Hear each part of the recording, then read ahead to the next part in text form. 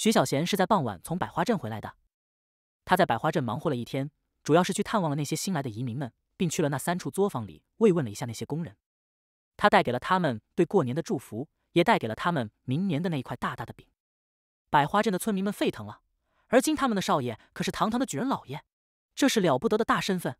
可这位年纪轻轻的举人老爷却和以往完全一样，他依旧那么谦逊，依旧那么平易近人。他还是那个小少爷，他们更愿意称呼他为少爷，觉得这样比较举人老爷更亲近一些。徐小贤没有进入渠山，他让王富贵派了两个人去渠山里通知那些护卫队一声，放假了，从腊月二十九，就是明天，一直放到正月初五。种了一辈子地的泥腿杆子们哪里享受过放假这个词？这不是最关键的，最关键是少爷说放假这几天大伙的工资照算，这岂不是让少爷白白亏了吗？可不能这样去占少爷的便宜。少爷不是说明年将生产那种桑麻纸吗？那趁着这天没下雪，咱们去多砍一些树弄回来。徐小贤不知道百花村的村民们自发的在劳动，干劲比以往更足。他和志蕊回到了家里，屁股还没有坐热，便见志蕊飞奔来：“少爷，少爷，刚才玉儿姐姐过来了。”“过来就过来了呗，这有什么大惊小怪的？”可接下来志蕊又说了一句：“玉儿姐姐说齐大人要来咱们府上。”卧槽，齐文俊还真跑来了。徐小贤只好迎了过去，便看见那后门有人正好进来。第一个过来的是穿着一身白袍，袍子的下摆绣着一朵淡蓝色兰花的霁月。自从上次他报错了季仙儿之后，霁月就和他有了一个秘密的约定，不再看衣裳的颜色，而是通过那一朵兰花来分辨。这其实不太好，因为再没有报错过。可许小贤不敢说。紧接着过来的是穿着一身红袍的季仙儿，季仙儿的身后跟着的是季县令，季县令的身后骇然正是齐文俊。这老头还是来了，这大过年的你跑梁邑县这破地方来干啥？徐小贤脸上堆起了微笑，打了个哈哈，给季县令和齐文俊拱手做了个揖。齐大人，你可想死我了？齐文俊一怔，这不是我常用的台词吗？他心里顿时一暖，徐小贤这小子果然是重情重义之人。他没有忘记我给他搓背，更没有忘记在凉州府衙里我给他撑腰。齐文俊于是笑了起来，正要说话，却没料到徐小贤又开口说了一句：“齐大人，您来的不巧，咱凉邑县这的兰桂坊休业了，说是明年二月才开。您看这就三天就要过年了。”就不耽误您的事。你现在赶回去，走快一些，还能赶上过元宵是吧？这话啥意思？想赶我走？没门！我齐文俊今儿个这个年，还非得赖在你徐小贤这府上了。老奸巨猾的齐文俊可没有半点生气，他那张微胖的脸上也堆起了笑容。婆知啊，叔父我也不瞒你，当叔父我的左脚踏出北凉府的时候，这右脚就没想过在元宵之前踏回去。当叔父我的这左脚踏入你这徐府的时候，这右脚……徐小贤一惊，连忙摆手：“大爷，这右脚……”我帮您抬出去。季中坛等人就看呆了，这徐小贤和齐文俊好像很熟悉啊，他们不就是在凉州府衙见过一次吗？怎么彼此说话都如此不客气的？齐文俊大笑，哈哈哈哈！你小子试着抬抬，叔父我这右腿可粗了，抱抱是真的可以的。至于抬嘛，你可要想清楚了。徐小贤似乎这时候才想起齐文俊的身份来，他也笑了起来。叔父能够抱住您这大腿，可是我徐小贤之幸。来来来，伯父月儿，咱们去里面坐坐。他伸手一引。转头就对志蕊说了一句：“蕊呀，杀两只鸡，将昨儿买回来的羊肉给炖了，咱们晚上正好吃火锅。”一行人走入了主院，齐文俊没有直接入厢房，而是站在了那荷塘边，视线落在了“闲云水榭”这四个字上。果然是云楼先生的手笔，他再次笃定徐小贤就是许云楼的儿子。他又打量了一下这院子，典型的江南风格，和冀中谭家的那院子布局截然不同。许云楼并非江南人士，对于许云楼的来历，齐文俊不知道。就连北都后罗焕熙也绝口不提，但这位云楼先生是一名儒将，这是得到大家所公认的。也就是说，当初起事的时候，他就不是一个纯粹的土匪，而是一个有着极高文化素养的土匪。不然他哪里训练得出那么强大的刀器？不然他如何设计得出如此精美的宅院？徐小贤不知道，齐文俊看着这院子就想了许多。他比较好奇的是，齐文俊自称为他的叔父，他可没有在外面陪齐文俊吹风，而是坐在了季中谈的身边。问道：“伯父和这位齐大人认识？昔日长安书院同窗。”徐小贤明白了，看来这二人关系不错，只是人家都爬到了北凉府府台的位置上了。你，季中坛瞪了徐小贤一眼，脸上有些挂不住。徐小贤乐呵一笑：“伯父，您放心，您这是厚积薄发，未来定会官运亨通。”这话音刚落，齐文俊走了进来：“师兄，婆知这话有理。”他坐在了桌机旁，双手杵着膝盖，又道：“这一次凉州府被弄空了，向吏部举荐凉州刺吏这件事。”我问询了北都侯府的意见，送的是你的名字上去。季中谈一怔，齐文俊又道：“谁叫咱们曾经是同在一个宿舍的兄弟呢？”但这事儿我原本不打算给你说，因为你知道京都水深，哪怕是这北境之地的一个次里，也是庙堂上各方势力角力的由头。举荐信在九月下旬就已经送去了吏部，按照正常流程，吏部任命的文书最迟应该在十一月送达凉州。齐文俊双手一摊，可等到了十二月末，却依旧没有。他看向了季中谈，所以这事儿肯定有了变数。你千万不要患得患失，毕竟任命文书没有下来，便也说明还有几分机会。季中谈确实有些失落，在凉邑县一待就是八年，八年啊！当年皇上消灭黎朝才用八年的时间，人生能有几个八年？眼见着昔日同窗一个个都青云直上，唯有自己，而今依旧是个七品县令。他潸然一笑，摇了摇头，莫说这些，樊之煮酒。齐文俊一听便看向了徐小贤：“你说的闷倒驴，我可没有忘记。这个夜里，徐府的羊肉火锅味道香极了。但比这羊肉火锅味道更香的是桌上的一坛酒，它正是徐小贤第一次酿造的那闷倒驴。齐文俊吃过山珍海味，喝过醉花雕，也喝过北魏的岁寒甘露，却绝对没有喝过这猛烈刺激的闷倒驴。好酒！齐文俊此刻哪里还有半点府台大人的模样？他接过酒杯，深深的嗅了一口。便浑然不在意的将杯中的酒一饮而尽。师弟，这酒厉害，你可要悠着点。师兄，师弟我的酒量你理应清楚。季中谭扬了扬眉，没再劝阻。五杯过后，齐文俊大醉。徐小贤吩咐四喜和丸子将齐文俊安排去了东厢房，其余人这才继续开心的吃起了热气腾腾的火锅。渠山深处，这里面有一处极为隐蔽、人迹罕至的山谷。皑皑白雪之下，这地方被彻底的与世隔绝开来。那一条唯一能够进出山谷的山间小路早已看不见，但若是有人能够飞越这渠山的上空，却能够在这漆黑的夜里看见那山谷中隐约的灯火。没有人能飞越高耸入云的渠山，没有人知道这里面有一处存在了许多年的偌大的村落。一间二层小木楼上，大管家杵着拐杖来到了这房间的角落里，他用这拐杖拨弄了一下那一盆就要熄灭的炭火，转过身又走了过来。拐杖杵着木楼上，发出了哆哆的声音，这声音在这安静的房间里格外响亮。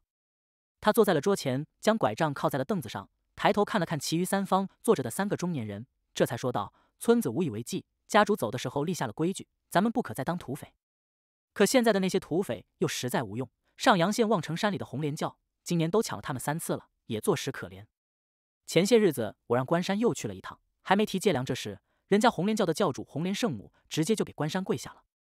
红莲教粮仓里的粮食维持他们过这个冬都很是困难，红莲教上下。”也有千来张嘴吧，咱总不能让他们全部饿死吧。所以关山是空着手回来的。而黑风寨的那批土匪主力被少爷杀了个干干净净，他们也没粮啊，不然哪里有胆子去打官粮的主意？青龙寺一家伙搬去了残月山里，太远了，去打劫那些和尚不太划算。大管家顿了顿，所以这些日子一直在想，咱们的未来在哪里？不，他摆了摆手，我一大把年纪了，早就活够了，就算明儿一早死了也无所谓。是你们的未来在哪里？刀锋。刀锋可是家主的心血啊！无论如何得让三千刀锋战士活下去。我想过就地解散了刀锋，凭着大家的身手，要谋口饭吃是极为容易的。但你们不同意。现在到了刀锋生死存亡的关键时候了，咱们村子里的人在外面抢了一些女人回来，这人口渐渐多了，但自给自足的那点地的产出却依旧只有那么一点，养不活整个村子的人了。前些日子望月陪我出去了一趟，倒没走多远，就是去了这渠山的前山看了看，那地方原来叫百花村。而今叫百花镇，那是少爷的地方。说到少爷，大管家的精神头便旺盛了一些，他的那双老眼甚至亮了起来。少爷在百花镇弄了三个产业，产出的商品卖得极好。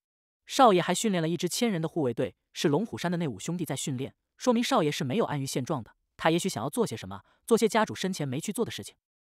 对你们说这些，不是让你们去造反，而是要告诉你们，少爷之志恐怕不下于家主。但少爷究竟要怎么做？你我不得而知，唯有等着看着。可咱们等不下去了，再等就全饿死在这山谷里了。所以得寻一条出路，所有人得活着去等去看。坐在这桌子其余三方的正是刀锋的三大将军关山、望月、啸风。他们已经三十出头的人了，但这种年龄正是他们精力最为旺盛的时候。三人进阶看向了大管家关山，拱手说道：“当年家主将刀锋星号交给您，我们的一切便听凭大管家您的安排。我是这么考虑的。”简秋香当年和家主有一番，他的马帮，我不知道他需不需要扩大马帮，但他肯定不会眼见着刀锋消亡，所以明儿个我得出去一趟，和简秋香见一面。若是他马帮需要人，刀锋依旧是刀锋，但锋芒却要收敛起来。咱们可以成为简秋香手里的一把刀，去帮他把马帮做得更大。如此，咱们才能够生存下来，也才能够以新的面目行走天下。但你们要记住一点，听简秋香的安排的像听家主的安排一样，这一点你们务必要做到。你们觉得如何？三人一怔，面面相觑。他们当年倒是隐约听说过家主和简秋香之间的故事，可家主却极为认真的否定了啊。再说，他们是真正的战士，可不是土匪能够比拟的。哪怕是窝在这荒山峡谷之中，他们依旧没有耽误操练。他们的刀甚至比以往更加锋利，可现在大管家却要让他们收起刀去当保镖。那村子怎么办？这里毕竟是我们的根基。笑风问了一句：“村子我死之前就守着。对了，简秋香可是少爷未来的岳母，在简秋香的手里混口饭吃不丢人，甚至还能时常看到少爷。大管家就没有别的路了吗？要不再和罗焕熙说说？”大管家摇了摇头：“咱们竟是唐无望的心头之患，再和罗焕熙接触，只怕会给他带去祸端。”笑风忽然问道：“传说当年家主在青龙台留下了一大笔的宝藏。”大管家摆了摆手，打断了他的话。他苦笑了一声：“我们容忍青龙寺在青龙台待了那么长的时间，青龙寺的和尚将青龙台都差点翻了个底朝天，何来的宝藏？再说，若是真有大笔的宝藏，家主会瞒着我吗？那终究是个传言，不要去信。”关山沉吟片刻：“我同意大管家的意见。若是简秋香的马帮需要人，咱们去。”望月问道：“可刀锋有三千人，他哪里要得了这么多？”大管家点了点头，你们先去歇息吧，明儿明儿关山随我去见见简秋香再说。三人拱手退下，大管家这才深吸了一口气，望了望漆黑的房顶。当年刀锋清一色的十六七岁少年，十六年过去，他们现在成了清一色的三十二三岁的中年。男人总是有需要的，这些年头自己睁一只眼闭一只眼，让他们去北魏那边抢回来了许多的女人。这村子倒是阴阳调和了，可这些大老爷们们精力太过旺盛，孩子生了一茬又一茬。眼见着村子里的人口就快接近一万了，真特么的养不活了。哎，难啊！师兄，这是什么讲究？站在百花镇的那两千余亩田间，齐文俊看见的是茫茫一大片被大雪覆盖的篱笆棚子。这田过冬还需要保暖的吗？瑞雪兆丰年，田地就是需要在大雪的覆盖下将残留的虫卵给冻死，这样来年才能够有个好收成。可这些棚子却挡住了积雪，下面看不见，但肯定是没有什么雪去覆盖的。齐文俊并不是一个五谷不分的糊涂府台，他在这些年的官途中对农事也有一定的了解，但他却敢发誓，无论在大臣的那个地方都没有见识过这样的事情。季中谈捋着两撇八字胡须笑道：“这是一片实验田，繁殖捣鼓的。”他说：“一田可以两种。”齐文俊一怔：“两种？怎么个种法？”稻谷成熟前，将稻田里的水悉数放干；稻谷收割之后，将干了的田深耕一遍，然后种上黄豆。婆之说种黄豆有改善土壤之效果，还可以种别的东西。比如油菜，齐文俊就吃惊了。师兄，这法子有些道理啊。这下面种的就是黄豆。对，婆子说这法子在南方更好，咱们这北方冬季太冷又太长了一些，会影响到黄豆的生长成熟。明年插秧的时候，恐怕会往后推迟十天半个月。那会不会影响到明年稻谷的收成？季中谈两手一摊，我也不知道啊，所以没敢全线推广。且看看明年这两千余亩试验田的结果如何。齐文俊点了点头，师兄依旧稳健。明年结果出来了，还请师兄修书一封给我。若是这法子可行，咱们这北境之地也不至于粮食如此窘迫。陪同齐文俊同来参观百花镇的，还有黄县城正县尉以及捕快头子刘能。徐小贤没有来，因为他昨儿个也喝多了。一行人穿过田埂，站在了那道石拱桥上。齐文俊抬眼望去，看见是苍松翠白掩映中的那些青砖碧瓦的院落，还有那些院落顶上摇曳的道道炊烟，有鸡鸣狗叫之声此起彼伏。甚至偶尔还有一两声爆竹响起，接着便会传来孩童们的惊呼声、嬉笑声，还要打闹声。有某户人家的女人在吼着自家的孩子，也有某户人家的孩子在呼喊着别的孩子。各种声音交织在这样的清晨，它便是一幅极为生动的乡村美图。这个地方充满了活力，这个地方的老百姓似乎没有那么多的压抑。师兄，咱们进镇子里去瞧瞧。一行人穿行在崭新的百花镇里，齐文俊近距离的看见了那些漂亮的四合院。难以置信，这是徐小贤以一己之力给村民们修建的。他虽然没有出力，可他却出了所有的砖瓦，这得值多少银子？他们来到了一户人家的院子里，看见一个女人正在杀鸡。齐文俊极有兴趣的走了过去：“大婶，这是准备过年呀？”那女子抬起了头来，瞅了齐文俊一眼。这人倒是穿的人模狗样的，可本姑娘还没出嫁呢。大爷，你眼瞎呀？齐文俊一怔，这里的民风有些彪悍啊。不是，什么不是？我有那么老吗？本姑娘今年才十八，大婶不是看你年岁这么大了，你们城里人有什么了不起的？咱们百花镇的姑娘可还不愿意嫁给你们城里人呢。齐文俊被对得讪讪一笑。那姑娘贵姓？本姑娘李金花。你们这冷的天，你们跑来百花镇干啥？哦，对了，你们肯定是商人。我可告诉你们，少爷这些作坊里的商品可不卖给你们这些二道贩子。另外呢，你们也别想去打那些作坊的主意。今儿个开始作坊放假了，却有护卫队守着。我劝你们莫要靠近，不然不然万一误伤到了，咱们少爷的岳父可是梁邑县的县令大人，你们告状也无门。齐文俊身后的季中谈脸都黑了。徐小贤这小子，莫非还扯老子的虎皮来做了大旗？齐文俊不以为意，哈哈一笑。多谢姑娘提醒，既然作坊放假了，可镇子里的人怎么这么少？李金花一把抓着这公鸡的机关，往后一拧，男人们都自发的去帮少爷伐木了，镇子里就剩下女人、孩子和老人，当然人会少许多。他忽然抬头瞅了齐文俊一眼，狐疑的问道：“你打听这些干啥？”“哦，不干啥，我从外乡来，听闻百花镇很是出名，故而来看看。”李金花这才放下心来，手起刀落，利索的在鸡脖子上划拉一刀。那鸡在拼命的挣扎，脖子上鲜血长流。咱百花镇当然出名了，这凉邑县还有好多好多人想来这里。可少爷说了，有儿今这么些人已经够了，他们想来可来不成？齐文俊看着那只奄奄一息的鸡，有些腿软。这鸡留着明年三十吃，不，待会就炖了。爹晚上回来，用小火煨着，晚上吃正好。这百花村的人吃鸡都这么随意的了吗？在齐文俊的认知中。整个北凉府的农村村民们能够一年四季吃上饱饭，这就是了不得的村子了。这样的村子，村民们有点余粮来养鸡猪，但他们养鸡猪的目的却是为了拿去换点铜钱。若要说自己吃，除非是得了鸡瘟死掉的，否则他们是舍不得的。你家生活真不错呀！李金花咧嘴一笑，你这是少见多怪。他又对了齐文俊一句，接着说道：“咱们来的晚了一些，最先移民过来的牛角沟桃源村那些人，人家家家户户不但有鸡吃，还有鸭吃。少爷说了。”明年开始，百花镇要养猪。少爷还说了，明年开始，咱百花镇的所有人家家户户都得吃上猪肉。知道你们城里人不喜欢，说是膻味很重、矫情，咱们农村人不嫌弃。何况少爷说他教我们养猪的法子，保证那猪肉没有膻味。少爷还说了，要多吃肉才有力气干活，才不会面黄肌瘦，才有有什么免疫力，就是不容易生病的意思。你要让李金花将死翘翘的公鸡丢入了一口木盆里，抬头望着齐文俊一笑：“我跟你说啊。”少爷还说了，这以后城里的大姑娘们可会想着法子，千方百计的嫁到咱们这百花镇来。你信还是不信？这齐文俊摇了摇头。无论如何，这农村的条件是无法和城里相比的。他当然不信。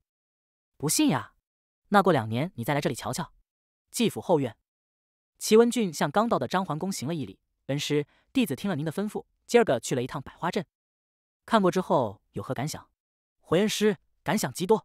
若不是亲眼所见，弟子实在难以相信徐小贤真的只用了半年时间就将百花村变成了而今的模样。张桓公一缕长须，接过季中坛递来的茶盏，也笑了起来。莫要说你，就是老夫，老夫去过百花镇三次，每一次去那地方都不一样。若是用日新月异这个词来形容也不为过，因为他的改变真真切切，是完全看得见、摸得着、体会得到的。张桓公揭开盖碗了，吹了吹，深吸了一口气，又道：“婆侄曾经说要带着百花村的村民们脱贫致富。”老夫起初是不信的，可接下来他却用行动告诉了老夫，他真的在做这件事，而且做得极好。你们师兄弟都是官场中的人，你们仔细去想想，若是樊之为官，治理这一县之地，他曾经说一屋不扫何以扫天下？他能打造出一个百花镇，就能打造出一个百花县、一个百花州，甚至一个百花府。你们别不相信，咱们来捋捋婆之这半年的所作所为。北境之地因为气候、土壤等等缘由，粮食产量全国最低，这是共识。所以他是从作坊起步，换句话说，他这是从商业开始。可他走的却不是寻常路，他的这条路，张桓公摇了摇头，看了看自己的两名弟子，他的这条路无法复制。无论是你季中谈，还是你齐文俊，都无法进行复制。文香，这个世界原本没有这个东西，这个东西是徐小贤通过华神医开给他的药方自己研究出来的，它有着极好的驱蚊效果，还有安神之功效，所以这东西具有唯一性。饴糖，这个东西大臣倒是有。可许小贤的饴糖售卖的价格却只有京都的一半，说明成本极低。再说他造出来的纸，你们都知道，造纸术被大臣造纸司和宣州府张氏垄断。我也不知道樊之从哪里学来的造纸术。可咱们现在来看看他的布局，整个大臣一大半的纸品市场被张氏掌控，可樊之推向市场的却不是用来书写的纸，他另辟蹊径，弄出了就连张氏也没有的手纸。手纸大卖，百花纸业的名头在整个凉州响亮。他那酒你们都已经喝过了。明年他那酒坊再建起来，酿出来的那状元红必然又供不应求。这样敏锐的洞察力，天下有几人具备？这样卓越的商业天赋，天下又有几人具备？所以这就是无法复制的缘由，非你们能力不足，仅是因为樊芝那脑子太妖孽。张桓公对徐小贤的这番大肆褒扬，令齐文俊深以为然。手指他用过，而今已经离不了；酒他喝过，若是再喝下去，他相信自己再也没法去喝别的酒。蚊香这玩意儿，他倒是没有用过，但既然张桓公都这么说了，那效果肯定和清水蚊香不一样。这些是商业方面的，但大臣最麻烦的是粮食。老师，您说这一田两种之法，史上可曾有过？张桓公摇了摇头，这又是繁殖的一大创举。若是成功，亩产粮食不要说翻倍，增加个两三成，总是能有的。若是全国推广，这就意味着整个大臣的粮食能够增加两三成，可能解决不少的问题。季中谈一听，连忙说道。这事儿现在还不能声张，一切还得等明年看结果。而今看来，要施行一田两种之法，前期就必须投入去建造排灌系统，这就需要水源，充沛的水源。所以，繁殖在上游修建了渠河水库。季中谈仔细的分析了一番，得出了一个结论：水源、排灌这两件事必不可少。排灌倒是可以修建，但水源这个东西，恐怕许多地方会受限。齐文俊点了点头，不是什么地方都适合修建水库的。尤其是这北境之地，南方倒是没有什么问题，有长江流域灌溉，南方沃野千万里，本就是大臣最大的粮食产地。可就算这样，若是徐小贤那法子成功了，缓解北方粮荒也有着极为重要的意义。诸事因地制宜，有总比没有来得好。张桓公呷了一口茶，摇了摇头，一声叹息：可惜婆芝这小子始终无意为官，不然大臣定会多一名贤能之臣。恩师。要不要弟子回了北凉府之后，给北境侯府说说婆芝的事？张桓公摆了摆手，凡之志不在庙堂，万万不可强求。那只能作罢，总没可能赶鸭子上架吧？齐文俊摇了摇头，徐小贤这小子不去当官，真的可惜了。季中台儿今倒是看得开，徐小贤去当官，远比在这凉邑县待着危险。不要说陛下对他的态度，宫里的那位只要透出点风声来，就会有许多的官员像疯狗一样围着他咬，到时候被啃的骨头渣子都不剩。我那女儿怎么办？张桓公端起茶盏来呷了一口茶，又补充了一句：“樊芝不去当官，但这百花镇是他一手所建，这份功劳可不能便宜了别人。”他看向了季中坛，百花镇新建，我听说还没有设立镇长，这镇长可由县令指派，不领朝廷俸禄，不是官。反之当个镇长还是可以的，至少这样他在百花镇做任何事也说得上名正言顺。季中坛一怔，他还真没想过这事。毕竟凉邑县下辖的六个镇的镇长，实际上都是本镇最大的乡绅在担任，县衙并没有去干涉过这种事。此刻听张桓公这么一说，他醒悟了过来，连忙回道：“恩师此言有理，待得休沐结束，弟子就给婆之委任一个百花镇镇长之职。”正在闲云水榭写对联的徐小贤，压根不知道他即将成为一名镇长。此刻季雨儿和季星儿坐在他的两侧，志蕊站在他的对面，正在磨墨。简春夏坐在凉亭的栏杆上，舔着冰冷的麦芽糖。春联就是图个喜庆和寓意，表达的是对来年美好生活的憧憬，所以不需要太复杂，言简意赅最好。他落笔写了下去：五更分二年，年年称新；一夜连两岁，岁岁如意。横批：新年大吉。大臣十六年腊月三十，除夕这一天，徐府的智蕊极为忙碌。他带着四喜和丸子在前院杀鸡宰羊，准备着少爷昨儿说的年夜饭。少爷说，今年的这个年夜饭得请隔壁院姐姐一家，再加上一个齐大人。另外还有少爷不知道从哪去认识的五个大哥，人挺多的，得开两桌，所以需要准备的食材也很多。志蕊没有任何怨言，甚至极为欢喜，因为这同样是他和少爷过的真正意义上的第一个年。来福，你力气大一些，杀羊这件事就交给你了。四喜，四喜，你去杀四只鸡，记得毛要处理干净了。丸子，你来切肉，做粉蒸肉的要切大块一些，用来炒的要切小片一些。前院极为热闹。就连常威似乎也感受到了这过节的气氛，也或许是他太久未曾见到来福，他一直在围着来福打着转。徐小贤是不想干这活的，尤其是在志蕊的厨艺精进了之后，他已经极少再下厨房，志蕊也不要他再下厨房了。毕竟少爷可是举人老爷，这天底下哪里有举人老爷在灶台上忙着的道理？所以这小妮子真贴心啊。徐小贤坐在闲云水榭里，和季中谈齐文俊聊着天，季玉儿和季星儿在一旁安静的听着。简春夏觉得他们说的那些事情无趣，便对季星儿说了一句：“星儿，走，咱们去逛街。”季星儿也觉得听他们说这些无趣，起身便和简春夏走了。徐小贤当然不以为意，他给季中谈和齐文俊斟了一杯茶，又说道：“养蚕这件事真不是我吹牛，江南蜀州养蚕为的是桑叶，咱们这北境没有桑树，但有座树，这指的是树的一个类别，比如渠山就有的麻栗树和狐狸树。齐文俊就惊讶了，等等，柏芝，你的意思是这两种树的树叶也可以养蚕？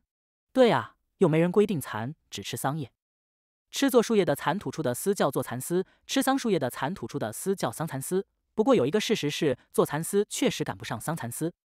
桑蚕丝是长纤维，具有优良的弹性和韧性；做蚕丝是短纤维，弹力韧性都较差。桑蚕丝手感丝滑，而做蚕丝手感偏硬。但做蚕丝也不是一无是处，用它纺成的丝绸比桑蚕丝更为结实耐用。徐小贤这番言论彻底颠覆了齐文俊和季中谈的认知。世人都知道大臣的丝绸出自南方，其中又以苏州和蜀州的丝绸为最，从来没有人听说过北方还能够养蚕产出丝绸来。哪怕它是如徐小贤所说的有着许多缺点的做蚕丝，做蚕丝织造出来的，它也叫丝绸啊，这可是个金贵的玩意儿。哪怕它比不得南方的丝绸，它所售卖的价格也远超棉麻布帛呀。齐文俊有些激动了，他俯过身子，一把抓住了徐小贤的手。繁枝，明年。明年你把这东西给弄出来。徐小贤的手往后一抽，大爷的，你当养蚕那么容易？就算蚕出来了，结成了茧子，你还得将这茧子织造成绸缎。这活儿徐小贤知道怎么弄，但他明年的重点在百花纸业和状元红这两个产业上，哪里还有多余的精力去搞个纺织作坊？齐大人心急吃不了热豆腐，我徐小贤分身无数啊，所以明年肯定不行。那后年，后年总可以了吧？徐小贤这才意识到。这个东西若是弄出来，恐怕有极大的利润。不然，堂堂一府台，为啥对这东西如此上心？还真是，大臣产于南方的丝绸，至少七成要销往周边的四个国家。为啥？大臣太穷了，丝绸是大臣换取银子和粮食的主要产品。如果这北地也能产出丝绸，对于齐文俊而言，这就是一份莫大的功劳。纪中谈显然也明白其中的意义，在他和齐文俊看来，徐小贤的这个主意比他酿造的耐酒还更有前景，所以。二人都在劝说徐小贤将这件事纳为重点。反之，你可知道丝绸这个东西市面上的价格？齐文俊扣了扣桌子，极为认真地问了一句。要说起来，徐小贤还从未曾去步行买过布。不过他在三月三的那一天去过一次朱仲举家的步行，正好遇见了周若兰买绸缎，犹记得掌柜的说是十两银子一匹。于是他回了一句：“上等丝绸，朱氏绸缎庄卖的是十两银子一匹。”齐文俊点了点头，又道：“李玄间有规矩。”五两一两为数，每数两两卷之二丈双合则成匹，凡十卷为五数，以应天九地十之数，于此至一焉。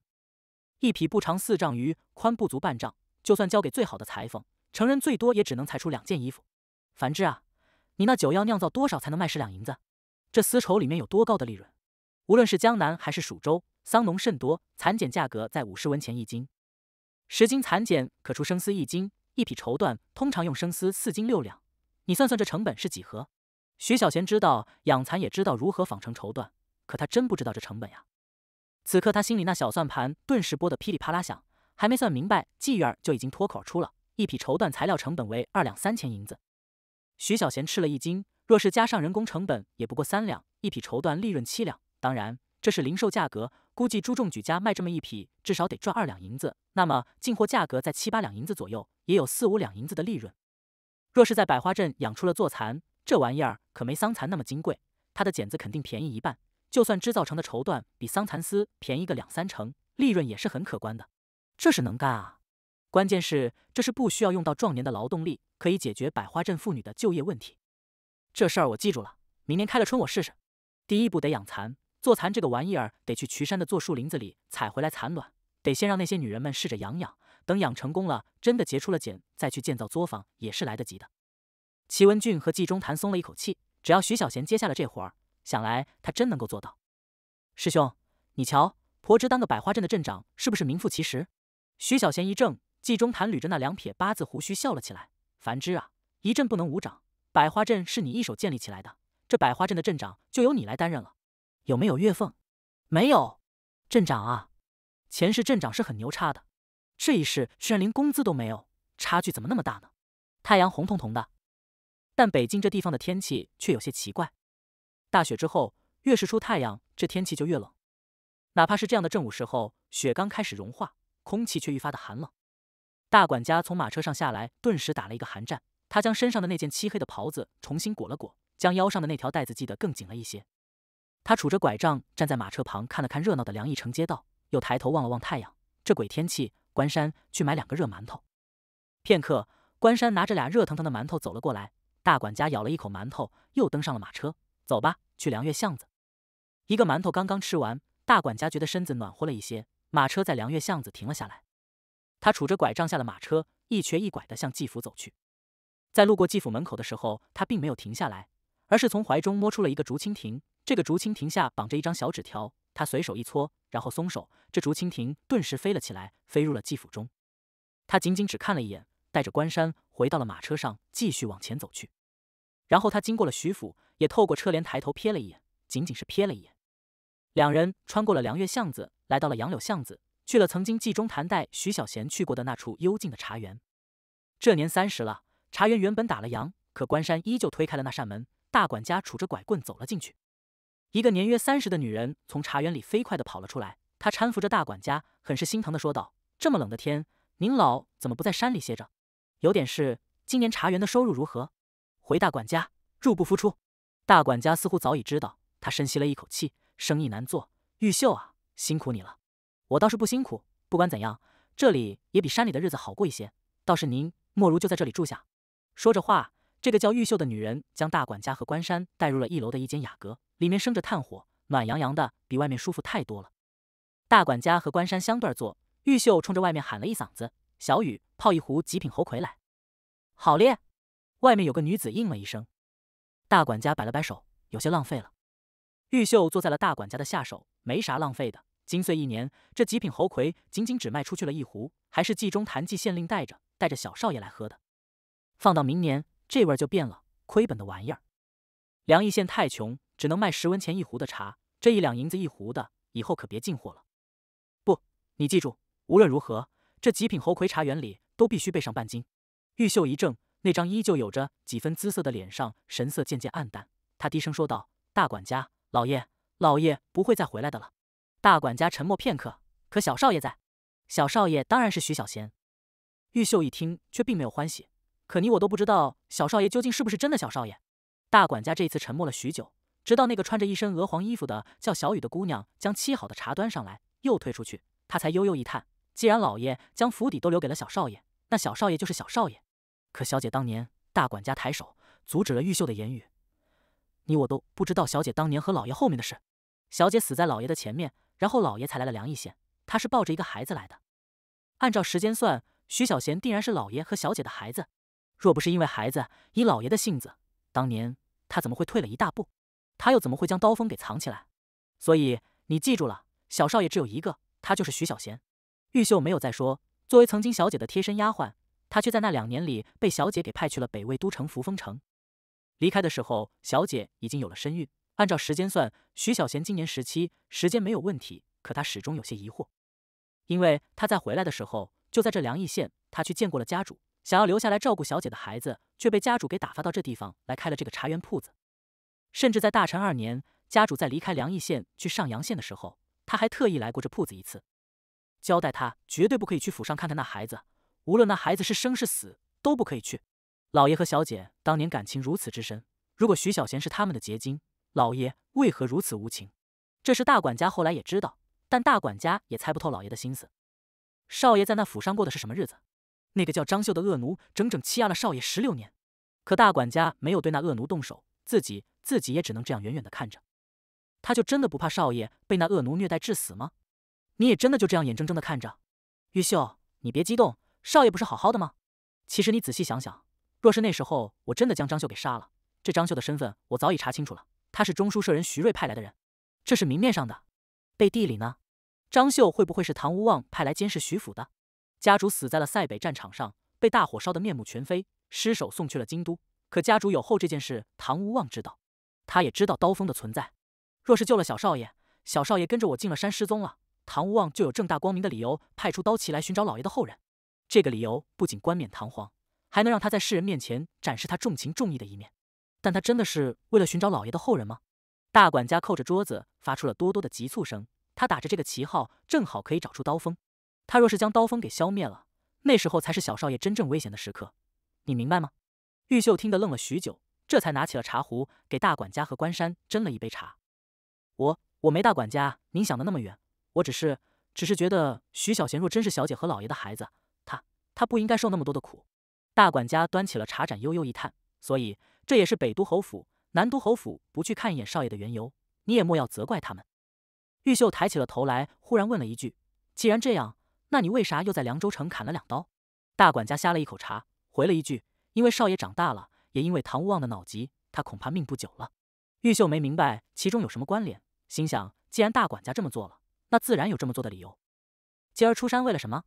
为了刀锋的未来，在这里来等一个人。关山觉得有些好奇。大管家说要和简秋香见一面，可大管家并没有去叩开季府的门。他向里面飞去了一只竹蜻蜓，这个玩意儿是小孩子的玩具。刀锋所有人都会做，还是家主当年传授给大家的。万一简秋香没有捡到那只竹蜻蜓怎么办？那我们就一直在这里等。他真的会来？他若是见到了那只竹蜻蜓，就一定会来。季府前院，季中坛和两个女儿都去了徐府，简秋香没有过去，因为他的五个师兄弟今儿个要回来了。关于马帮扩大这件事，这不仅仅是他简秋香个人的事，还是整个马帮，甚至整个龙虎山的大事。所以这件事得和五个师兄弟好生商议一下。扩是肯定要扩的，这调子得定下来，但怎么个扩法，这就得寻一个主意出来。他拿起了那张写着“临江仙，滚滚长江东逝水”这首词的纸来，又看了看，脸上露出了一抹笑意。这小子之才华，而今看来比他爹可高多了。白发渔樵江渚上，惯看秋月春风。你才十七，怎地都看见了白发的模样，当真是书生气十足，少了几许你爹的鹦鹉。他放下了这张纸，又看了看那一局带子入朝的残棋。昨儿齐文俊和夫君苦苦思量了大半宿，终无所得，也不知道这小子是怎么想出来的。如此想着，他起身信步走了出去，看着花园里那白的血红的梅，似乎想起了什么过往，以至于有些出神。一阵风来，他清醒了过来，扬了扬眉，嘴角一翘，便将那陈旧过往抛去了脑后。他抬步走了出去，正在思索明年马帮的线路问题，却忽然一惊，豁然蹙眉，他看见了雪地上躺着一个竹蜻蜓，他的心跳陡然加快。他四处张望了一下，莫要说人，连鸟都没有一只。他走了过去，捡起了这只竹蜻蜓，这才看见下面绑着一张纸条。取下纸条，展开一看，请上香茶园一见。这不是他的字，这是谁的字？简秋香眉间紧蹙，这是谁送来的竹蜻蜓？这个人怎么知道竹蜻蜓的故事？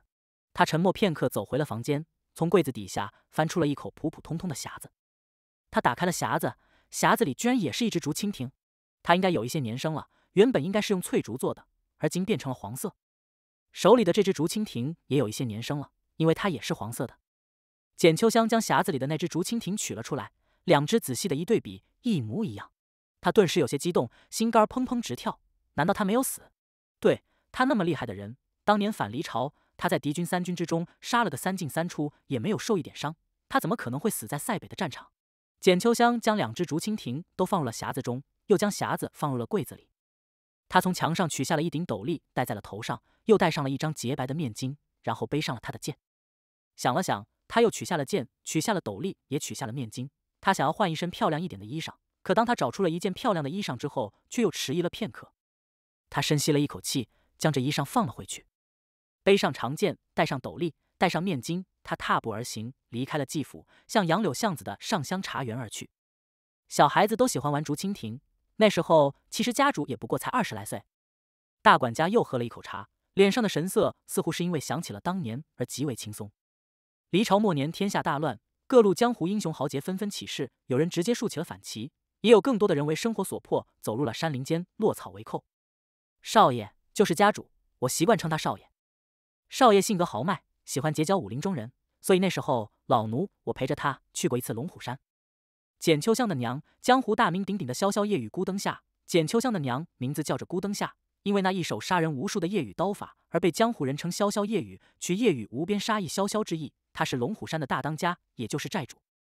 只是那时候孤大当家的早已离开了龙虎山，和前朝书贤简从书在兰陵城安了家。老奴陪着少爷又去了兰陵，兰陵城就在龙虎山下不远，一日之程便到。少爷和孤灯下打了一架，少爷输了一招。然后少爷和简从叔下了三盘棋，少爷赢了两局。就这样，我和少爷住在了简家。少爷意图说服孤大当家的参加义军，却被孤大当家给拒绝了。但孤大当家的却要教少爷刀法，我们便在简府待了三个月。这是一段玉秀和关山都不知道的往事，他们此刻都极为认真的听着，因为大当家真的很老了。若是这些故事他再不说出来，只怕就会被他给带到坟墓里去了。简府有一个女儿，那时候简从书和姑大当家的还只有一个女儿，她就是简秋香。那年她大致七八岁，还是个孩子。少爷和简秋香同在姑大当家的手里学艺，不过少爷学的是夜雨刀法，简秋香学的是飘香剑法。简秋香那时候总是会缠着少爷，让他讲外面的故事。少爷当然也说起了那些江湖中的趣事，但更多的时候说的是离朝各地民不聊生的凄惨景象。在说了那些故事之后，少爷用竹子做了一个竹蜻蜓，小孩子都喜欢玩这个玩意儿。简秋香那时候也是个孩子，他当然也不例外。少爷做的竹蜻蜓工艺极为精湛，可不是你们所做的那玩意儿可以比拟。简秋香很喜欢，他一直珍藏着。在大陈元年，他去了长安，在九曲池头和少爷见了一面。那时候他十五六岁，而今想来，或许他喜欢的并不是竹蜻蜓。大管家似乎说完了，也似乎是不想说了。他又端起茶盏来呷了一口。刀旗的刀法来自少爷。少爷的刀法来自孤大当家的夜雨刀法。孤大当年曾经说，这种刀法尤其适合于骑兵，便送给少爷，让少爷以此刀法为基，建立一支骑兵。这就是刀旗的由来。夜雨刀法只有九刀，刀旗学的是其中六刀，而刀锋学的是其中八刀。关山一怔，那还有一刀呢？还有两刀。关山顿时瞪大了眼睛。大管家又道：“少爷天纵奇才，他将九刀柔合，再创了更厉害的一刀，他叫归一。”所向无敌，这刀谱，大管家摇了摇头，就连我也不知道少爷将这后面两刀的刀谱放在了何处。就在这时候，小雨走了进来，他一应到了一个万福，客人来了。简秋香取下了斗笠，一人一剑，就这么站在了这雅间的门前。他的视线落在了大管家的脸上，眉间微蹙，神色微微有些吃惊，也有些失望。他转身将斗笠挂在了门前，抬步走了进去。坐在了玉秀的旁边，视线又落在了大管家的脸上。常伯真的死了？大管家点了点头，心里却长长的松了一口气，因为当年才七八岁的简秋香，而今依旧记得叫他常伯。简秋香微微垂头，深吸了一口气。他既然真的死了，你来找我还有何事？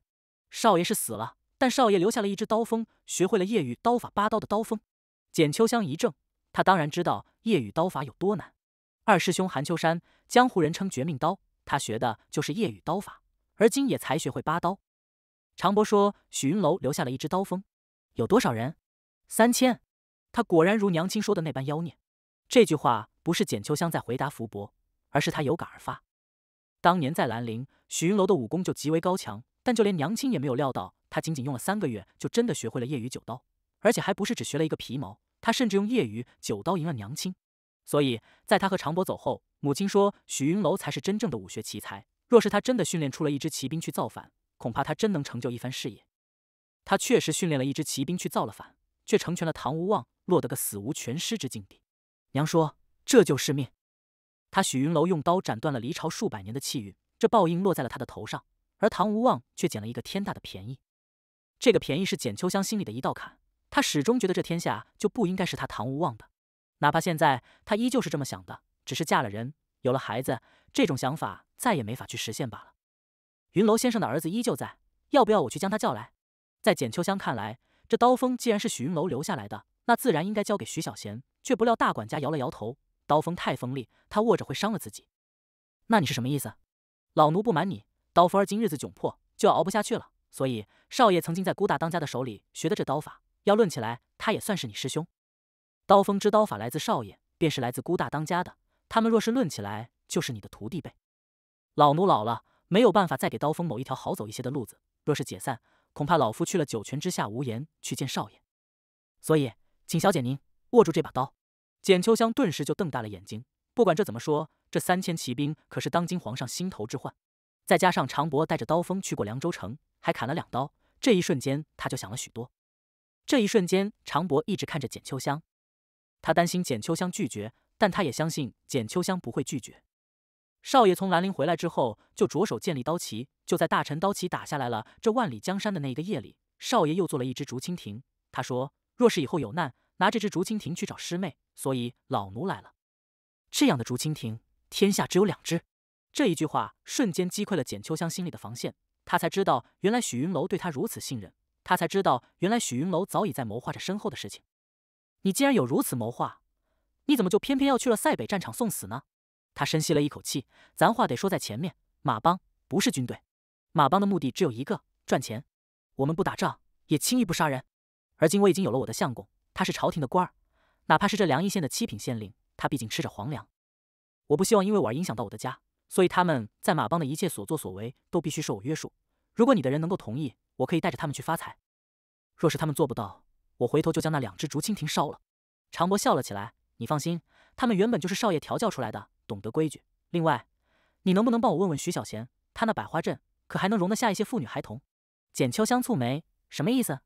刀锋藏了十几年，他们中的许多人已经有了家室，待在那深山里会耽误了他们的后人。若是能够出来，徐少爷能够给他们一个房子、一口饭吃，不是白吃，他们都能干活。这样，这件事也算是圆满的解决了。老奴若是哪天死了，也能安心的闭上眼。简秋香深吸了一口气，让这些战士的家人留在百花镇。这想来是常伯留下的后手。那些战士因为家人终究会有所顾忌，可是这些人真的可以被皇上给定义为叛军？若是如此，他们的家人必然连坐，而徐小贤作为收留他们家人的人，也必然会受到牵连。常伯似乎读懂了简秋香的犹豫，他转头对关山和玉秀说了一句：“你们出去一下，我和简夫人聊一些别的事情。”二人惊疑的走了出去，关上了门。常伯这才笑道。其实你大可放心，小少爷为啥会训练一千护卫队？这本就不合规矩，可他偏偏就做了。若是小少爷的手里再有三千强大的骑兵，他的长眉一扬，揭开了盖碗，淡然一笑：“当年少爷起事，手里不过才两千骑兵，何惧之有？”他呷了一口茶，又说了一句：“再说，若是真发生了什么，小姐，你不知道，小姐就是小少爷的娘，她也死了，死在少爷的前面。若是真发生了什么，这个东西给你。”你的马帮每年都会去一次北魏，拿着这东西，北魏不会坐视不理。常伯从怀里取出了一块漆黑的牌子，递给了简秋香。简秋香此刻心里已经泛起了惊涛骇浪。她的母亲是北魏的人，大成二年，北魏举兵南下，为的就是找唐无望要一个说法。唐无望当然给不了北魏皇帝的说法，所以少爷才去了塞北。可他死在塞北，对他死了，北魏认为他这一死，就算是给小姐陪葬了。她是皇族。她是皇族的三公主，北魏不知道他们留下了一个孩子，没有成亲，哪里来的孩子？北魏都城扶风距离这里又那么远，不过这块墨玉牌子是小姐留下来的，少爷去塞北的时候交给我保管的。我想北魏的皇帝恐怕认得这个东西。简秋香回到了继府，她摩挲着手里的这块很有些分量的墨玉牌子，仔细的看了看，一面雕刻着一只栩栩如生的凤凰，另一面雕刻着一个字“西”。许云楼一生未娶，原来他是有女人的。只是他又是如何和北魏的三公主在一起了呢？那是一个怎样的女人？能够配得上许云楼的女人，她一定极为美丽，肯定也知书达理，极为温柔贤惠。她是徐小贤的母亲，按照时间算，恐怕是在生下徐小贤不久就去世了。常伯也不知道她的死因。常伯知道她是如何和许云楼认识的，可他却只字未提。也是，堂堂开国大将军，其妻怎么能是北魏的公主？他深吸了一口气，将这块墨玉牌子收了起来。刀锋三千人，这马帮的人手问道倒是解决了，还多了许多，总不能要一半放弃一半。他们都是许云楼当年的心血，等过了年，得和徐小贤说说那些妇女小孩的安置问题，也得给夫君说说如何给他们一个正式的户籍身份。这件事得做得细致一些，可不能留下破绽把柄。就在简秋香如此想着的时候，季仙儿和简春夏走了进来，手里抱着一大包的糕点，零嘴。娘，尝尝隔壁徐小贤那顺来的，这家伙。居然前些天就托了人从凉州城的李记特香包买来了那么多的糕点，哼，这小气巴拉的家伙居然藏到现在才拿出来。简秋香瞪了季仙儿一眼，就知道吃。对了，你爹还在那边？在，姐姐也在，齐叔叔也在，几个人也不觉得无聊。从种田说到了治国，那徐小贤也是，他又不想当官，偏偏还高谈阔论治国之道。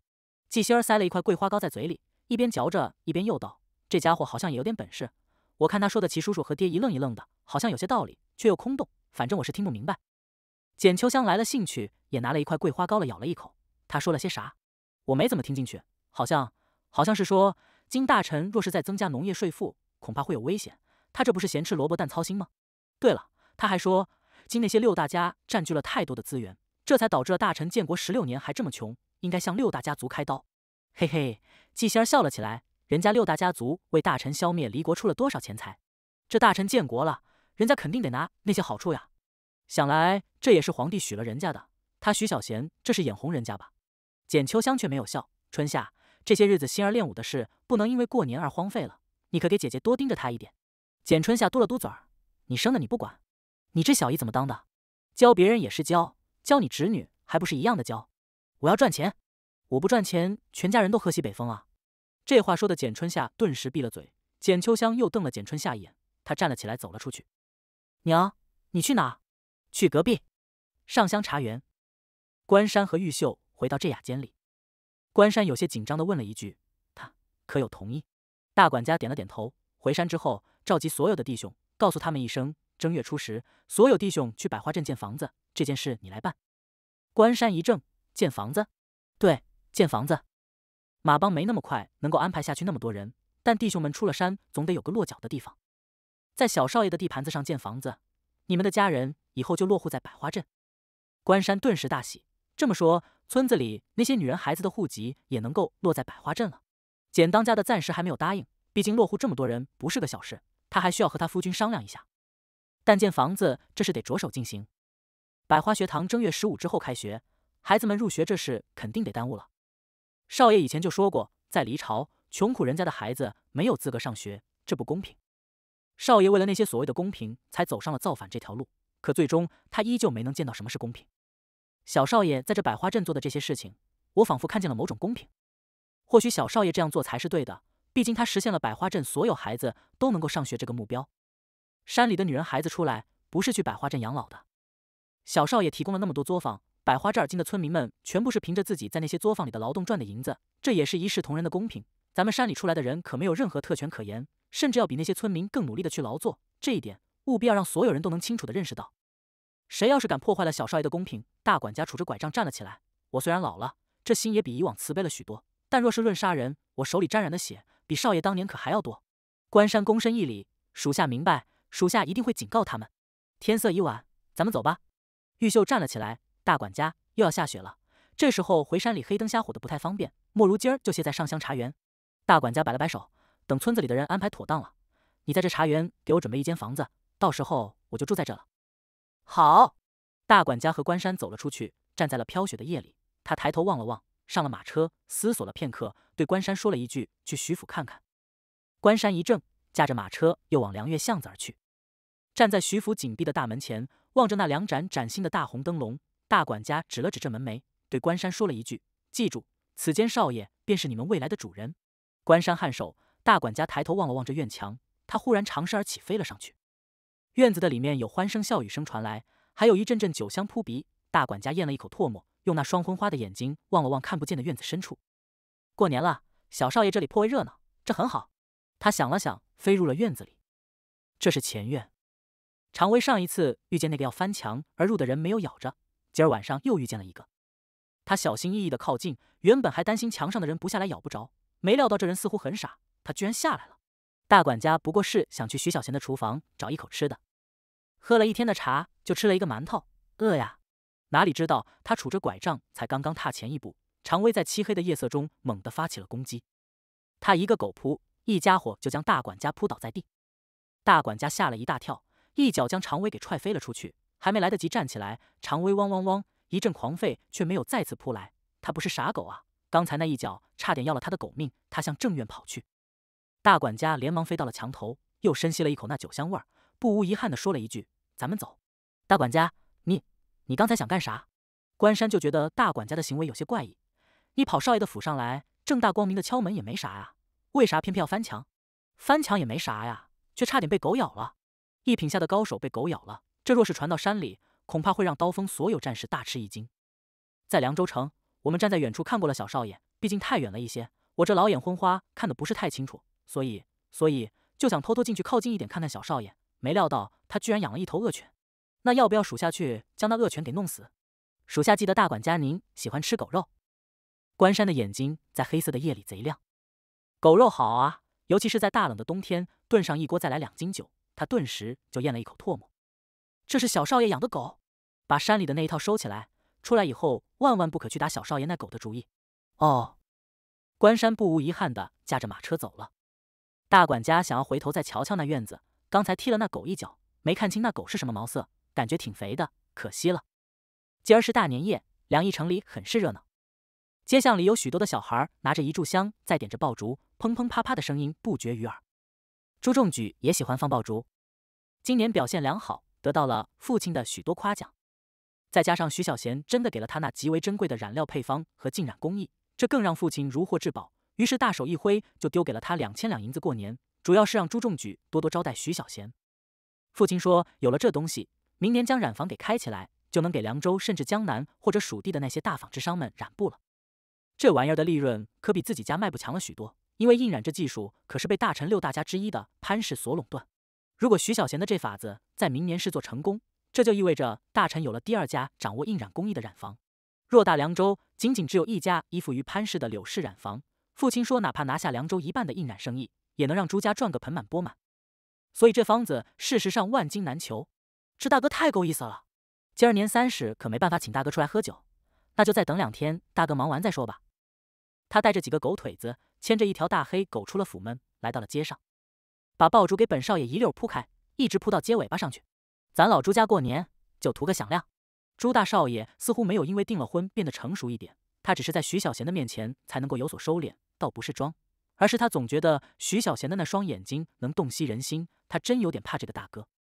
对了，三弟苏平安来了两封信，一封是给大哥的，改天得给大哥送去。喂喂，你特么小心一点，别打湿了，湿了不响，老子把你揍响。朱大少爷牵着大黑狗，俩家丁给他长着灯笼，他巡视在这条热闹的街巷上。大家伙都注意着一点，小心脚下，别踩着了本少爷的鞭炮。那位大婶，把你孩子牵着一点，本少爷要放炮了。过了一盏茶的功夫，那些狗腿子们真的将许多爆竹给连成了一串，从朱家门前一直扑到了巷子的尾巴处。少爷，请您点炮。朱大少接过燃着的香，小心翼翼地凑了上去。他刚刚将爆竹的引信点燃，爆竹刚刚发出了第一声响，他牵着狗绳子的手陡然一空，大黑狗发出了啊呜一声悲鸣，一辆马车疾驰而过，他顿时瞪大了眼睛。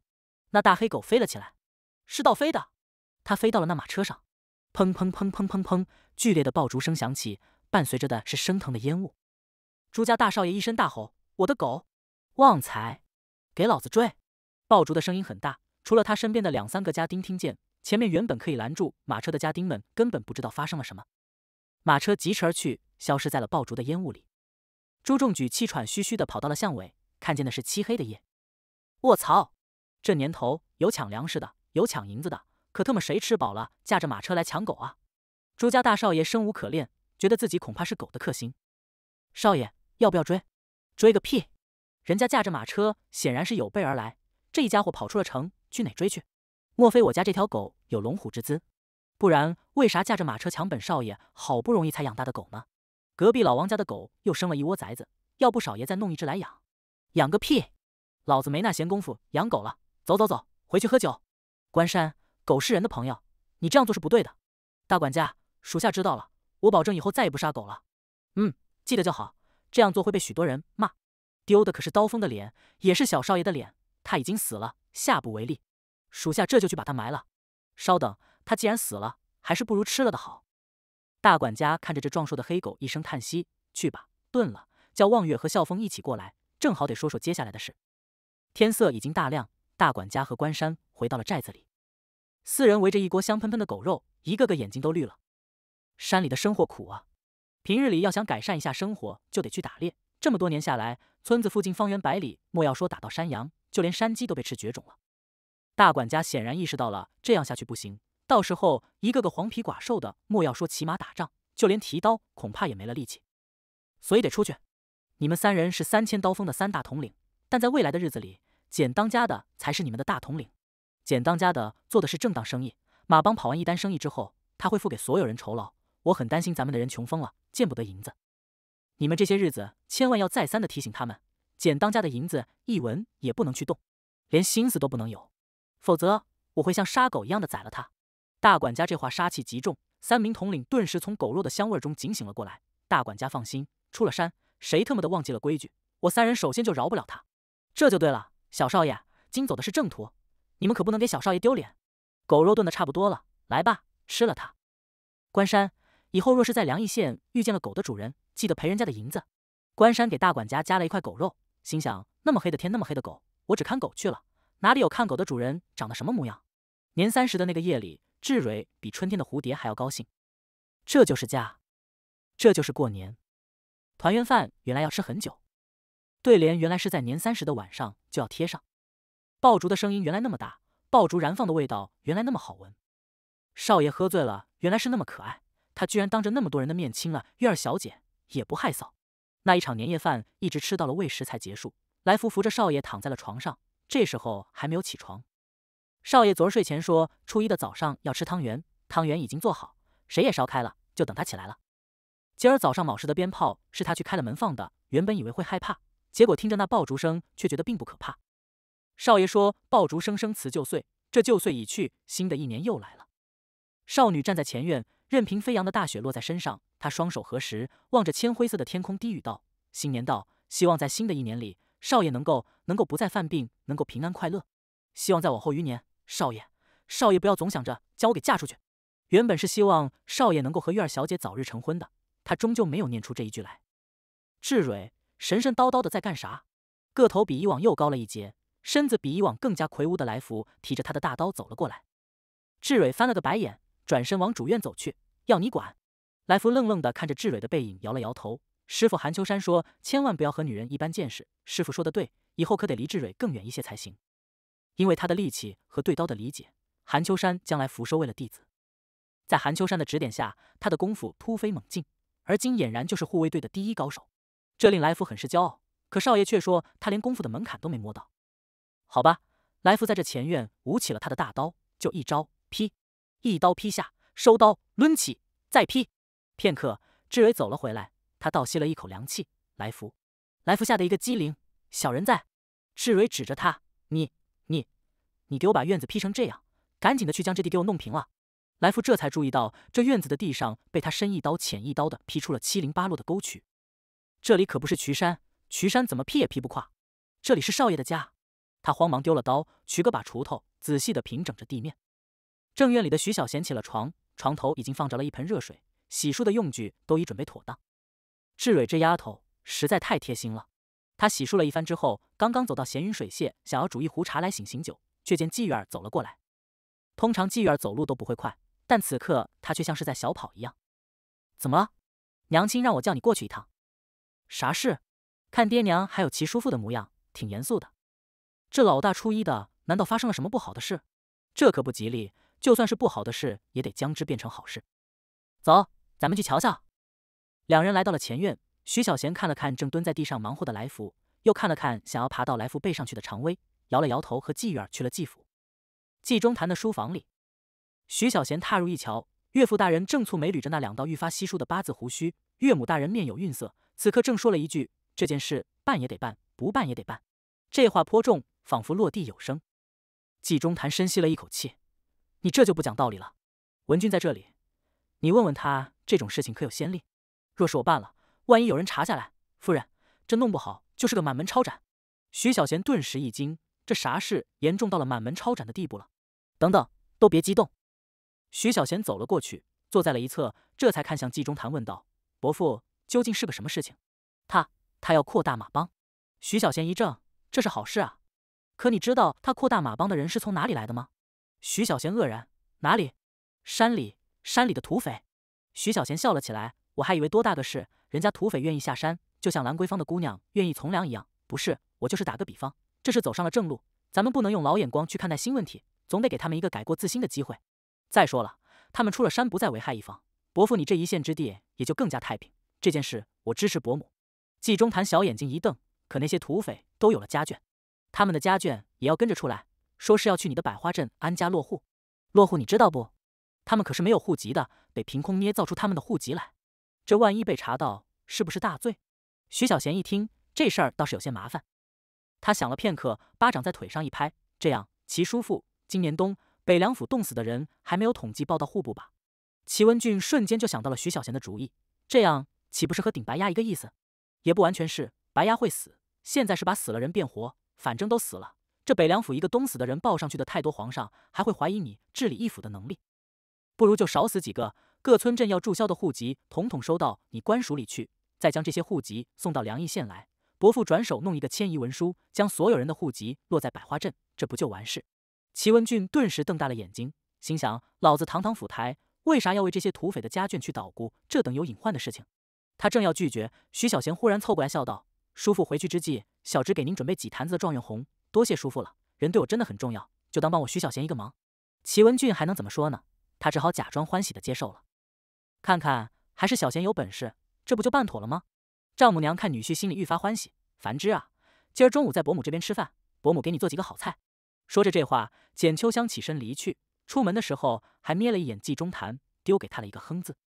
哎，季中坛摇了摇头。徐小贤说的这法子当然可以操作，也是风险最小的操作。但为了这么个小事，劳动了齐文俊。人家虽然和自己是同窗，可人家毕竟是正儿八经的北凉府府台大人呀。这一家伙可欠了人家天大的人情。师弟，我在家里的地位不是太高，就麻烦你了。师兄看得出来。齐文俊拍了拍季中坛的手背，家有悍妻，师兄受委屈了。简秋香自始至终没有说出山的是刀锋，他说的是土匪，因为若是说刀锋。恐怕用刀架在季中坛和齐文俊二人的脖子上，他们也不敢同意。徐小贤同样以为是土匪，但这事儿他必须得配合简秋香，因为马帮扩大这件事本就是他提出来的。他需要几支更庞大、运载能力更强，并且安全系数还极高的商队。在而今的交通条件下，要将生产出来的商品远销到大陈的各个地方，事实上马帮才是最安全、最快捷的。以往马帮是将有差价的商品从一个地方运到另一个地方批发给当地的大商号，但从今年开始的渐渐改变。今年马帮出发会带着新的任务，开设自己的商号。徐小贤根本不愁自己的商品不好卖，无论是蚊香、饴糖，还是纸或者是酒，都是这世界的人极为欢迎的东西。再加上价廉物美，与其批发，那不如自己独营多赚点。当然，在各个大的城镇，若是有和简秋香关系极好的老商号，这生意分润给人家去赚也无所谓。既然简秋香找到了扩大马帮的人，自己就得给他们解决了后顾之忧。户籍这事没那么快能够办得下来，不过无所谓，梁邑县地理偏远，也没人闲得蛋疼跑这地方来核查户籍。正月初五一过，徐小贤就跑去了一趟百花镇，让王富贵安排了砖瓦匠和窑匠开始制砖瓦烧窑。这一次从外地要迁来数百户的人家，说好了，他们初时过来建房子，我知道这土上的洞，哪怕烧火烤也得给本少爷化开了制砖瓦。王富贵一呆。少爷，不是说百花镇不在不在啥？本少爷现在是百花镇镇长，那些都是本少爷的远亲，难道本少爷能眼睁睁看着他们在异乡受苦受难，置之不理？王富贵嘴巴一张，哦，原来是少爷的远亲，那小人这就去安排。嗯，第二也寻一个，就在少爷我那荒地附近找找。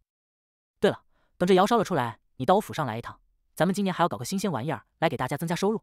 王富贵眼睛一亮，眼巴巴看着徐小贤，小意的问道：“少爷，啥好活计？”酿酒，你寻十来个机灵点的二三十岁的人给我，少爷教他们酿酒。好，还不快去！王富贵转身就跑了。徐小贤这才一摇一晃的往李大爷家走去。在山坡上，他望了望那栋百花馆，驻足片刻没敢过去。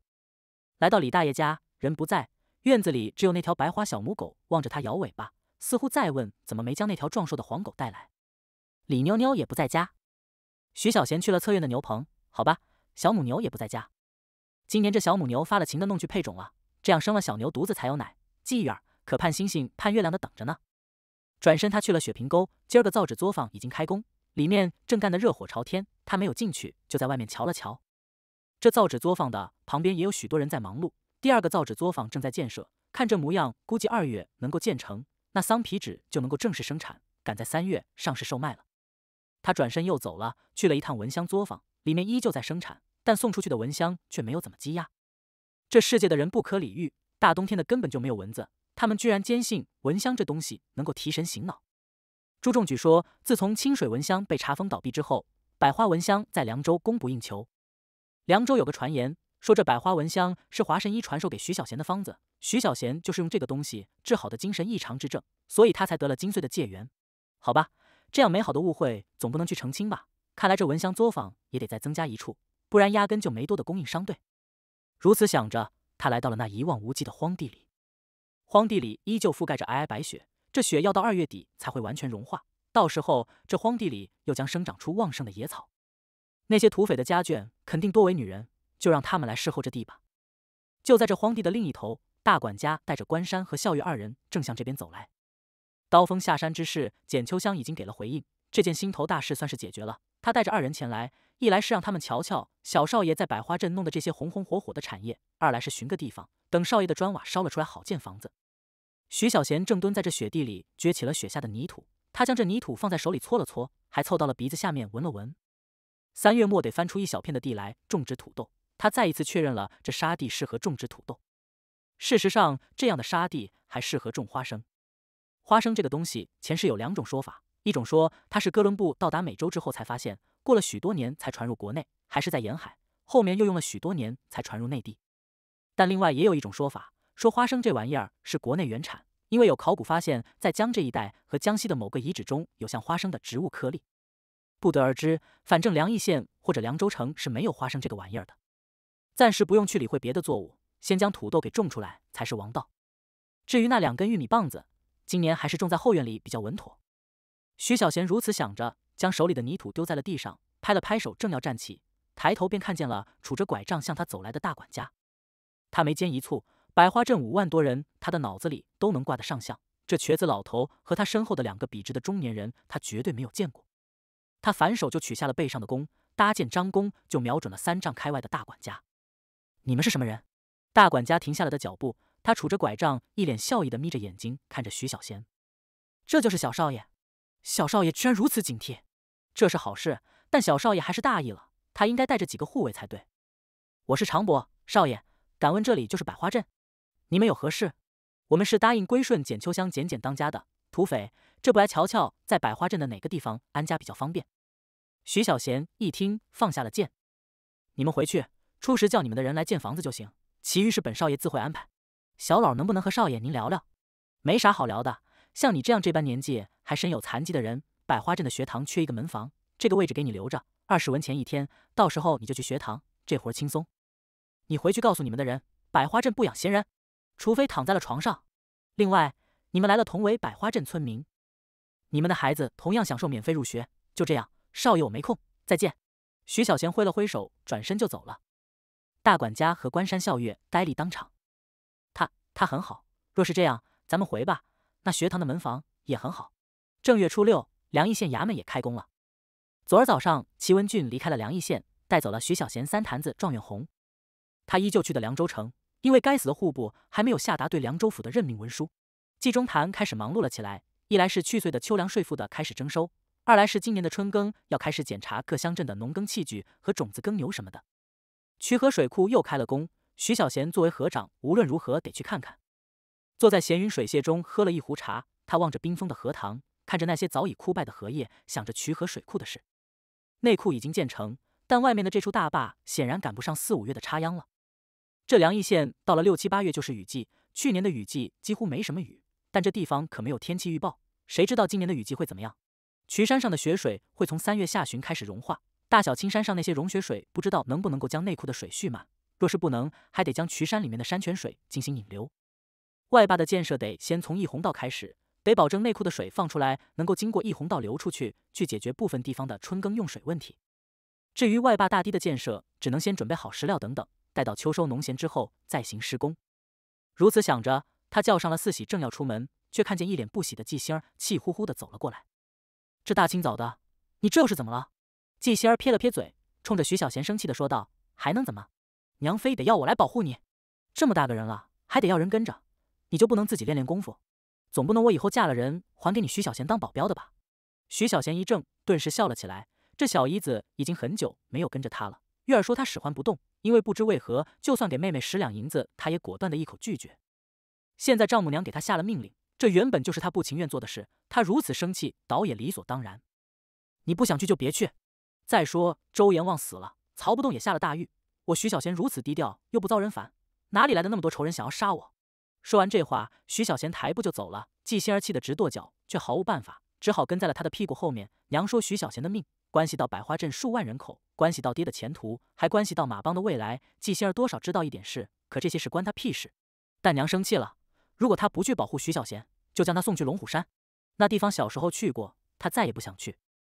他想当个游侠儿，却不想当一个活在深山老林里的隐士高人。毕竟红尘更为热闹，他季仙儿还没有看破红尘归隐的那心思。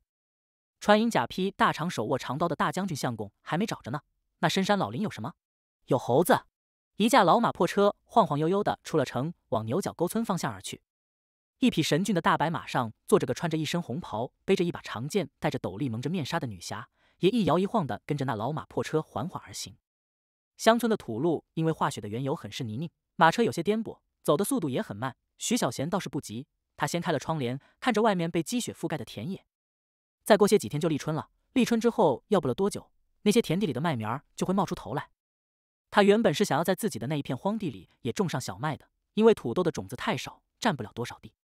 但最后还是放弃了，因为那沙地种小麦确实不行，浪费种子还浪费人力物力，兜里没几个银子了。这开了工，账上的两千多两银子像水一样哗啦啦的流出。在今年的第一批货款没有回来之前，恐怕还得从季玉儿那借点来填补空缺。想着接下来要做的很多事情，不知不觉两个时辰过去，马车终于来到了牛角沟村。这里距离大坝工地还有两三里的路程，马车没法再前行，这路又如此泥泞。徐小贤看向了季心儿。拖我一程，红衣少女心肝一紧，摸了摸鼻梁骨，不干。我现在能够爬上马背了，你别怕。男女授受不亲，自己的路自己去走。女侠，你能飞，要不把马给我骑，你飞过去。别想。少女骄傲的扬了扬脖子，打马就往前而去。那马路过徐小贤身旁的时候，似乎还瞅了徐小贤一眼，眼里有些畏惧，似乎还没有忘记自己原来的那一身漂亮的毛就是被这人给薅秃了的。徐小贤能把这任性的小姨子怎么办？他看了看这大白马又长出来的油光滑亮的毛，决定找个机会再薅他一家伙。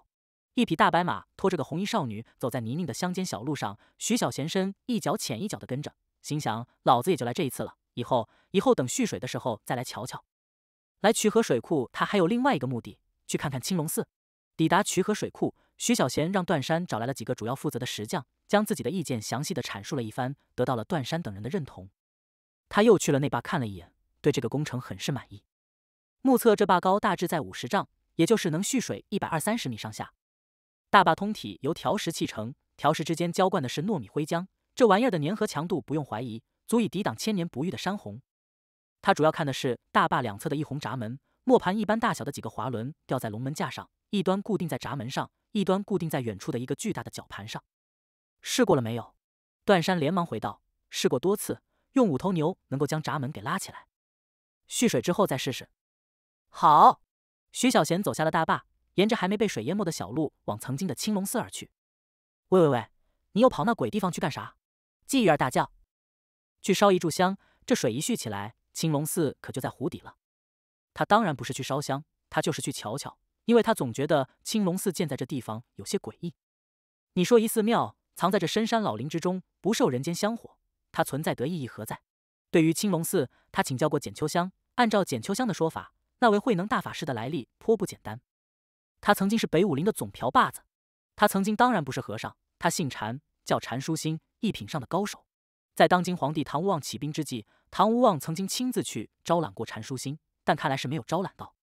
因为唐无望征伐黎朝的那八年时间里，禅书心帮助过黎朝抵抗过刀旗。所谓北武林，其实就是这北境之地的数十股大小不一的山寨堂口，其中的一大半跟随了唐无望。简秋香并没有提起许云楼这个名字。事实上，这一大半的武林中人都是许云楼招募来的，他们组成了最初的大臣刀旗。另外的一小半顾念旧朝，被禅书星收拢，成为了旧朝的平乱军。甚至禅书星还被旧朝最后一代皇帝赐了个平乱大将军之职。当大臣攻陷长安之时，禅书星方知大势已去，他带着残余的两千多人躲去了大陈西边白鹿洲的天青山里。大臣建国之后，唐无望数次派了刀骑去绞杀禅书心。最后一战发生在大陈二年秋，在天青山的云谷中，禅书心所部被围，所有乱军全部被杀，却没有发现禅书心的尸首。他早已离去。他带着几十个心腹高手，在大陈建国之初就已经潜入了凉邑县的大小青山里，也就是十六年前，他就已经在这里出了家，修建了青龙寺。简秋香曾经带着龙虎山的五大高手和三十六天罡来过这里，两人有过一番谈话。谈的是什么内容？简秋香没有透露一个字，只是告诉徐小贤，这和尚活着比死了更有用。言下之意就是不要将禅书星活着这事告诉官府。所以就连季中坛也不知道他的治下曾经有一名朝廷通缉的要犯。徐小贤和季仙儿走入了青龙寺外的林间，苍翠青松的枝头挂着许多晶莹剔透的冰条。下午的阳光斜斜地穿过松林，照射在那些冰条上，冰条便散发出了璀璨的光彩。冰尖上的水珠渐渐凝聚，然后滴落。滴落在下面的积雪上，发出极其轻微的“噗”的一声。树下满是这样的小雪坑，就像蜂窝一样。你来这鬼地方究竟想干啥？红衣少女有些紧张。虽然她而今已踏入了三品下能飞了，可她知道这身手若是遇见绿林强人，可简直不够看。真的就是来看看。有什么好看的？跑得了和尚跑不了庙。我来看看这庙跑了没有。话虽如此说，徐小贤此刻也取下了弓，搭上了箭，浸泡了勾吻剧毒的箭。季仙儿听不明白，觉得这家伙脑子有病。徐小贤当然也没解释，两人踩着厚厚的积雪，小心翼翼地向那暗红色的院墙走了过去。忽然，扑棱棱一个声音从林间响起，徐小贤在那一瞬间举起了弓，季仙儿也在那一刻双手握住了他的剑。这鬼气森森的地方，胆小的女侠那颗心顿时提到了嗓子眼上。她咽了一口唾沫，下意识地往徐小贤的身边靠近了一点。野鸡，别怕。季仙儿抬起头来，四处张望，果然看见了一只野鸡从雪地上飞到了树梢头，摇落了片片的雪花来。他这才长长的松了一口气。徐小贤转头有些惊诧的看了他一眼：“就你这胆子，还敢去闯荡江湖？人家简春夏那么小，就敢独自一人从千里而来。”他摇了摇头：“我看你还是更适合在闺阁里绣花。”哼。少女脖子一扬，脸儿却抖得一红。本姑娘怕的是鬼，又不是怕人。不做亏心事，夜半不怕鬼敲门。你是不是干了啥谋财害命的事？季仙儿扭头瞪了徐小贤一眼，恶狠狠地说道：“你信不信我宰了你？”徐小贤撇了撇嘴，没理他，继续向前走去。踏入了那道正门，却陡然一惊，跟在身后的季月儿一把将他推了开去，也跨入了这门里。少女的小嘴儿顿时就张得老大。上一次，去年来这青龙寺的时候。那个叫殷墟的小和尚带着他们，正是从这道门进来的。这门里原本应该是巍峨的群殿，右边的这条通道抵达的是后院的诚心禅院。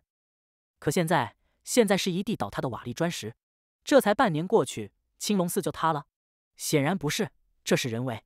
以往这些殿院阻挡了视线，不能看见后面是什么模样。此刻放眼看去，所见是一片狼藉。有依旧镀着金身的佛像倒在这断壁残垣里，胳膊在东，脑袋在西。更有许多的佛陀被乱七八糟的丢在外面，看起来下手很重，因为没有几个佛陀是完好无损的。青龙寺占地极广，但曾经鳞次栉比的寺庙，此刻皆已被夷为平地。这是谁干的？王富贵他们秋天还来这里收割过稻谷，那时候青龙寺依旧在，他们甚至还在寺里歇过脚。这说明青龙寺的和尚在离开的时候并没有破坏它，这也说明他是在这个冬天被人所破坏的。为了财？季仙儿在震惊之后问了一句。徐小贤摇了摇头，青龙寺的和尚不可能留下财物，那是为啥？或许是看这寺庙不顺眼。徐小贤当然是瞎说的。他说着这话，向后院那边去。诚心禅院的那堵围墙依旧在那里，曾经是青龙寺住持慧能大法师的禅房。在徐小贤想来，这偌大寺庙都被翻了个底朝天，这诚心禅院当然也不会例外。然而，当他踏入这后院的月亮门的时候，又吃了一惊。这禅院里完好如初。那尊白玉雕琢而成的弥勒佛像没有了，那佛龛里却供着一尊土地菩萨的神像。禅房依旧在，院子中的那凉亭同样在，就连凉亭的石桌上摆着的那茶盘也在。徐小贤站在门前皱起了眉头，地上没有积雪，院墙的角落更没有蛛网，就像刚被人打扫过的一样。他又握紧了弓，季仙儿探出脑袋往里面瞧了瞧，也握紧了剑。这地方怪瘆人的，要不咱们回去？徐小贤点了点头。身边就一个不靠谱的三品下的高手，他可不敢以身涉险。这地方得再来，却不是现在，得将那五个大哥都带着才会觉得安全。就在徐小贤想要转身回去的时候，那禅房里忽然走出来了一个五六十岁的老嬷嬷，她的头发已经花白，穿着一身灰色的裙袍，她佝偻着腰，眯着眼睛看向了徐小贤，然后向徐小贤走了过来。徐小贤举起了弓，瞄准了这老嬷嬷，站住，不许动，举起手来，不然我就放箭了。就在徐小贤的视线中，老嬷嬷果然停了下来。她微微的直起了腰，似乎眼力不太好。她依旧仰着脖子，眯着眼睛，仔细的看了看徐小贤，然后又低头继续向前。你再不站住，我真的放箭了。老嬷嬷可能是耳力不太好，她埋着头依旧走着，距离徐小贤越来越近。徐小贤在这一瞬间果断的张弓，松手，独剑离弦而去，咻的一声，瞬间就到了老嬷嬷的身前。就在此刻，老嬷嬷伸出了一只手，她一把抓住了这支箭。徐小贤吓得亡魂大冒，跑！他一声大吼，身后不知道发生了什么的季仙儿果断的转头就跑。他从腰间再取出了一支箭，在转身开跑的那一瞬间，又射出去了一箭。转头的那一刹那，他似乎看见那老嬷嬷在笑。卧槽！这特么的，莫非是遇见了千年老妖？徐小贤跑到比兔子还快，可他还没来得及跑出十丈，就觉得背后一疼，砰的一声，他一头栽倒在了雪地里。这特么的，大意了啊！前面的季星儿在慌乱之中施展出了他那蹩脚的轻功，他刚刚跃起三丈，也陡然眼前一黑，从天上掉了下来。禅房里，一个很是富贵的妇人正慵懒的斜靠在一张软榻上，翻阅着一卷佛经。一名俏丽的婢女为她煮着一壶茶。老嬷嬷推门而入，躬身站在了他的面前。娘娘丢出去了。菩提本自性，性尽是菩提，亦非可修相，更无可作相。一切处无心者，即修菩提、解脱、涅盘、寂灭、禅定，乃至六度，皆见性处。妇人头戴金钗，身着貂裘，捧着佛经的手腕上戴着两条碧绿手环，拇指上还有颗硕大的祖母绿镶金戒指。他那葱白般的手指在嘴唇上沾了沾，又翻了一页手里的佛经。莫要说这佛经倒还有点意思。走的时候将这庙里的佛经给本宫装回去。老嬷嬷躬身一礼，奴才遵命。妇人的视线一直落在这佛经上，眼都没有抬一下。说说吧，是个怎样的人？老嬷嬷再次躬身，想了片刻，生得很是俊俏，身子骨有些单薄，射箭有一点点力道，没有学过功夫。另外，老嬷嬷想了想，徐小贤提醒了两次，射了他两箭，心地应该善良，行事有些拖沓，大致就是这么个样子。这实在有些抽象，妇人想的似乎有些吃力，她的眉间隐隐有了皱痕。暮云收尽一清寒。银汉无声转玉盘，能写出这等佳句的少年，理应长得俊俏。吹到一片秋香，清辉了如雪。愁中看好天凉夜，知道进城悲夜。本宫记得他才十六七岁。他又将指头放在嘴唇上润湿了一下，又翻了一页书。这词一副老气横秋的模样，不过也能合了他的心境。想来这些年他在凉邑县这地方也受了不少苦。这孩子倒是坚强，没料到今岁还能得了这凉州的解元。明儿个你去凉邑县走走，多了解了解他。像他这样人，不应该仅仅只有这两首诗词才对，收集一下他别的诗词。另外就是看看他这些年在凉邑县做了些什么。老嬷嬷再次躬身，奴才遵命。只是这地方已经被徐小贤撞破，他既然来了这里，恐怕也知道了自己的身世，恐怕还知道了云楼先生藏在这里的那刀谱。娘娘是不是该离开这里了？贵妇人沉吟片刻，也该回去了。陛下恐怕会在三月初动身来凉邑县，叫秀春卫收拾收拾，待会本宫就启程回去。你弄清楚了徐小贤的事，再跟回来。娘娘，奴才斗胆问一句，为何不将他杀了？他活着比死了对本宫更有利。再说，他就算是死，也不能死在本宫的手里。既然这地方没有寻到那刀谱，云楼先生会不会将那刀谱放在凉邑县的那徐府中？妇人摇了摇头。那个贱人派了个奴才在徐府待了十四年，只怕那徐府的每一个角落都被翻了个遍，却没找到，那便不会在那里了。老奴知道了。老嬷嬷躬身退下，离开了诚心禅院，起落间向凉邑县而去。贵妇人这才放下了手里的佛经，端起了刚刚沏好的一盏茶，面上的神色变得严肃了起来，喃喃自语了一句：“许云楼，你究竟会将那刀谱藏在什么地方呢？那真的会是一本刀谱吗？他是当今大臣的夏昭容，二皇子唐不语的母亲，东郡侯府夏家夏侯爷的亲妹妹。去岁十一月，他回夏侯家省亲，却省到了这里。这本来应该是一件无人知道的秘密，然而天下没有不透风的墙。”一只信鸟在某个夜色中从京都皇宫的后宫里飞了出去，它飞去的地方是北魏都城扶风。徐小贤醒了过来，冷醒的，他一咕噜爬了起来，打了个寒战，这才看见旁边躺在雪地中依旧昏迷的季仙儿。少女的体温将身边身下的积雪融化，所以她是躺在一滩水里的，可莫要被冻死了。徐小贤四顾张望了一下，这里就在青龙寺外不远的地方，望着那幽静的森林和森林中看不见的被拆除了的青龙寺。他又打了个寒战，这特么的究竟是怎么回事？这个怎么回事？指的是那老妖怪居然没有要了他和季仙儿的小命。他可是清清楚楚的看见了那老妖怪的模样。按照道理，他不是应该将他们杀了灭口吗？这荒山野岭的地方，杀了也就杀了。等明儿个季县令带着捕快来找到自己的时候，要么被山上的狼给啃的只剩下骨头，要么被冻成了僵尸。可没死，甚至还没有受伤。那么他就不怕小爷我出去了，搬来救兵？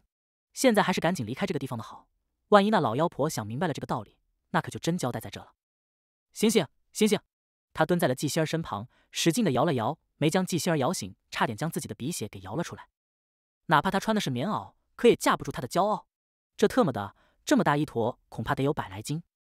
徐小贤深吸了一口气，将季仙儿扛在了肩膀上，撒腿就向外跑去。他这才发现自己的力气好像又大了一些。就在他气喘吁吁的跑到了大坝处的时候，肩膀上扛着的季仙儿醒了，被晃醒的。少女睁开眼，看见的是蓝蓝的天，然后她才感觉到了异样。她一把捂住了湿漉漉的胸口，她倒吸了一口凉气：“徐小贤，你对本姑娘做了什么？放我下来！”砰！季仙儿的脸着地。季仙儿是血流满面的回去的，这模样实在凄惨。那一身红色的裙袍满是泥水，头发都被泥水给降住了，还散乱着。简秋香看得倒吸了一口凉气，不就是让他去保护徐小贤的吗？怎么弄成了这般模样回来？遇见歹人了？徐小贤怎样了？简秋香顿时焦虑的问了一句，季心儿放声大哭起来，泪如泉涌一般。你们，你们，我是不是你亲生的？你们以前就说我是捡来的，这话看来看来是真的。我都这么惨了，你，你关心的居然是徐小贤？我早说过他就是我的克星，你，你却偏不信。我跟着他就没有过上一天安生的日子。哎呦喂，我的鼻子！季玉儿在他的闺房里听见了这番话，陡然一惊。什么叫跟着他就没过上一天安生的日子？徐小贤是我的未婚夫，你季心儿跟着他，跟着他过什么日子？少女为了捍卫自己的主权，如风一般跑了过去，这才看见妹妹凄惨的模样。原本想要责问的话被咽了回去，声音也变得低柔了起来。这究竟是怎么了？不急，你慢慢说，姐给你做主。季心儿哭得愈发响亮，你怎么给我做主啊？他，少女指着隔壁的手都在颤抖，她禽兽不如。简秋香心里咯噔一下，她顺着季心儿的手望了望隔壁的那堵墙。徐小贤不会想要大小通吃了吧？其实也不是不行，只是只是他的牙扣能有那么好吗？再说看这模样，好像心儿不太愿意。不对啊，徐小贤可没有武功，就算他想要用强，也断然不是心儿的对手。心儿怎么会伤得如此之惨？还是他们究竟遇见了什么麻烦？心儿，你给娘仔细说说，究竟发生了什么？娘，我也不知道呀。徐小贤那个神经病，去看了渠河水库之后，非得要去看看那青龙寺。少女的肩膀抽泣着。她将青龙寺所见的状况一五一十的说了出来。我们来到了诚心禅院，就是以前那老和尚住的地方。他站在那月亮门前，我在他身后没看见里面，就见他曲弓搭箭，对里面说：“站住，不许动，举起手来。”然后我就昏迷了。等醒来的时候，他扛着我正在跑。季玉儿那颗悬着的心这才放了下来，还以为真出了那难以想象的事呢，大惊小怪。简秋香却皱起了眉头。然后呢？然后，然后我一时没醒悟过来，以为以为他把我怎么了，于是就骂了他两句。他就将我给丢在了地上，可差点摔死我了。季玉儿瞪了他一眼，心想：你这样冤枉许郎，差点让本姑娘过去质问许郎，你季心儿就没干个靠谱一点的事。简秋香沉吟片刻，你去洗洗，换一身干净的衣服，我出去一下。简秋香去了隔壁，又仔细的问了问刚刚沐浴出来的徐小贤伯母：那青龙台究竟藏着什么秘密？那老妖怪不简单，功夫很是厉害，但要拆了那么大一座寺庙，我觉得他们另外还有人。我知道，我和师兄弟们一起去看看。我也去，你别去，你去了，简秋香差点脱口而出：“你去了也是个累赘。”你在家好生休息，伯母为你做主。简秋香说完这话，提剑便走。徐小贤望了望天边的夕阳，摇了摇头。这件事他根本摸不出头脑，思来想去，只能认为那帮匪人心地善良。若换着是自己，肯定一刀砍了，剁吧剁吧，丢去喂狼。历经今儿这事，徐小贤又一次意识到了这个世界不太平，太危险了。光天化日之下去探探寺庙，居然也有如此凶险，以后万万不可如此莽撞行事。苟着，在梁邑县苟得稳稳当当。如此想着，他沏了一壶茶，才觉得这院子也不太安全。五个大哥不能都去渠山里面，得留下一两个在这府上帮忙护院才行。掀开盖碗，吹了吹袅袅茶烟，这才刚刚喝了一小口，志蕊就像一只鹅黄的蝴蝶飞了进来。少爷，少爷，朱家大少爷来了。哦，这厮这时候跑来干啥？又想蹭饭吃？没门，大哥，朱仲举看见徐小贤可热乎了，毕竟这大哥给自己家送来了万贯之财啊。三弟来信了，特意写给大哥的，您瞧瞧。苏平安，徐小贤这时候才想起，远在千里之外的长安城还有一个义弟。来来来，自己倒茶，我瞧瞧三弟当了个什么官。苏平安是受举荐而去的长安，还是走的左相严宽的路子？这个路子有点野啊，有堂堂一国之相爷罩着，这小子想不飞黄腾达都不可能。他兴致勃勃地拆开了信封。抽出信纸的时候，鼻子耸了耸。咦，这家伙怎么会用这么香的纸？朱仲举一怔，没有啊，就是寻常的桑皮纸写的。我也有一封。看来这大哥没白当，给自己的信连信纸都要用的好一些。徐小贤很高兴，展开了信纸，落入眼帘的是一笔极为漂亮，都快赶上自己的簪花小楷了。不对啊，苏平安平日都是一笔行书，他也会这簪花小楷。徐小贤仔细的看去，陡然瞪大了眼睛。徐公子见信好，奴家苏菲。江南苏州苏家嫡系的苏菲，苏平安的妹妹，那个苏菲，这特么的！徐小贤倒吸了一口凉气，这居然是江南那个才女苏平安心心念念想要介绍给自己认识认识的那个苏菲。看这一行字，这姑娘写这信的时候心情是愉悦的，嗯，应该也是调皮的。公子之诗词，家兄已给奴家看过，奴家见之欣喜，竟为天人所作。尤其是那一首景色，其中味道令人肝肠寸断。奴家恨不能生了翅膀飞到公子身边，为公子解此惆怅。奴家问了家兄诸多关于公子之事，心中有些许疑惑。奴家生在江南，长在江南，敢问公子前八景、后八景、续四景、东西望月、南是小烟、北山春跳、水村鱼笛、长山蓝翠，还有大臣第一水乡之称的针锋里，这些地方究竟在何处？为了找寻此中答案，奴家去问过了江南四大才子，他们对此也一无所知。奴家愈发好奇，于是写信回家问了问父亲。父亲说：“荒唐，这些都不是主要的。奴家给公子写信，想要问问公子，公子既然做了景色，奴家想做一首和名，不知公子以为如何？”公子无需回信，奴家大致三月来访，正是春天，望春意盎然。这是个什么情况？苏菲要跑这凉邑县来，他这不是给自己添乱吗？苏平安这厮，我和季月儿的是他知道的啊。怎么还会任由他这妹妹胡来？徐小贤就惊呆了，对面的朱仲举就纳闷了：三弟写了个什么玩意儿给大哥，把大哥吓得脸色都变白了。不是二弟啊，三弟究竟当了个什么官？朱仲举一怔：怎么？他信里没给你说？他说了个寂寞。哦，三弟向大哥述说寂寞，忘了说正事。三弟在去岁十月就面见了皇上，在十二月的时候得了个实缺，外放去了宿州的鹿城县当了县令。宿州在什么地方？在东边和景国接壤。哦，徐小贤想起来了，他在《大陈山河志》一书中看过，里面有提到宿州，倒没有说到鹿城县这样的小地方。那地方如何？朱仲举双手一摊，我哪知道？不过再差也差不过咱们凉邑县。好吧，这话倒是有几分道理。徐小贤想要将这封信给烧掉，但当着朱仲举的面烧有些不妥当，于是他若无其事的将这封信给折了起来，塞入了信封中，一同塞入了袖袋里。你家那作坊的位置选好了没有？先别忙着大张旗鼓的弄，先试试。我估摸着这时也找不到熟练的匠人，最好是用你们朱家的宗亲。我爹在开始采买那些材料，也在按照你写的法子弄那些器具。我暂时不过问这事，过两天得去凉州一趟。咱们的生意虽然有杜卢门在那边盯着，但我还是觉得多一个人看着更放心一些。说着这话，朱仲举似乎想到了什么，他俯过身子看着徐小贤问道：“咱们梁邑县那个阮氏纸业大哥，你知道的吧？”他的手指头在桌上扣了扣，这阮氏来者不善啊。年前我托爹请他凉州的好友去打听了一下，大哥，这次你可要小心着点。听说阮氏的背后站着的是张氏，就是大陈六大家之一的那个宣州府的张氏。张氏儿经掌管整个家业的是张家老二张泽相，但实际上张氏权力最大者依旧是张氏的老家主张亚峰。三弟在给我的来信中提了这么一句：你在凉州弄死了周作，他给你写了这事没有？这当然没有。徐小贤茫然的摇了摇头。这三弟也真是，这么重要的事，怎么就不给大哥你说呢？原本这周作是要去京都和户部尚书张泽田的妻女张玉兰订婚的。三弟说这张玉兰名字取得好听，但事实上生得奇丑无比。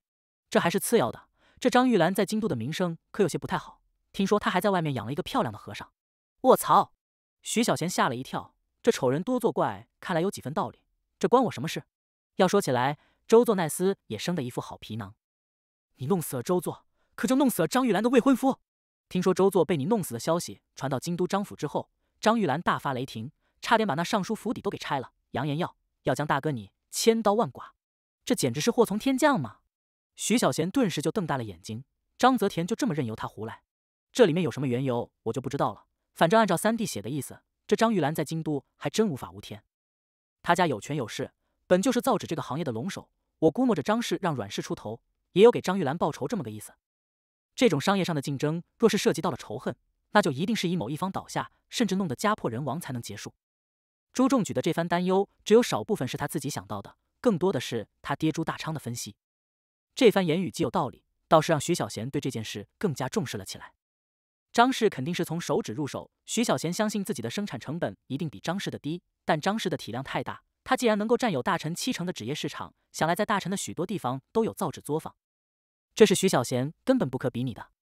另外就是张氏强大的财力，凭着人家的资本，还真能够将他这小小作坊给击垮。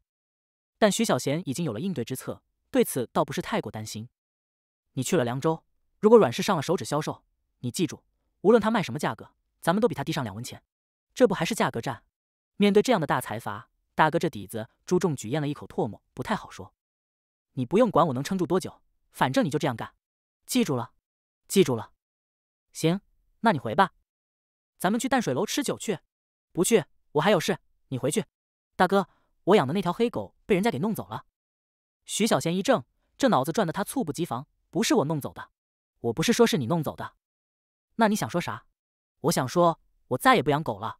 朱仲举走了，徐小贤又摸出了那封信来闻了闻，真香。他展开来，又细细的读了一遍，想的是读过之后就烧了。男人的心态就是这么怪异。徐小贤明明知道自己已经有了未婚妻，而且还是这么温柔体贴的未婚妻，可他依旧在窃喜，窃喜于自己那借助古人的才华，让江南鼎鼎大名的大才女苏菲爱慕上了自己。谁不想被女人喜欢呢？这就是作为男人的魅力。这种感觉怎么说呢？你喜欢上了我，这是我的骄傲，但我却要拒绝你。你不能怨我无情，因为我是因为有情才对你无情。用人话说，就是当了表子还立了牌坊。苏平安那厮生的好看，按照正常情况。他那妹妹苏菲差不到哪里去。这古代的社会，三妻四妾是极为正常的。只是这季玉儿还没弄稳妥，就去想别的，有点无耻啊！他想的有些出神，也想的有些远。他没有注意到季玉儿轻手轻脚而来，然后俏生生站在了他的身后。季玉儿伸长了脖子，原本想要给徐小贤一个惊喜，没料到他的视线落在了那信纸上，然后一呆，接着被吓了一大跳。苏菲，他居然想要截胡，这怎么可以？徐小贤。徐小贤被吓得跳了起来，转身才发现季玉儿。此刻的季玉儿泪珠在眼眶里打着转，一副黛玉葬花的模样。你，你们什么时候开始的？有些事不容易说得清楚。徐小贤那个郁闷啊，我嘚瑟个啥呢？一把火将这信给烧了，原本屁事没有，可现在这弄得羊肉没吃着，还惹来一身骚。他看着季玉儿那梨花带雨的模样，连忙说了一句：“我若是说这是他写给我的第一封信，你信吗？他为什么要给你写信？这是发自灵魂的质问。”徐小贤被问的一愣，我也想知道他为啥要给我写信呀？这个她是苏平安的妹妹，苏平安那家伙你认识的呀？估摸着他在他妹妹面前把我夸上了天。他这妹妹也是不懂事，一个闺中的姑娘，哪里能这样明目张胆的写这样的信呢？季玉儿眨巴着水汪汪的大眼睛，你这意思是应该背地里悄悄的写？不是，徐小贤连忙摆手，我不是这个意思，我的意思是我们素昧平生，他这样做实在实在是荒唐。可是。可是他这信里说要来梁邑县见你，这见了之后就熟悉了，那你是不是就要把他请回家里来？很显然，这个未婚妻不太好忽悠。这女人的心思儿，你越是解释，她就越是觉得你在掩饰。徐小贤闭上了嘴，却动了手。他一把将季玉儿扯入了怀中，紧紧的抱着，下巴在她的头上蹭了蹭，这才在他的耳边极为轻柔的说道：“我的小傻瓜，相公，我的心里只有你没有他。罗灿灿那王八犊子恐怕就快到家了，北都侯府那边很快就会传来消息，咱们就能赶在三月成亲。”我可是早就想和你成亲了，那样咱们就能同住在一个屋檐下，同睡在一张被子里，在这样冬日的夕阳下，生一暖炉，且将诗酒清歌，唱一曲红袖添香，歌一条月上瓜洲。月儿啊，那样的日子是不是很美好？我等这一天已经很久了，你呢？少女的脑子里顿时出现了那样的一幅画面，就在这闲云水榭中，我磨琢磨，她写着诗，我弹着琴，她唱着歌，我吃壶斟酒，她把酒写下了一首月上瓜洲。文清并且怀春的少女，顿时将刚才的不快抛到了九霄云外。是啊，我和他可是有了婚约在身的，我担心他苏菲做啥？这岂不是显得我没有底气而心虚吗？他苏菲江南大才女又怎样？我也是凉州大才女啊！何况苏菲她能有我好看吗？何况我这才是近水楼台。季玉儿顿时止住了眼泪，她的脸上洋溢起了笑意，银牙咬着嘴唇点了点头。许郎，我我错怪了你。其实他能够爱慕你，正好说明了你的本事。若是他真来了梁邑县，请他来家里做客，我陪陪他。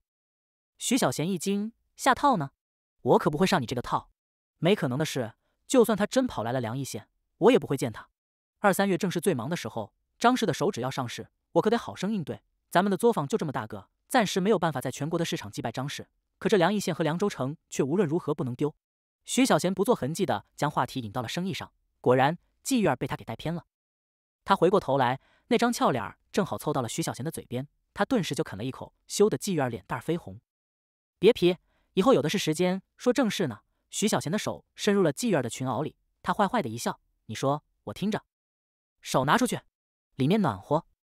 这个夜里又下起了雪来，漆黑的大小青山下的青龙寺里有几盏灯笼，就像鬼火一样的在晃动。简秋香带着五个师兄弟握着武器来到了青龙寺，这里一片寂静。只有簌簌而落的轻微的雪声。他们径直去了后面的诚心禅院，就在灯笼那微弱光线的照耀下，六人陡然一惊。徐小贤说：“青龙寺被拆了，但诚心禅院还在。”可这才仅仅半天的时间，他们看见的是倒塌的院墙，还有倒塌的禅房。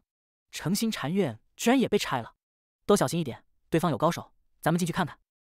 简秋香等人踏着断壁残垣走了进去，里面一片狼藉，哪里还有人的影子？连鬼都没有一个。看来姑爷撞破了他们，他们已经走了。大师兄铁笔判官沈怀云再仔细搜寻了一番，说道：“简秋香点了点头，他站在禅房的坍塌处，四顾望了望，然后蹲了下来，在散乱的砖瓦间又仔细的找了找，终究什么都没有发现。他站了起来，轻蹙着眉头想了片刻，对方很明显是来这青龙寺寻找什么的。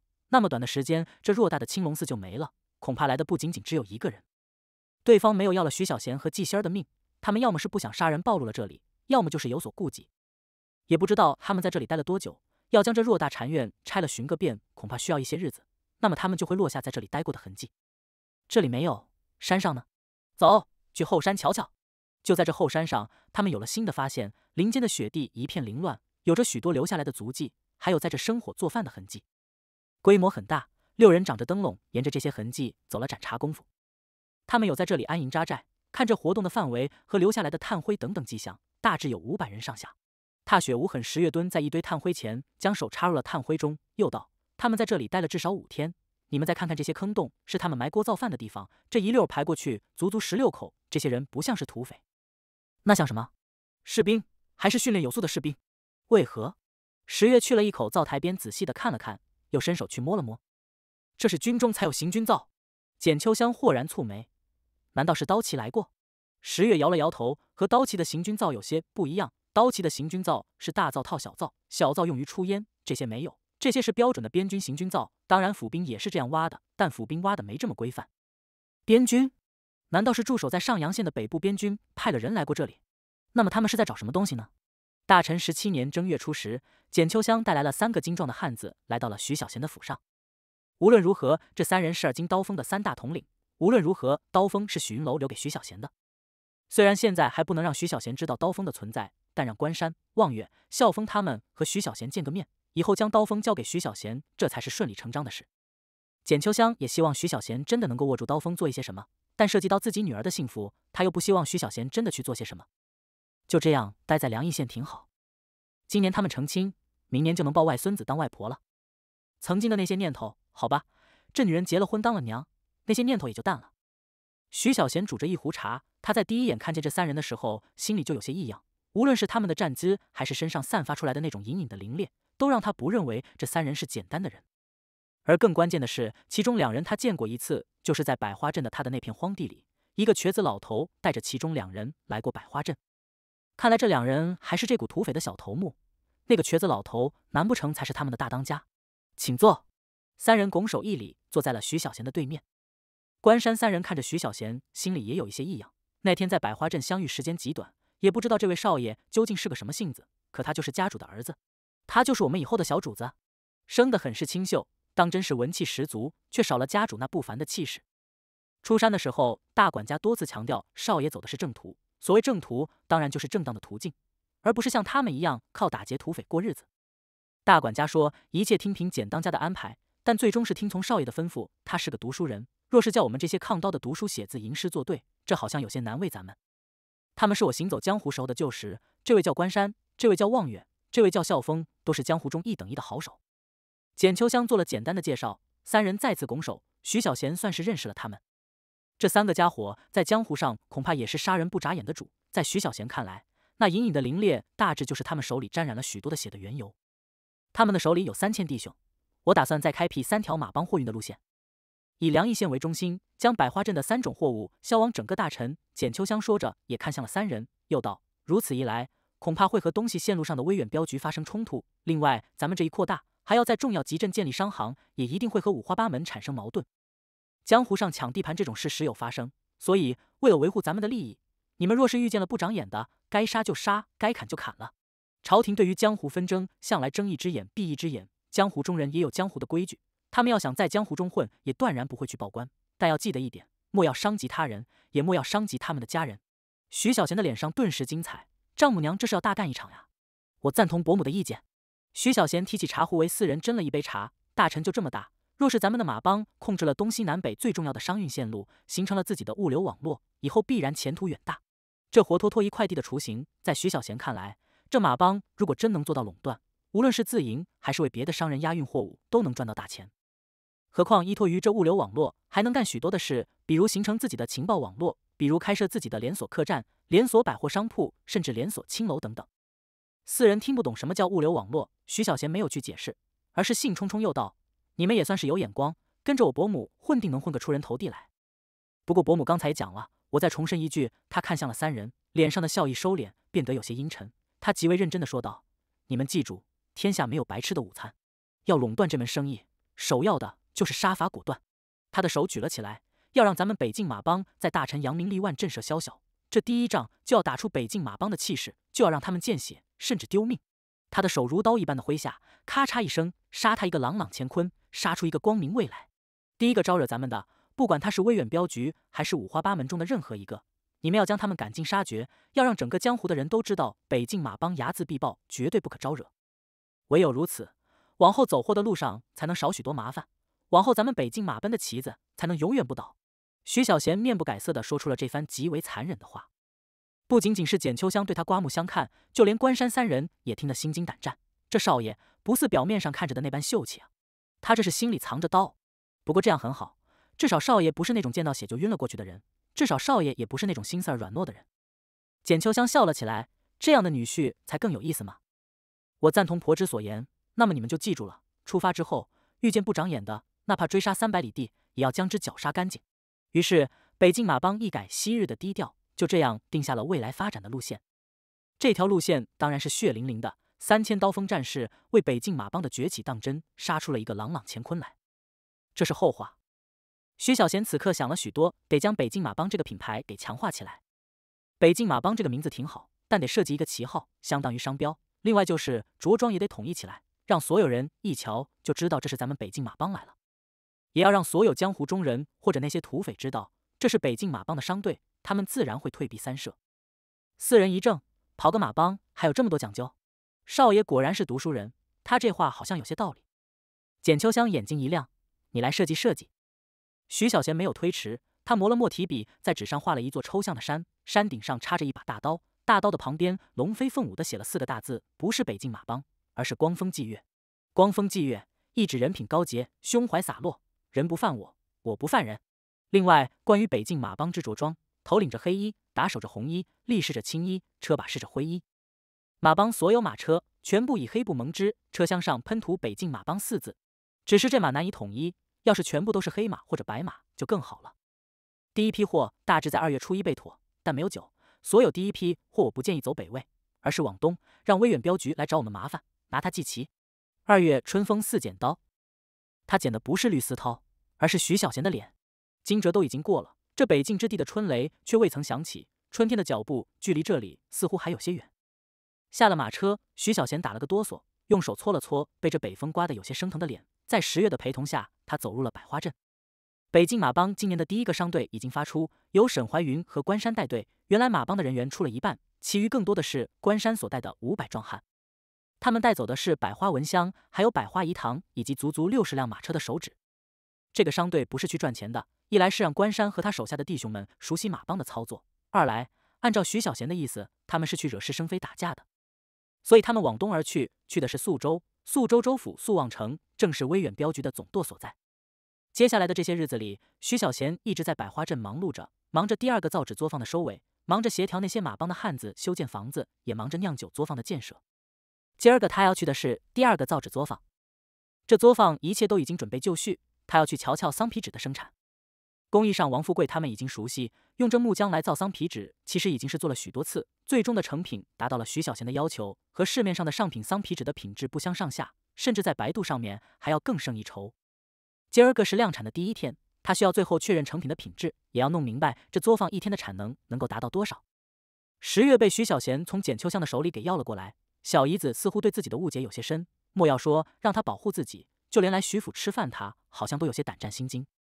这让徐小贤觉得有些怪异，自己这个当姐夫的没将他怎样呀？简春夏那小姨似乎沉迷于教李妞妞的武功之中，过了年到现在极少见到人影。保护徐小贤这件极为重要的事就落在了十月的身上。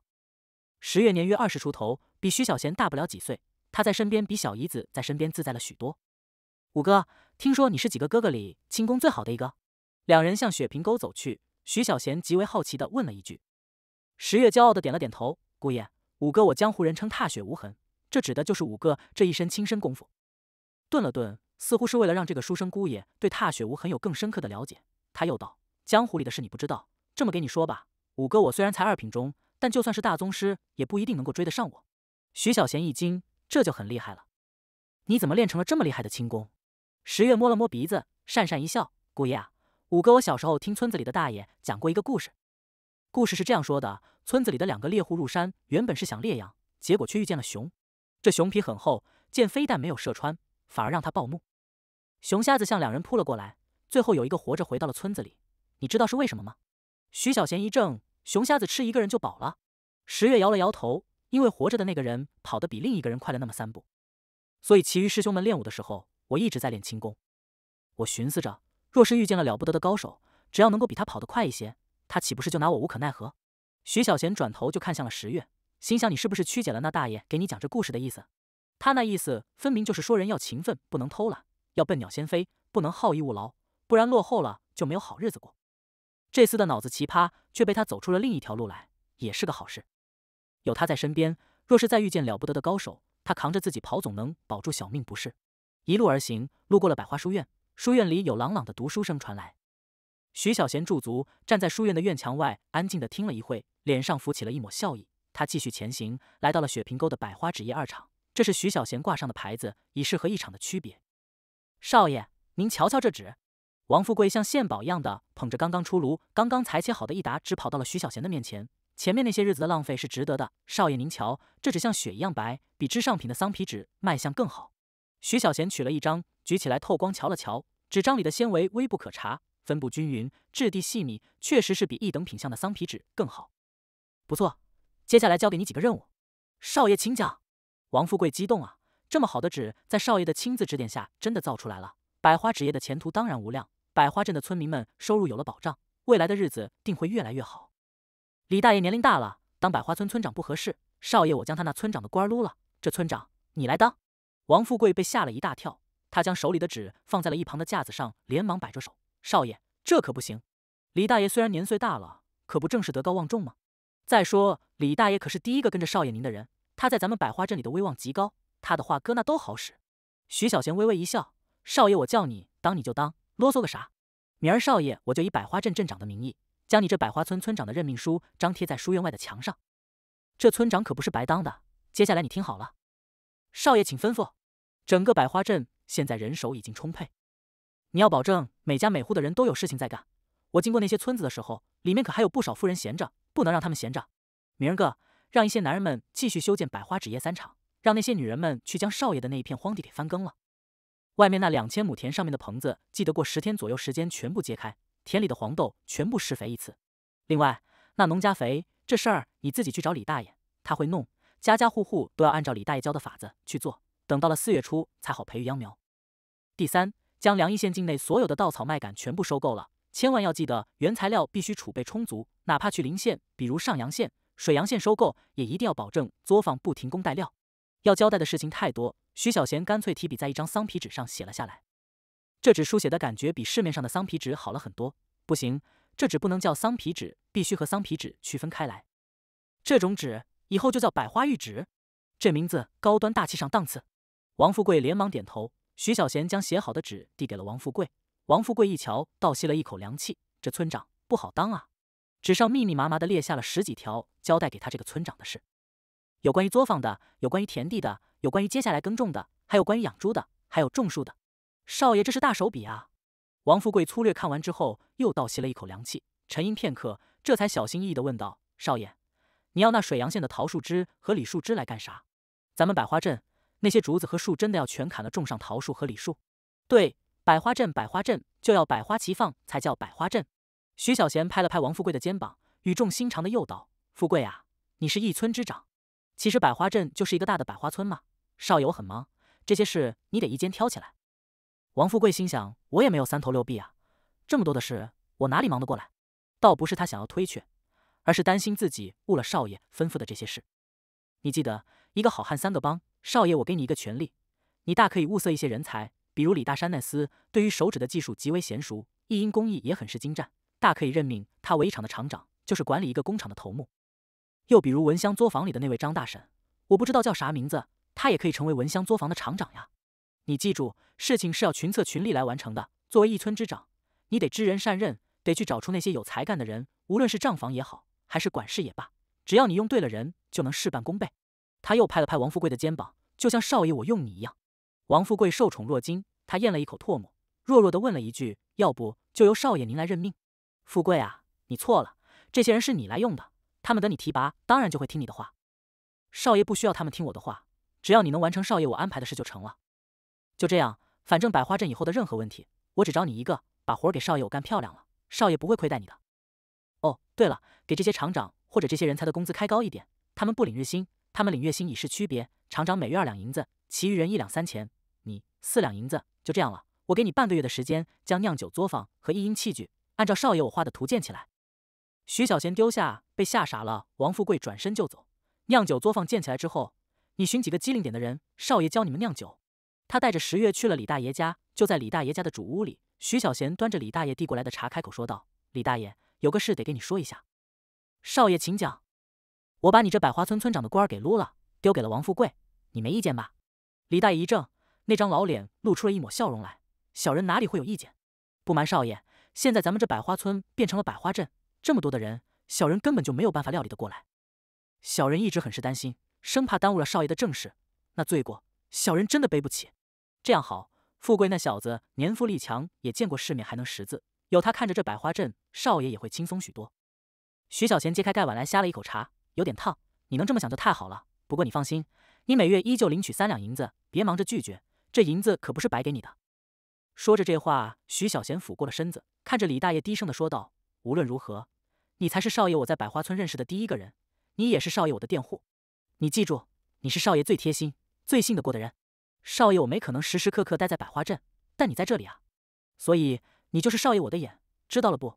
李大爷张开了嘴，神色颇为激动。原来在少爷的心里，我依旧是他最信任的人啊。有着少爷这番掏心窝子的话，我当然要用这双昏花老眼。不，我的眼睛可没花，我的心里也跟明镜似的。我定要给少爷守好这百花镇。少爷放心。我李大陆永远是少爷的家奴，有我李大陆在，百花镇的一切少爷都能了如指掌。看中的就是李大爷的这份忠心。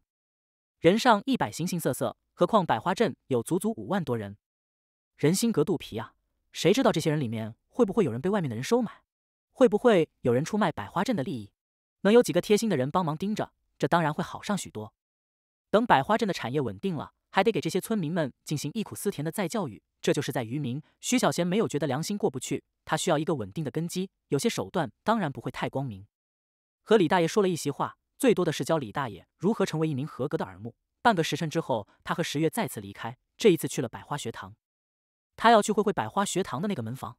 大管家没有住在梁一城的上香茶园里，他没有料到徐小贤在这百花镇也给他修了一栋四合院。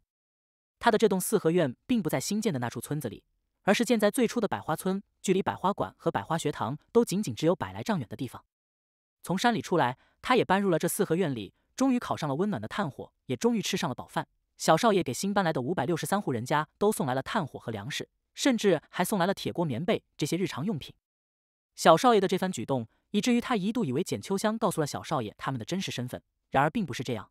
这里的原住民说，少爷对新搬迁来的人都是这样做的。这说明了什么？关山笑月他们认为，这说明了小少爷心地善良，但大管家却不这么看。他觉得这说明了小少爷心思缜密，他在不知不觉之间用这些恩惠拉拢了所有的人。那些出山的妇女孩童们对他感恩戴德，甚至许多人家里居然还给他供上了长生牌位，觉得他才是真正的救世主。这是好事。躺在百花学堂门口亭子里的摇椅上。烤着火煮着茶的大管家如此想着，少爷此举收了那些妇人孩童的心，事实上就是收了刀锋所有战士们的心。那些刀锋的战士们绝大多数都有了家室，但曾经山里的那个家却在风雨中飘摇，吃了上顿没有下顿，所有人都活在惶恐之中，不知道明天在何处。可小少爷此举却解决了他们的后顾之忧，有了一个稳定的家，刀锋才能无所顾忌。小少爷没有看见刀锋，可他已经握住了刀锋的刀柄。大管家笑了起来，很好。希望以后更好。徐小贤为啥要来找大管家聊聊？因为从山里出来的这股土匪带给他的惊喜和震撼。马帮马帮，有人还得要有马才行。这股土匪居然自己带来了马匹，还是骏马，还全都是漆黑的骏马。大臣缺粮也缺马。要养一头好马可不容易。这股土匪不仅有马，还养出了这么好的马，这至少说明了这股土匪的头领是有脑子的人，骑马去墙比靠脚腿杆子强了不知道多少。比如去岁前往凉州城的时候，路上遇见的那股黑风寨的土匪，若是他们有马，自己那些人肯定就交代在路上了。那么多的粮食，那么多的税银，将会全部落入他们的手里，而自己坟头的草，这时候也该发芽了。土匪和土匪是不一样的，有的土匪能成大事，更多的土匪将会灰飞烟灭。在徐小贤看来，简秋香找来的这股土匪显然是有文化的土匪。那么他们下山跟着简秋香跑马帮徒的又是什么呢？简秋香说：“而今大臣渐渐稳定，土匪的日子没以前好过，他们迫不得已才下了山，想要干点正经营生。”这个解释理由是充分的，但在徐小贤看来，这股土匪恐怕还另有所图。他们有三千人，简秋香手里加上马夫才五百号人，他们一个个站如钟，坐如松，活脱脱军武之人的模样。这说明他们平日里的训练极为讲究，章法拿捏的极好。而简秋香手里的人呢，当真就是一群江湖好汉。无组织无纪律的江湖好汉遇见了有组织有纪律还令行禁止的人，徐小贤毫不怀疑，那三千人能够将简秋香的人一口给吃了，连骨头都不会吐的那种。他没有阻止这件事的原因是，那些人的家眷真的送到了这百花镇里，而今真的住了下来，他们的孩子也真的进入了百花学堂。这就是人质。有了这些人，徐小贤就不再担心他们会作妖，他才放心的让第一支商队离开了梁邑县，去了东边。这是他定下的路线。目的只有一个，他需要这群土匪的投名状，他要看看，当北境马帮和威远镖局起了冲突之后，这群人是不是真的能悍不畏死的举起刀。没有人知道他的打算，无论是简秋香还是季儿，甚至就连大管家也猜不出他的用意来。徐小贤要来见见这位瘸腿老人，不是想要从他嘴里知道些什么，就是喝喝茶聊聊天。他相信这茶喝了，这天聊了，他大致就能知道这老人是个怎样的人。走入了学堂。听着那些读书声，徐小贤那张原本还严肃的脸顿时变得满面春风。他走了进去，大管家转头，四目相对，彼此一笑。他坐在了大管家的对面，自个从旁边的火炉上取了茶壶，给大管家满上，又给自己倒了一杯，这才说道：“在这里住的可习惯？极好，比山里好太多太多了。多谢小少爷。”这是大管家的实话。徐小贤嘴角划出了一道弧线：“习惯就好。若是家里缺了什么，你只管找王富贵，我任命的百花村村长。”他若是不能满足你，他会告诉我，我来给你解决。多谢小少爷，有而今这样的生活，老奴我已经心满意足了。这也是大管家的心里话。自从少爷走后，他就带着刀锋一直藏在渠山的深山里，防备着唐无望来绞杀，也为那么多人的生存操碎了心。现在好了，三千人丢给了简秋香，那三千人的家眷都得到了安置，自己也能落个当门房的清闲，这样的日子他真的很满足了。若非得要说有什么想法，他看了看徐小贤。唐无望当大臣皇帝，这对少爷不公平。这话他当然不能给小少爷去说。他希望的小少爷能够快些长大，能够慢慢明白。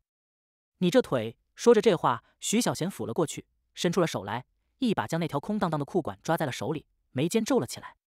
大管家以为他会问这条腿是怎么丢的，却没料到徐小贤并没有问，而是说道：“改天我给你做一张轮椅，这样你出行也方便一些。”大管家心里顿时暖洋洋的。他的那张满是沟壑的脸上洋溢着笑意，多谢小少爷了。老奴杵着这拐杖已经十来年，也已经习惯了，就不劳烦小少爷了。徐小贤松开了手，端起茶盏了，喝了一口，不麻烦，很容易的事，到时候找个人来推你，你就可以去整个百花镇去看看，也可以到梁邑城里去看看。人活一辈子，总是会有许多不如意的事，那些事现在都过去了，你就安心在这里养老。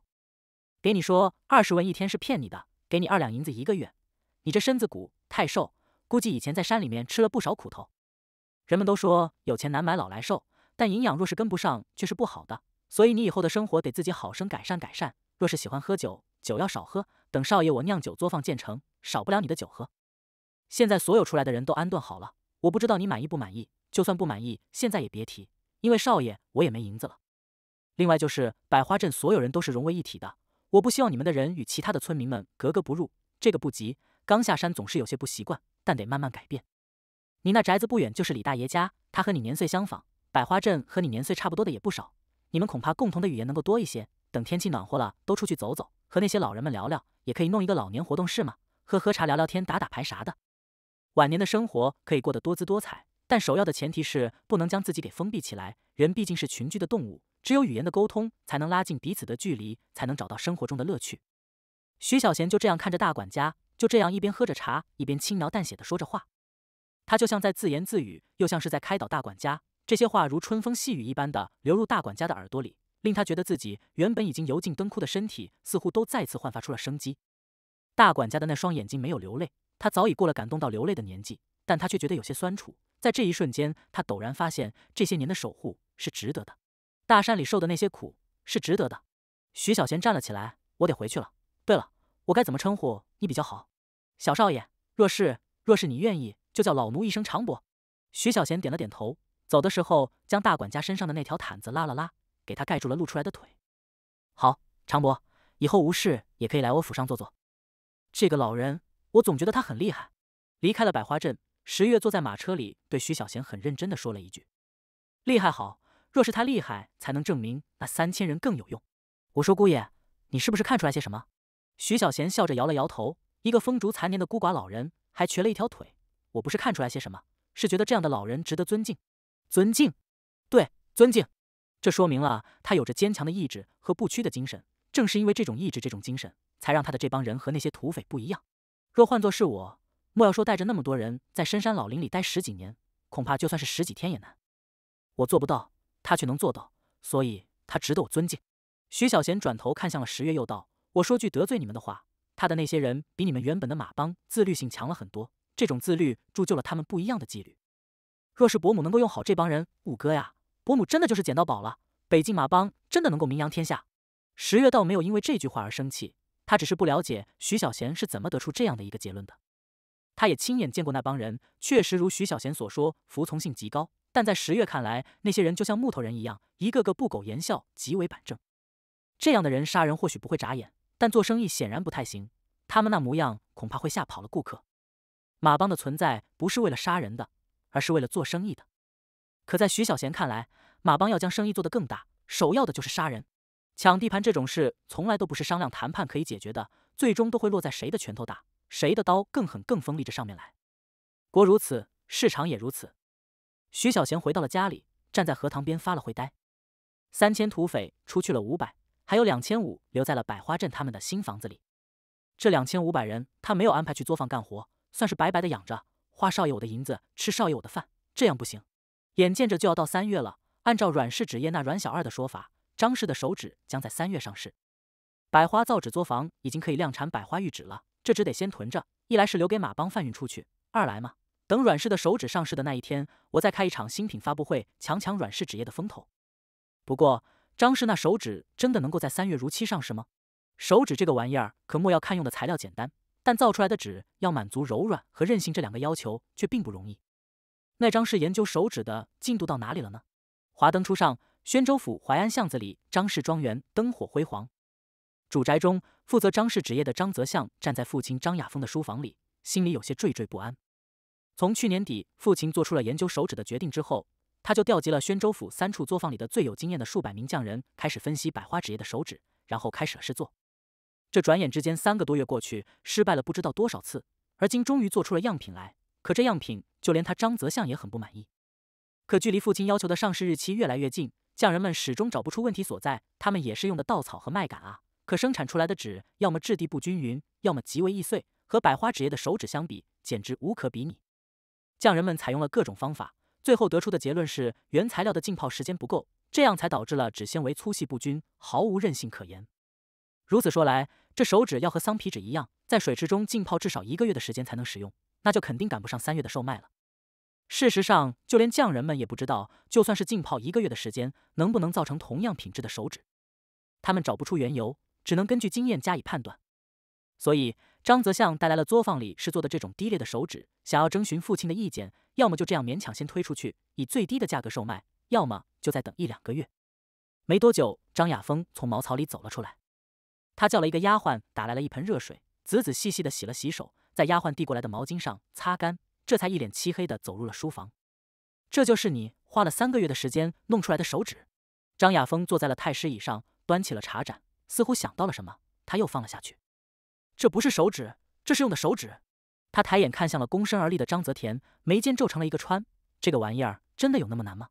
张泽田连忙躬身回道：“父亲，孩儿想应该是我们操之过急了。匠人们说了一个月，再给他们一个月的时间，保证能够造出一模一样的手指来。再一个月啊，那就到了四月了。等造出来再上市，就是五月份了。我答应阮行远在三月份提供给他手指，去击垮徐小贤。你这是让老子言而无信啊！张泽田慌忙说道：“父亲，这是孩儿的罪过，孩儿低估了这手指的技术难题。若是一开始就按照桑皮纸的技术去处理，就不会是眼前的这种被动局面。还请父亲责罚。”张亚峰抬手捋了捋胡须，似乎又想起了什么，连忙将手放了下来。你哥哥前面来了一封信，原本七丫头张玉兰就要和曹次立的外孙周作订婚的，那丫头性子是任性了一些，这好不容易许了人家，可周作却被徐小贤给害死了。玉兰在家里寻死觅活的，非得要徐小贤死。原本呢，我给你哥哥的回信说，大致在六七月，徐小贤就算不死，也要脱层皮。现在看来，徐小贤还能活蹦乱跳的活不少时间。张泽田上前一步，低声说道：“父亲。”要不咱们请几个江湖高手将徐小贤弄死得了。张亚峰摆了摆手，吓着。你记住，咱们张氏可是大臣六大家之一。虽然在六大家中，咱们张氏的根基最浅，势力最小，但有你哥哥在朝中，咱们张氏的核心弟子进入官场就会容易很多。无论任何一个朝代，任何望族，都是经过数辈人的努力去齐心协力建起来的。咱们张氏的路还很长，但这条路却必须走得堂堂正正。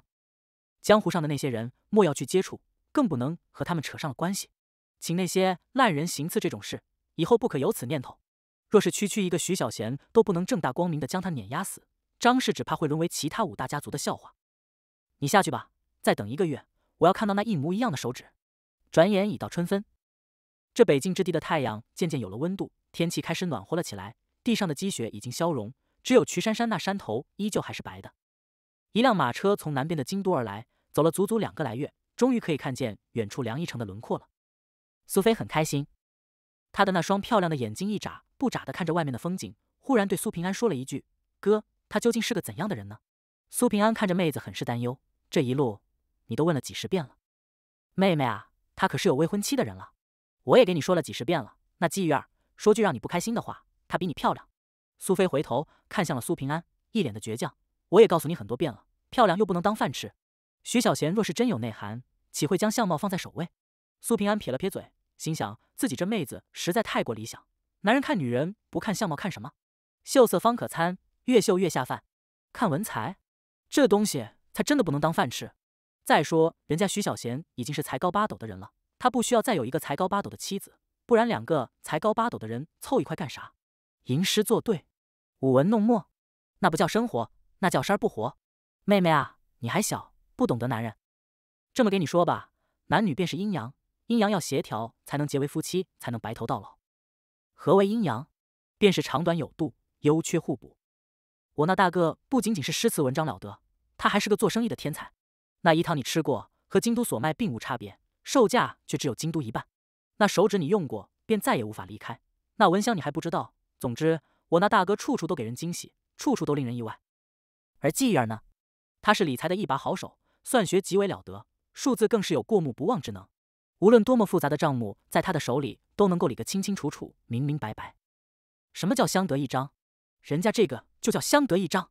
徐小贤在外面打下偌大的事业，季儿能够将这些事业产生的盈亏算得纹理不差。徐小贤能够根据季月儿的账目数据，清楚知道各个产业的销售状况，就能够及时的对作坊进行调整管控。妹妹啊，诗词这个玩意儿，我那大哥曾经就说过，它可以陶冶情操，可以修身养性。但生活却不仅仅是诗词文章，更多的还是油盐柴米。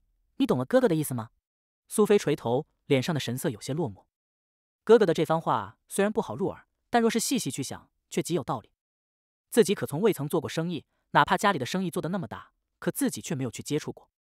江南文风盛行，自古便是文气汇聚之地，宣扬的也一直是以文治国、以文行天下的读书理念。所以自幼时他所接触的就不是女工或者账目，而是四书五经。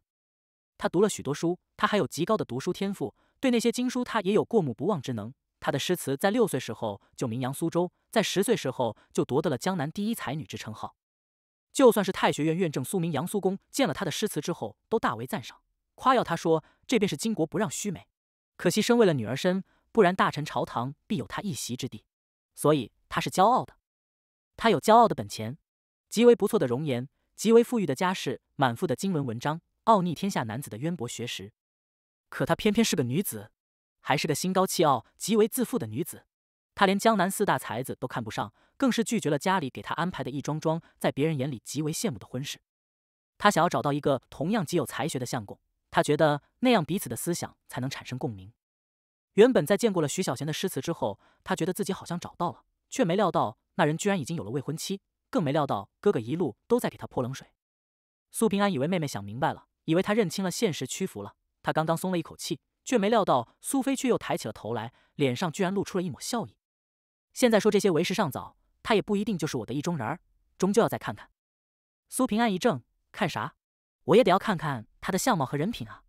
虽然你将他夸上了天，但那是站在你的角度，他究竟如何，这得遵从于我的本心。你还是没有放弃，我为什么要如此轻易放弃？我苏菲是会轻易放弃的人吗？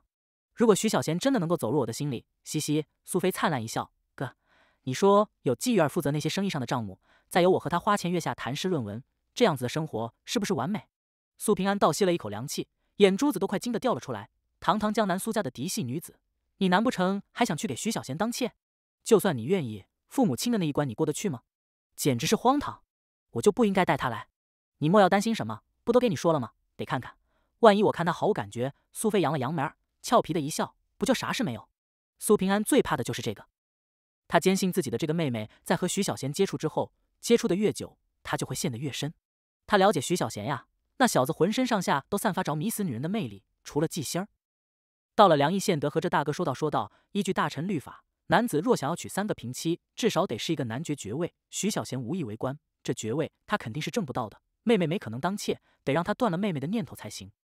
哥，到了梁义县之后，咱们先去朱大哥家里，我就暂时住在他家，你去赴任吧，别管我。我若是要离开，会让朱大哥派了马车送我回苏州。张桓公老大人也在梁义县。”我得去拜见一下他。另外，另外也没啥事了，我就在梁义县走走看看。等合适的时候，再请朱大哥带我去见见徐小贤。这件事你先别给家里说，等有了结论，我会自己和家里说。少女淡定的说完了这番话，又转头望向了窗外。未到三月，外面只有浅浅的鹅黄草芽，春意尚不盎然。朱仲举前两天从凉州城回到了梁邑县，他爹叫他回来的，要让他负责染房。染房修建的地址已经选好了，并不在徐小贤说的杨下村。那地方实在太过偏远，道路坎坷，连马车都不能通行。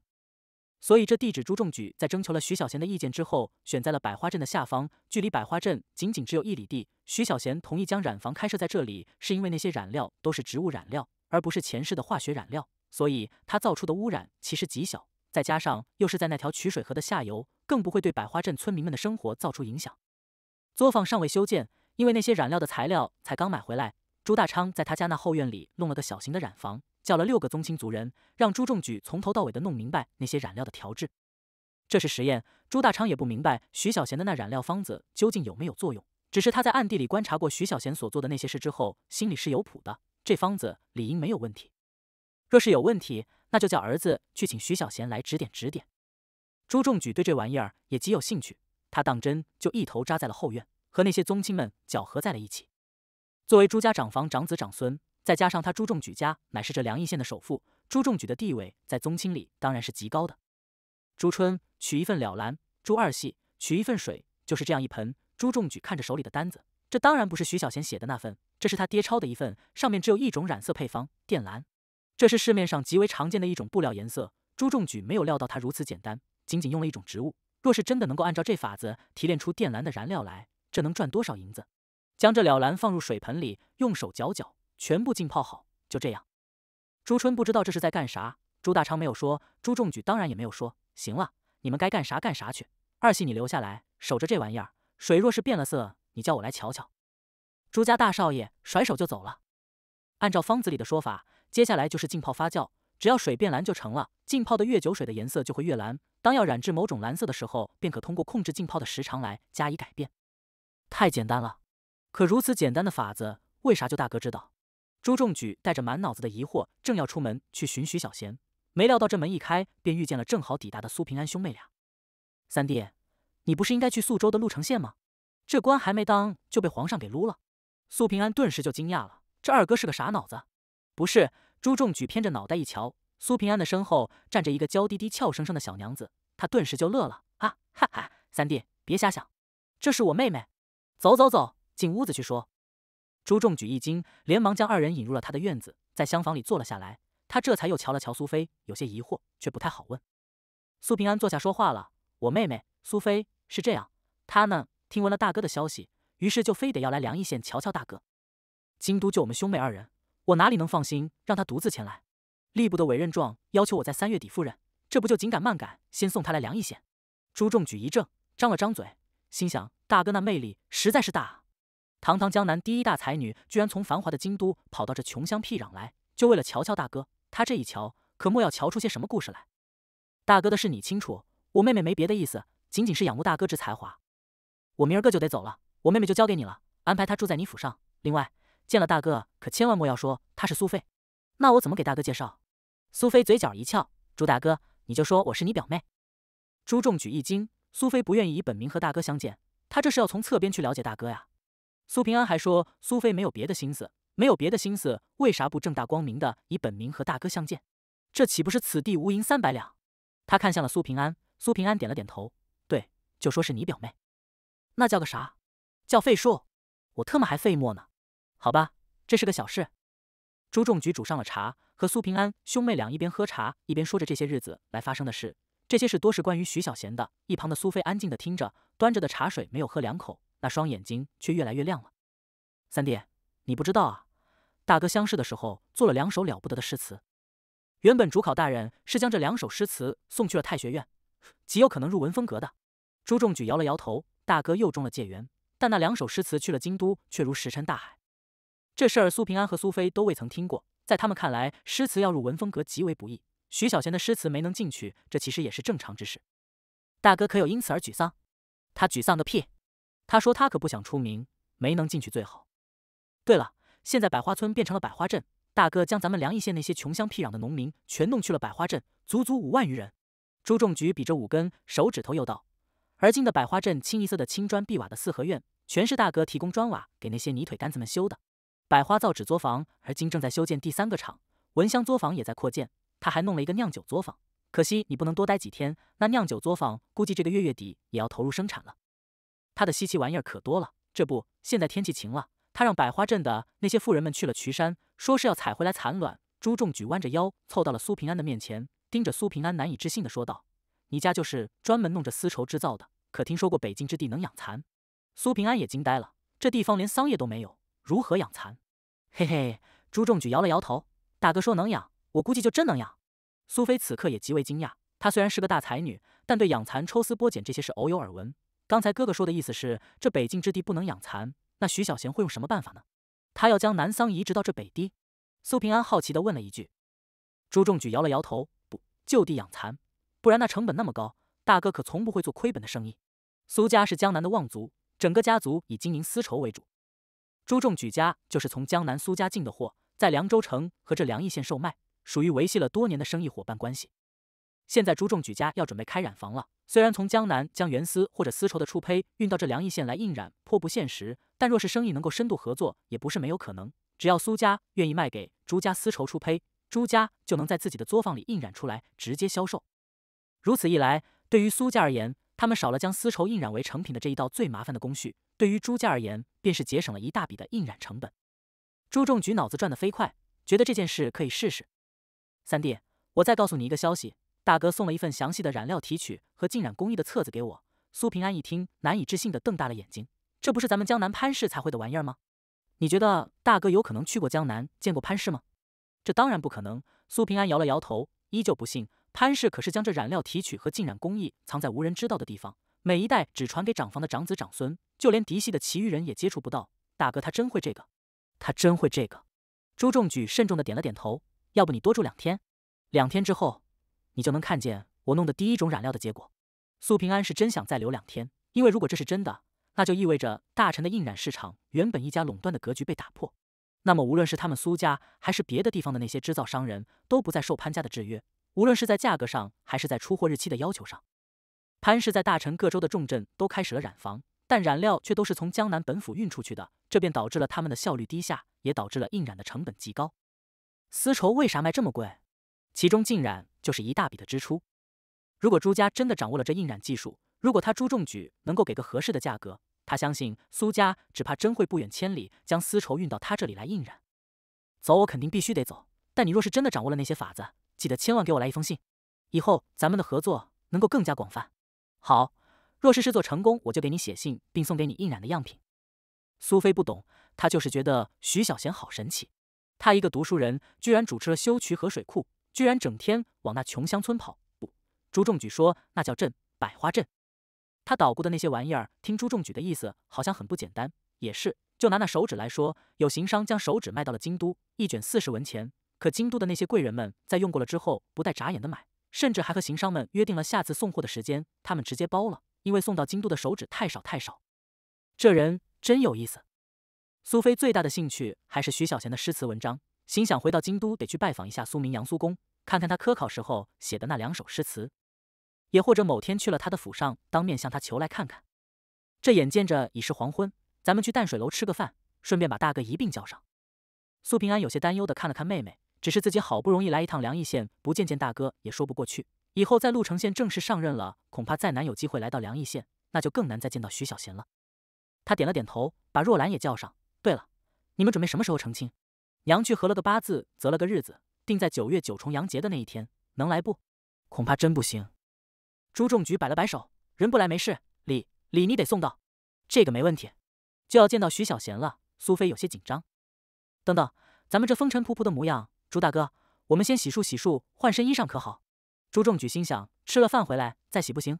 也或许人家女子爱干净，当然，也或许人家苏菲要给大哥留一个好印象。于是他叫来了两个女婢，将二人指派给了苏菲。从现在起，青霞、红云，你们俩就侍候我，我表妹。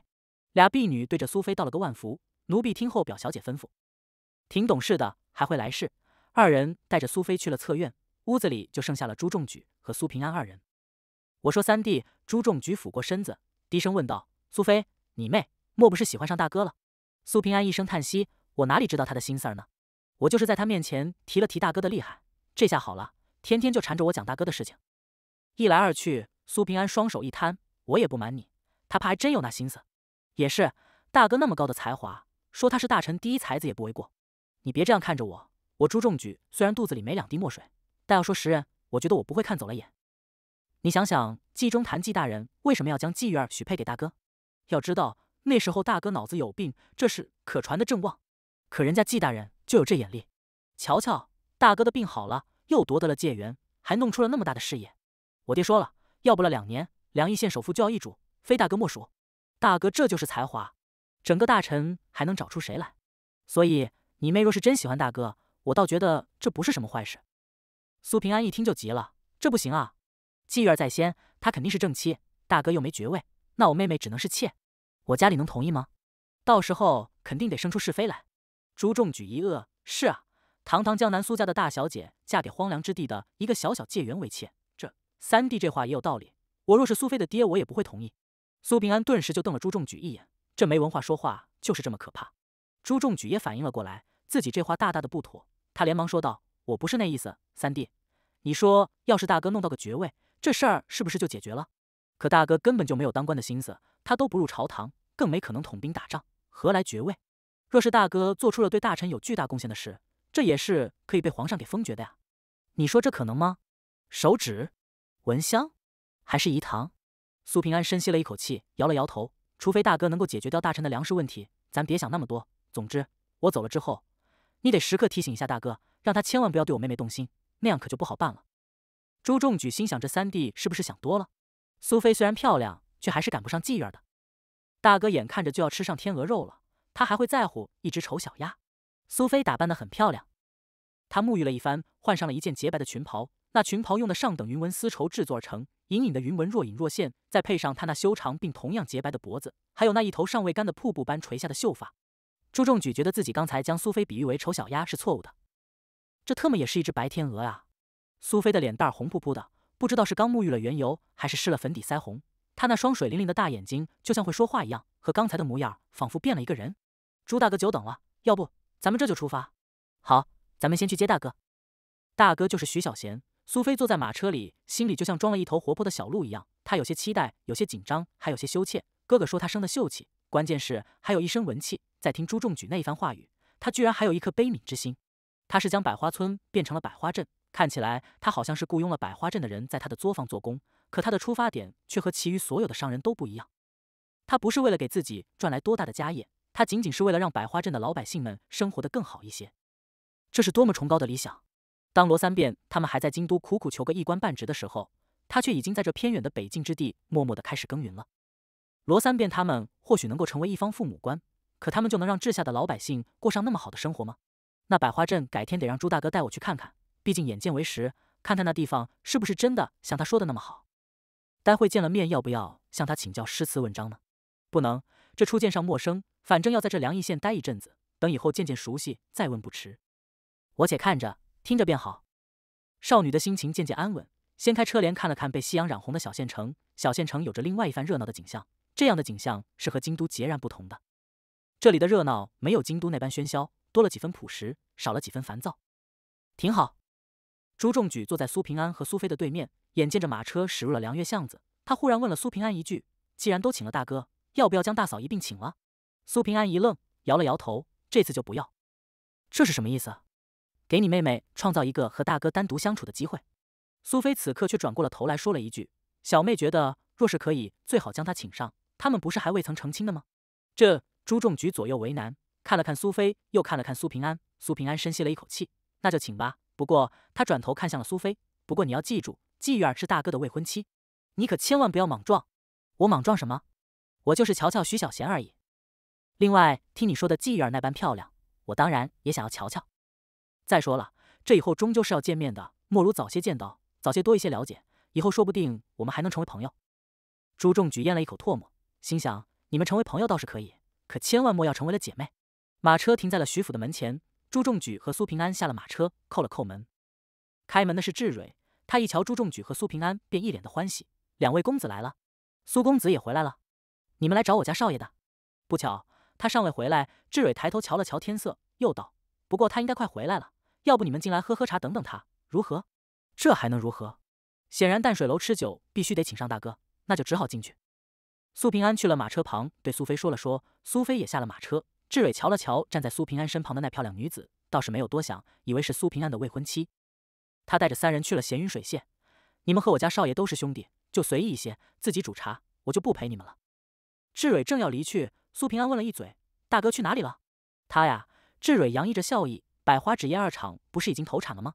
那新造出来的百花玉纸就桌上这种，这不就得要上市售卖了吗？少爷去寻个铺子，就在阮氏纸业的隔壁，两个门头，西市街姬家的。前些日子，姬家大小姐姬如花答应了少爷，将铺子租给少爷。志蕊顿了顿，脸上的笑意收敛，他扬了扬眉，又道：“前两天我随少爷去谈过一次，那位姬老板说让如花小姐全权做主，可偏偏那小姐不谈租金。”朱仲举一愣，那谈啥？志蕊撇了撇嘴，谈风月。那小姐喜欢上了少爷，少爷本事太大，这凉邑县的那些大家闺秀们能有几个不喜欢他的呢？昨儿我去找李瞎子给少爷算了一卦，李瞎子说少爷命带桃花。行了，我锅里还炖着鸡呢，要不这晚饭就在这里吃。朱仲举摆了摆手，我们来请大哥去淡水楼为三弟接风洗尘。哦，那我得去让丸子少切一点肉，你们坐坐，他应该很快就会回来了。志蕊走了，朱仲举道真没客气。他煮上了一壶茶，而此刻的苏菲却看向了放在桌上的一叠雪白的纸。刚才那丫鬟小姑娘说这叫百花玉纸，未曾听说过，想来是徐小贤那作坊里的又一个特产。那这纸比之市面上的桑皮纸怎样呢？他伸出了手来，取了一张，仔细的看了看。这纸厚薄合适，质地均匀，关键是色泽白的如雪一般，而不像桑皮纸。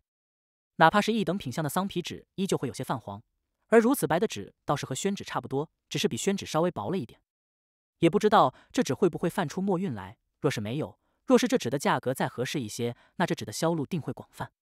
苏平安也瞧了瞧这纸，同样惊叹于这百花玉纸的品质。只是他更在意的是志蕊刚才的那番话。这姬如花又是谁家的女子？朱仲举笑道：“西市街最大的粮商姬多银的女子。你放心，她和大哥没有可能。为啥？她，她其实也是经商的一把好手，只是长相随了他娘。大哥虽然不是以貌取人之人。”但也不愿意夜夜做噩梦吧？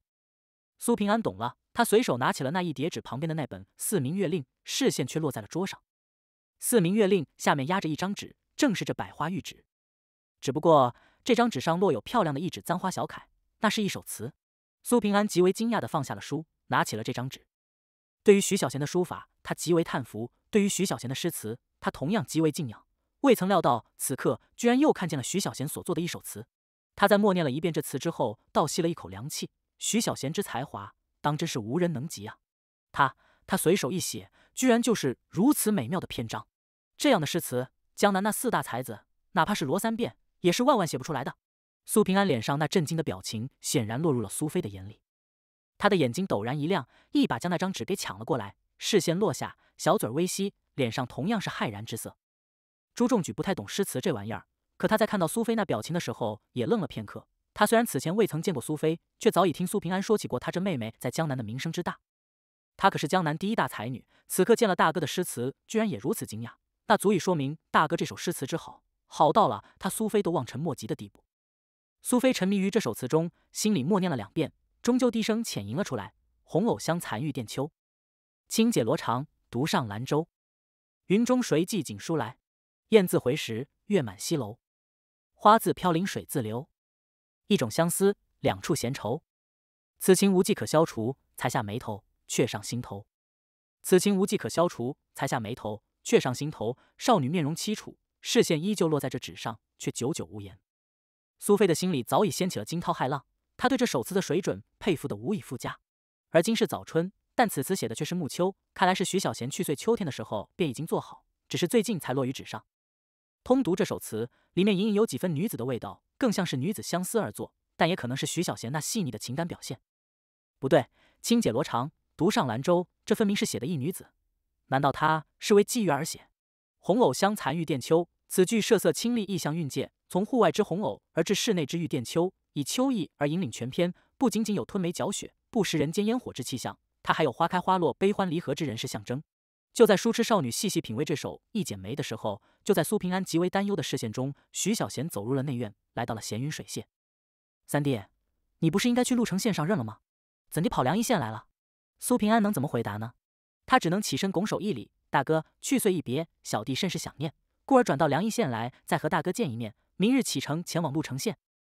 徐小贤走入了闲云水榭，坐在了苏平安的身边，瞧了瞧正拿着他抄的那首词的沉迷的女子，好奇的看了看苏平安。苏平安连忙指了指朱重举，低声说道：“二哥他表妹。”徐小贤又转头瞧了瞧朱重举，这厮的表妹还挺多的。苏菲尚未能完全品得这首词里的那相思味道，但此刻却只好放下了这张纸来。他抬眼看向了徐小贤，心肝一抽，这家伙生的果然果然好看。少女的脸蛋一红，连忙起身给徐小贤道了一个万福。奴家废书，久仰公子大名，故而求表兄带来拜访一下公子。公子大才，奴家佩服的五体投地。徐小贤摆了摆手，笑道：“你们这些小姑娘最容易被这诗词里的悲春伤秋所影响，别去理会这玩意儿。我随手写写，测试一下这纸有没有问题罢了。请坐，请坐。这怎么能解释呢？徐小贤当真是为了测试一下这百花玉纸会不会晕墨。这手一剪梅。”仅仅是因为在脑子里记忆深刻，便信手写了下来。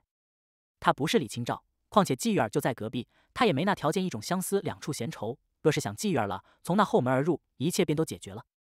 所以词中之意和他没有任何关系。若是这小姑娘强行问起，他根本不知道该如何去回答她。徐小贤说着这话，就没再去搭理苏菲，而是又看向了苏平安三弟。此去鹿城县路途遥远，以后再想一句，着实也难。你能绕到梁邑县来看看大哥我？大哥心里甚慰。这样，大哥我新酿出了一种酒，名为状元红，待会就带一坛子去淡水楼，以此状元红来庆贺三弟踏入仕途，祝三弟前程远大，官路大红。多谢大哥。苏平安感动啊，大哥这话不但好听，寓意还极好。不是，他的眼里忽然露出了一抹疑惑。在朱仲举家里的时候，倒是听朱仲举说起过。他说大哥在百花镇又新弄了个酿酒作坊。大哥，这状元红就是你新造的那作坊里面生产出来的？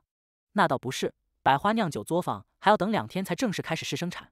这状元红是我在家里捣鼓出来的，可不多。年刚过完，被齐文俊齐大人弄走了三坛子。过年的时候送了一坛给张桓公，也送了一坛给我伯父季大人，还喝了三坛子。这不，幸亏你来得及时，就剩下这最后一坛了。苏菲作为江南大才女，她也是喜酒的。只不过在她看来，徐小贤弄出的这状元红肯定是赶不及京都兰桂坊的醉花雕，所以她并没有在意，而是依旧在脑子里解读着那首《一剪梅》。随着对这首词愈发深刻的理解，她现在确信徐小贤在诗词上的造诣在他之上，也在江南四大才子之上。那么有此可得，他在乡试的时候所做的那两首诗词也定然不错。可为何就没能入了文风阁，在长安城引起轰动呢？少女不解，心里又默默的念着那一句，才下眉头，却上心头。苏菲看向了徐小贤，看见的是徐小贤的侧脸，那张侧脸在晚霞的映衬下泛着微红的光芒。那是一张秀气中透着坚毅的脸，那是一张俊美中带着自信的脸，那是一张好看迷人的脸。他是个心事儿细腻的人，就像他的词一般，用词细腻，词间蕴含的情绪细腻，就连这簪花小楷的笔墨也是那么的细腻。母亲常说，心思儿细腻的男人最为温柔体贴，可暖心，可一半，可佐酒，托付终身。那么，他是不是那个真的值得自己托付终身的人呢？这可是一件天大的事，得再看看。朱仲举三人先行离开了徐府，他们要去接周若兰。徐小贤静坐了片刻。叫了四喜，将那一坛子状元红搬到了马车上。他也去了隔壁，接上了妓院。苏平安那小子重义气，他本应该直接取到东边去鹿城县的，没料到居然还绕到了这里来看看我。坐在马车上，徐小贤还是有些感慨的。他一直觉得人情如纸薄，一直认为苏平安一旦踏上了仕途，恐怕很快就会忘记这梁义县还曾有一个结拜的义兄。这是人之常情。他走的是官途，身后有江南苏家的财力和政治资本。投靠的还是大臣堂堂左相。按照前世的经验来看，像苏平安这样的少年，在鹿城县当那县令，要不了两年就能高升。他的官路会一路平坦，就像齐文俊那般，他会越走越高。而自己呢，自己依旧会偏居一隅的苟着。或许十年之后，他已经站在了庙堂之上，而自己依旧苟在这偏远的梁邑县。这是两条截然不同的路。他在宦海泛舟，我在梁邑县或者是凉州这小小的地方，商海浮沉，理应很快成为陌路人。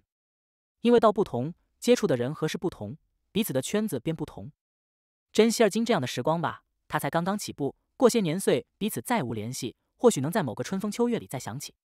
季雨儿当然没有徐小贤想的这么多，他偏着头望着徐小贤，眼里仿佛有星辉闪烁。这说明了你给他留下的印象深刻呀。再说了，既然你是大哥，他来看你不是理所应当的吗？徐小贤伸出手来，将季雨儿揽在怀里，笑道：“傻丫头，他没有解释这其中的缘由。”而是说到了另外一件事，姬家的那两个铺子租下来了。季玉儿在徐小贤的胸前偏过头来，季如花没有再为难你，嘿嘿，那姑娘，我花了两个时辰的时间才向她讲明了爱和现实之间的道理，她终于没有再提，还将那俩铺子以一两银子一年的价格租给了我，算是白借的。季玉儿一怔，你怎么给她讲的？我说，人的一生会遇见两个人，一个惊艳了时光，比如我，而另一个会温柔了你的岁月，他才是你的良配。时光是短暂的，它看上去很美好，但转眼即逝，伸出手去也难以抓住它的尾巴，它也不会在你的生命里留下半点痕迹，就如这冬雪一般，终究会消散融去。但岁月不一样，你活在岁月之中，它才能陪着你走过千山万水，才能伴你终老白头。就这样，应该是他还没弄明白时光和岁月的区别，脑子有些迷糊，就答应我了。季玉儿沉吟片刻，也问了一句：“那时光和岁月究竟有什么区别呢？”徐小贤笑了起来。我也不知道，胡侃的，只要将那两个铺子弄到手就好。季月儿白了他一眼，将脑袋在那温暖的怀里蹭了蹭，嘻嘻一笑，道：“你是我的时光，也是我的岁月，一个都不能少。”淡水楼，众人在淡水楼前汇合，季月儿自然不能再和徐小贤卿卿我我。他对苏平安道了一个万福，问了一声好，视线在苏平安身后的苏菲身上停留了一瞬，这儿的光线不太明亮，他也不知道那女子是谁，如此也就没有放在心上。他去了周若兰的身旁，两人低声的说着话。未曾留意到跟在苏平安身后的苏菲，在见了季月之后，眼睛亮了那么一瞬。陶掌柜自然迎了出来，他对众人拱了拱手，这才看向了徐小贤，一脸的殷勤：“徐公子，你可想死小人了？”徐小贤一听吓了一跳：“陶掌柜的，我可没那断袖之癖。许公子想啥呢？是这样，您瞧我这淡水楼那六道菜品翻来覆去的卖，这银子确实也赚了不少。可这开酒楼的就靠着新鲜的菜品来吸引客人。这六道菜品，想来公子你们也吃腻了。”要不改天小人再登门拜访一下，请许公子再售卖几道方子给小人。徐小贤笑了起来：“陶掌柜，你怕是想要去凉州城开酒楼了吧？”陶掌柜打了个哈哈：“许公子心思儿当真玲珑。这不，小人听说朱公子和您都在凉州城有了生意，小人寻思，你们既然都去了那里，小人这淡水楼也当开过去。如此，二位公子若是到了凉州城，不是也有个适合口味的吃饭的地方吗？”这陶掌柜挺会来事的。徐小贤点了点头。那就明儿下午你来我府上，陶喜大喜，他躬身便行了个大礼，多谢许公子。今儿晚上诸位贵客一应菜品酒水，算小人我的。诸位公子小姐，楼上请。哟，姓陶的，可以啊。那本公子今儿晚上可不给银子了。你瞧瞧咱们这么些人，自己配一桌子菜吧。你那酒就免了，我大哥带了他自己酿造的酒来。陶喜带着一行人往二楼而去，有些惊讶的又看向了徐小贤。徐公子还会酿酒，略懂。陶喜虽然惊讶，却也未曾放在心上，因为梁邑县有一家售卖酒的丁氏酒铺，据说这位丁老板曾经在北魏生活了多年时间，学到了一手酿酒的技术。回到这梁邑县之后，便弄了个酿酒作坊，生意做得极为不错。因为整个梁邑县的人要想喝酒，都得去他家买。丁氏酒铺的酒当然说不上好，但也分了上中下三等，基本满足了各个层次的人的需求。他家最上等的酒才有名字，叫做玉泉。像朱仲举他们来，都不用说的，肯定是喝那玉泉酒。这是徐小贤当然知道，他并没有放在心上，因为他酿造出来的状元红目前根本就不会在梁邑县开设铺子去售卖。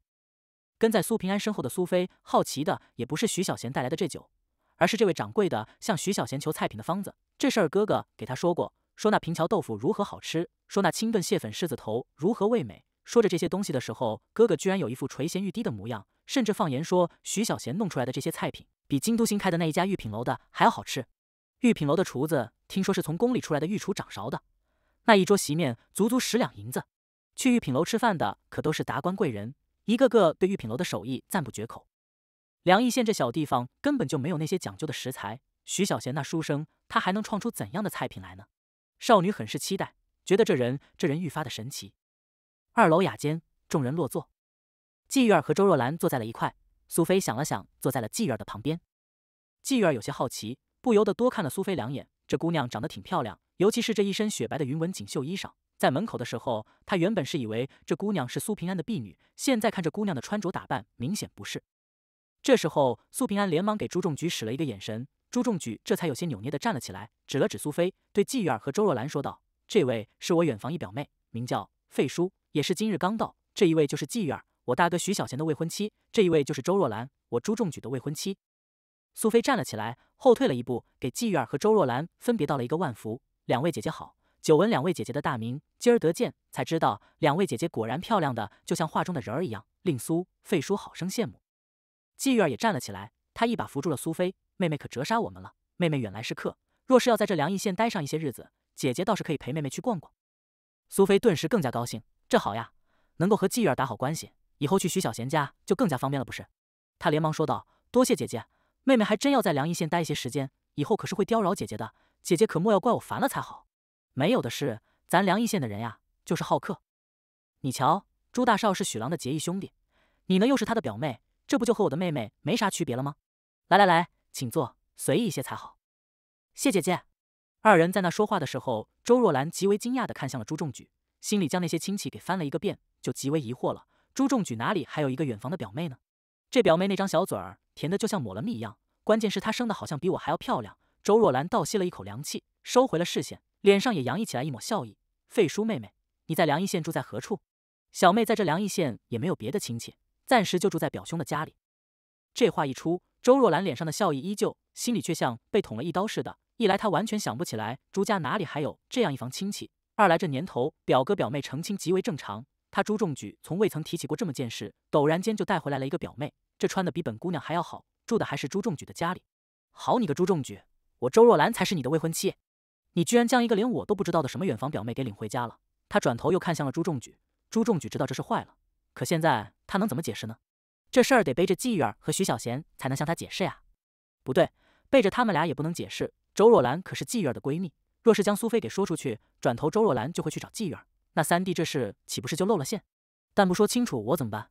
和周若兰的事都定下来了，若是被这破事给搅和黄了，弄得两家反目成仇，该如何是好？朱仲举就很难受了。早知如此，就不应该答应苏平安，或者多想想给苏菲另外编造一个身份。此刻他只能尴尬的一笑，啊哈哈！若兰，明儿个我去你家找你，告诉你一个好消息。周若兰扬了扬眉，哦，好消息啊，那感情好，这些日子在家里可憋坏了。你最好是告诉了那好消息之后呢？我能够在三月三那天去泡泡绣球，这话不能接，接下去没完没了，更难说得清楚。于是朱仲举干脆闭了嘴，心想明儿个无论如何得向周若兰说清楚，出卖了苏菲也得要说个清楚。徐小贤一听这话，觉得有些怪异，他不由得转头瞧了瞧朱仲举，对这家伙极为佩服，原来还可以这样脚踏两只船的。周若兰这表现显然不知道朱仲举的这破事，这一山不能容二虎，二王不能见面，你丫的居然让两个表妹见了面。不翻车才是个怪事。果然，周若兰说了她要在三月三去抛绣球这话之后，朱仲举居然没有反应，这是什么意思？这岂不是就是默认了让本姑娘自己退出吗？好呀，莫非你朱仲举以为除了你本姑娘还嫁不出去了？但周家大小姐还是能够控制得住自己的情绪的，她依旧没有表露出来。毕竟这里还有其余人，这顿饭得吃，吃了之后嘛，大家互相取回婚书，这事儿一拍两散。幸亏这时候陶掌柜的带着俩小二端着菜盘子上来了，来来来，诸位公子小姐久等了，请慢用，待会菜好了再送来。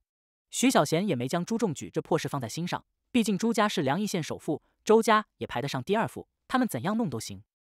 他将酒坛子抱了起来，拍开了泥封，一股浓郁的酒香顿时就飘了出来，甚至压过了菜香。刚刚走到门口的陶喜鼻子一耸，转过了身来，又走了进去。这就是我酿造的状元红酒坊，很快就要生产。不过在较长的一段时间里，这梁邑县是买不到的。无论是朱仲举还是苏平安，对酒都极为熟悉，但像这么香的酒，他们却是第一次闻到。朱仲举似乎也忘记了周若兰，他的眼睛绿油油的看向了这酒坛子，然后站起，一把给抢了过来。我闻闻，好香的酒！大哥，勺子给我，我来分酒。他拿着勺子，抱着酒坛子，给大家都打上了一碗。陶喜眼巴巴的看着他，咽了一口唾沫，忽然说了一句：“那个朱少，能不能给小人也来一碗？”朱仲举顿时笑了起来，看在你懂事的份上，自己去拿一个碗来。陶喜慌忙跑了出去。朱仲举尚未坐下，他拿来了一个碗。朱仲举一瞧，吓了一大跳。我说姓陶的，你特么怎么不抱一口缸子上来呢？陶喜拿来的是一个汤碗。这一碗若是倒进去，恐怕坛子里的酒要少一半。嘿嘿，那个太急，朱少给小人打两勺便行。朱仲举给他打了一勺，不多了。大哥就只剩下了这一坛酒，去去去，咱们要喝酒了。陶喜只能无奈的离开。朱仲举毫不客气的端起了碗来，喝了一口。啊，他张大了嘴巴，啊了片刻，才陡然说了两个字：好酒。苏平安也连忙喝了一口，他闭着嘴仔细的品味着，直到这酒如烈火一般的顺喉而下。好酒，不得了的好酒。苏菲就觉得很是奇怪了，这酒闻着味道确实比自己知道的大了很多，那他喝起来的味道当真有那么好吗？他也喝了一口，片刻，脸蛋通红。季月儿笑道：“这状元红的劲儿有些大，妹妹可莫要喝醉了。”坐在季月上手的周若兰也端起了碗来：“月儿，咱俩干一个。要说起来，我还真想一醉。”周若兰猛地喝了一大口，她突然闭上了嘴，坐直了身子，憋了好一会儿，才将这烈酒给咽了下去。朱仲举，来，咱们干他三碗。干他三碗，朱仲举咽了一口唾沫，不知道自己行不行。那一夜，周若兰大醉，扬言要和姓朱的一拍两散。朱仲举没有法子，只好将自己也给灌醉。其实是这酒味道太好，关键是仅剩这一坛了。徐小贤当然知道这酒的厉害，他保持着清醒，在下楼的时候，陶掌管一定要求他的这酒。这事儿他暂时没有答应，因为这酒真的在一两年的时间之内都不会在梁邑县售卖，得卖去北魏换来粮食。这酒才能够持续的酿造下去。回府的途中，季玉儿扬起那张红扑扑的脸蛋儿，眼神有些迷醉的看着徐小贤，看得徐小贤以为他也需要连干三碗。我总觉得那废书姑娘有些奇怪，不就是朱仲举的表妹吗？有什么奇怪的？她吃了很多菜，也喝了不少的酒，这说明菜好吃，酒好喝呀。可他一边吃菜一边喝酒，还一边看着你，难道你也能秀色可餐？徐小贤还真没注意。他和苏平安说的话比较多，毕竟苏平安明儿个就要启程去鹿城县上任了。上一次他去京都时候说过的那些话，他又再次重申了一次，怕的就是苏平安这愣头青被迎头给敲上一棒。虽然凭着苏家的背景，还有左相那粗大的腿，苏平安这官儿会当得稳当，但能够少碰一些壁，少走一些弯路，终究是好的。但看起来自己说的那些话，苏平安并不以为意，他依旧坚持着他的观点，始终认为清者自清，浊者自浊，始终认为当向大哥学习。当一方父母官，造福一方的百姓，大有哪怕刀山火海，我定要一往无前之坚定决心。这徐小贤就不太好再劝了，毕竟这是他为官的初衷，这样的初衷就像初恋一般美好。只有被抛弃了几次之后，才会明白初恋的味道其实是苦涩的。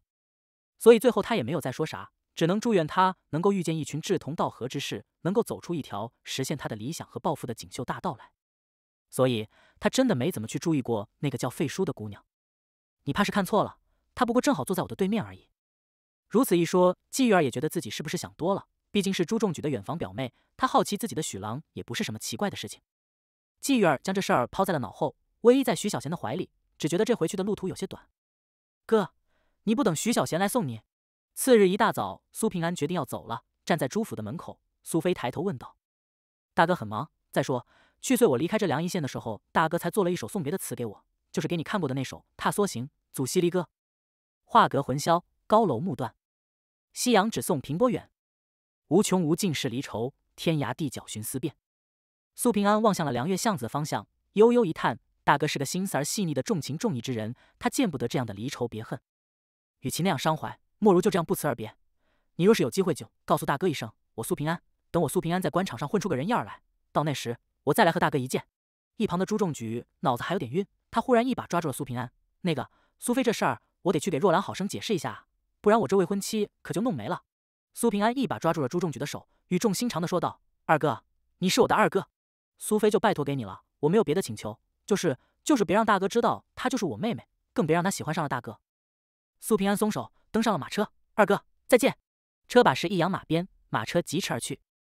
朱平安顿时就伸长了脖子，不是，那我怎么给若兰解释？不能因为你导致了若兰真和我一拍两散吧？苏菲背着双手垫着脚尖，看着马车渐渐远去。朱大哥，小妹不远千里而来。就是为了对徐小贤多一些了解。若是他知道了我就是苏菲，那样可就没趣了。你没去关我屁事，不能因为你想要有趣，就让我这未婚妻给误解了呀。朱大哥，你不是正在弄染房吗？是啊，若是你这染房染出来的布帛真的不输给潘氏，价钱还能比潘氏更优惠一些，小妹在这给你表个态，苏家的丝绸至少三成可发往你这来浸染，如何？朱仲举一怔，这就是这小妞的交换条件了。苏氏三成的丝绸浸染，这个生意可不小啊。若是真能够拿下，单凭着他家的单子，就足够让自己家的染房给吃个饱了。他抿了抿嘴唇，苏菲看着他，又踮了踮脚尖，伸出了四个指头来。四成。朱仲举咽了一口唾沫，忽然觉得眼前是一片亮闪闪的银子，好像未婚妻也不是很重要了。苏菲脑袋瓜子一片，伸出了一个巴掌来。五成，不能再多了，因为怕你来不及成交。朱仲举这一瞬间就决定，还是赚钱更重要。周若兰就让他先误解一阵子吧。等将这姑娘给打发走了，等拿下了苏家五成的浸染生意，他到时候会觉得我聪明睿智的。那现在带我去百花镇瞧瞧，不要说带你去百花镇了，就是带你去京都几个来回也没问题啊。这就是对大客户的服务态度。朱仲举深谙此道，若不是因为苏菲是个女子，他甚至想要将兰桂坊给包下来，让她玩个痛快。朱仲举带着一帮狗腿子，保护着这大客户向百花这儿去。周若兰一大早这酒也醒了过来，心想朱仲举这家伙可是说了今儿个上门来解释清楚。那就看看他如何解释。周家大小姐在家里左等右等，站着等，躺着等，这一家伙就等到了日上三竿，又等到了正午时分。可朱仲举人呢？这个骗子！朱仲举，你这个王八蛋，你去死吧！前院的周若琳听见了姐姐的咆哮，她连忙跑了过来。怎么了？周若兰大哭。她她朱仲举，她养了个小的，不要我了。嗯，小舅子当然得给姐姐撑腰。狗约的朱仲举，你特么居然还敢养小的，老子砍死你！周若琳冲入了柴房，取下了一把柴刀，气冲冲出了门。正从百花镇回来的朱仲举忽然打了两个喷嚏，好像有人在骂我。苏菲的心里是极为震惊的。他和朱仲举花了半天的时间，草草的逛了逛百花镇。他看见的是一座座精美的四合院，看见的是一个个脸色红润还带着灿烂笑容的村民们。无论是男女老幼，没有任何一个人沮丧，更没有一个人有着对生活的怨气。那样的神色意味着什么呢？苏菲当时并不知道。他只知道这些百姓是发自内心的开心，比自己游历过的任何一个地方的村民都要开心。他去了那些作坊，因为有守卫看守的缘由，并不能进去。但那些作坊里进进出出的村民们，一个个也同样精神饱满，似乎浑身都有使不完的干劲。他在百花学堂外驻足了一盏茶的时间，他仔细地听着里面那朗朗的读书声，那些同志的声音仿若天籁。他也在百花馆外停留了片刻，里面有琴音歌声传来，琴技极佳，歌声更是凄楚悠扬。唱的正是《踏梭行·祖西离歌》。他站在那两千余亩一眼望不到头的田边，看着绿油油的一大片黄豆苗。他不知道这是黄豆苗，他只知道这庄稼看起来长得很好。朱仲举说这是徐小贤用了半年时间就做到的，若不是自己亲眼所见，定然难以相信。所以大臣之穷，究竟是这片土壤穷呢，还是生活在这片土壤上的百姓们懒惰？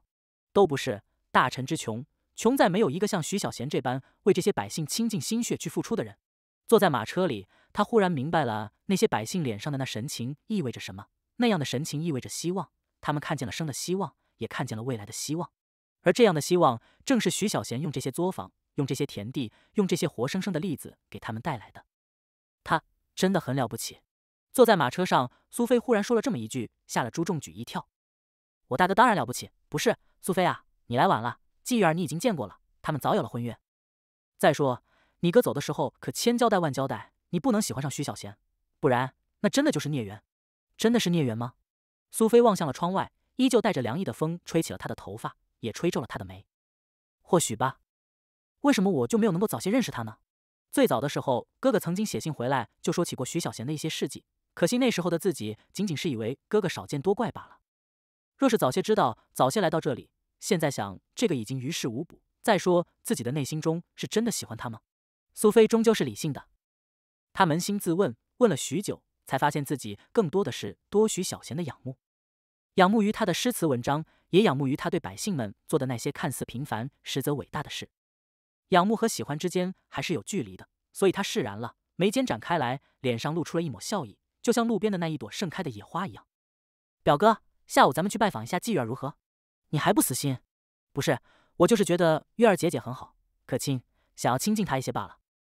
朱仲举极为担心，觉得这苏菲恐怕也掉入了徐小贤那坑里，无法自拔。不过凭着大哥的本事，多娶几个也没啥，这就要看苏菲愿不愿意当妾了。两人没有回朱府，而是去了淡水楼，因为苏菲喜欢那菜的味道，这令守候在朱府门前的周若琳守个寂寞。在淡水楼美美的吃了一顿之后，苏菲和朱仲举又再次来到了凉月巷子，看见的是一眼望不到头的车队。这是什么？北境马帮就是大哥丈母娘做的营生。他们现在在干什么？好像在听大哥讲话。二人下了马车，来到了徐府外，这里整齐的站着许多的人。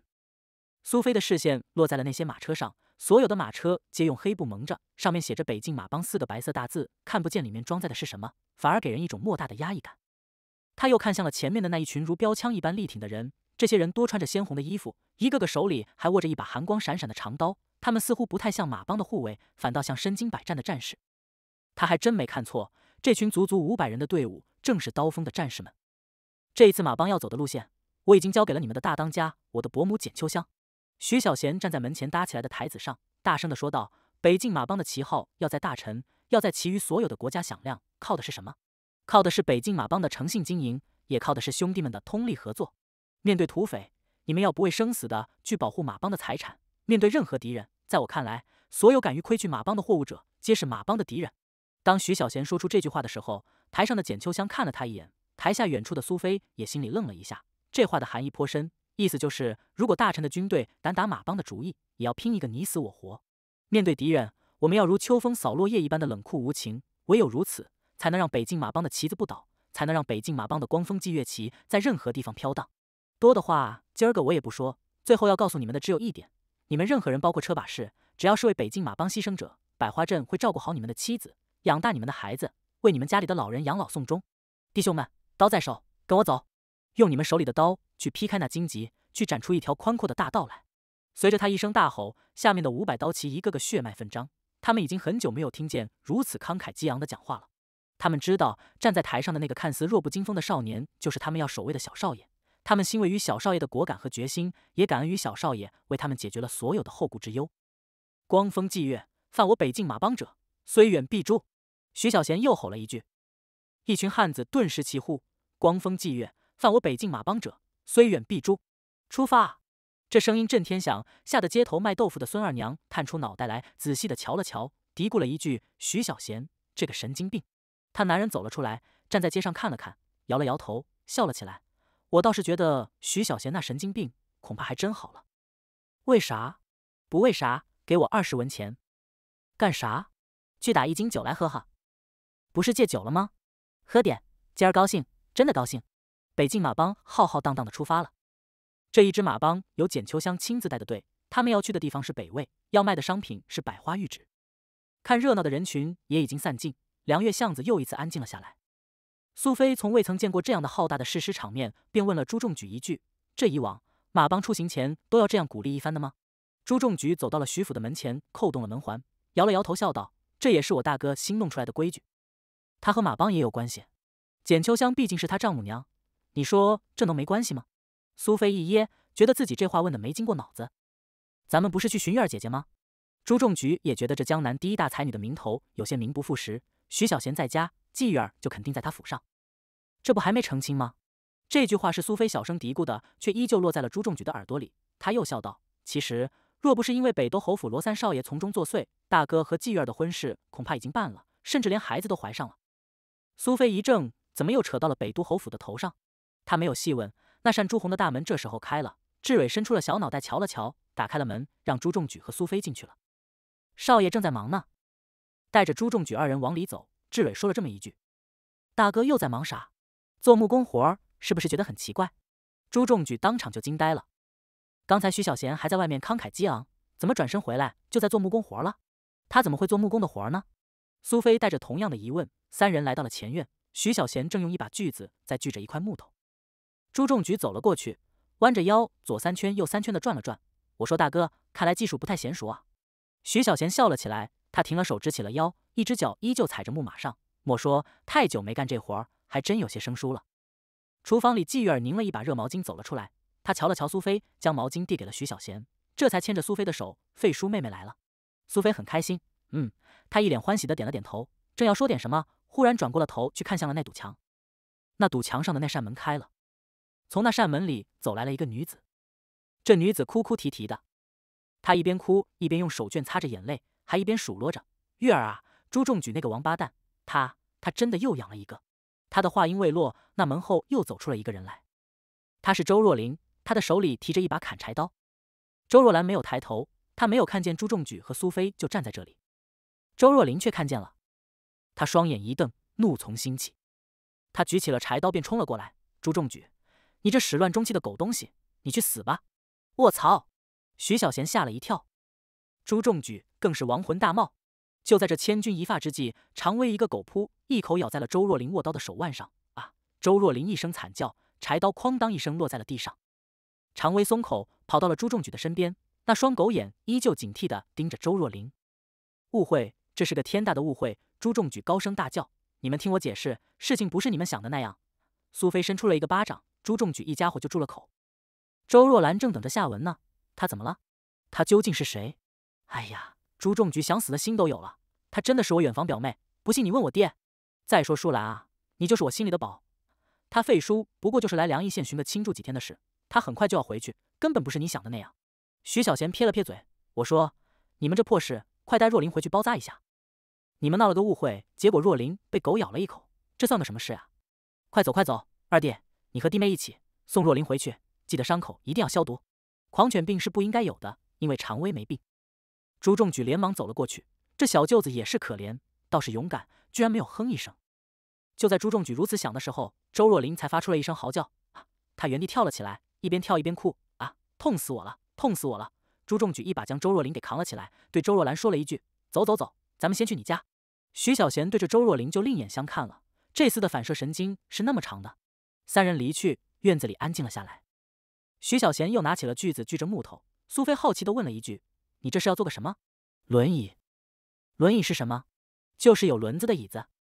季月笑了起来，牵着苏菲的小手说道：“咱们别理他，去闲云水榭里做会。”两个漂亮的女子也走了，徐小贤专心的折腾着，答应给常博做一把轮椅。现在看来，自己的这手艺是不成的，还是得找专业的木匠才行。徐小贤又放下了锯子，正寻思明儿个去百花村叫王富贵寻俩手艺精湛一些的木匠，没料到志蕊带着陶喜、陶掌柜的走了进来。许公子，陶喜来到徐小贤的面前，躬身一礼：“昨儿晚小人喝了许公子那状元红，是夜不能寐啊。”徐小贤一怔：“这酒喝了，不是很好睡的吗？你怎么还喝失眠了？”不是失眠，是小人从未曾喝过如此好喝的酒，心中挂念，辗转反侧，便难以成眠。可是陶掌管啊，我开设作坊酿酒，肯定是拿来卖的。这真不是我不卖给你，而是这酒很贵，我得用这酒去换来粮食，不然哪里有那么多的粮食来酿酒？小人知道这酒肯定会很贵，但没有关系，小人不要多，只要每月许公子能够卖给小人十斤，十斤就成，这就没问题了。对于酿酒作坊而言，十斤酒确实不算个啥。也让这梁邑县的有钱人先在淡水楼感受一下状元红的效果吧。那行，但有两点你要记住：其一，状元红的名字不能更改；其二，这酒我给你三两银子一斤，你必须得卖六两银子一斤，少一文钱也不行。陶喜一听就惊呆了。陶喜知道这酒会很贵，但也没料到会贵到如此高的价格呀。丁氏酒铺那玉泉酒才卖五十文钱一斤，那已经是丁氏酒铺最好的酒了。对面兰桂坊偶尔有从京都运来的醉花雕。算上运费，售价在四百文一斤，这已经是讨喜知道的最贵的酒了。但徐小贤这句话却刷新了他的认知。三两银子那可是三千文钱啊！这还不算，许公子居然要求他卖六两银子一斤，这是翻了一倍的利润。他也想啊，可六两银子一斤的酒，这能卖得出去吗？这酒是用什么玩意儿酿造的？徐小贤看着讨喜的模样就笑了起来。走走走，先去里面喝杯茶。讨喜屁颠屁颠的跟在徐小贤的身后，脑子里却一刻不停的盘算了开来。显然，徐小贤不是在打趣他，更不是敲诈他。原本徐小贤是不卖给他的，仅仅是因为十斤酒不太多的缘由，他才松了口。这么看来，他卖出去的价格应该是不会低于三两银子一斤。物以稀为贵，再说这样的美酒世间压根就没有。梁义县还是有一些有钱人家的，十斤酒不多，就算是梁义县真卖不出去，等淡水楼在凉州城开业了，想来在凉州城也是能够卖得出去的。更主要的是，这酒独一无二，只有自己的淡水楼才有售卖。若是卖这酒的法子得当，恐怕能够让淡水楼用最短的时间在凉州城立足。如此想着，徐小贤带着他来到了闲云水榭，季玉儿和苏菲似乎聊得很是愉快，两个女人的脸蛋上都洋溢着笑意。徐小贤和陶喜坐下之后，他们便没有再说话。季玉儿煮着一壶茶，给徐小贤和陶喜斟了一杯。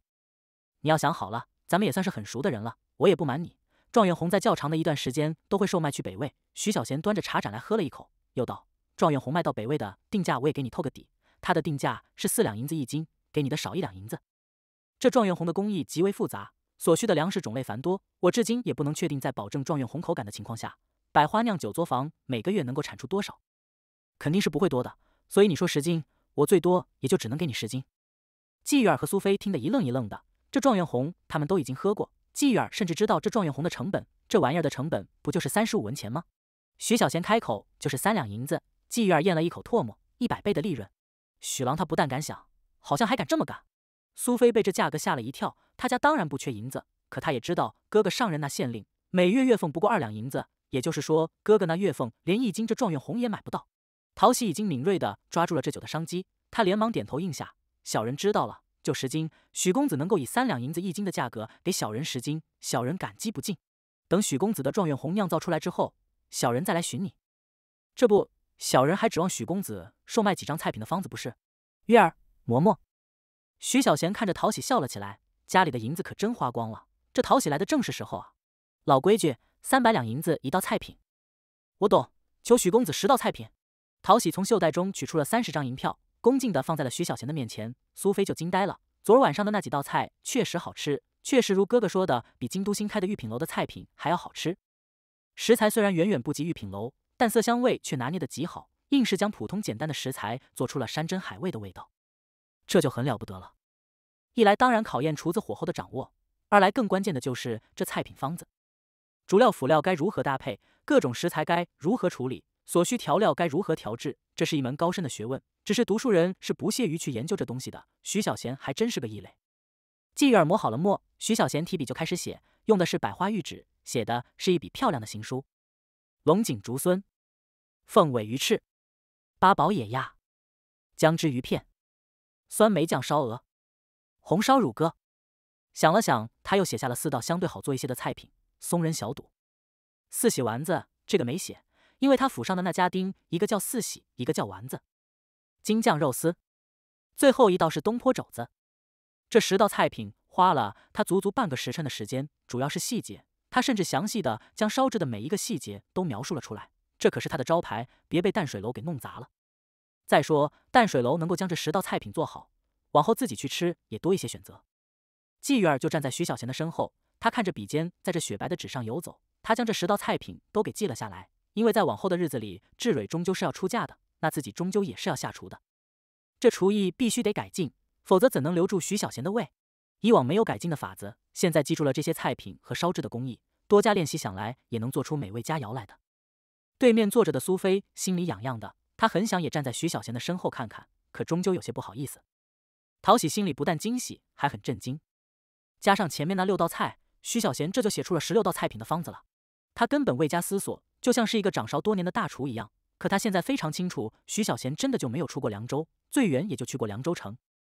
这家伙去岁的时候还说无法通灵，再也不能神游京都去学到御厨的方子了。现在看来，他依旧是可以的。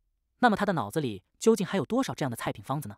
暂时买不起了。凉州城的淡水楼已经在开始装修，比这凉邑城的淡水楼大了三倍，投入了大量的银子进去。可就指望着徐小贤的这些菜品方子将银子给赚回来了。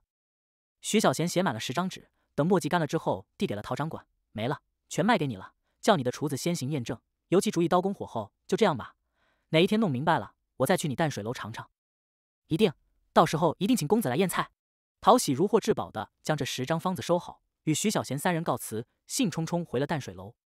苏菲这才好奇的问了一句：“你是怎么懂得做菜的？”“因为我喜欢吃。”“因为喜欢吃，所以研究出了这么多好吃的菜品。”“因为同情那些老百姓，所以就有了百花镇。”“那既然你同情老百姓，为啥不同情这天下的老百姓？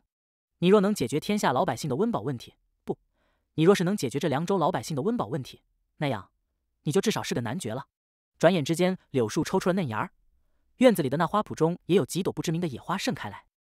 又到了阳春三月，又是一年三月三，一年了，不准确的说，来到这个世界一年零三个月了。徐小贤难得清闲的坐在了闲云水榭中，他的嘴里叼着一支烟，一阵阵的烟雾在缭绕，还剩下十二支了。这些日子一直在百花酿酒作坊忙碌。王富贵选了二十个颇为精灵的少年学徒，另外居然还有一个老师傅，他姓尤，叫尤大。年约四十，对酿酒知道那么一星半点，用了五天的时间，将酿酒的一因工艺交给了他们。当然，其中最为关键的制曲，他谁也没教，这活儿只能他自己来。状元红能够比市面上所有的酒都要好喝，其缘由其中的酒曲占了极为关键的作用。这个世界有酒，当然就有酒曲，不过它不叫酒曲，而是叫曲孽。这玩意儿就是发霉发芽的谷物，这其实算是最原始的酒曲，原理极为简单。简单的说，就是利用谷物发霉发芽所产生的水解酶类对原料进行分解。而徐小贤弄的酒曲是不一样的，他用的是小麦、大米、腊寮草、桂树叶以及麸皮加工制造而成。其中的工艺较为复杂，要经过原材料的粉碎、搅拌、装模、保温、培育霉菌，再翻曲晾霉，最后再养曲才算完成。这就是大曲，用这个东西再加上新的蒸馏技术，就能酿造出高度的曲酒了。所以。制曲这个关键的玩意儿，他并没有放在酿酒作坊，而是在李大爷家的隔壁建了一个陪军室。要是由李大爷亲自掌握，每当剩下的酒曲不多了，他就将自己关在那房间里捣鼓大半天。没有办法，得靠这玩意儿来吃饭，这保密的工作肯定就必须得做好。现在百花酿酒作坊交给了尤大负责，已经能够正常运转，每日能够产出白酒大致在百来斤。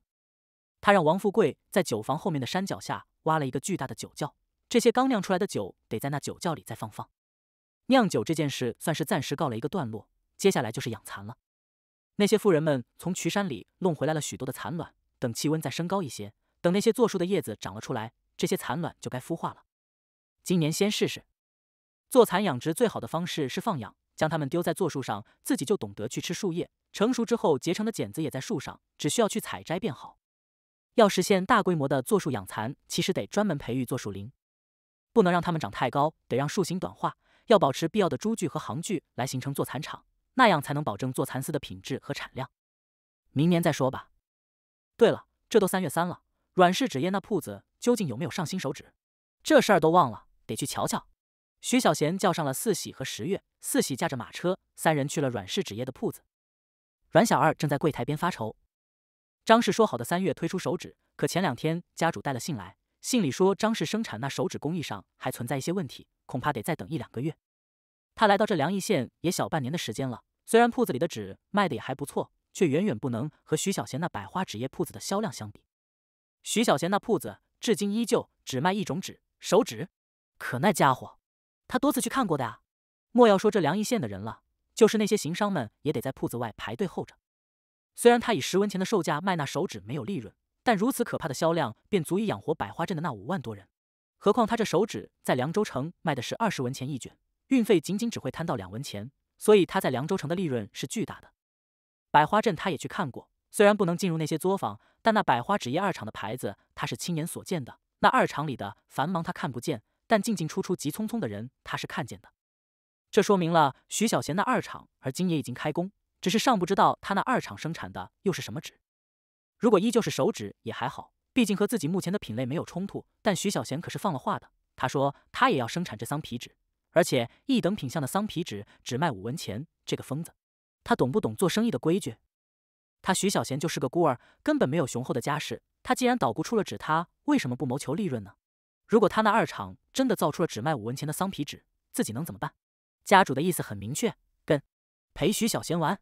张氏会将一等品相的桑皮纸降价到五文钱给阮氏，阮氏不过就亏点运费。何况这场战斗的战场也仅仅局限于凉州城和凉邑县，阮氏当然承受得起。若是必要，甚至一等品相的桑皮纸还能再降一文钱，就看他徐小贤敢不敢跟。总之，无论花费多大的代价，徐小贤的造纸作坊必须垮。有张氏和家主在背后撑腰，阮小二的心情好了许多。现在就等两件事：张氏的手纸和徐小贤的桑皮纸。那厮据说已经拿下了隔壁的两个门脸。阮小二阴恻恻笑了起来。我看你那两个铺子能开多久？到时候亏得你底裤都没了，看你还能怎么办？就在这时候，徐小贤带着十月走入了他这铺子里。铺子里的人不多，只有那么五个。此刻一瞧，咦，有人大吼：“徐小贤又出来了！”卧槽！喂喂喂，我徐小贤又不是洪水猛兽，你们咋呼个啥？徐小贤亲切地冲着那五人摆了摆手，抬步就走到了柜台前，看着阮小二、阮掌柜的：“你乐呵个啥呢？”哟，许介元。贵人呀，怎么今儿个莫非还要在小人这铺子里买点纸？徐小贤也乐了，瞧你说的，我不就是造纸的吗？对了，我不造桑皮纸了。阮小二一怔，我特么啥都准备好了，桑皮纸囤了一仓库，就等着你五文钱开卖。你居然说不造桑皮纸了？做人是不是应该讲点诚信？你还是借员呢？那我那么多的桑皮纸怎么办？放在这发霉？徐小贤接着又说话了，阮掌柜的，我新研究出来了一种新的纸，比上品的桑皮纸还要好。成本仅仅八文钱，我就卖八文，如何？阮小二心里一咯噔，这话他有些不信，毕竟张氏造纸已经几代人了，也没见张氏捣鼓出什么新花样来。这徐小贤弄出了手纸，而今莫非他还真的又弄出了什么了不得的新品？他正要问问，徐小贤却反问了他一句：“我说阮掌柜的，你不是说好的三月上新手纸的吗？你家的手指呢？手指是肯定没有的，但气势却不能弱了。许介元就这么关心咱家的手指？这是当然。”我得瞧瞧你家的手指如何，才能决定要不要将我家的手指工艺再升级一下。看来张氏还没弄出来，那我就再等等。你先忙，记得你家手指上市，派个人来通知我一声。这个神经病！阮小二盯着徐小贤的背影，深吸了一口气，得将徐小贤的这些话告诉家主。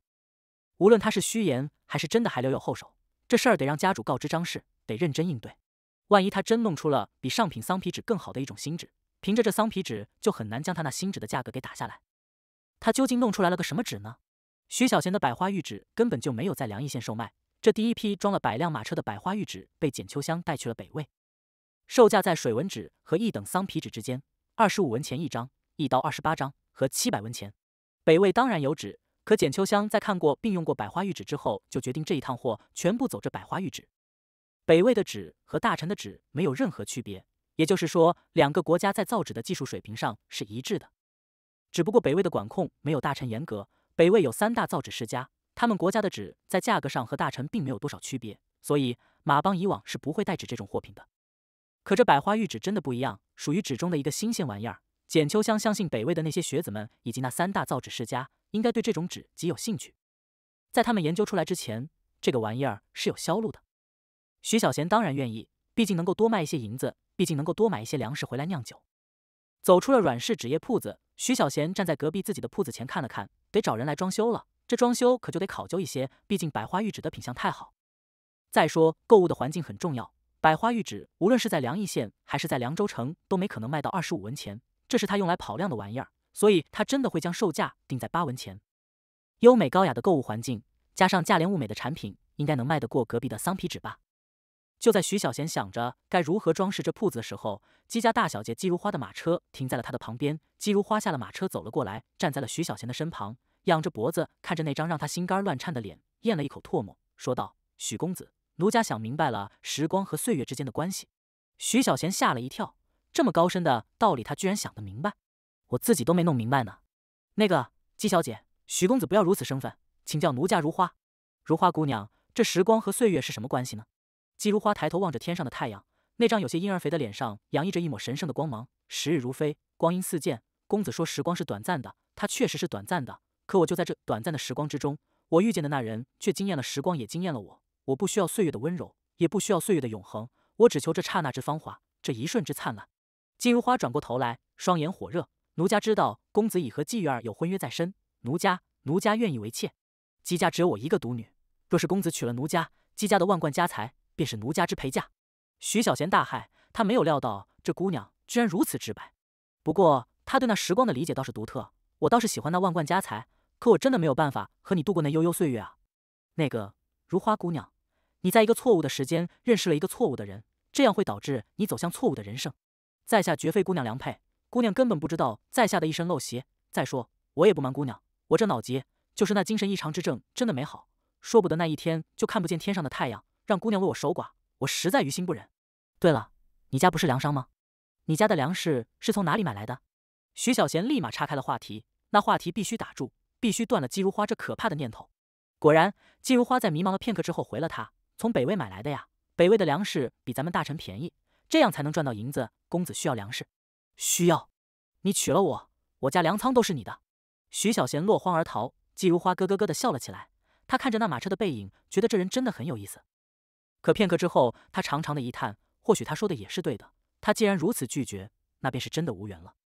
不过他要买粮食来干什么？对了，听说他在百花镇弄了个酿酒作坊，难道他需要粮食？要不要将北魏的卖家告诉他呢？再等等吧，且看看他那作坊里酿出来的酒值不值得。苏菲和季玉儿坐在渠山下的一处山坡上，这里可以俯瞰百花镇全境。姐姐，你说他为什么要叫村民们把镇子里的竹子和树全砍了，种上桃树、李树这些果树呢？你不知道，他说这里既然叫百花镇，那就应当百花盛开，如此。倒是会很美丽，可不仅仅如此，他还说要将李树嫁接到桃树上，也将桃树嫁接在李树上，还有杏子、梅子什么的也可以相互嫁接。嫁接是什么意思？季玉儿摇了摇头，我也不懂。不过过两天从水阳县弄回来了桃李这些果树，他应该就会教村民们弄了。他说一棵树可以开出数种花来，我翻遍了《齐名要术》和《四民月令》，也未曾发现里面有这样的记载。反正他这人挺神奇的。苏菲小嘴微吸，她的脑子里顿时浮现出了那样的一番画面：那桃树上一侧开着粉红的桃花，一侧开着白色的李花，又一侧开着淡红的杏花，整个百花镇便被这样的花海所覆盖。坐在这样的地方，放眼望去，便是一望无际的缤纷色彩。那会是一种怎样的美呢？是啊，我也很是期待。他说，那才是他想要的百花镇的样子。苏菲的眼就迷离了，一身疮痍的大臣，谁能料到在这最偏远的北境之地？还会有如此美丽的一片世外桃源。三月三这天，周若兰终究没有真跑去了彩云湖那地方抛绣球。苏菲和季玉儿在百花镇待了一天，中午饭是和简春夏一起在李大爷家吃的。他们压根就忘记了三月三抛绣球这件事，倒是季玉儿对那头愈发健壮的小母牛表现得极有兴趣。苏菲不知道这头小母牛有何作用，但季玉儿知道，所以他很是期待。爷爷说，最多到下月它就会发情，就能配种了。少爷说，若是他怀上了小牛宝宝，得等至少九个月才会生产。少爷还说，就让他不停的生，给咱们百花镇多生一些小牛犊子，以后说不定还能有牛肉吃。李妞妞看着少奶奶，很认真的说着。少爷还说了，往后整个百花镇的牛都由我来侍候。等我再大一些，应该是到了十四五岁的时候，我就能去少爷府上侍候少爷和少奶奶了。那时候小少爷也应该出生了，我会像照顾小牛犊子一样的照顾好小少爷，保证把小少爷侍候的白白胖胖的，可不能像少爷那么瘦弱。这话说的季月脸儿微红笑了起来。好，可你也得读好书哦，不然到时候怎么教小少爷读书写字？这活儿得少爷来，少爷可是界元老爷，有他教小少爷，小少爷肯定能够考中状元。李妞妞这小嘴儿就像抹了蜜一样，说的季月心花怒放。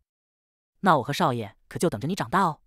嗯，李妞妞坚定的点了点头。我还要和春夏好生学习武艺，将来就能护着小少爷了。谁敢欺负小少爷，我李妞妞就打断他的腿。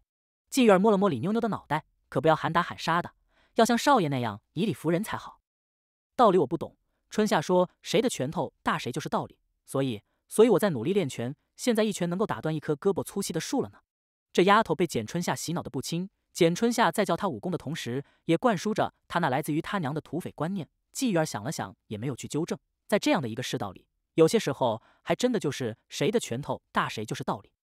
他们在傍晚时分离开了百花镇，苏菲不好意思再跟着季玉儿。他回到了朱府，来到了朱仲举的院子里。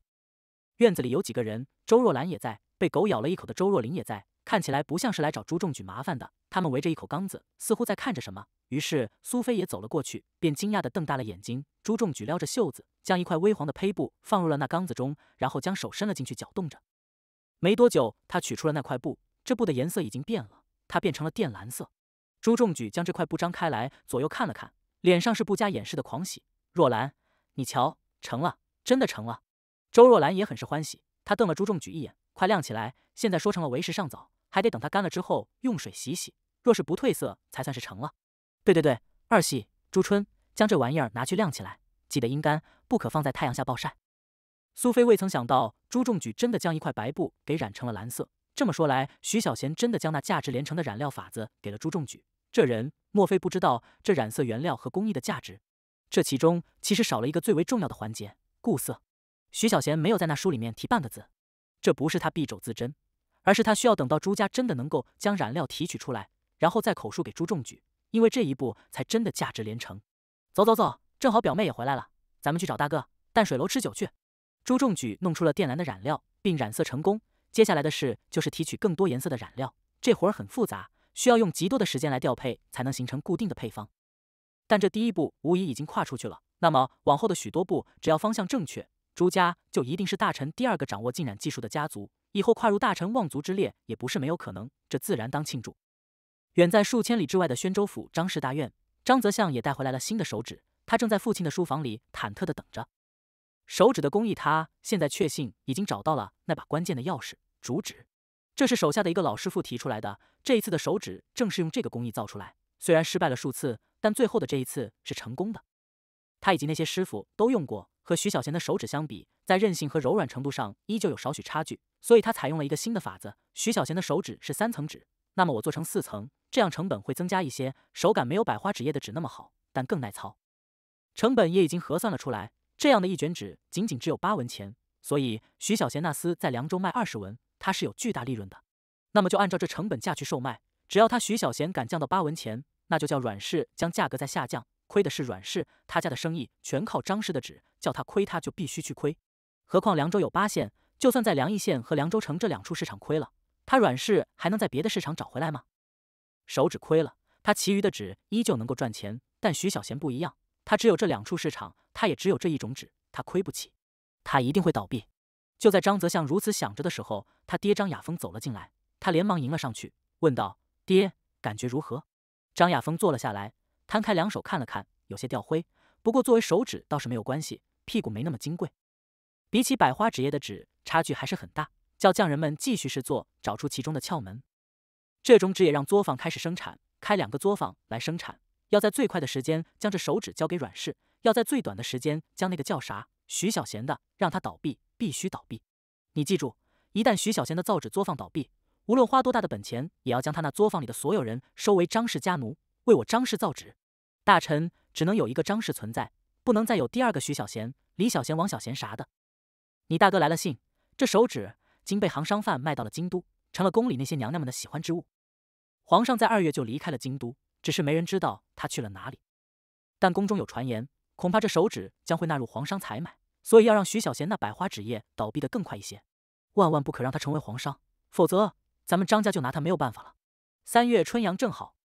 又到了住在凉邑县城里的姑娘们脱去那臃肿的棉袍，换上小袄或者圈儿出来晃荡的时候了。像踏青这样的雅事是这些姑娘才子们的，对于凉邑县的那些百姓们而言，这就意味着他们该要在田间地里劳作了。这一次的徭役就这样结束。渠河水库外面的牛角沟大堤未曾能够建起来，这是徐小贤预料之中的事。渠山上的冰雪开始融化，那些雪水顺着沟渠流入了内库，内库里的水渐渐涨了起来。渐渐将青龙寺的那断壁残垣之地给淹没了。百花镇外的那两千余亩良田里，一望无际的黄豆在施了一次肥之后疯长了起来，短短月余便有持续高了。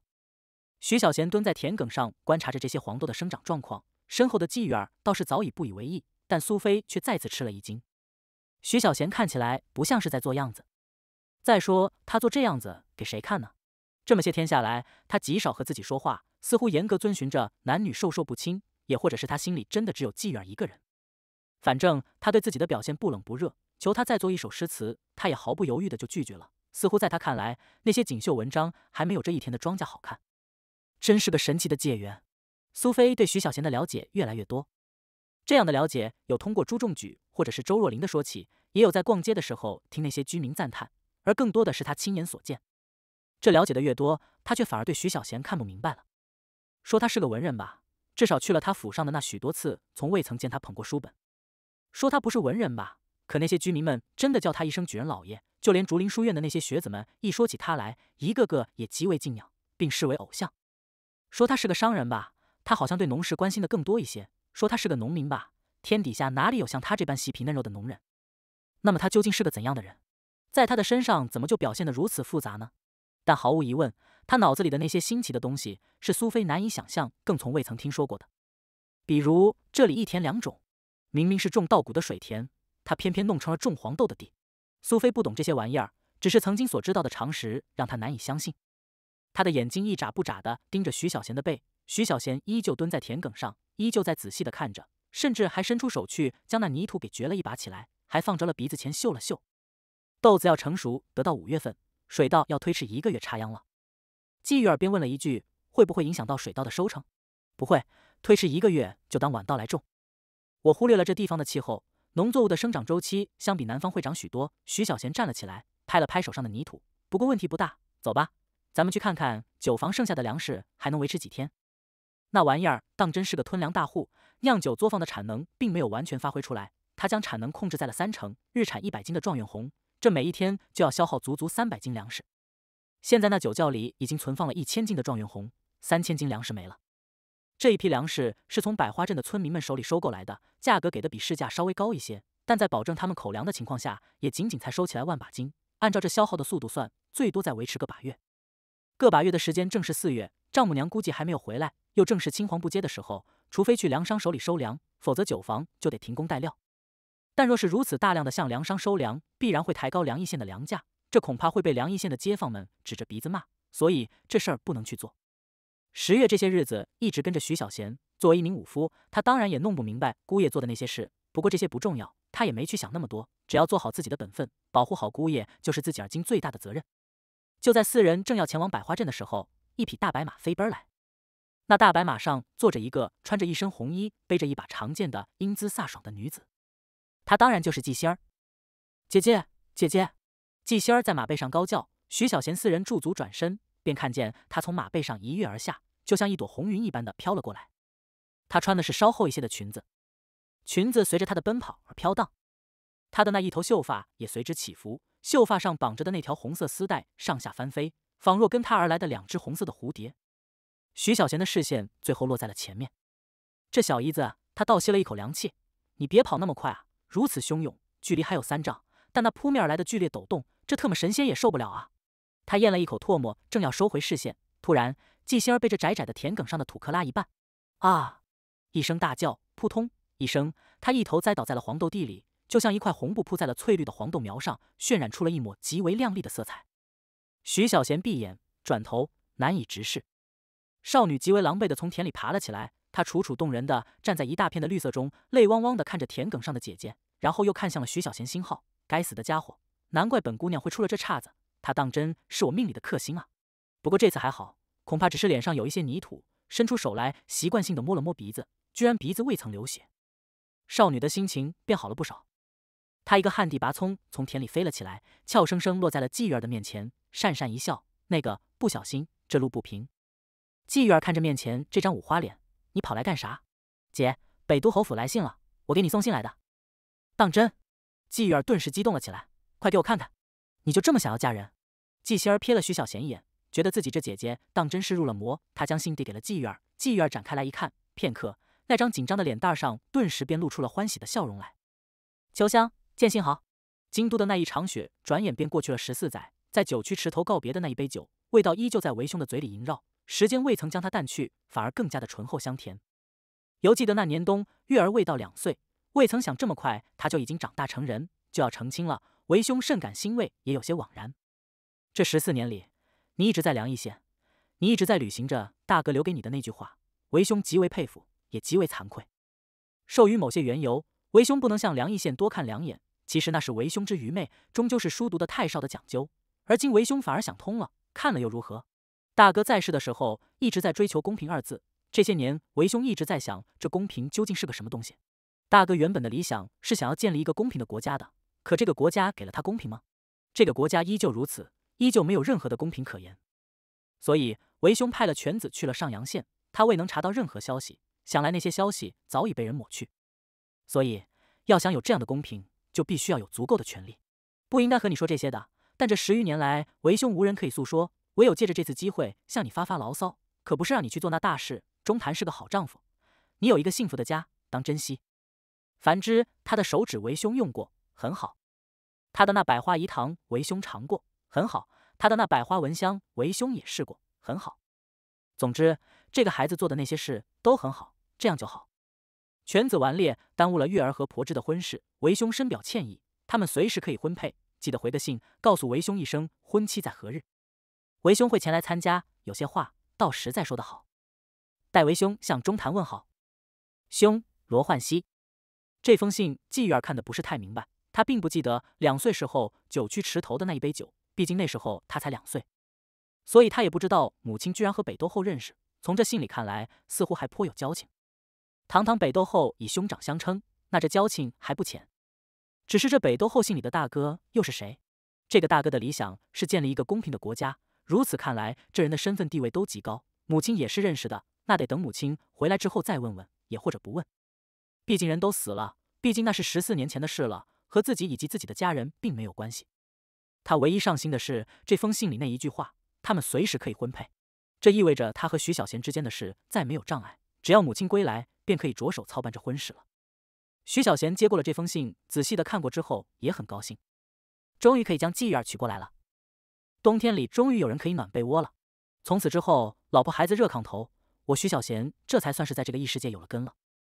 不过，他对这信里的关于那大哥的描述多看了两眼，晒然一笑，将信递给了季玉儿。公平，他摇了摇头。这里有个废书，废书是外人，他没有对这事发表他的看法。倒是这位北都后给他留下了极好的印象。这字写的很丑，但信里表达的意思却很清楚。关键是没有作为大臣武后之一的那种高高在上、咄咄逼人的味道。只是这人似乎有些愤青，言语间充分的表露出了对大臣的不满。这个思想很危险。丈母娘回来之后，最好告诉他一声，和这位侯爷最好不要再有往来，更不能让他来参加这婚礼，不然万一他也要去寻那什么狗屁公平，可是会给继父和自己带来灾难的。对于信里的那句话，这十四年里你一直在梁邑县，你一直在履行着大哥留给你的那句话，徐小贤没法理解。那个大哥让丈母娘在这破地方守个什么玩意儿呢？这个大哥也是自私，丈母娘那如花似玉的时光被消磨在了这梁邑县。不过也好，若非如此，自己哪里能够遇见继儿？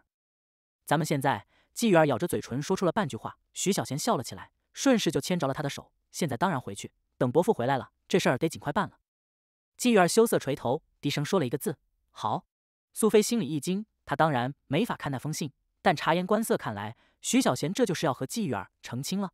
他要成亲了，这这这事儿来的有些突然，让心里尚未曾准备好的少女忽然间觉得很是失落，忽然间觉得心里空落落的。他们牵着手走在田埂上。他们肩并肩走在阳光下，就连地上的影子也是重合在一起的。他忽然觉得自己有些多余，觉得自己不应该来。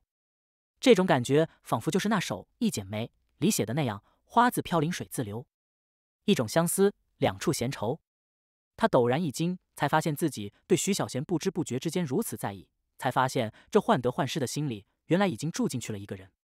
可那人却是别人的，我什么都没有。这便是此情无计可消除，才下眉头。却上心头，天下真能有公平吗？傻丫头，天下哪里来的绝对的公平？那那相对的呢？徐小贤沉吟片刻，相对的公平当然是存在的。比如百花镇的所有人，只要他们愿意干活，都能得到报酬；比如梁邑县别的乡镇的那些农人们，只要安心种田，到了秋天，终究能够有那么一点收获；也比如竹林书院的学子们，若是有那本事，和整个凉州的学子们公平参加科考，也能得个解元身份等等。季玉儿想了想，又问道：“可是梁邑县别的地方的村民们和百花镇相比，他们付出了更多的劳动，还要看老天爷的脸，最终他们的收获却远远不及百花镇。那么对于他们而言，这是不是就不公平？”徐小贤捏了捏那只柔弱无骨的手，所以公平是相对的，就像张氏垄断了大臣的纸，潘氏垄断了大臣的印染等等，这对于其余人当然就不公平。那要如何才能实现公平呢？这次徐小贤没有回答，咱别想那么多，先打扫好自家门前的雪。至于别人家瓦上的霜，咱们就是寻常小老百姓，够不着。徐小贤没有那么大的理想去和国家机器抗争，在这样的一个半封建半奴隶制的国家里，你想要打土豪分田地，想要翻身做主人，这真的是想多了。无论是大臣的六大世家门阀，还是那数之不尽低士族官僚，没有任何一个人会希望那些泥腿杆子跳到自己的头上来。他们掌握着国家最多的资源，拥有着极为强悍的力量，想要翻天，首先不是皇帝不干，而是他们不干。好不容易才扶持了一个皇帝，掀翻了旧朝，好不容易才得到了巨大的利益，他们和皇帝是同一条船上的人，岂能允许这条船又翻了？所以那封信里说的那位大哥，这人恐怕是个理想主义者。这样的人通常死得早，自己的好日子这才刚刚开始，可不想那么早就被抄家灭族了。自己没有带着几百把冲锋枪和无尽的弹药来，自己就带来了一个登山包，最先进的武器就是那根电击棍。那根电击棍里残余的电，估摸着还能用一次。想啥呢？苟着吧，就苟在这凉意县。小爷我苟他个天荒地老。至于公平，关我屁事。徐小贤要和季玉儿成亲了，对于志蕊而言，这当然是一件比过年都重要的天大的事。随着这些日子和季玉儿的相处，志蕊以为自己已经想开了。前院花园里的花儿又开了那么三两朵，又有了两只蝴蝶在那花上翩翩，那是两只白蝴蝶，很好看，很和谐。志蕊深吸了一口气，四喜四喜，你将主院里的花园好生修剪一下。丸子，你将整个主院先打扫一遍，记得梁上也要用扫帚扫扫尘土，东西厢房收拾收拾，万一有客人来，可得有个安置的地方。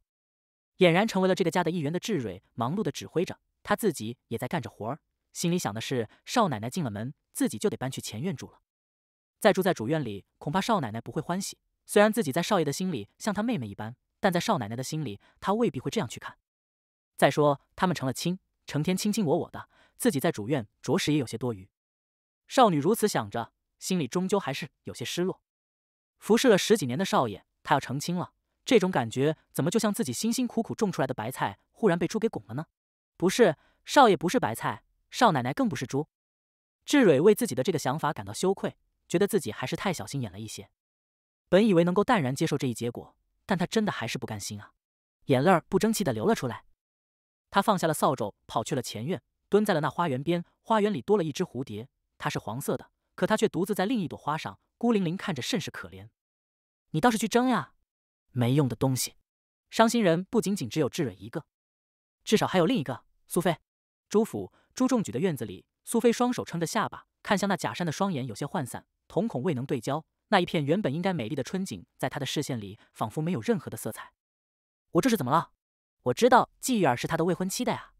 我本以为能够坦然面对，未曾想原来心里的防线是如此的脆弱。他们要成亲了，其实，在这些时日的相处中，我本应该知道他对我并无好感。他是一个专情的人，他看季玉儿的眼神就像这春日的暖阳一般，在他的眼里，仿佛季玉儿就是他的整个世界。他似乎也在难容下另外一个人。我得将他忘记。对。看书，看书的时候我能忘记所有，当然也能将他忘记。苏菲起身去朱仲举的书房取了一本书，坐在了亭子中翻了开来。这是他以往很喜欢的《百如诗词文集》，里面汇集了历朝历代的那些大儒们的诗词。以往看着这些诗词，就仿佛置身于那美妙的历史长河之中，仿佛那些诗词里的意境就发生在自己的身边，自己仿佛就走入了那别人无法体会的风景里。可是，他翻了两页，又翻了两页。忽然发现，这些曾经令他神往的诗词，今儿个居然完全看不进去。是这些诗词不够美吗？似乎相比于徐小贤的诗词，这些诗词总是觉得少了一些什么。但少了什么呢？少女眉间微蹙，脸蛋上的神色满是严肃。她发现了一个问题：徐小贤的诗词，当真能和这些大儒的诗词一较高下？甚至在某些方面来说，他的诗词甚至超越了这些大儒。比如他所做的那首《一剪梅》，也比如他做的《锦瑟》，亦或是那首《梦江南》等等。以往还只是觉得惊艳，此刻两相对比，再细细一品，少女豁然一惊，才发现徐小贤的诗词当真是有资格进入文风阁的。可他科考的时候，那两首诗词送去京都，却如石沉大海。难道是因为科考的时候他发挥不佳所致？未曾见到那两首诗词，苏菲难以判断，也或许有些怀疑自己的判断。他发现自己看不进去这些昔日喜欢的诗词，干脆合上了书，觉得应该去拜访一下张桓公老大人。来了梁邑县这么久了。也应该去张桓公的府上坐坐，待爷爷向他老人家问一声好。苏菲正要站起，朱仲举回来了。他带着满面春风走入了凉亭，坐在了苏菲的面前。哪壶不开，他提了哪壶。刚才我去了大哥家一趟，你可知道大哥和季儿的婚事就要举办了？说着这话，朱仲举煮上了一壶茶，浑然没有注意苏菲的脸色，此刻又暗淡了下来。大哥和季儿这事也颇多周折。去岁三月三，因为大哥那病。季大人去了大哥府上取回了婚书，这在梁邑县的老百姓看来是最正确的选择。无论如何，季大人也没可能将他那宝贝女儿嫁给一个脑子有问题的人。可世事如戏，就是这么奇妙。结果呢，季大人后面又千方百计的想要将婚书送给我大哥，我大哥却不干了。不过那时候大哥并不知道季儿生的什么模样，整个梁邑城的街坊们都以为他们之间的事将再无瓜葛。却没料到端午那天，大哥又跑去了梁邑县，主动求回了婚书。朱仲举斟了两杯茶，递了一杯给苏菲，摇了摇头：“我觉得叫折腾。”大哥说：“这就叫好事多磨。”本以为磨够了，都磨出粉来了。本以为简夫人回来之后，他们就应该成亲了，又没料到北都侯府来了一句话，活生生又将他们这事给搁下了。这下好了，磨出了将来，终于北都侯府又来了信。这一次应该没啥折腾的事了，就等简夫人回来定下婚期，总算是有情人终成眷属，总算完结了这一段佳话。朱仲举抬起了头来，看着苏菲那张黯然神伤的脸，他射了苏菲的心脏一箭：“你真喜欢上他了？”春已到，苏菲啊，梦该醒了，你真喜欢上他了？这是不是太草率了一些？你是江南望族苏家的千金大小姐，凭着你的身世，凭着你的才学，凭着你的品貌，这大臣的儿男莫非都死绝了？朱仲举就弄不明白了。大哥厉害，这肯定不假。但像苏菲这样的女子，你选择的门路可是有八百丈那么宽。就算是京都的那些高门大阀的少爷，他们肯定也愿意娶你为妻的。可你为何偏偏要在大哥的这棵树上吊死？苏菲没有回答。朱仲举咽了一口唾沫，想起了去岁时候苏平安在徐小贤府上说的那句话。他说他将徐小贤的那些诗词寄给了他妹妹。那时候苏菲就想要来梁邑县。苏平安说他恐怕是喜欢上你了。原来这情种早已种下。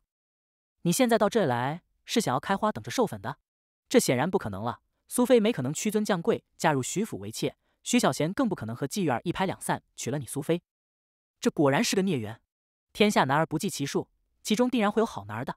妹妹啊，听哥一句话，你还年幼，去岁时候就听你哥哥说起过，说你们江南潘家不就想和你们苏家联姻吗？那可是大臣六大家之一的潘家啊。你哥说潘家的那位叫叫潘安的少爷生得如女子一般的好看。还说那位潘少爷诗词文章也不在江南四大才子之下，你们两家若是联姻，这岂不是珠联璧合吗？我大哥他，你恐怕不知道，他那精神异常之症并没有好，只不过是在华神医的治疗之下稳住了。这种脑子里的病，谁说得清楚？说句不该说的话，万一哪天他真去了，你娘家可是在千里之外的江南，到时候你孤苦伶仃一个人，我不会劝人，只是我觉得这件事，你还是断了念头的好。要不明儿个我送你回去。苏菲在仔细的听着。朱仲举的这番话，她听了进去，只是心里依旧极为矛盾。那季玉儿分明也知道他那病，她为什么就敢嫁给徐小贤呢？她也是女人，也是个如花似玉的女人，她莫非就不怕万一？万一真有那么一天？这话问的朱仲举一愣，他不知道徐小贤曾经说过那么高深的话，比如徐小贤说的“人之一生，无论长短，所求应当是趁阳光正好之温暖，趁春风不燥之和煦，趁繁花未开之荼蘼，趁现在有着年轻的体魄和心态，去寻一场触及灵魂的旅行，这就够了。还比如，他求的是看山看水独坐，听风听雨高眠，客去客来日日，花开花落年年。这些话原本是徐小贤在张桓公的面前装逼说的，但落在了季玉儿的耳朵里，便是另外一番味道。季玉儿那少女心扉因此而敞开来，再不顾及徐小贤的病，她追求的是一种精神的愉悦。事实上，她对徐小贤的情感已经超越了爱情，这是朱仲举和苏菲都难以理解、难以想象的。再说，他不是华神医的弟子吗？他既然能够治好李妞妞，那为什么就不可能治好他自己呢？他像有病的样子吗？那个什么潘安莫要提他，整个一娘娘腔，哪里有半点男子气概？朱仲举不知道该怎么说了，心想苏平安将他妹妹带到这里来，简直就是给徐小贤送的一盘菜。问题是徐小贤还不吃，这就很尴尬了。啊，喝茶。朱仲举端着茶杯来呷了一口。大哥这个人，我算是比较了解的。感情这种事，我是不太了解的，但我想总得两厢情愿吧。妹纸啊，哥没谈过情，也没说过爱，更不懂得你们女人的心思。但哥知道强扭的瓜不甜，我大哥这个瓜，你若是非得去扭，我怕你扭不下来，更吃不上，最终浪费了时间，还落个遍体鳞伤，何必呢？这句话说到了苏菲的心坎上，她很清楚，现在是自己一头热，而另一头毫无感觉。需要放弃吗？若是真放弃了，要想寻到一个左手诗词文章能入文风阁，右手行农不伤，造福一方百姓的少年郎。这偌大的大臣还有这样的人吗？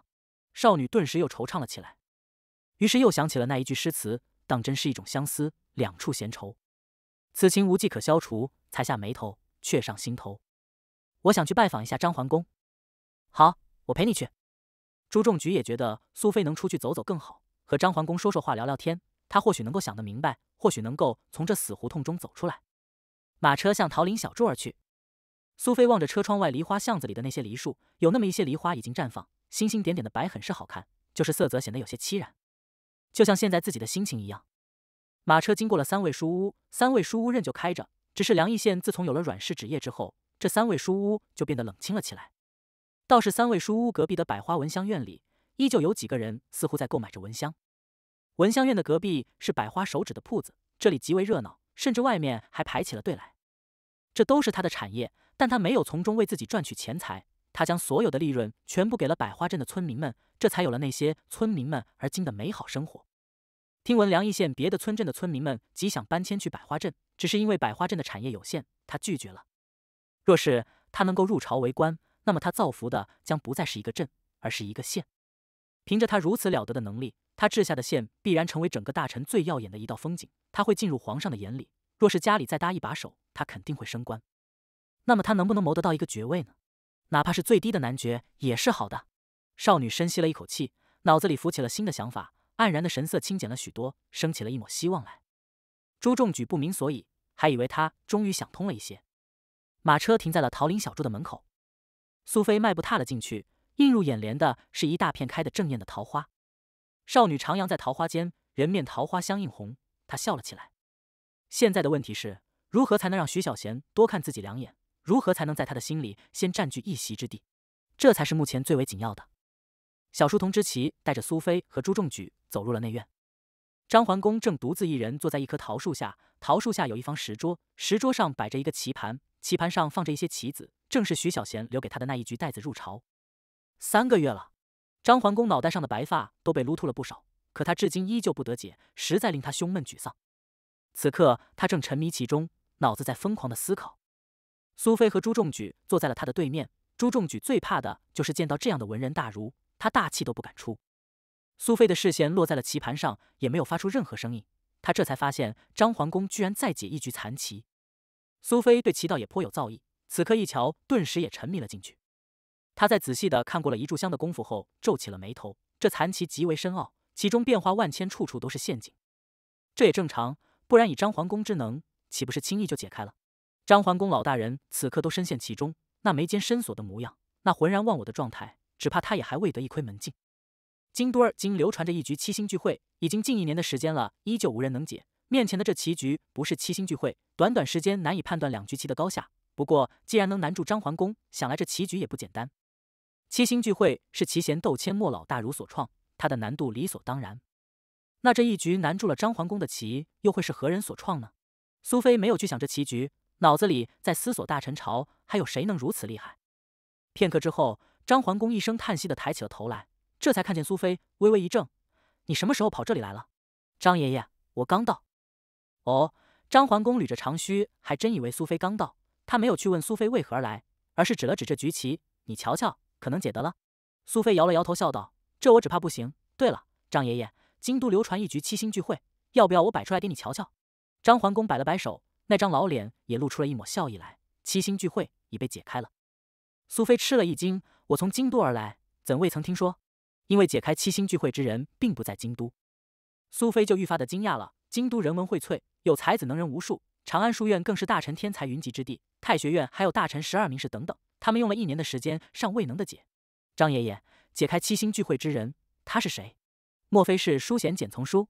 张桓公笑了起来，非也。说来你不信，解开七星聚会者，乃是我张桓那忘年之交，凉州荆轲乡试之介元徐小贤。苏菲豁然瞪大了眼睛，难以置信的望着张桓公，小嘴微翕，说不出一个字来。你初到梁邑县，恐怕还不知道徐小贤是谁。这小子，张桓公给苏菲和朱仲举斟了一杯茶，又笑道：“天才啊！”大臣真正的天才，他才十七岁，他的诗词文章完全具有进入文风阁之能，不是一首，而是很多首。他解开这七星聚会，仅仅只用了一盏茶的时间。老夫知道你难以相信，若非老夫亲眼所见，老夫也难以相信。张桓公双手一摊，可他那日正是在老夫的书房里，他就看了那残局一眼，然后便落子互搏起来。落子的速度之快，似乎未曾思索，老夫旁观，连思维也无法跟上。就这样，他就将窦阡陌的这棋给破了。然后老夫与之对弈，十局之后，老夫方得要领，终究确定他真的将那局棋给破了。小丫头，徐小贤这小子简直就是一本极厚的书，越是读下去就欲罢不能。他的本事仿若汪洋，无人知其深浅，更不知边际何在。放眼天下，无论是在诗词文章，还是在这棋道，他说这些是小道，就算这是小道，他已经到了令天下文人难以望其项背之境界。更何况他所说的大道，苏菲在听了张桓公的这番话之后，心里仿若掀起了惊涛骇浪。堂堂大臣大儒，曾经的长安书院院长，他见识过的天才不计其数，他和几乎所有的大儒名士都极为熟悉。然而在他的嘴里，这些人，这所有的人，居然都不及徐小贤。这是多么高的赞誉！那家伙得有多么了不得的真才实学，才能得到张桓公如此高的赞誉？苏菲抿了抿嘴唇，咽了一口唾沫，问道：“他所说的大道是什么？”他所说的大道是油盐柴米酱醋茶。苏菲一怔，这不就是寻常生活之所需吗？这话有什么大道深意？他说大道至简，天下百姓所求不过就是油盐柴米酱醋茶罢了。这话是不是很普通？其实细细思之，若是天下百姓不再为这七个字去操心发愁，是不是说明了老百姓的日子已经丰衣足食，家家不缺这七个字？那将是一番怎样的景象？国由家而成，家是国之根基，家稳则国固，家若不稳则国危。庙堂上的那些大人物们，天天在高谈阔论治国之道，要改革这样。要捣鼓那样，可有谁真正的去关注过老百姓所需要的油盐柴米酱醋茶？那些所谓的策略，统统不过是治标而已。如同庸医，真的是头痛医头，脚痛医脚。他们是士大夫阶层，代表的是士大夫的利益。他们所有的策略，事实上都是在为士大夫谋利。他们没有人会去多看老百姓两眼。为了那些利益，他们早已忽视了大臣之根基。徐小贤不一样，你若是有兴趣，可去百花镇走走，听听那里的老百姓是如何说的，看看徐小贤是如何做的。他解决了百花镇老百姓的油盐柴米酱醋茶，他从根本上解决了百花镇百姓们的后顾之忧，让他们充满了干劲，也充满了希望。这样的希望，才是大臣能够崛起并且繁荣之根本。苏菲骇然，她仅仅是一个女才子，她的脑子里并没有治国理政之想法。此刻听张桓公如此一说，原本仅仅是以为徐小贤很了不起，现在徐小贤这个名字顿时在他脑子里升华开来，变得愈发的高大，也愈发的清晰。朱仲举知道要糟，果然，苏菲的眼睛陡然明亮了起来。张爷爷，徐小贤，我怎么听说他并无大志，甚至还拒绝了您的举荐，还没打算明年去京都参加会试呢？他既然有如此高的本事，当为天下百姓去一争呀！他若是解决了天下百姓那油盐柴米酱醋茶的问题，岂不是能够封侯拜相，留名于史册，令后人敬仰？张桓公摇了摇头：“你不懂他。其实我也不懂他，不过我多少对他有些了解。他这样做才是最为明智之举，请张爷爷解惑。你瞧瞧庙堂之上。”大臣立国，陛下兑现了诺言，大赏那些为大臣立国做出了巨大贡献的家族。于是旧朝的九大家族被消灭了三家，由六家延续了下来，成为了这一场盛宴最后的胜利者。旧的格局并未曾打破，反而今他们把控着朝政，无论是京都还是其余各州府，都有他们安插的人手，形成了更为坚固的利益集团。他们其实深知百姓是维持他们利益的基石，所以他们不会让老百姓饿死。他们将老百姓育之为羊，羊可牧之，给他们一点草料。他们就能存活生长，这样的存活当然是艰难的，但这样的艰难正是他们所需要的。因为只要多给一点草料，那些羊就会感激不尽，就不会用他们头上的角去撞开羊圈，更不会去伤害到他们的主人，任由主人去薅他们的羊毛，一茬又一茬，子子孙孙无穷尽也。但凡之将他们当人，人会有思维，会有追求，尤其是在得到了美好生活的时候，他们会去守卫自己的那一方水草丰美的草原。他们真的会用坚硬的脚去攻击想要破坏他们生活的敌人，他们会将那些人视之为敌人，这就是造反了。这当然不被那些利益集团所容忍。而今凡之在这偏远的北境之地，在这小小的梁邑县弄出了一个更小的百花镇，这一举动对他们而言无伤大雅。但若是凡之真的步入仕途，当他将一县之地、一州之地，甚至是一府之地的羊都给解放了出来，当所有的羊都知道原来生活可以更美好。原来在婆芝的带领下，能够给自己以及自己的儿孙一个幸福、安稳，并且丰衣足食的家的时候，他们的脚就会变得尖锐起来。他们会视徐小贤为主人，他们会对侵犯他们利益的那些利益集团露出锋锐的角。曾经有一个人也想这样做，他说这才是公平。然而他死了，他未能见到半点公平，就被咬死了，害死了，并且死无葬身之地。张桓公面色凄然激动，心情起伏难平。公平，这就是至简的大道。看似如此简单的两个字，它却在天堑的另一边。要想实现它，就得填平那天堑。可那天堑里全是贪婪的嘴，密密麻麻的，一眼望不到头的要吃人的嘴。婆芝就一个人，他如何去斗？他怎可能凭着一己之力去填平那天堑鸿沟？他会被啃得骨头渣子都不剩。所以，他不去当官才是最正确的。苏菲默默听着，这才知道官场之凶险，这才明白面对那样如惊涛骇浪一般的斗争会如此残酷。那么哥哥会怎样呢？所以徐小贤是有大智慧的人，他早已看明白了这一切。他无法去救大臣数千万计的百姓，他只能偏居在这梁邑县，让那五万多人的日子过得更好一点。张爷爷，那位曾经的那个追求公平的人是谁？还能是谁？当然就是许云楼。苏菲大吃一惊，云楼先生，皇上不是将云楼先生的画像请入了忠烈祠吗？呵，张桓公一声冷笑，他没有说有个词叫假情假意，也没有说许云楼就是徐小贤的父亲。他转移了话题：“你爷爷今可好？”“尚好，就是很怀念曾经在京都时候和您相处的日子。”爷爷说：“当今大臣真正的大儒风骨只有两人，其一便是张爷爷您了，其二，其二是太学院的苏公。”张桓公摇了摇头：“你爷爷错了，我若真有那风骨，当年就不会离开京都，而是会在京都继续和他们去斗。我退缩了，因为我发现斗不过他们。”也发现这样的斗争毫无意义。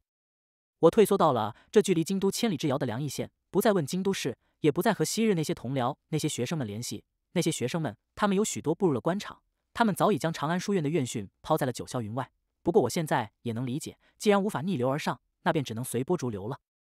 长安书院的院训就刻在书院牌坊外的那颗大石头上，那石头上是这样写的：不让有钱之人得势，不让有势之人掌权，不让有权之人贪腐，不让勤劳之人贫穷。不让守法之人被欺，天下少年当为捍卫大臣万民之公平而读书。石碑的下面原本应该有立碑者的留名，然而今那地方被抹平了。此刻他便问了一句：“张爷爷，那院训出于何人之手笔？”不重要了，他还算有点良心，未曾将那石碑给粉碎。不过他既然将那石碑依旧留着，似乎也在期盼着什么。只是他那魄力，张桓公这句话并没有说完。这句话里用的是他。苏菲当然也听明白了，心里有些震惊，也没有再去追问这个话题。作为江南望族苏家的大小姐，在来梁邑县之前，她的生活里只有诗词文章，只有胭脂水粉。她游历过许多地方，当然不是去体察民情，而是去参加各种的诗会。她偶尔看过两眼某些地方田间的农人，她并不知道那些农人的生活怎样。自由所接受的教育便是人分三六九等，劳心者治人，劳力者治于人。她没有觉得这有什么不合适的，也没有升起过对那些穷苦农人的怜悯同情。但自从来到了梁邑县后，在这里待了大半个月的时间。因为徐小贤的缘由，他去过了百花镇多次，这才知道了老百姓过的是怎样的日子。今儿再听张桓公这么一说，他才知道自己那优渥的生活其实是建立在百姓的贫苦之上的。而徐小贤在做的却是拯救这些贫苦的农人，让他们的生活能够得以改善，能够像一个人一样站着并好好的活着。所以他是真的高洁。所以他说诗词文章是小道。所以自己从一开始就错了。因为他根本就不关心那狗屁诗词文章。你瞧瞧这棋，此局名为带子入朝，婆之所创。棋局名字颇有深意，老夫三月未曾的解。你试试。这一天，苏菲是在桃林小筑度过的。少女沉迷于那带子入朝的棋局之中，无法自拔，也无法解答。朱仲举在听了张桓公的那些云里雾里的话之后，他再次重新的认识了他的大哥，才知道原来大哥有着如此伟大的理想。他居然要将羊变成人，而自己呢？自己还在想方设法的用那染房来谋利，来稳固朱家梁邑县首富的地位。他觉得自己的内心有些羞愧。这便是萤火之于皓月。大哥，莫要看平日里大哥嬉皮笑脸的模样，原来他的心里装着的是那数万百姓的生计。对于农民，朱家大少爷以往也是看不起的。泥腿杆子吗？他们本应该过那样的生活。若是他们的生活都和本少爷一样了，这如何能体现出本少爷梁邑县首富地位的差距？原来这样的思想不是自己才有。而是整个大臣所有的商贾巨富、高官门阀都是这么想的，但大哥不这么想，他是不是也在追求所谓的公平呢？或许是吧，也或许不是。不过无论是与不是，大哥和那些泥腿杆子之间似乎真的没有隔阂。得向大哥学习，学习他那高洁的品性，学习他那油盐柴米酱醋茶的大道。朱仲举在不知不觉之间思想起了一些波澜，当然他依旧不会放弃自己优渥的生活，去和那些老百姓们打成一片。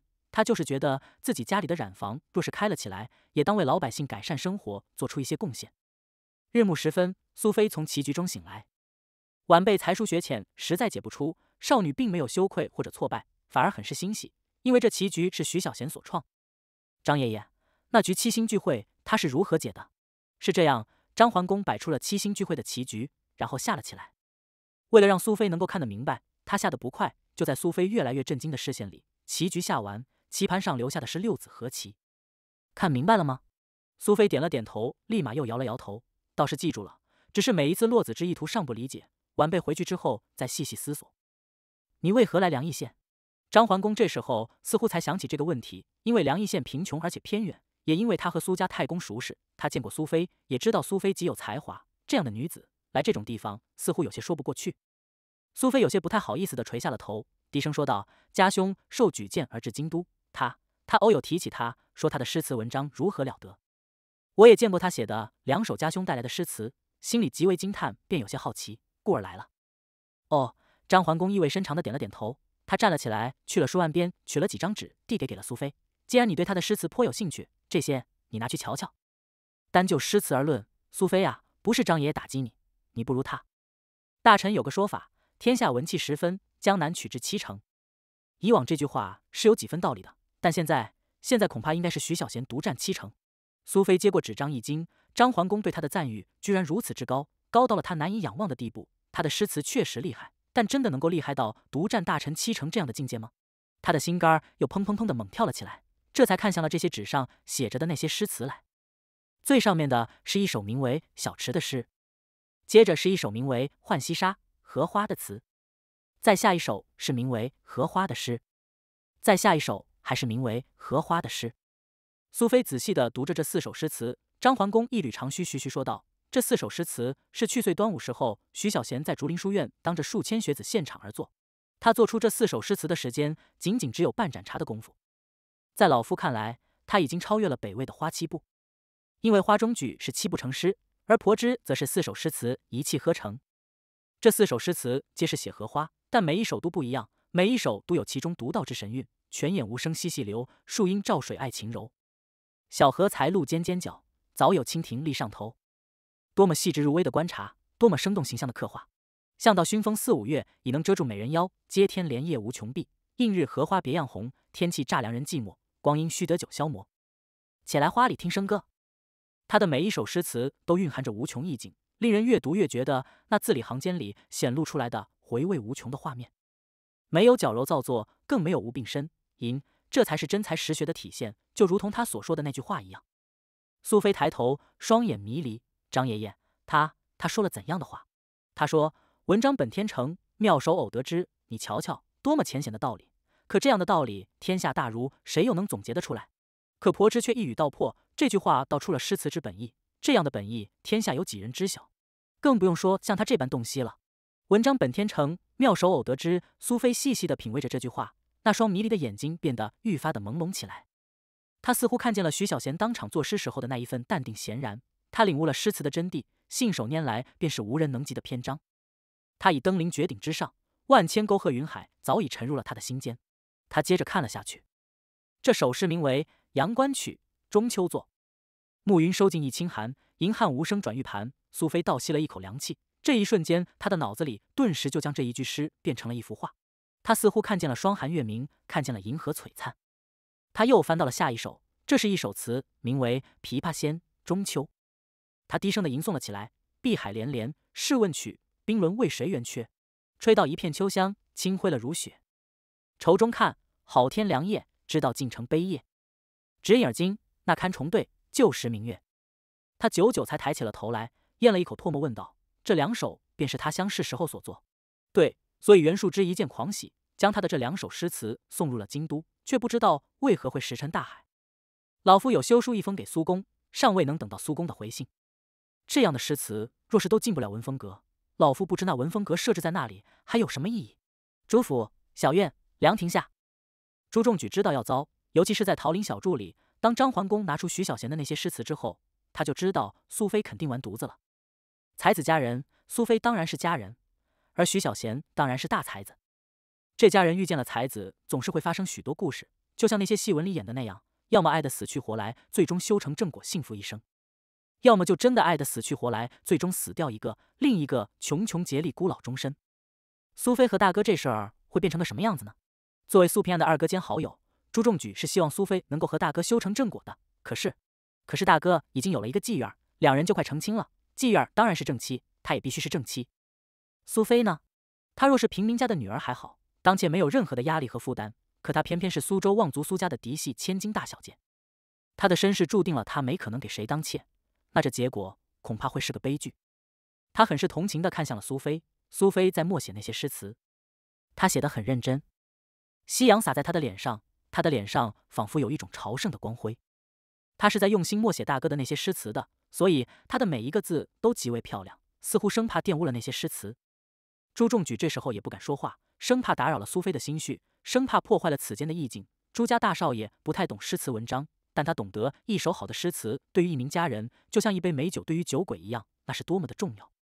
苏菲这时候就像再饮一杯酒，这酒味如琼浆，韵味悠长，当然得小酌，当然得全身心投入去细品。酒终究有喝完的时候。诗词终究有写完的时候，苏菲提起了笔，仔细的看着默写下来的这些诗词，过了片刻才放下了笔。朱大哥，嗯，我要走了。朱仲举一愣，这才子佳人的故事不才刚刚开始吗？苏菲这是被大哥的才华打击了，或者是他看清了现实，知道他和大哥之间的这场故事不能再上演，故而放弃。他主动放弃当然是最好的结局，如此也好。你回去之后就把大哥忘了吧。就像他给姬如花说的那句话一样，苏菲一怔，他又说了什么话？他说：“人的一生会遇见两个人，一个惊艳了时光，比如他，而另一个会温柔了你的岁月，这人才是你的良配。时光是短暂的，他看上去很美好，但转眼即逝，伸出手去也难以抓住他的尾巴，他也不会在你的生命里留下半点痕迹，就如这冬雪一般，终究会消散融去。但岁月不一样，你活在岁月之中，他才能陪着你走过千山万水，才能伴你终老白头。”少女的眼睛又亮了起来，她偏着头看着朱仲举：“你怎么知道他说过这样一句话？同为这凉邑县的商人，我家和姬家虽然没有生意上的往来，但彼此也都认识。我爹也经常和这梁邑县的商人们喝酒，他听来的，他告诉我的。我觉得这句话很好，便记了下来。”苏菲点了点头，仰着那修长的脖子，看向了天边的晚霞。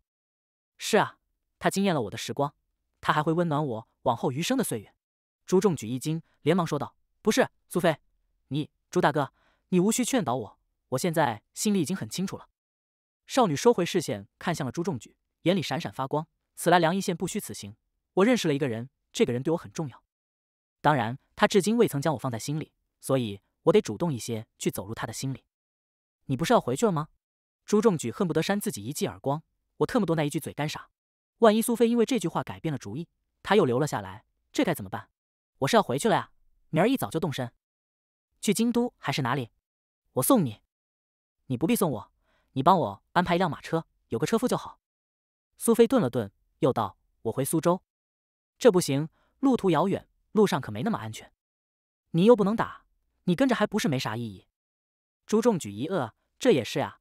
若真遇见歹人，自己不过是给别人多添一盘菜而已。那我派几个保镖送你。这次苏菲没有拒绝，她点了点头，我就不去给她道别了。她若是问起，不。他根本就不会问起我来。说这话的时候，少女的脸色有些黯然。她深吸了一口气：“染房这事你得抓紧一些，那几块染好的布料我带走。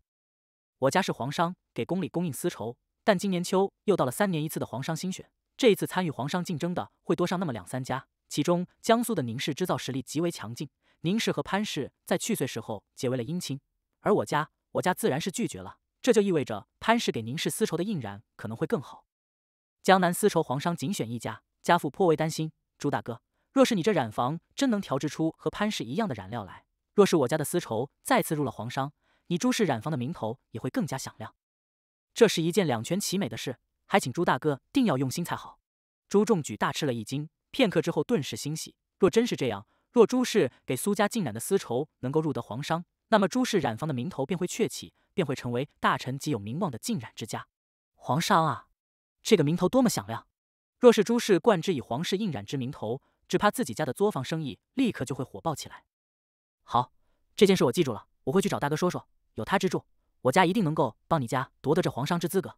又是徐小贤，朱仲举是不是有些盲目崇拜了？潘氏印染祖传至今，经历了不知道多少个年头，他们的染色配方齐全，工艺完备，手下匠人众多，除了皇上龙袍的明黄之色，至今依旧无法解决，做得更为艳丽之外。可以说，他们的技艺已经达到了尽染顶峰。听说潘氏正在集中力量攻克这明黄色的问题。听说潘氏极有可能将这新的明黄染色工艺提供给宁氏制造。爷爷对此忧心忡忡，甚至隐隐有了放弃之意。徐小贤，他能做出更好的明黄之色吗？苏菲淡然一笑，摇了摇头。他又不是神，哪里有什么都精通的道理？次日，苏菲当真没有去向徐小贤告别，她独自离去。朱仲举不知道苏菲回苏州是要干什么。他只知道他走了最好。得去找找大哥，告诉他一下这丝绸皇商之事，请他多出出主意，把把关。他去了徐府，然而徐小贤并不在府上。百花镇百花学堂，徐小贤带着十月来到了这里。他推来了一把崭新的轮椅，来到了大管家的面前。前些日子说给你打造一把轮椅，原本是想自己亲手做的，但这木匠活儿实在有些生疏，便找了百花镇的几个木匠来帮忙做了。你坐上去试试。大管家看着这张轮椅，心里泛起了波澜。对于当初徐小贤说的这句话，他并没有放在心上，却没料到徐小贤当真记着，还当真做了出来。他的那张饱经风霜的老脸上有些激动，他杵着拐杖来到了这张轮椅旁，伸出手来仔细的摸了摸。老奴，老奴，多谢小少爷。这张轮椅上铺着一张毛毯，毛毯上还绣着几朵鲜红的花，看起来温暖而美丽。他坐在了轮椅上，才发现这坐垫也极为柔软，似乎里面垫着棉花。徐小贤将毛毯翻起，盖住了他的腿。他推着这轮椅走了出去，看起来还行，车轴得再改善一下，这得等一些日子。我若是有去凉州，请凉州匠作间的人打造两个轴承，这样推起来就会更轻松一些。大管家不知道轴承是什么，他只知道这样坐着很舒服，很惬意。小少爷不必将心思儿花在我这将死之人的身上，小少爷还有许多的事情要做，有这功夫，哪怕是练练武功，就算是强身健体也是好的。徐小贤笑了起来。我这身子骨筋还不错，何况这也不是什么费心的玩意儿。再说简春夏也告诉我了，我不是练武的料。徐小贤推着轮椅走出了百花学堂，朝阳洒落在地上，也落在了大管家的那张脸上。他抬起头来，微微眯着眼睛看了看那红彤彤的朝阳，恍惚中觉得自己这枯朽的身子骨里似乎又恢复了少许的活力。他靠着椅背，徐小贤推着他向前而行，没有目的的走着，他的脑子里却想着另外的事，就要死了。这一身的武功是没有办法再传给小少爷，不过若是采用醍醐灌顶之法，倒是可以将内力传给他。只是醍醐灌顶之法有诸多弊端，其一是内力传输的流逝，比如十成内力传到他的体内，恐怕只能留下五六成。这个不是主要的，有了那五六成的内力，他也能踏入三品境界，就有了初步的保命能力。主要的是醍醐灌顶之法的危险性，这玩意儿一个不小心就会死人，死两个人。所以大管家的内心是纠结的。他渴望小少爷能够更强大一些，却又担心一个不好把小少爷给弄挂掉了，自己死了无妨，但少爷，少爷可就绝后了。再看看吧，或者小少爷没有武功也无所谓，毕竟他的手里握着刀锋，有刀锋在，便足以保证小少爷的安全。就在大管家如此想着的时候，他们来到了百花馆的外面，里面传来了悠扬的丝竹之声，还有一个女子的美妙歌声。这是云十三娘的声音，当然她不再叫云十三娘了。她的户籍被落在了百花镇，名字早已改为了云一荣。徐小贤心想，大管家在那大山深处当了十几年的土匪，肯定是没有听过曲儿的。于是他推着轮椅进入了百花馆里。云一荣正在唱的是一首《行香子》，这不是徐小贤写的，但听起来不错。尤其是进来之后看见了云一荣的舞姿之后，便觉得更不错。他的那个婢女灵儿不知道跑哪里去了。这些日子，徐小贤来过百花馆三次，三次都未曾见着，对此他也并没有放在心上。此刻弹琴的是莫小小。他极为专注，双手玉臂翻飞，食指在琴弦上流动，于是那动人的音符便飘了出来。云一荣穿着一袭白色的长裙，这个女子似乎也偏爱白色，这挺好的。徐小贤也觉得这白色的长裙养眼。其实是云一荣那妙曼的身段养眼，尤其是这三月天阳光下，那一袭薄裙随着云一荣的起舞而翩翩，便翩出了一副诱人的春光来。云一荣背对着门，她的长袖如流云一般的挥舞，在空中如水波一般的涤荡。那腰肢儿便如杨柳一般的摇摆，徐小贤的视线落在了那腰肢儿的下面，咽了一口唾沫，耳畔的琴音却戛然而止。莫小小正好抬眼看见了他，他的手仿佛被定在了空中，未曾落下，琴音自然未曾再起。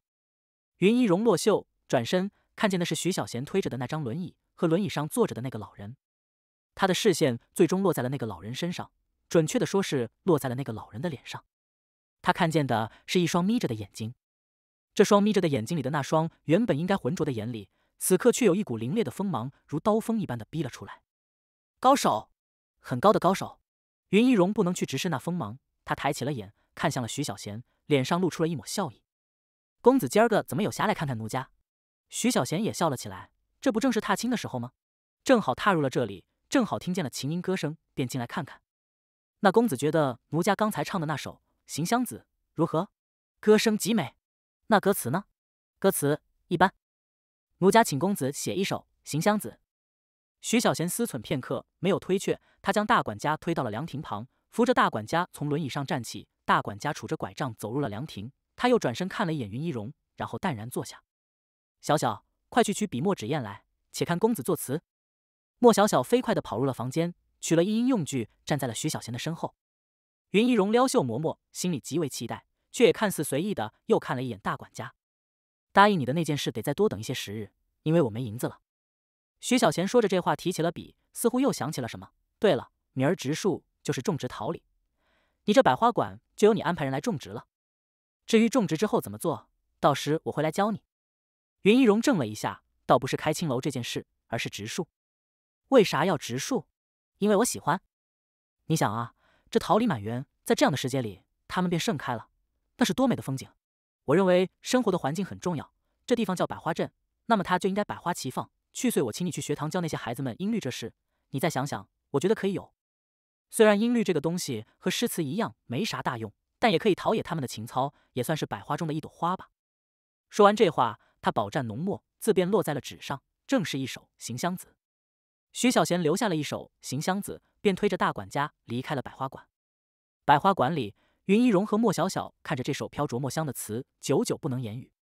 直到这一刻，他才真正意识到徐小贤诗词的厉害，那颗心肝也沉入了这首词中，感受着这首词里的深意。他心里的百花镇应该就是这个样子的。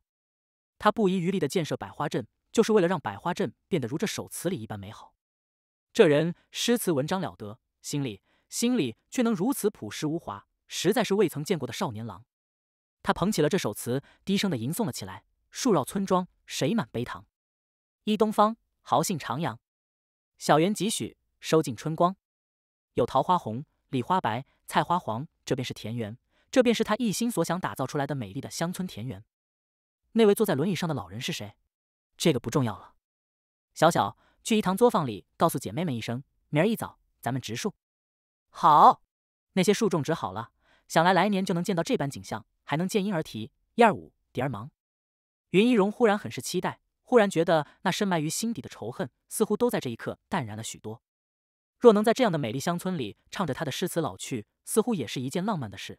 这一辈子能如此度过，似乎也值得了。明儿我去百花书院去试试，能不能当个合格的教习。徐小贤推着大管家徜徉在百花镇，百花镇正在植树，那些昔日的竹林杂树早已被砍光。到处都在种植着桃树、李树或者梨树、杏树等等果树。那首词，大管家当然也看了，他觉得这便是小少爷的志向。对于这样的志向，他当然心里颇有微词，觉得小少爷应该像少爷一样木马天下，去完成少爷未尽的事业，去探寻少爷曾经描述的那种公平。但他没有说出口。那个女子功夫不错，嗯，她对我没有敌意。小少爷，老奴瞧他对你似乎还有一丝情意。徐小贤淡然一笑，摇了摇头。你不知道他的过往。就像我不知道你的过往一样，过往并不重要，重要的是能够重新振作起来，去面对未来的生活。她叫云一荣，一个很不错的姑娘。她原本的生活是美好的，但人生终究会有许多的不如意，所以她才落到了而今这般境地。大管家沉吟片刻，问道：“那小少爷想要知道老奴的过往吗？别说过往多有伤心事，在提起时候已经物是人非，就将那些不愉快的过往忘记吧，或者埋起来。你瞧这阳光多好。”那些村民们正在忙碌着，他们种下了这许多的树，明年百花镇便会百花齐放。他们生活在这样的花海里，就会忘记曾经苦难的过往，就会去追寻、去创造、去守护着未来的希望。大管家终究没有说起那些过往，那些过往有征战四方的热血，有袍泽牺牲的悲伤，有胜利在望的喜悦，最终是流落深山的绝望。现在还不是给小少爷说这些的时候，但也不能让小少爷就安于眼前，就固守着这小村庄。少爷应该着眼的是天下。一个如百花镇一般百花盛开的公平的天下。夕阳西下，有一队马车从南而来，驶入了梁邑城。这是一队普通的商队，然而这商队里却有两个不普通的人：当今大臣皇帝唐无望和大臣皇后芸娘。商队的护卫当然是大内高手，大名鼎鼎的龙御卫。随行的还有一位宫里的总管老太监西厂厂公魏公公。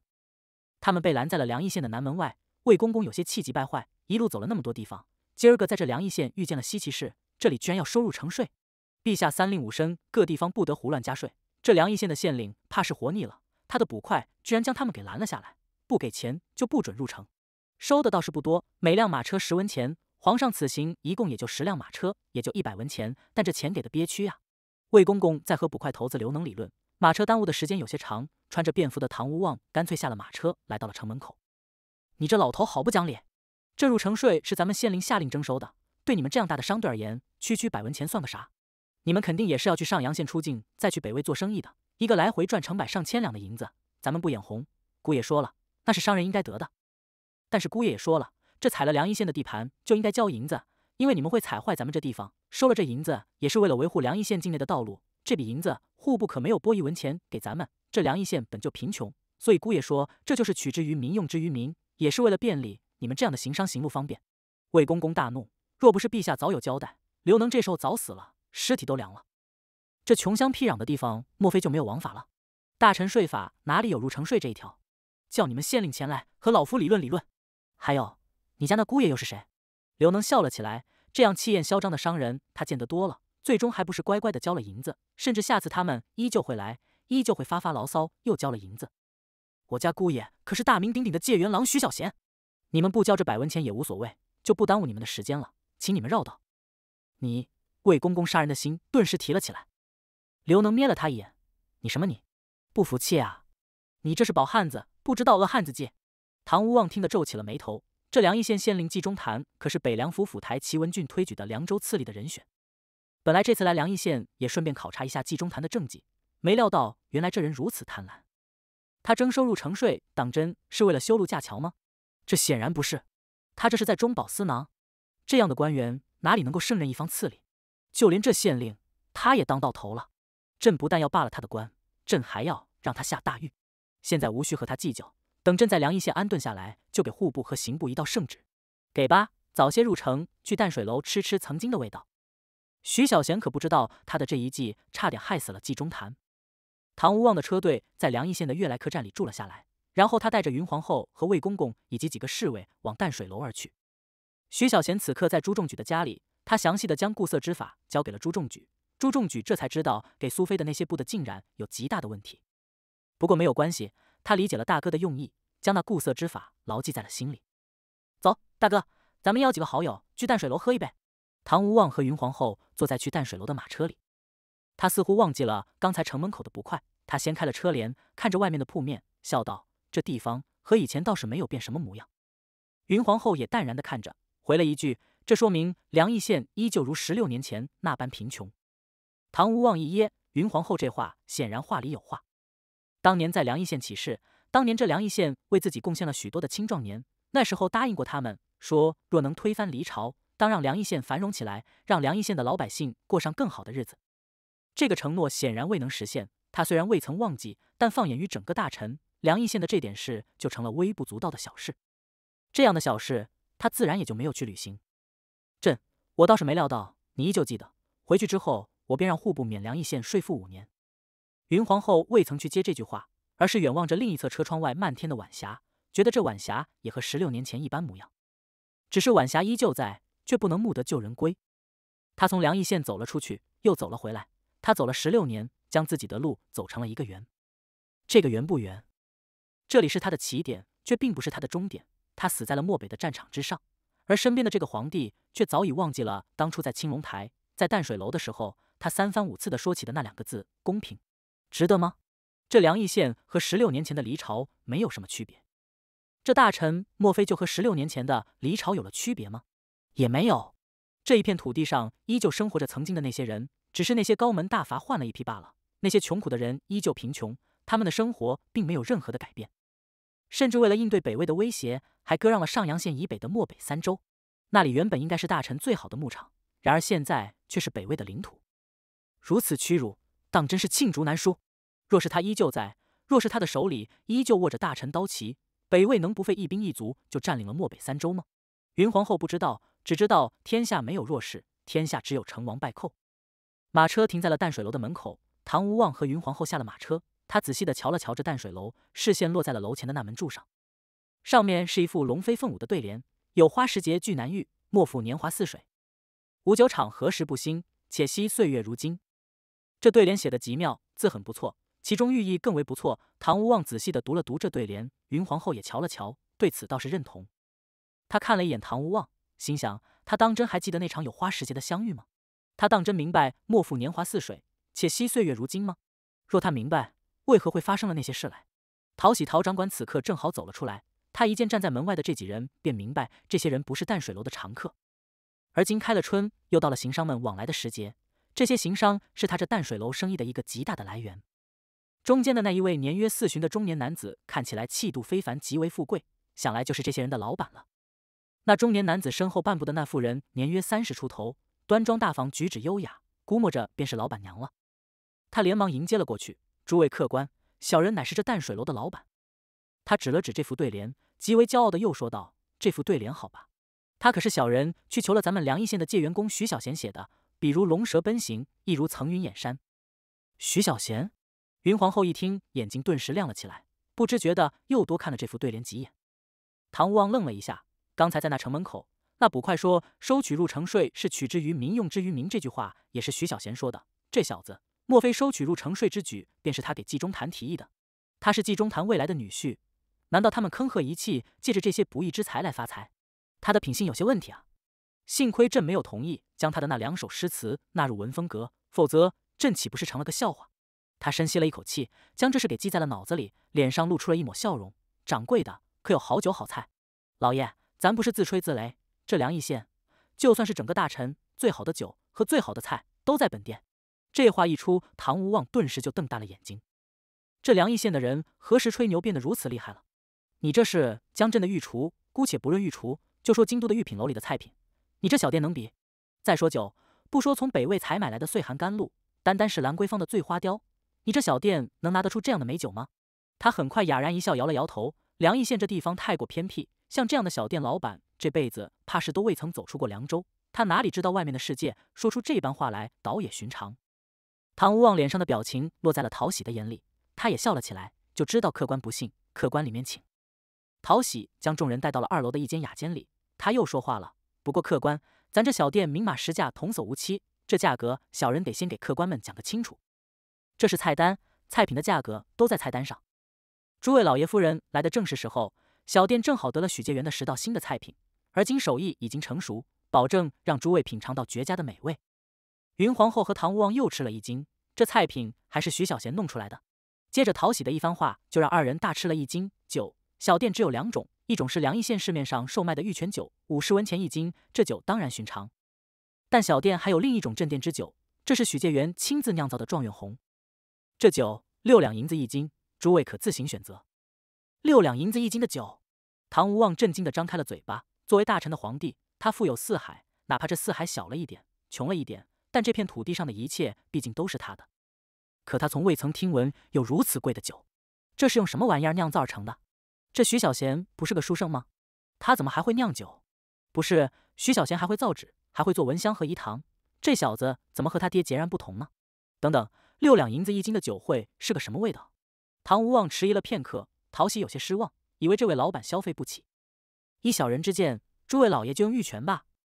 这状元红许介元每月只能供给小人十斤，这才是第一批酒，才售卖三天时间，而今仅仅剩下了六斤。那就尝尝这状元红。唐无望表了态，又道：“将那位许介元弄出来的菜品上三道来，先尝尝。”淡水楼二楼的另一个雅间，朱仲举和徐小贤、娄永年以及季儿、季仙儿，还有周若兰姐弟俩，共七人坐在了里面。徐小贤还真没注意少了一个苏菲，反倒是季玉儿向朱仲举问起：“咦，你的那位远房表妹呢？走了，今儿个一大早走的。”哦，季玉儿狡黠的一笑，没有再多说什么。周若兰瞅了朱仲举一眼，心底里倒是长长的舒了一口气。那么娇美的一个人儿住在朱仲举家里，还是住在朱仲举那院子里的？周若兰这心里始终有些隔得慌。走了好，可千万别再来。徐小贤此刻看着娄永年，接下来怎么打算？过些日子再去京都去参加一下长安书院的考试，若是能过，便在长安书院读书，准备金科秋闱。娄永年说完，悠悠一叹，摇了摇头，又道：“唉，这条路当真如同千军万马过那独木桥。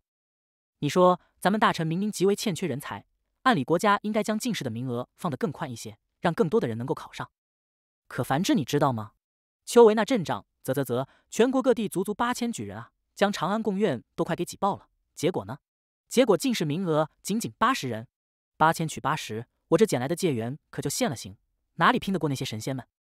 对了，这一次江南四大才子之一的那位罗淑然罗三便考中了，位列皇榜第二。殿试不知道如何，但就算拿不到状元，估计拿到个榜眼或者探花应该没有问题。这就很厉害了。徐小贤早已听说过罗三变，据说这人连考了四年，这一次算是考出了头，估摸着就等着外放为官了。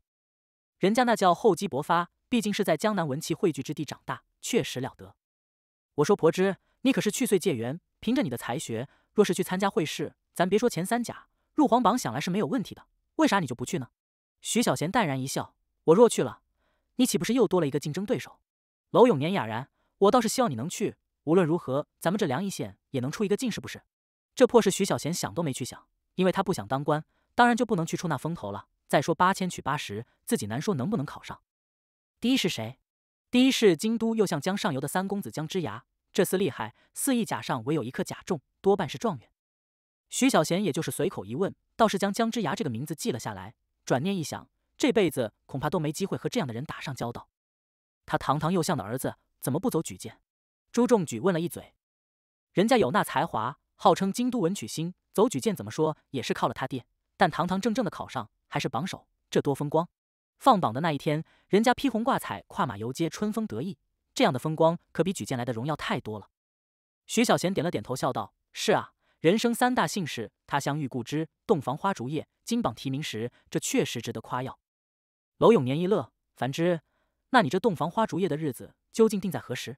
季玉儿大窘，羞涩垂头。徐小贤哈哈一笑：“这大事可还得等伯母回来再定，最好能够早一些。我也想参加你们的婚宴啊。”徐小贤瞅了娄永年一眼：“我也想早日成亲啊。”一桌子的少年们便谈论起了徐小贤和季玉儿的婚事来。随着酒菜上桌，此间不亦乐乎。隔壁，云皇后听见了隔壁传来的笑声，还隐隐听见了那些话语声。她看了看唐无望，繁之就在隔壁，要不要见见？暂时不忙。时间过得可真快，他就要成亲了。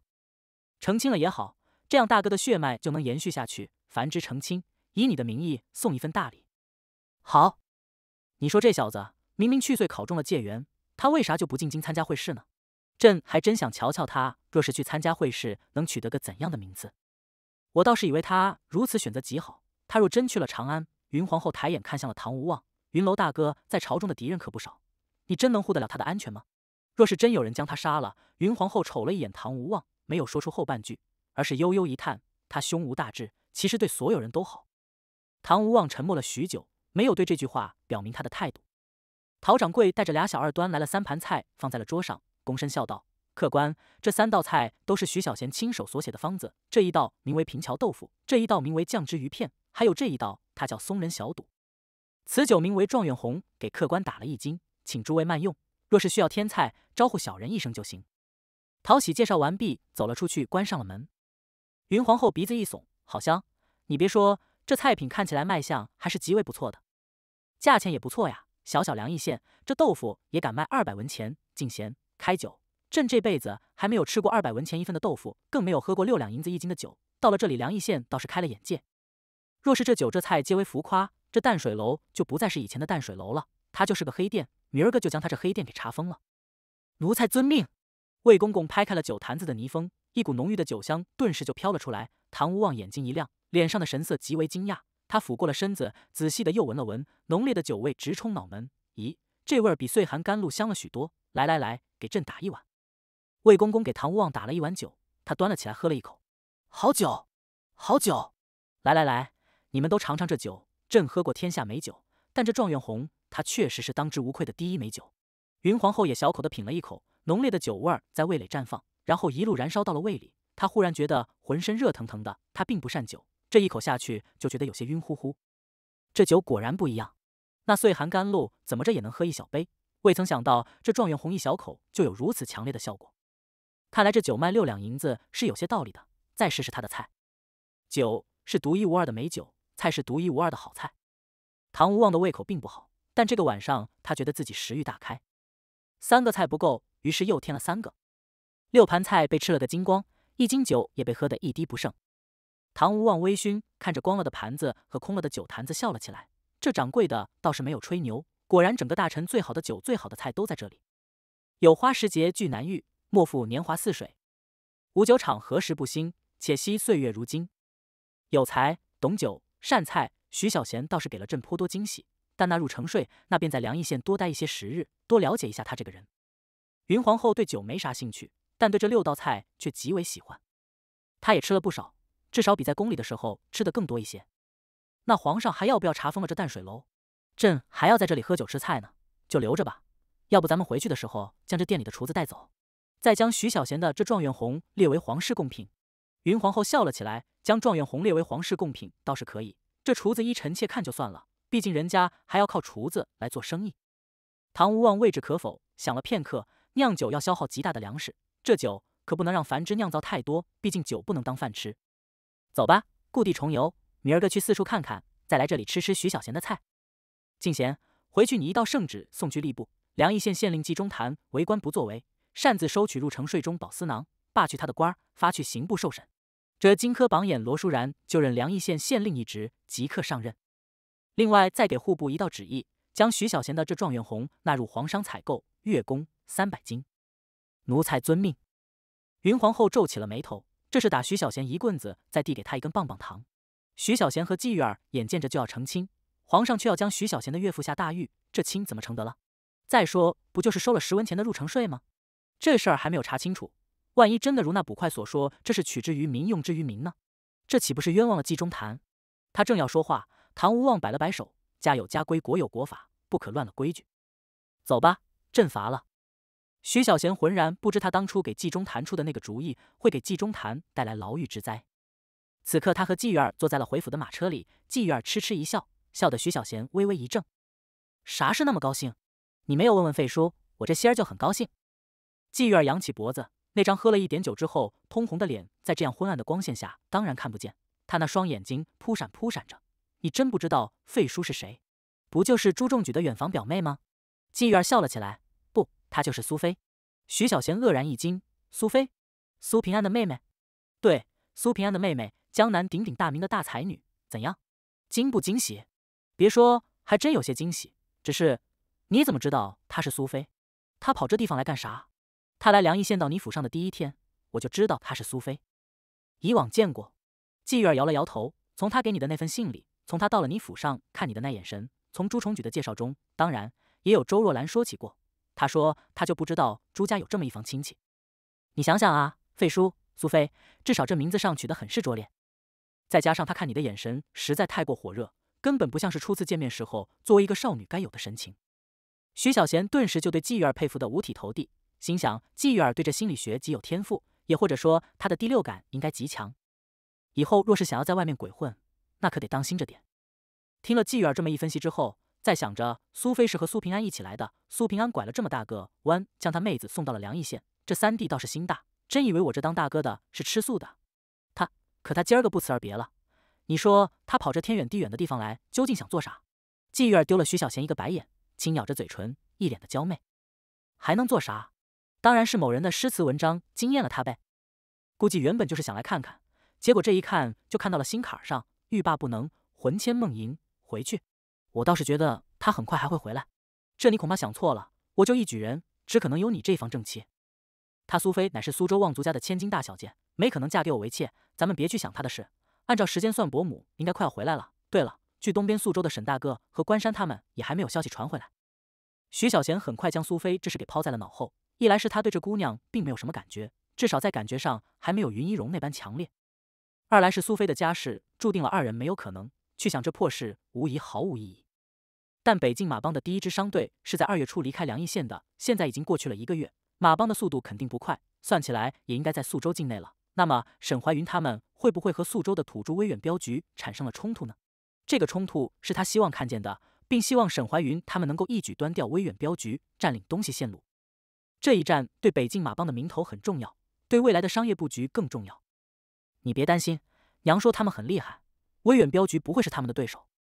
再说这路途还是很遥远的，就算他们已经赢了，将信送回来也需要较长时间。也是，这年代通讯靠吼都不行。只能慢慢去等了。对了，今儿我去三味书屋遇见了一个人，谁？姬如花。他又要干啥？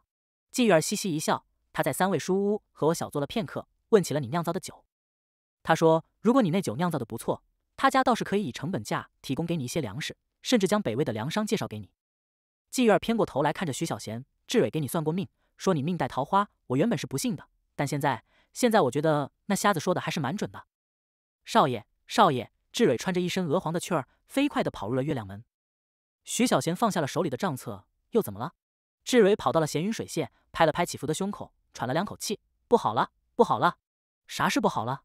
张大爷托人带了话来说：“说那头小母牛发了情，需要配种，但百花镇的人好像好像还没人懂得这活儿。”张大爷正看着那小母牛，说：“若是少爷懂，就请少爷去瞧瞧。”徐小贤顿时就乐了：“走走走，别说少爷，我还真懂。”他起身，带着志蕊，冲着后院吼了一嗓子：“四喜，四喜，驾车去百花镇！”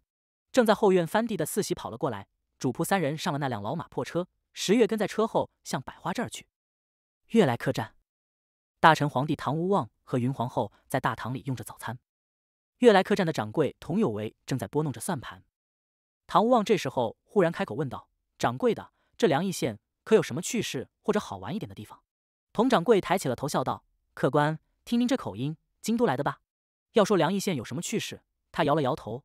咱们这地方太穷，穷人哪里能有什么趣事？不过这一年来倒是发生了一些事，比如徐小贤，就是咱们凉邑县的那位谢元郎，这位也可神奇了。唐无望微微一怔，哦，说来听听，他有什么神奇之处？说来也恐怕都难以相信。去岁是前岁秋，徐小贤去参加了凉州乡试，原本就应该得个解元的，但不知为何京都最终放榜下来。他这解元的名头却被撸了，你们不知道呀？他受了此巨大打击，便疯了。云皇后放下了筷子，看向了佟掌柜。这事儿他知道，皇上也知道。徐小贤在咱们凉邑县可是一等一的大才子，他在竹林书院读书，那刻苦的劲儿。佟掌柜又摇了摇头，真的是读到了废寝忘食之境地。再加上这孩子那时候性子比较孤僻，所以咱们梁义城的人都认为他是个书呆子。你们其实不知道，他是被府上那恶奴叫叫张秀的给欺负的。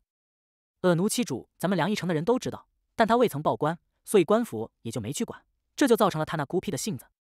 那疯了以后呢，在前岁岁末的时候，他在冰天雪地里裸奔，这事儿梁义城的街坊们也都知道，大家都以为这孩子这辈子算是完了，却没料到到了去岁三月之后，他忽然就像变了个人似的。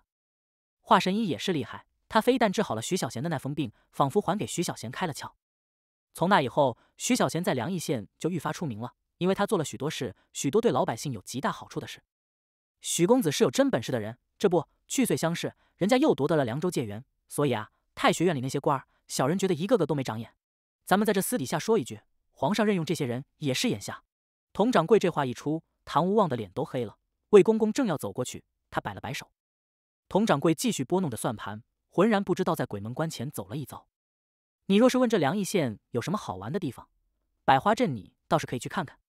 咱们梁邑城里售卖的百花蚊香、百花手指以及百花饴糖，都是许公子在百花镇开设的作坊生产出来的。百花镇那地方好啊，他是从一穷二白的百花村演变而来的。许公子一举接纳了数万人，将咱们梁邑县最穷的那些乡村的老百姓都给搬去了百花镇，给他们提供了砖瓦，家家户户都修成了青砖碧瓦的四合院。而今正在大量植树，从水阳县买来的桃树、李树什么的。听说许公子要将百花镇打造成咱们大臣的一处世外桃源。反正许公子的事迹太多，若要详细说起，恐怕能够说个三天三夜。还是爷自己去瞧瞧，不然还以为小人在胡扯开黄腔了。唐无望也知道百花蚊香、百花手指和百花饴糖，但他尚不知道百花镇。此刻一听就觉得很是惊讶了。这么说来，徐小贤不仅仅是开创了一番事业，还解决了大量老百姓的生计问题。世外桃源，那会是怎样的一个地方呢？那地方会有着怎样的风景呢？唐无望的内心充满了期待，原本打算去青龙台怀怀旧的。那还是先去百花镇看看。于是，一队人离开了梁义城，向百花镇而去。车队停在了那两千余亩的田野之外。唐无望和云皇后下了马车，常公公和龙玉卫的十来个护卫尾随其后。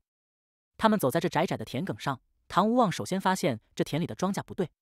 这么好的田，怎么种成了黄豆？水稻和小麦才是主粮啊！这么大的一片田，朕的粮食啊，真的是浪费。冀中坛这个县令，简直是不作为。幸亏朕此次微服私访，不然还不知道会被像季中坛这样无能的官员蒙骗多时。玉立台也是，去岁对他的考评居然是优。齐文俊也瞎了眼，居然推荐他为凉州刺史，朕还差一点就准了。唐无望深吸了一口气，觉得心窝子有些痛，不忍再看到这良田里的那些豆苗，于是继续向百花镇走去。距离百花镇近了，放眼看去，眼底便是一大片青砖碧瓦的四合院。看来那客栈的掌柜倒是没有骗朕。樊芝，樊芝还当真给这些村民们修建了如此好的房舍，樊芝当表扬。咦，那些村民们真的在植树？哎，植树能有什么用？就算种下的是果树，水果能够饱腹吗？种粮才是正途啊！一行人走过了一个个村落，来到了镇子的里面。这里是李大爷家，这里正围着一大群的人。让让让让！唐无望身后忽然有个声音响起，他回头一瞧，一个农夫牵着一头健壮的牛走了过来。喂喂喂！我说你们让让，外乡来的，看热闹站一边去！王富贵牵着公牛就径直走来，唐无望只能牵着云皇后靠了边。少爷少爷，公牛牵来了，可以配种了吗？人群里有个声音响起。先别忙，将公牛牵去圈里，这小母牛得等它发情发的差不多了再配种，这样才有利于怀孕。行了，大家伙该干嘛干嘛去。我可告诉你们，今儿个必须将所有的苗木果树种完，等他们存活了下来，少爷就教你们如何嫁接。人群散去，唐无望看见了那个站在母牛边的少年，他就是徐小贤。他这是要干啥？配种？他不是个文人吗？他怎么懂得给牛配种？徐小贤正在安抚着小母牛。李妞妞和简春夏在一旁好奇的看着，徐小贤的手轻柔的从小母牛的脖子一路摸到了背上，又摸到了肚子上，似乎浑然不觉得这牛身上有些脏，似乎更不觉得这牛的味道有些难闻。他好像还很高兴。徐小贤当然高兴，养了快一年的小母牛终于发情了，这就意味着他从此往后都可以受孕生小牛犊子了。那么季玉儿就会有牛奶木瓜汤喝了。季玉儿对这事有执念，那么喝了这木瓜牛奶汤之后，若是能够改善，想来他会很开心。所以对这事，徐小贤是很上心的。妞妞，将他先拴起来，他会有些暴躁，接触他的时候小心一些。下午少爷再来给他配种。好。李妞妞走了过去，接过绳子，将小母牛牵到了院坝外面，拴在了一棵树桩子上。李大爷这时候去打了一盆水来。徐小贤洗了洗手，回头便看见了几个陌生人。现在开了春，梁邑县的行商渐渐多了起来。这些来自各地的行商在城里听说了百花镇之后，许多人都会跑来看上一眼。所以在百花镇见到陌生人并不奇怪。徐小贤仅仅是下令护卫队派人守着那几个作坊，严禁有人靠近。来者是客，万一以后百花镇变得更大，万一作坊建得更多，这里生产出来的商品终究还是要让行商们去卖的。所以徐小贤让镇子里的百姓们对行商颇为客气。大叔，看你面生的紧，刚来凉邑县吧？徐小贤走了过去，魏公公不动声色地站在了唐无望的侧身前。徐小贤愣了一下，这大叔看来来头不小，估计是个大商贾。唐无望也怔了一下，大叔，也是，他叫郑大叔也没啥错误。于是他笑了起来：“公子贵姓？啊，免贵姓许，名小贤，字繁之。你们在这百花镇随意走走吧，别靠近作坊就行。我还有点事，告辞。”唐无望没料到徐小贤要走，他连忙说道：“许公子留步。还有啥事？是这样。”唐无望想了想，说道：“我们昨天才到凉邑县，昨儿晚上在淡水楼吃了一桌席面。”喝了一斤那状元红，听闻淡水楼掌柜的说，这状元红正是公子所酿，朕真的让人很难忘。所以，许公子，那酒能不能多卖一些给我？徐小贤顿时乐了，冤大头啊，这是六两银子一斤，居然还真有人买来喝。果然，无论是怎样的朝代，富人始终都是有的。状元红奇货可居，所以别看它的成本极低，但锁定的销售对象正是像面前这样的大商贾，只是现在还不能卖给他们而已。大叔不好意思啊，这状元红呢？确实是本少爷所酿造，淡水楼每月我只给他十斤，因为这酒产量低，所以暂时不对外售卖。你开酒坊酿酒却不对外售卖，唐无望就弄不明白了。他惊讶的问道：“莫非是这酿酒的工艺存在问题？”啥都没问题，就是不卖。我得走了，大叔，好好逛逛，饿了又去淡水楼吃吃。徐小贤拔腿就要走，却又被唐无望给叫住了。我给银子。徐小贤乐了，大叔，你给金子都不行，那你开酿酒作坊好玩啊？为啥？徐小贤上下打量了一下锦衣华服的唐无望，像大叔：“你这样的富贵人，大致不知道咱们大臣缺粮食，酿酒就是烧粮。若是作坊正常开工，这一天就要烧去数千斤的粮食。咱们凉邑县穷啊，官府收的税赋又高，缴纳了官府的那一份，地主家里的余粮也不多了。我也想大量收购粮食来酿酒啊，白花花的银子谁不喜欢？赚了那些银子，咱百花镇的老百姓日子又会好过许多。可不能那样做，赚钱得有良心，不然会被天打雷劈的。”唐无望愣了片刻，反倒是云皇后听了这话之后，心里极为欣慰，觉得徐小贤真是个懂事的孩子。所以云皇后看向徐小贤的眼里，便是满眼的温情，这让徐小贤有些不习惯。于是他又打算走，没料到那大叔又说话了：“那我少买一些，你那作坊总没可能每月就酿造十斤酒吧？”这个大叔有点烦，倒不至于十斤酒，但我这酒有大用，酒还不是用来喝的。这得看给谁喝啊！大臣缺粮，但北魏那边不缺粮，他们没有状元红这么好喝的酒，所以这酒得先卖给北魏的人去喝，这样才能换回来粮食，才不会造成梁邑县粮价的飞涨。徐小贤顿了顿，看了看唐无望那张有些失望的脸，这叫赚外汇。他肯定不懂，我也懒得去给他解释。于是他又说道：“再过两年吧，我估摸着两年之后，至少这梁邑县的粮食问题就能解决了。到了那时候，状元红就能在大臣售卖了。忍忍就好。再说这酒喝多了伤身，健康才是最重要的，才有精神和体魄去抱孙子。走了走了，你们慢慢逛，我真还有事。”徐小贤挥了挥手，带着志蕊和四喜还有十月往雪平沟而去。唐无望倒是明白了徐小贤这些话的意思。而且听起来，徐小贤的出发点也是好的。他用这状元红去北魏换粮食，在酿酒，用的是北魏的粮食，这梁邑县的粮价就不会受到影响。可是他的心里终究有些不舒服。朕乃是大臣堂堂天子，这状元红分明产于朕的国家，却偏偏是魏人先喝到，连朕想要喝都要再等两年。朕丢不起这个脸面。反正将状元红纳入了皇商采购，徐小贤每月必须供应三百斤，这道旨意已经送走。嘿嘿，朕倒是要看你徐小贤给不给朕喝这酒。李大爷这时候走了过来，捋着长须笑道：“我家少爷是真的很忙，老爷夫人，若是你们不嫌弃小老这屋子简陋，不如就进来坐坐，喝一杯茶。”唐无望一想，正好和这老农聊聊徐小贤，对徐小贤也能多了解一些，于是拱了拱手笑道：“那就多谢老丈了。”一行人进了院子，十个侍卫分散了开来。唐无望和云皇后在李大爷的引领下，坐在了天井中的石桌子前。李大爷倒了两杯茶，递了过去：“少爷给小老的茶，请老爷夫人尝尝。”唐无望捧着茶杯，便问道。刚来镇子的时候，朕真好瞧见外面的那些良田，为何不种稻谷，反而种了价值极低的黄豆呢？我走南闯北多年，无论是大臣的哪个地方，像这么好的田，都是用来种植水稻的。是不是你们的县令让你们种这黄豆的？李大爷笑了起来，他摇了摇头说道：“你们不知，这是少爷弄的。”徐小贤，对，咱们百花镇的所有人都叫他少爷。他一个文人，哪里懂得农事？他这不是瞎搞吗？这话让李大爷听着很不爽。他脸上的笑意顿时收敛，他看着唐无望，很是认真的说道：“没有人敢于质疑少爷所做的一切。看你们如此富贵的模样，你们才不懂得什么叫农事。咱们少爷懂。你只看见了那一田的黄豆，却没看见那两千多亩田里的排灌沟渠。那是去岁邱少爷教咱们修建的，为的就是实现一田两种。知道什么叫一田两种不？”唐无望就真的懵逼了，因为他从未曾听说过，所以他一脸茫然的摇了摇头。秋收之前，将田里的水通过那排灌沟渠将水排空，这样收割稻子的时候就会轻松很多。当稻子收割完成之后，就可以在田里种上黄豆或者油菜、小麦这样的作物。但少爷说，这第一季先种黄豆，因为黄豆的根系能够改良土壤，能够给田里增加增加氮肥。小老不懂什么叫氮肥，但少爷说的就一定不会错。这不，田里的黄豆长势极好，大致在五月便能收获。唐无望又问道。那如此一来，岂不是耽误了种水稻的时间？少爷说了，四月开始育秧，黄豆收割之后，将田翻耕一遍，大致在五月底六月初就能插秧。虽然比起往岁会晚上那么二十来天，但少爷也说了，咱们这北境之地的夏日会比南方更长一些，水稻的光照时间是充足的，所以并不会对水稻的收成造出影响。这就是一田两种，官府收赋税是按照田的水稻亩产来核算征收的，那这黄豆就是咱们老百姓白得的，所以如此一来。同样的一亩田，便能够给咱们老百姓多带来一份收入，所以你可千万不要诽谤咱们少爷，他所做的一切都是为了百花镇。若是你们在别人面前这样说少爷，恐怕会被打的。原来如此，唐无望这才明白那田里种黄豆还有这样的讲究，看来是误会了季中坛。不，也没有误会他。这么好的事，他季中坛可是梁邑县的父母官，他怎么就没有在全县推广呢？更不用说向户部上报，由国家向全国推广了。这让朕损失了多少粮食？所以他这依旧是不作为。看来你们对徐小贤是真的好，他为你们付出了很多。当然，你们若是去年春到这里来，看见的不过是个破破烂烂的小村子。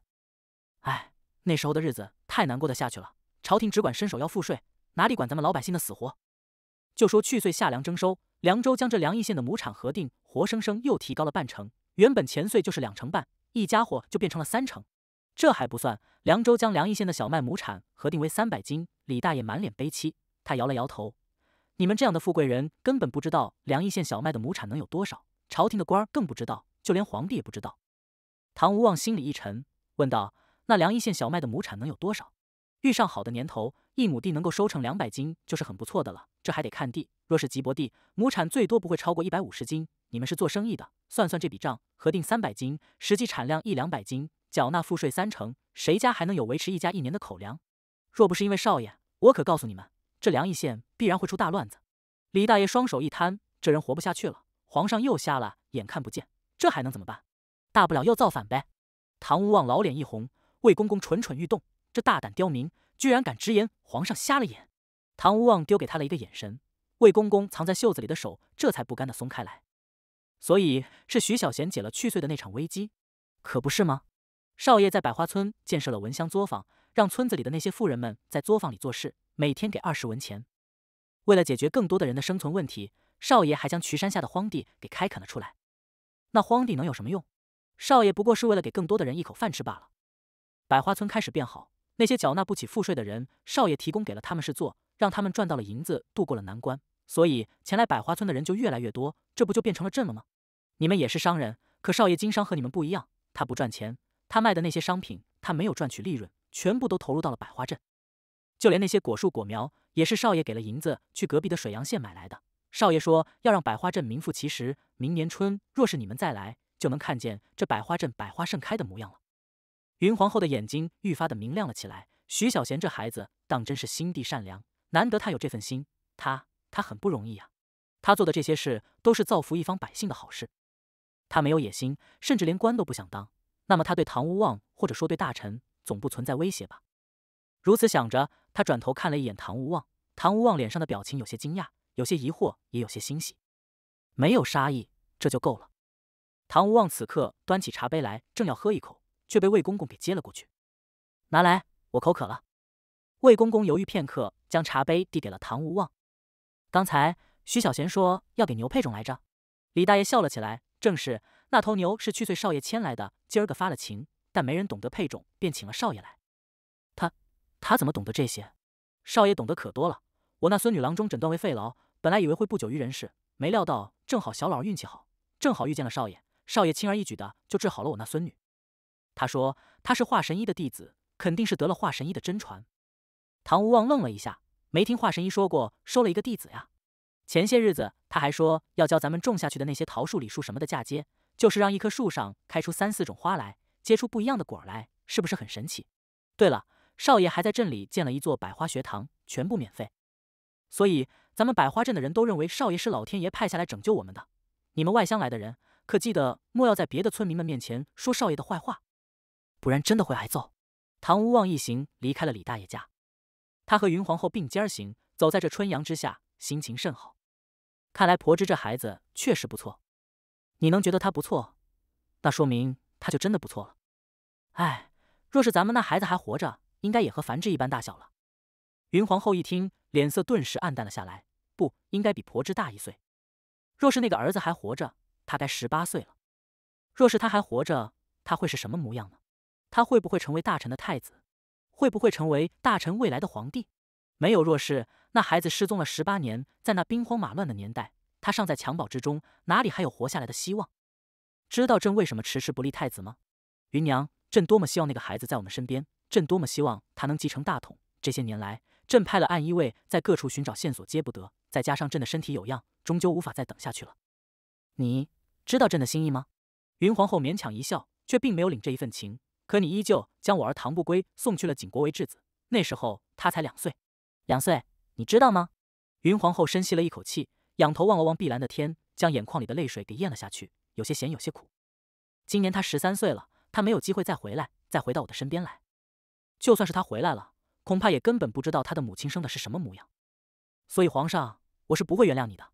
唐无望驻足沉默了许久，当时算了，你不原谅我，我也理解，他毕竟也是我的儿啊。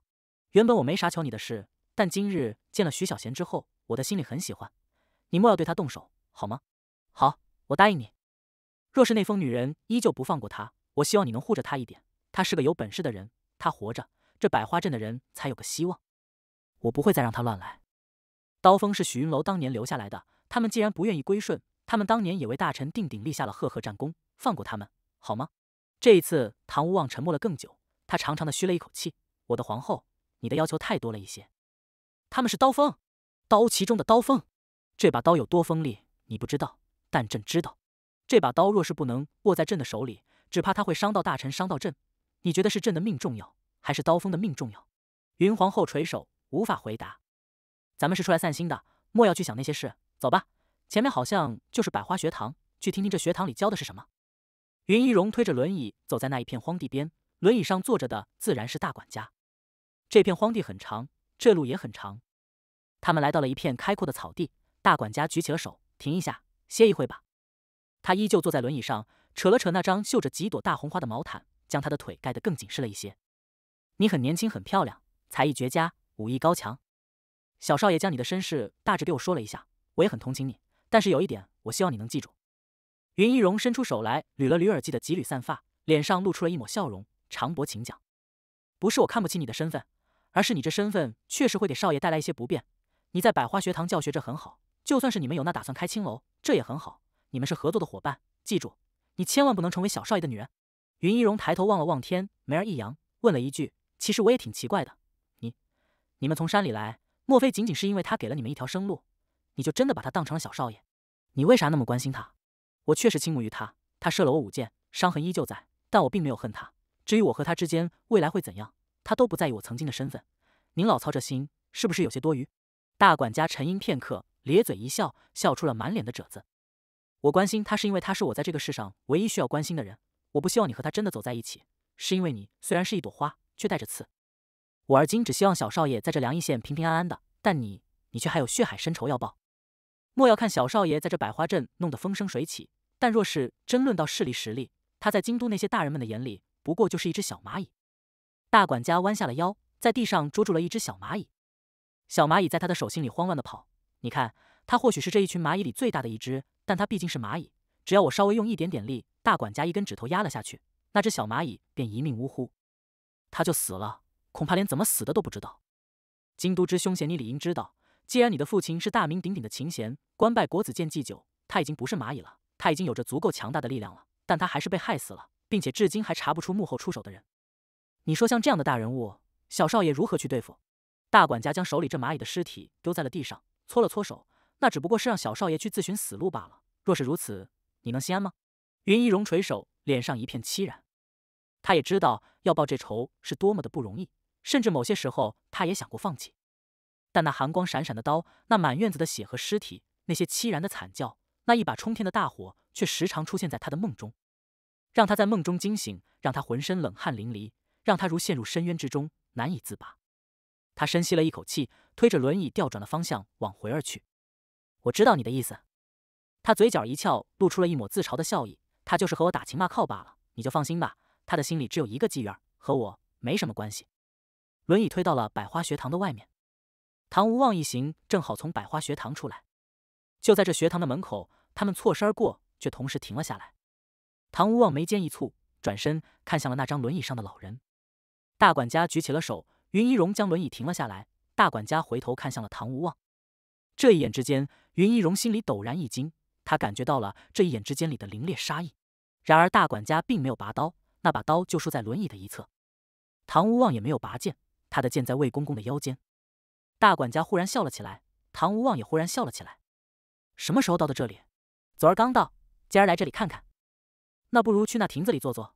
我现在是这百花学堂的门房。云一荣很是惊讶，对面的那位中年男子穿着华丽，极有气度，显然不是寻常之人。他身边的那妇人也雍容华贵，气质清雅，举止之间咸淡如水，给人一种如沐春风般的感觉。他们身后的那十个带刀的保镖都是高手，此刻他们极为紧张，他们的手已经握住了刀鞘。刚才常博和那中年男子对视的那一眼里，彼此都带着杀意，这种感觉不会错。那么他们认识，而且还是仇人。听那中年男子的口音，带着明显的京腔，他们是从长安而来，莫非是大商人？因为常伯曾经是土匪，或许常伯曾经打劫过对方，这便结下了仇恨。推我进去，你们要不要进去坐坐？唐无望咧嘴一笑。眼睛徐徐眯了起来，那就进去坐坐。云一荣将常伯推入了凉亭中，常伯杵着拐杖，颤颤巍巍地站了起来。他坐在了石桌前，又对云一荣说了一句：“还得麻烦你去帮我打一壶水。有故人从远方而来，我一个糟老头子，没有美酒，没有好菜，只能沏一壶清茶来招待招待。”云一荣取来了谁也取来了一个炉子，他用火折子点燃了炉子上的火，将茶壶放了上去，问了一句：“少爷在百花镇，要不要请他也来坐坐？”说这句话是云一荣有些担心常伯。常伯的武功虽然高强，但他毕竟老了，而对方的人多，万一真打了起来，常伯肯定是会吃亏的。常伯却摆了摆手：“辛苦你了，你出去吧，我和这位故人聊聊过往。”云一荣迟疑数息退了出去，唐无望也挥了挥手，让魏公公也退了出去。凉亭里就剩下了三人。一别十六载，我没料到你还敢来这里。若是知道你要来这里，我就带着刀锋把你杀了。我也没料到你会在这里，山里待不下去了。还是你又从徐小贤的身上看见了希望？待不下去了。少爷当年说不允许我们当土匪，当土匪就要去抢老百姓，去抢过往的商队，这对他们不公平。你看，少爷临死都还在说着公平。大管家将桌上的茶叶罐子揭开，取了一撮茶丢入了壶里，又问了一句：“你说这天下哪里有什么公平？凭着刀锋的身手，当土匪的日子也能过得很滋润，何至于连生存都困难？所以没有办法了，我就带着刀锋出了山，正好小少爷这里需要人。”我们就投奔了小少爷。唐无望一直看着大管家，他淡然一笑：“你老了。”“嗯，我老了。”唐无望的眼睛徐徐眯了起来，视线颇为凌冽。但你依旧是曾经的那个大管家。你在凉州城砍那两刀，不就是为了引我来这里吗？现在我来了，就是想来看看你究竟想干什么，也想看看你是不是还想砍我两刀。你的刀呢？大管家也笑了起来。我觉得我快要死了，原本想在临死之前找你问问那公平何在，后来在这里住了一些日子。忽然发现那狗屁公平好像也不太重要了。你听，这里面是那些孩子们的读书声，我很喜欢。你看，外面种植了许多的果树。小少爷说明年春那些果树就会开花了。一棵树上三种花，那会是怎样的模样？我想看看。你既然跑到凉邑县来了，那么刀旗应该就在附近。让我猜猜，嗯，他们应该就在渠山里，极有可能就在我曾经待过的那山村里。你是想要来亲眼看着刀锋死光死绝？因为唯有如此。你才能够睡得更安稳一些。不过有些遗憾，刀锋并不在那山里的村子里。这么给你说吧，刀锋就在这里。你的胆子比以往大了许多，这是好事。若是你早年胆子能有这么大，就不至于将漠北三州割让给北魏了。江山既然是你的，你想怎么倒腾都行。来，喝一杯茶。大管家斟了三杯茶，递了一杯给唐无望，又递了一杯给云皇后。你知道我现在心里在想什么吗？唐无望端着茶杯，那双眯着的眼睛睁开来，当然是想杀我。嗯，大管家没有否认，他点了点头。我是真的真的很想杀你，想了十四年了。那你为什么没有动手？因为少爷将刀锋交给我的时候，告诉了我一句话。唐无望俯过了身子，问道：“大哥说了什么？”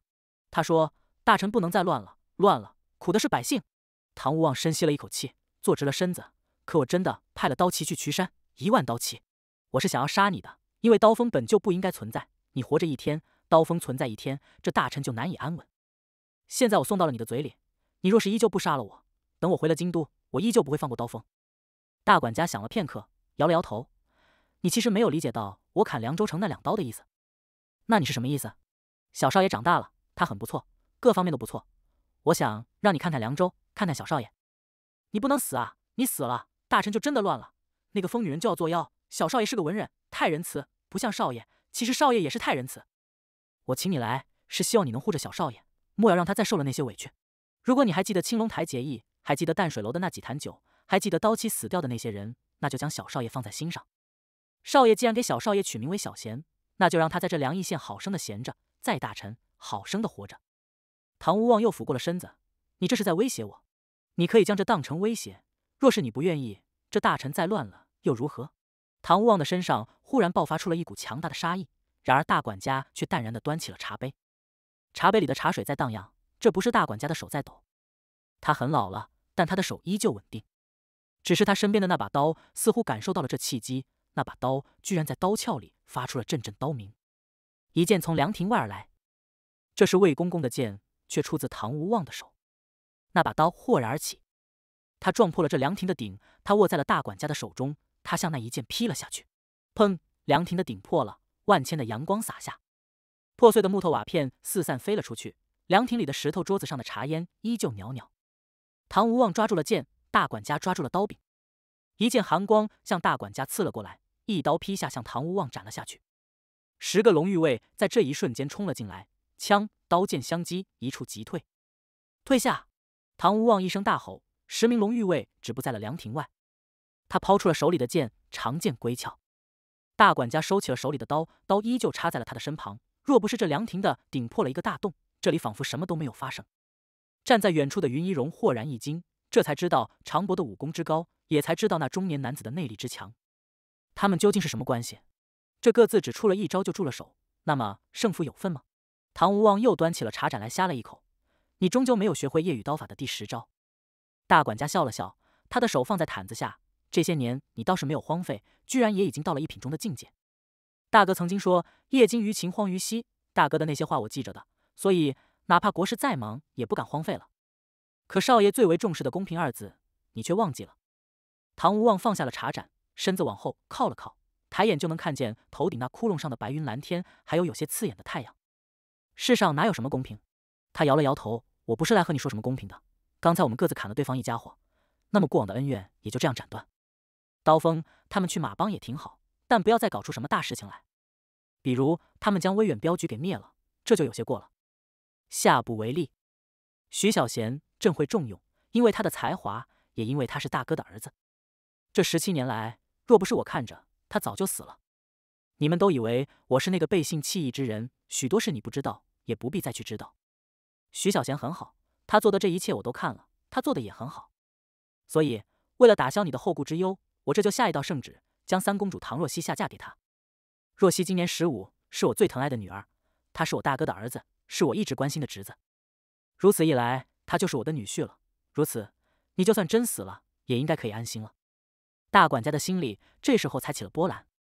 唐无望说出了这番话，好的地方当然正如他所言，小少爷成了驸马爷。那么唐无望当然就更会照拂着他，那么宫里的那个疯女人终究会收敛起来。但他这样一做，就相当于收起了刀锋。他很清楚刀锋会交到小少爷的手里，他也不想用刀旗和刀锋一战，那必然是两败俱伤的场面。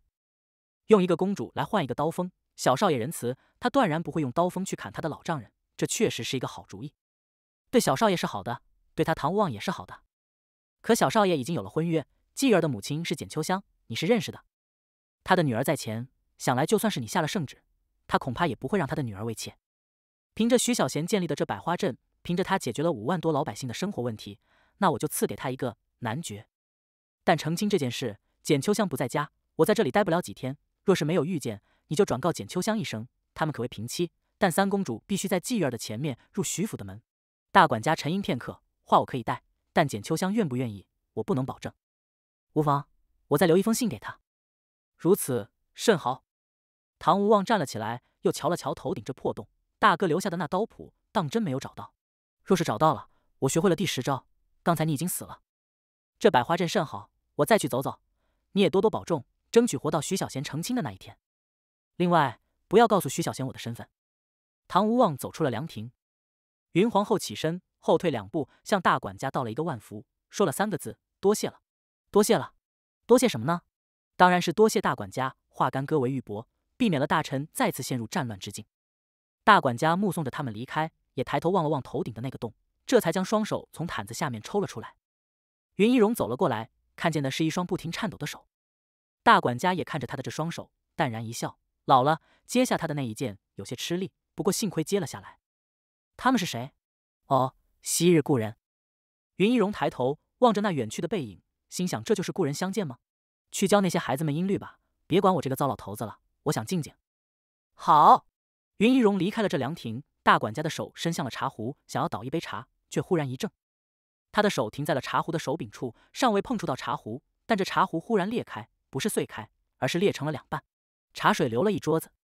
大管家收回了手，皱起了眉头：“你居然还手下留情了？一品上，这些年你还真的是很勤勉。你真打算将三公主许配给徐小贤？”走在心中的桃林间的小道上，云皇后淡然地问了一句：“当然，你看看这里，若是大臣的所有乡村都能和这里一样，大臣何至于如此贫穷？且看看徐小贤弄出的那一田两种，究竟是不是能够让老百姓的收成更多一些？但他的百花纸业、百花蚊香和百花饴糖，以及那状元红，是我们能够实实在在看到的。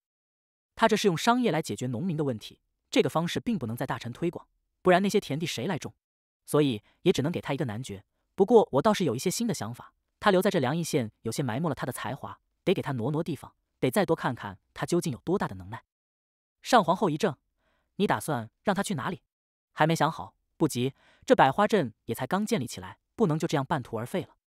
上皇后看着唐无望的背影，沉吟片刻，刚才那一剑，你本有杀意，为何没下杀手？他毕竟是大管家，他已经很老了，杀了他并没有多少意义。其实朕根本不担心刀锋，因为刀锋只有掌握在大哥许云楼的手里，他才叫刀锋。若是掌握在别人手里，无论是大管家还是徐小贤，他都不再是刀锋。顿了顿，唐无望笑了起来：“刀要开封，可没那么容易。跨过雪平沟就是老鸭口，老鸭口的地势比雪平沟高了不少。造纸作坊规划的四个厂区都将建设在雪平沟里。”但酿酒的作坊修建在老垭口的上面。徐小贤带着王富贵站在酿酒作坊的外面，指了指一侧的大片乱石地，明儿个叫一些人将这里给平整出来。王富贵一怔：“少爷要开酿酒二厂，暂时还开不了，但地儿得留着。这后面……”徐小贤伸手一划拉，这后面也平整出来，修建一处粮仓。这粮仓要修建的大一些。徐小贤的话还没有说完，便看见在李大爷家门前遇见的那富商带着几个人走了上来。他瞧了一眼。依旧没有放在心上，又对王富贵说道：“粮仓要这样建，将笔墨纸砚取来，我这就画个图给你。记住，地平整好了之后，立刻着手建这粮仓。”好咧！王富贵转身向雪平沟跑去。唐无望来到了徐小贤的身边，他的鼻子嗅了嗅，闻到了一股浓烈的酒味儿。你这作坊明明在生产，卖我一些就那么难吗？大叔，真的不是不卖给你，开作坊酿酒不就是为了卖的吗？我留着干啥？又喝不了那么多。我真的是去换粮食。你是不是粮商？你若是粮商，咱们这生意还真可以做做。我啥生意都做，说说看你这酒要如何换粮食？唐无望也来了兴趣，他看着徐小贤有些期待。这大叔的口气有些大啊，啥生意都做，我也不骗你。状元红运去北魏作价四两银子一斤，北魏的粮价比咱们梁邑县便宜一些，我就按照梁邑县的粮价来定。一斤稻谷十五文钱，一斤小麦十文钱。状元红一斤四千文，可换稻谷两百六十余斤，或者换小麦四百斤。你若是觉得可以，那就用粮食来换。唐无望倒吸了一口凉气，不是，你这酒需要那么多的粮食吗？徐小贤像看白痴一样的看了唐无望一眼。大叔，话不是这么说的。你可是做大生意的人，想来也走遍了大臣，甚至还去过北魏。我就问你，你可曾喝过像状元红这样好的酒？这个还真没有。喝了状元红之后，唐无望觉得无论是兰桂坊的醉花雕，还是北魏的岁寒甘露，都寡淡无味。根本就没有状元红那浓烈的酒香，所以这就叫奇货可居。这酒不是给寻常老百姓喝的，是给像你这样的大商贾以及那些名门望族的人喝的。这喝的是酒吗？不是，是品味，是格调，是与众不同的身份。所以你也别担心我这酒卖不出去，相信我，他会供不应求的。云皇后不知为何看着徐小贤，她就觉得心里温暖。她看向徐小贤的视线里便是一片温情。此刻再一听徐小贤说的这番话。他忽然觉得这状元红恐怕真的会供不应求。这小子是如何懂得酿酒的呢？不对，他懂得好像挺多。这十几年里，他究竟经历过什么呢？不是说他曾经是个只知道读书的书呆子吗？云皇后对徐小贤愈发的好奇了，不知觉又想到了那个失散多年的儿子，微微有些走了神。唐无望心想，反正老子要将这酒纳入皇商采买，到时候由不得你徐小贤不卖。所以他摇了摇头，这生意我不敢做，风险太大。你不做是对的，不然你在大臣收购粮食来换酒，这酒倒是给富贵人家喝了，但老百姓却要承受上涨的粮价，这对老百姓而言不公平。一听到不公平这三个字，唐无望的眉间微微的皱了一下。徐小贤并没有注意，因为王富贵拿着笔墨纸砚跑过来了。徐小贤没有再搭理唐无望，他蹲在一块石头旁，王富贵磨好了墨，他提笔就在纸上画了起来，一边画一边向王富贵解释：这粮仓下面得架空，以防粮食受潮；粮仓的四面要通风。道理一样，粮仓里修建泵子，用砖和灰浆砌起来，要大，每一个泵子得装粮食五千斤；也要多，每一处粮仓里得有十个泵子，修建十个这样的粮仓，每个粮仓之间要相距十丈，以防火灾。徐小贤一边画一边说，唐无望和云皇后围了过去，也仔细的看着，仔细的听着。唐无望在心里默默的算了一下，这小子修建十个粮仓，共计一百个泵子，岂不是能装粮食五十万斤之巨？再一听他说的头头是道，好像很有道理，于是他又看了徐小贤一眼。问了一句：“你哪里弄来这么多的粮食？”徐小贤话完也说完了，将笔丢给了王富贵，直起了腰来。一斤状元红可换回来两百六十斤的稻谷，装满这些粮仓只需要两千斤状元红，多吗？不多，以后还得建。唐无望眼睛一亮：“那你换回来的这些粮食如何处理？其一是这酒坊还要扩建，其二当然是分给百花镇的村民们吃了。现在他们顿顿都只能喝粥，喝粥哪里喝得饱？饿着肚子就干不好活儿。”所以得让村民们吃上白米干饭。大叔，你慢慢逛，我还有事得走了。唐无望一怔，怎么又要走了？等等，你为啥不将整个凉邑县的老百姓都纳入百花镇呢？徐小贤觉得这个大叔有些傻，太麻烦。再说百花镇就这么大个地方，人太多了，拥挤不说，大家的生活环境还会受到影响。徐小贤抬腿便走，唐无望又问了一句：“喂喂喂，你去哪里？去给小母牛配种，现在去应该正是时候。”徐小贤没有停留，显然给小母牛配种比陪着这个大叔吹牛重要太多。唐无望深吸了一口气，看向了拿着那张纸正在细细研究的王富贵：“你们这少爷，他说的是真的吗？”王富贵瞥了唐无望一眼：“皇帝老子的话有假。”但咱们少爷的话却从来都是真的。唐无望一噎，忽然发现自己到这凉邑县来被对了几次了。老子这个皇帝的话哪里有假了？老子在这地方的威望居然不及徐小贤。王富贵这时候又补了一刀：“你们不知道，百花镇能有今天，是少爷花了大半年的时间才建立起来的。皇帝老子说要给咱们凉邑县免税，说了三年了都未曾兑现，反而这税还越免越高。但少爷不一样，他说我们能够住上青砖瓦房。”我们就真的住上了青砖瓦房，还是四合院。他说要让我们能够吃上大米饭和白面馒头，我们肯定就能吃上。他说要让百花镇百花盛开，你瞧瞧那么多的刚种下去的树，明年春肯定百花盛开啊。他还说往后城里的姑娘会屁颠屁颠的嫁到咱们这百花镇来，嘿嘿，我那儿子正好十五，再等两年到了成亲的时候，说不定还真能娶到白白胖胖的城里姑娘。我得去忙少爷交代的活了，你们随意逛逛，记得别去那些作坊。这些日子，唐无望和云皇后在凉邑城里住了下来。他们就像寻常的商人一样，偶尔在这小破城里走走，更多的时间是去百花镇转转。唐无望没有再去见大管家，大管家也没有去拜访唐无望。两人自从出了那一招之后，似乎达成了默契，接受了彼此的条件。原本唐无望是计划在三月底回去的，但随着对徐小贤的了解越来越深，他决定再多待一些时间。话是这么说的，但看起来他好像又在等着什么。他在等着什么呢？云皇后不知道，对这个丈夫，自从她登基为帝之后，就觉得愈发的陌生了。每天去淡水楼吃吃那些徐小贤弄出来的菜品，但没法每天喝到那状元红，因为淡水楼剩下的状元红被喝光了。那掌柜的说要到了四月才能再有十斤。云皇后当然也没有意见，她觉得在这里的日子比在宫里舒服太多，尤其是在看见徐小贤的时候，她的心里便会充满了欢喜。那些沉积于心里的不快、执念或者怨恨。都会在见到徐小贤之后一扫而空，这种感觉很好，她很喜欢，甚至很是期盼能够天天见到徐小贤。这一天，他们又来到了百花镇，并没有去往镇子里，而是徜徉在了那一大片的荒地旁，因为徐小贤正带着一群富人在这里翻地。到了播种土豆的季节了，这片去岁时候翻过一次的地得重新松土，重新施肥，以便于土豆的培植。唐无望他们不知道呀，此刻他们就站在地边。云皇后摇了摇头，笑道。听说他将这渠山下的两万多亩山地都开垦了出来，这孩子这样的山地能有多少作用？他是真的善良啊，只不过是为了给百花镇的老百姓一个赚钱的名头罢了。我怎么就觉得他不是个肯吃亏的主儿？你以前也是种过地的，这样的瘠薄地能种出什么庄稼来？唐无望顿时语塞，他也蹲在了地边，用棍子撅起了一块土来看了看，这地确实种不出什么庄稼来。可徐小贤为啥又如此上心呢？徐小贤正站在地头，指挥着那些妇人们在翻耕的同时埋入那肥料，那是农家肥，臭气熏天。他似乎毫无所觉，还很是兴奋。他兴奋个啥玩意儿呢？就像这土克拉里能刨出金子来一样。终究是个书生，他不懂得农事。等他种了一季，亏得连种子钱都收不回来之后，他恐怕也就放弃了。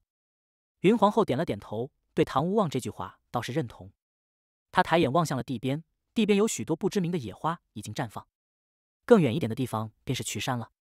渠山一片青翠，有阵阵鸟鸣声响起，一切看起来都是那么的自然、和谐、美丽。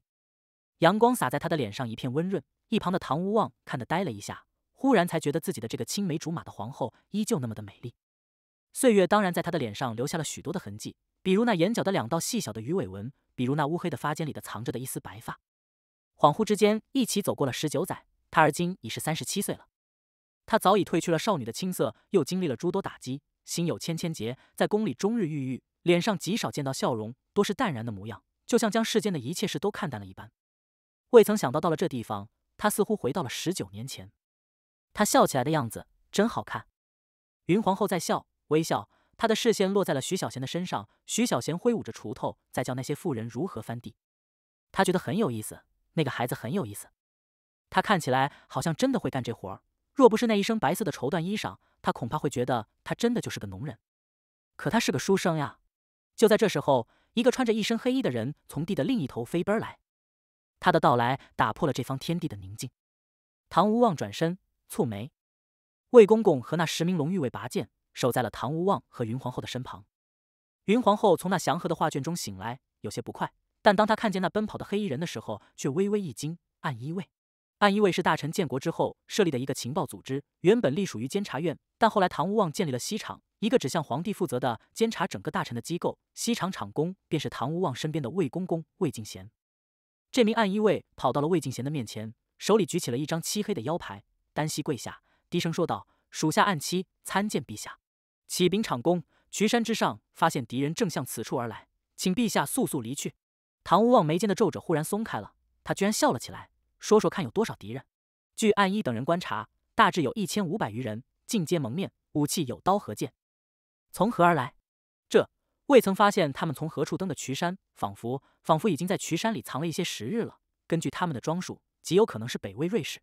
北魏瑞士，这就对了。刀旗现在在何处？正向这帮匪人围了过去。刀旗擅长的是马战，这在山野间和敌人战斗。唐无望摇了摇头：“你去告诉刀旗统领相谷，断了敌人的后路即可。”驱赶他们过来，不必贸然和敌人一战。这暗七愕然的抬起了头来，心想：刀旗不和敌人打，那等敌人冲下了山怎么办？你去吧，按照朕的吩咐即可。属下领命。只是陛下，按照敌人的速度，恐怕最多一个时辰就能冲到这里。无妨，朕自有应对。暗七起身，又飞快的跑了。魏公公有些惊讶的看向了唐无望：“陛下，要不咱们回城？不，咱们去百花学堂坐坐。”唐无望转身抬步，刀锋藏了这么多年，朕正好看看那刀锋还锋不锋利。云皇后一惊，唐无望这是要借着这件事消耗刀锋的力量。他似乎知道会有一场刺杀，对他等的就是这样的一场刺杀。那是谁要刺杀他呢？从京都出来，一行人换了几次马车，转了几条线路，知道他们到了梁邑县的恐怕屈指可数。但敌人是藏在渠山里的，那便说明敌人早已知晓他的行踪。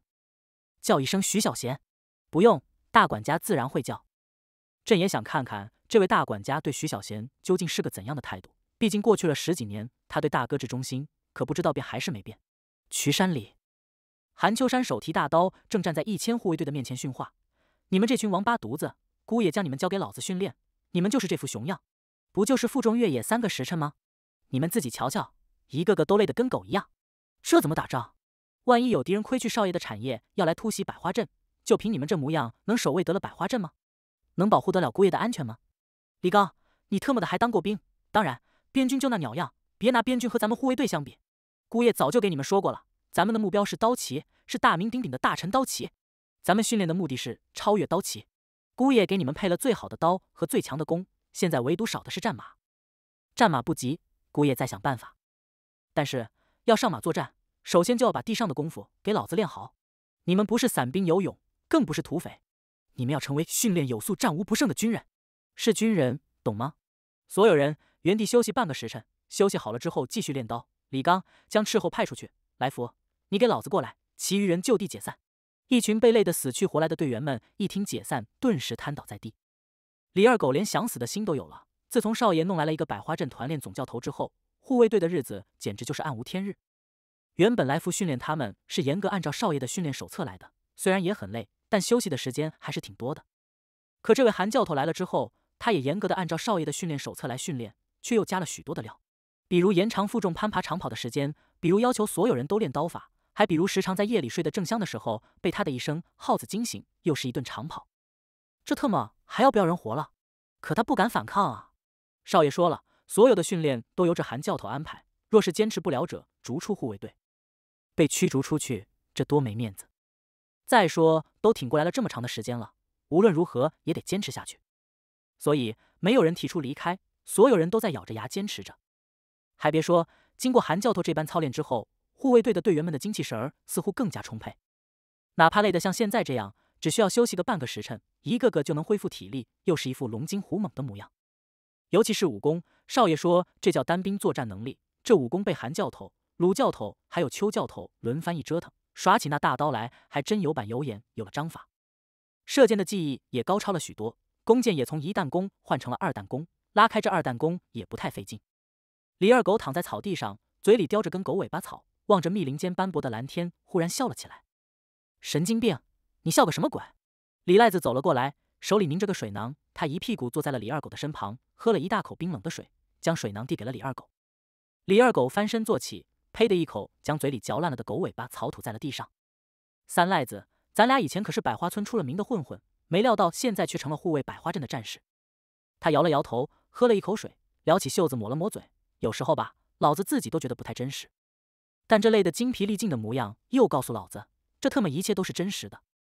李赖子也咧嘴一笑：“少爷不是说过吗？人谁无过，知错能改善莫大焉。以往咱们荒唐，不思进取，但自从遇见了少爷之后，老子也不瞒你，我想了很多。少爷让我们从混混变成了人，百花村的父老乡亲们以前见了我们就像见了瘟神一样，躲都来不及。但现在不一样了，他们现在不但不会躲着我们。”还会关心我们，我觉得这种感觉很好，就是那种堂堂正正的，能够抬头挺胸、直起腰杆来的这种感觉很好。李二狗将水囊递还给了李赖子，打趣道：“你小子还懂得直起腰杆来做人了，看来这操练还是有效果的。对了，那刀法第三刀你丫学会了没有？不太熟练，这刀法听说叫夜雨刀法，和刀旗的刀法一模一样。二狗子，你也要将这刀法学好，说不定哪天咱们真可能成为像大陈刀旗那样威风凛凛的骑兵。”他拍了拍李二狗的肩膀，若是咱们成了那样的骑兵，还愁娶不回来一个婆娘吗？嘿嘿，李二狗猥琐的一笑，我可不愁婆娘了。李赖子一惊，转头看向了李二狗，找到了，谁家的姑娘？现在现在还不能确定，毕竟咱们没那时间去更多的相处。不过他答应我等我。李二狗又拔了一根狗尾巴草叼在了嘴里，老子现在最希望的就是有不长眼的来攻打咱们百花镇。少爷说了，往后护卫队的军功按照杀敌的人头来算，可以升职的。老子看了看这一千号人，来福那家伙搞不过他，李刚估计搞过李刚也有点难度，那拿个第三应该没有问题。我呢？你特么不把我放在眼里？嘿嘿，三赖子，要论杀人，我还真没把你放在眼里。哎，只是这世道哪里来的敌人呢？李二狗话音未落，一名斥候飞奔来。韩教头，韩教头，前方十里地发现有大量敌人。李二狗顿时就站了起来，眼睛一亮就跑了过去。韩秋山正在和鲁德申、邱三德研究下一步的训练计划，此刻一听，都抬起了头来。敌人，斥候喘了两口气，点了点头，应该是敌人，都用黑金蒙面，都带着武器。按照李头教的法子来看，估计估计有那么千来号人。韩秋山三人对视了一眼，心里就充满了疑惑：这年头哪里来的敌人呢？莫非是从北魏而来的？也只可能从北魏而来了。对了，三师妹不是去北魏那边卖少爷生产的百花玉纸了吗？难道是那纸太好，引起了北魏人的窥去，所以他们想要来百花镇抢了少爷的纸？除了这个理由，似乎找不出合理的理由来。不管他了，既然对方有备而来，还是从渠山那边来的，那肯定不是好人。干他丫的！韩秋山也兴奋地站了起来，所有人集合，斥候营继续探查，给老子绕到敌人的后面去看看敌人有没有援军。来福，整队，掘陷阱，准备埋伏突袭。百花书院里有歌声响起。这是同志的声音，这声音落在大管家的耳朵里，仿佛天籁一般的美妙。大管家坐在凉亭里，那破了的凉亭顶子已经被重新搭建，石桌子上破了的茶壶也重新换了一把新的。他用这新壶煮着一壶新茶，觉得这岁月安好，令人留念。小少爷的事应该不会再有什么危机了，这是好事，但这也是不好的事。好事是少爷若真娶了三公主唐若曦，那么这大臣敢对少爷动手的人就不多了。唐若曦的母亲是东郡侯府夏重山的妹妹夏昭容，她的哥哥是二皇子唐不语。无论唐不语能不能登上帝位，就凭着东郡侯府的势力，就足以庇佑小少爷的安全。只是如此一来，唐无望就成了他的岳父，那么少爷、少爷的冤屈，少爷要的那公平，恐怕也就难以伸张了。其中还有另外一个问题：东郡侯府夏重山曾经是少爷手下的刀骑卫将军，但这人却对唐无望却更忠心一些，尤其是在大臣二年少爷去世之后。北都侯府的罗焕熙曾经如此评价过夏重山：墙头之草，见风使舵之人，心思如渊，不可深交。若是小少爷娶了夏昭容的女儿，这夏重山就是小少爷的娘舅，他会不会对小少爷不利呢？自己老了，若是再年轻二十岁，人啊，有些时候就得低头，就得退一步，为的是换取一个比咱好。现在最为紧要的是给许家留下血脉，不能让小少爷去犯险，所以小少爷不知道他的父亲，不知道那些过往的故事也是好的。就让他这样轻轻松松的活一辈子吧。能够将徐府开枝散叶，想来少爷九泉之下也能瞑目了。大管家给自己倒了一杯茶，刚刚端起这茶杯，刚刚吹了两口浮沫子，透过那袅袅的茶烟，他看见唐无望和云皇后等人又走了进来。他眯起了眼睛，相见不如不见，你又来干啥？唐无望径直走入了凉亭，抬头看了一眼凉亭的顶子，坐在了大管家的对面，拧起茶壶，自个倒了一杯茶。有人来杀我了。大管家一怔，咧嘴一笑，这是好事啊。嗯，可我若是真死了，三公主还没有许配给徐小贤，而我又是死在百花镇的，刀锋又正好在百花镇，你说宫里的人会怎么想？监国的大皇子会怎么做？大管家呷了一口茶，有点烫嘴。你这是要挟我了？算不得要挟，我就是向你说明这实情。刀旗呢？你的刀旗不是就在渠山吗？敌人估计是从渠山而来，毕竟要杀你会动用不少人，他们不敢从凉州而来。他们知晓我的行踪，早已潜藏在渠山里。渠山那么大，刀旗并不擅长山地行军和作战，所以刀旗来不及。大管家皱起了眉头，他不知道这是不是唐无望的阴谋，但他还真不能让唐无望死在了百花镇，不然这百花镇恐怕会被踏平了。所以，唐无望来告诉自己这件事，这是阳谋。无论如何，自己都得保他。刀锋留在百花镇的还有两千人，但若是刀锋和敌人厮杀的时候，刀旗在骤然出现，可就算这样，还是得保他。这个皇帝不简单啊！敌人有多少？还有多久到？大致一千五百人，大致半个时辰就会到。北魏的人不知道，蒙着脸，可能是北魏的人，也可能是大臣的人。小少爷呢？他还在那片荒地里带着那些富人们锄地，为何不叫他回来？因为我是商人，商人没可能知道会有一场有预谋的突袭。你确实是商人，做的一笔好生意。大管家握住了靠在石桌上的拐杖，他杵着拐杖站了起来。其实你就是想要看看刀锋，看看藏了十几年的刀锋究竟有没有生锈。你记住，小少爷是你的女婿，这刀锋终究要握在小少爷的手里。他既然不会再斩向你，那么让你看看又何妨？就在此刻，学子们下学了。云一荣从教室里走了出来，脚步很欢快，脸上的神色也很欢快，就像变了个人似的。云一荣的心里其实更欢快，他在学堂上教那些孩子们的音律，便忘记了曾经过往，他全身心的投入到了这教学的伟大事业中去，连那揪心的血海深仇也给遗忘。他忽然觉得压在肩膀上的那沉重的担子似乎飞走了，这样轻松的感觉让他焕然一新。夕阳的余晖洒在他的脸上，他的脸上洋溢着灿烂的微笑。他走到了这凉亭外，才发现常伯的那几个故人居然又来了。常伯、云一荣看了看唐无望和云皇后，要不要我晚上做几个菜，你们喝两杯？常伯咧嘴一笑，摇了摇头，就以后再喝。现在有点事，你来了正好，推我去村子里，还是我来推你吧。唐无望站了起来，走到了轮椅后。大管家又笑了一声，这个皇上看来不放心啊，他是担心我带着刀锋来将他砍了。你来推我，怕这轮椅受不了，你坐下他就受的了。那我就真坐下了。大管家坐在了轮椅上，将毛毯盖在了膝盖上，对站在一旁很是惊讶的云一荣说了一句：“太阳就快落坡了，你去那荒地边叫小少爷回来，该吃晚饭了。”唐无望推着大管家走出了百花学堂。云一荣抬头望了望天，心想：这时候吃晚饭是不是早了一些？再说他可都是回去吃晚饭的。云一荣不明所以，却也向那处荒地而去。轮椅上的大管家指了指路：“小少爷将我们所有人都安排在了这里，成为了百花镇的一个村落。”这村落的名字叫落霞村，小少爷取的名字。他是个文人，所有这名儿也取得有些文艺。要是按照我来取名，我会给他取个藏龙村，也或者公道村。唐无望推着大管家慢慢的走着，他笑了起来。我倒是觉得落霞村更好一点。你都快死了，何必还那么凌冽？我去过上阳县很多次，也去过漠北那战场很多次。大管家忽然就转换了一个话题，倒是说的唐无望一怔。大臣二年漠北的那一战。少爷作为监军，当然得待在主战场上。北魏的十万大军是由北魏大将军莫西风统帅，其中有北魏大名鼎鼎的瑞士三万。大臣有边军十五万，在人数上占优，但在实力上是完全不敌北魏的。你能不能告诉我，那么重要的一战，刀旗去了哪里？还有那一战存活下来的将士，他们的名册又去了哪里？我就要死了，能不能让我瞑目？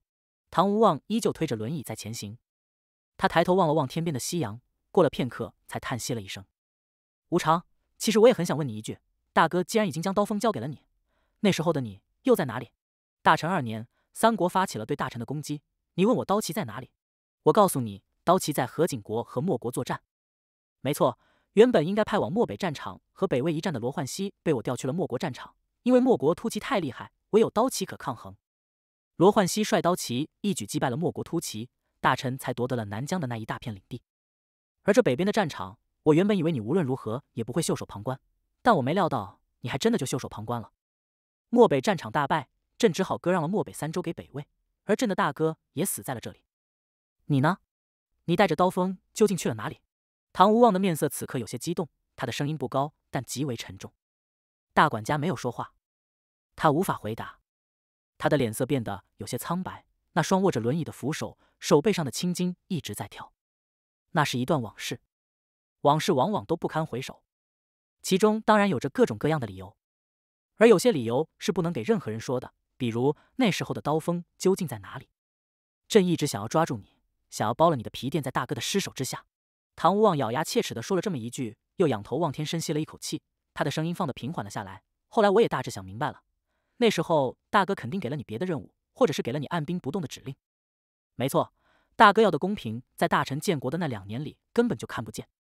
或许是大哥死了心，也或许大哥是要保留刀锋，等着再有更英明的君主出现，也或许是留着刀锋来牵制朕，让朕能够管束住那个疯女人，让她不至于对他的儿子下了毒手。当然，这些都是我的猜测。你不说，我也拿你无可奈何。可你们都不想想，我真的是那么薄情寡义的人吗？我真的会任由他乱来，害死徐小贤吗？现在我更加想通了，为啥不灭了你手里的刀锋？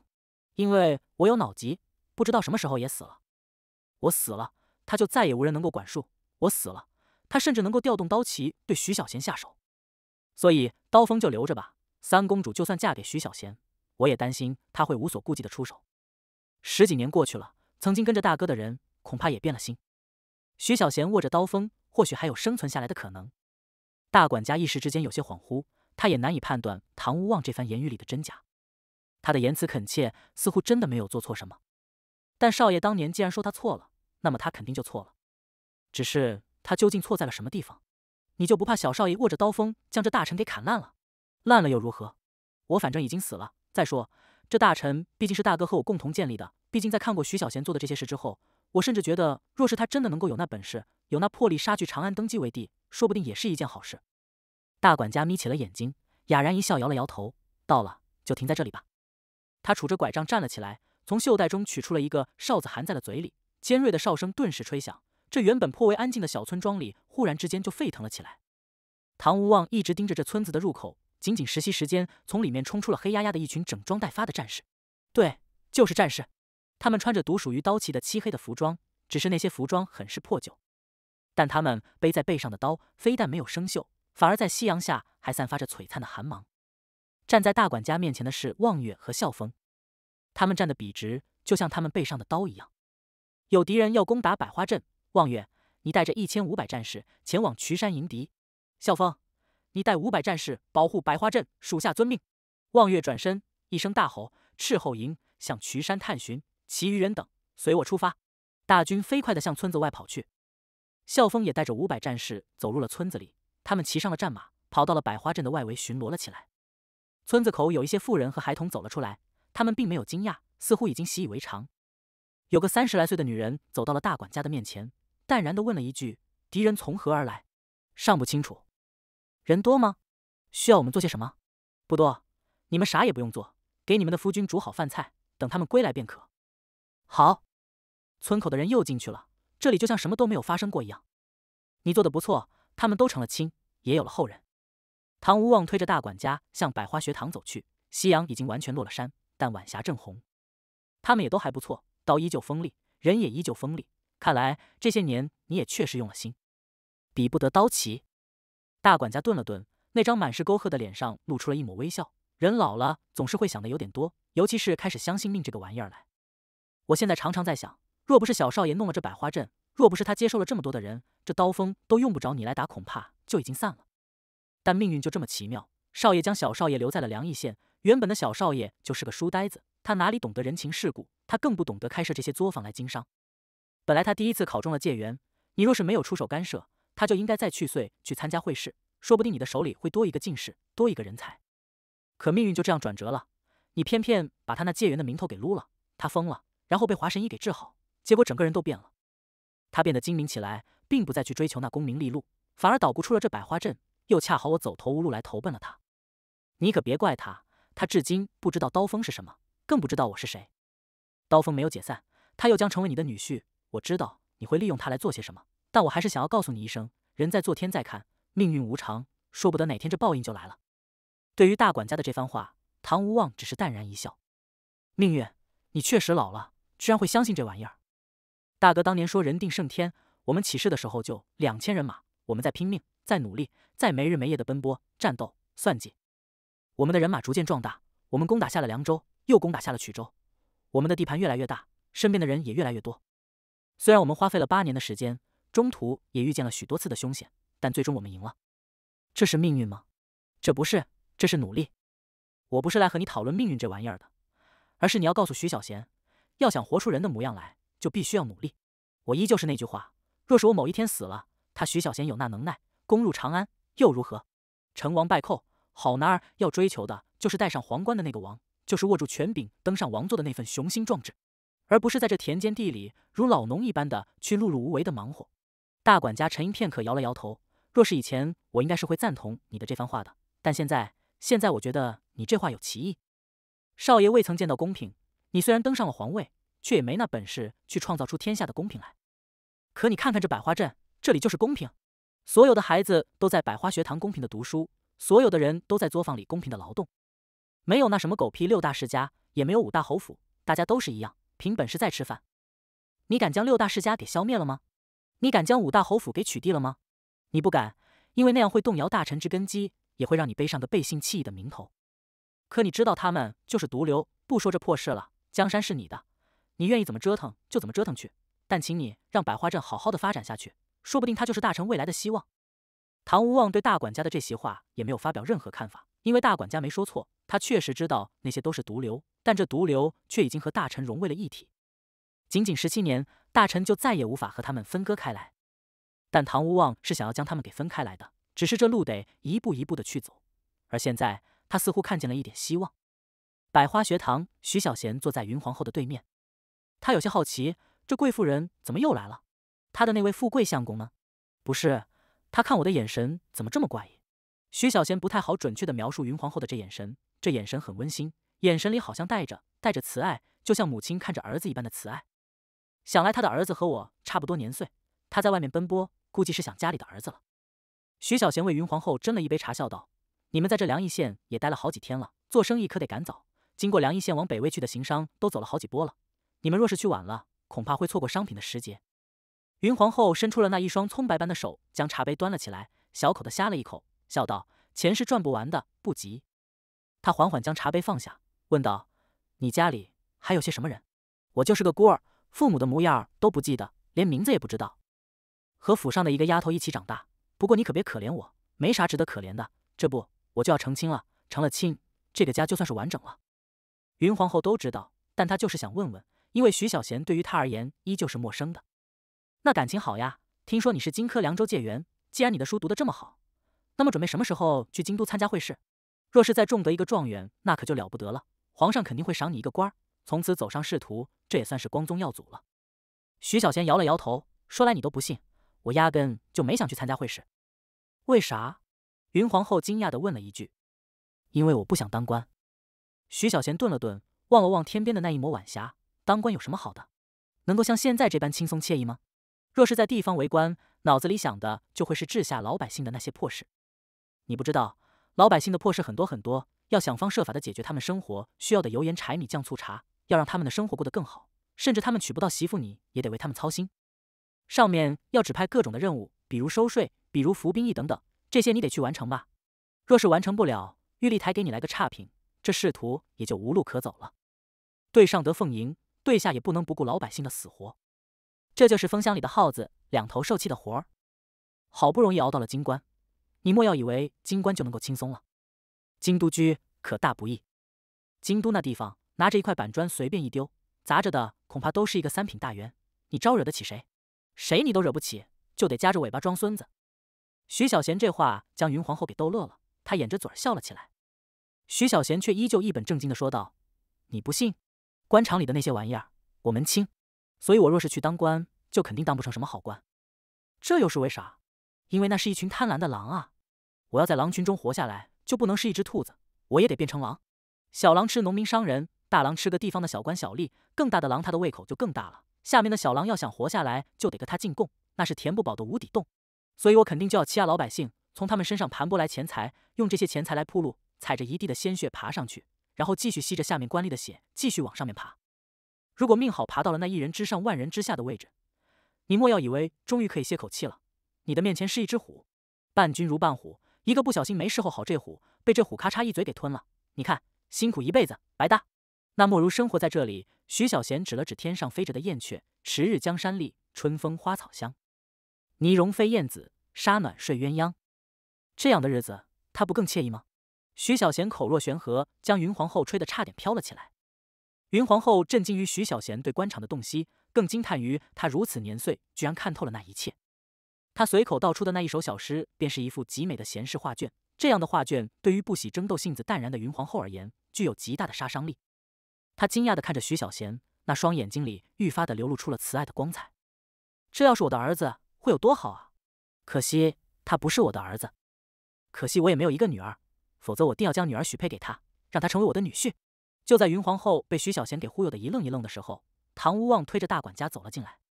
徐小贤闭上了嘴，云皇后也从徐小贤的话语中醒了过来。你们在聊着什么？唐无望问了一句。聊着归园田居的生活。徐小贤起身扶着大管家应了一句。唐无望瞧了瞧徐小贤，那归园田居的生活是什么模样呢？是采菊东篱下，悠然见南山那样的生活。你就别想了，你是有万贯家财的大财主，已经过习惯了那种纸醉金迷的奢侈生活，哪里还能受得了这乡野的寂寞？唐无望一怔，他肯定是回不了乡野的，毕竟今的大臣还有很多很多的事需要他去做。但采菊东篱下，悠然见南山这句诗却令他眼睛一亮，这小子的文采当真可以。看来他确实有真才实学。那回宫之后，将他的那两首诗词放入文风阁也未尝不可。朕既然答应了将三公主下嫁给他，既然准备要重用他，那就得给他造势。他会在京都扬名，当然也会有许多风雨会来。这样的风雨算是对他的考验。若是他握着刀锋还受不了这风雨，那就是他的命无法承受这未来之重。那就让他在这百花镇当个富家翁，平凡一辈子吧。唐无望并没有和徐小贤多说。他坐在了云皇后的身旁，转头望了望渠山，对大管家说了一句：“应该遇上了。”大管家点了点头：“是应该遇上了。”徐小贤一脸懵逼：“什么遇上了？”“哦，山里来了一群狼，老奴派了一些人进去把狼杀了，免得祸害到乡亲。”渠山深处，北魏一千五百锐士在千夫长柴巡山的带领下，向百花镇方向快速的冲了过来。北魏锐士乃是和大臣刀骑齐名的尖端战力，尤其擅长步战。若是大臣刀骑没有马，恐怕在北魏瑞士的手里讨不到什么好处。他们用的是刀，坡刀，每一名战士装备了两把坡刀和一张弓。当然，他们并不擅长山地作战。事实上，无论是大臣刀骑，还是北魏瑞士或者南漠突骑，他们都不擅长山地作战。这天下最擅长山地作战的是云国的尹基。没有人知道，而今还有一支擅长山地作战的部队，它有一个不太好听的名字——百花镇护卫队。经过了大半年的山地训练，他们对渠山的这一小部分区域极为了解。他们的体能已经超过了北魏瑞士，他们在这山野里练就的战斗技能更是在北魏瑞士之上。毕竟徐小贤弄出来的训练手册是前世那半桶水的特种兵训练方法，里面包括了潜伏，也包括了设置各种陷阱，以及协同配合，还有借助所有的自然条件创造对己方最有利的战斗地形等等。现在这一千护卫队的队员们就呈扇形埋伏在柴巡山所部的前面。而更前面一些的地方，在二十公的射程之内，还挖掘了不少的陷阱机关。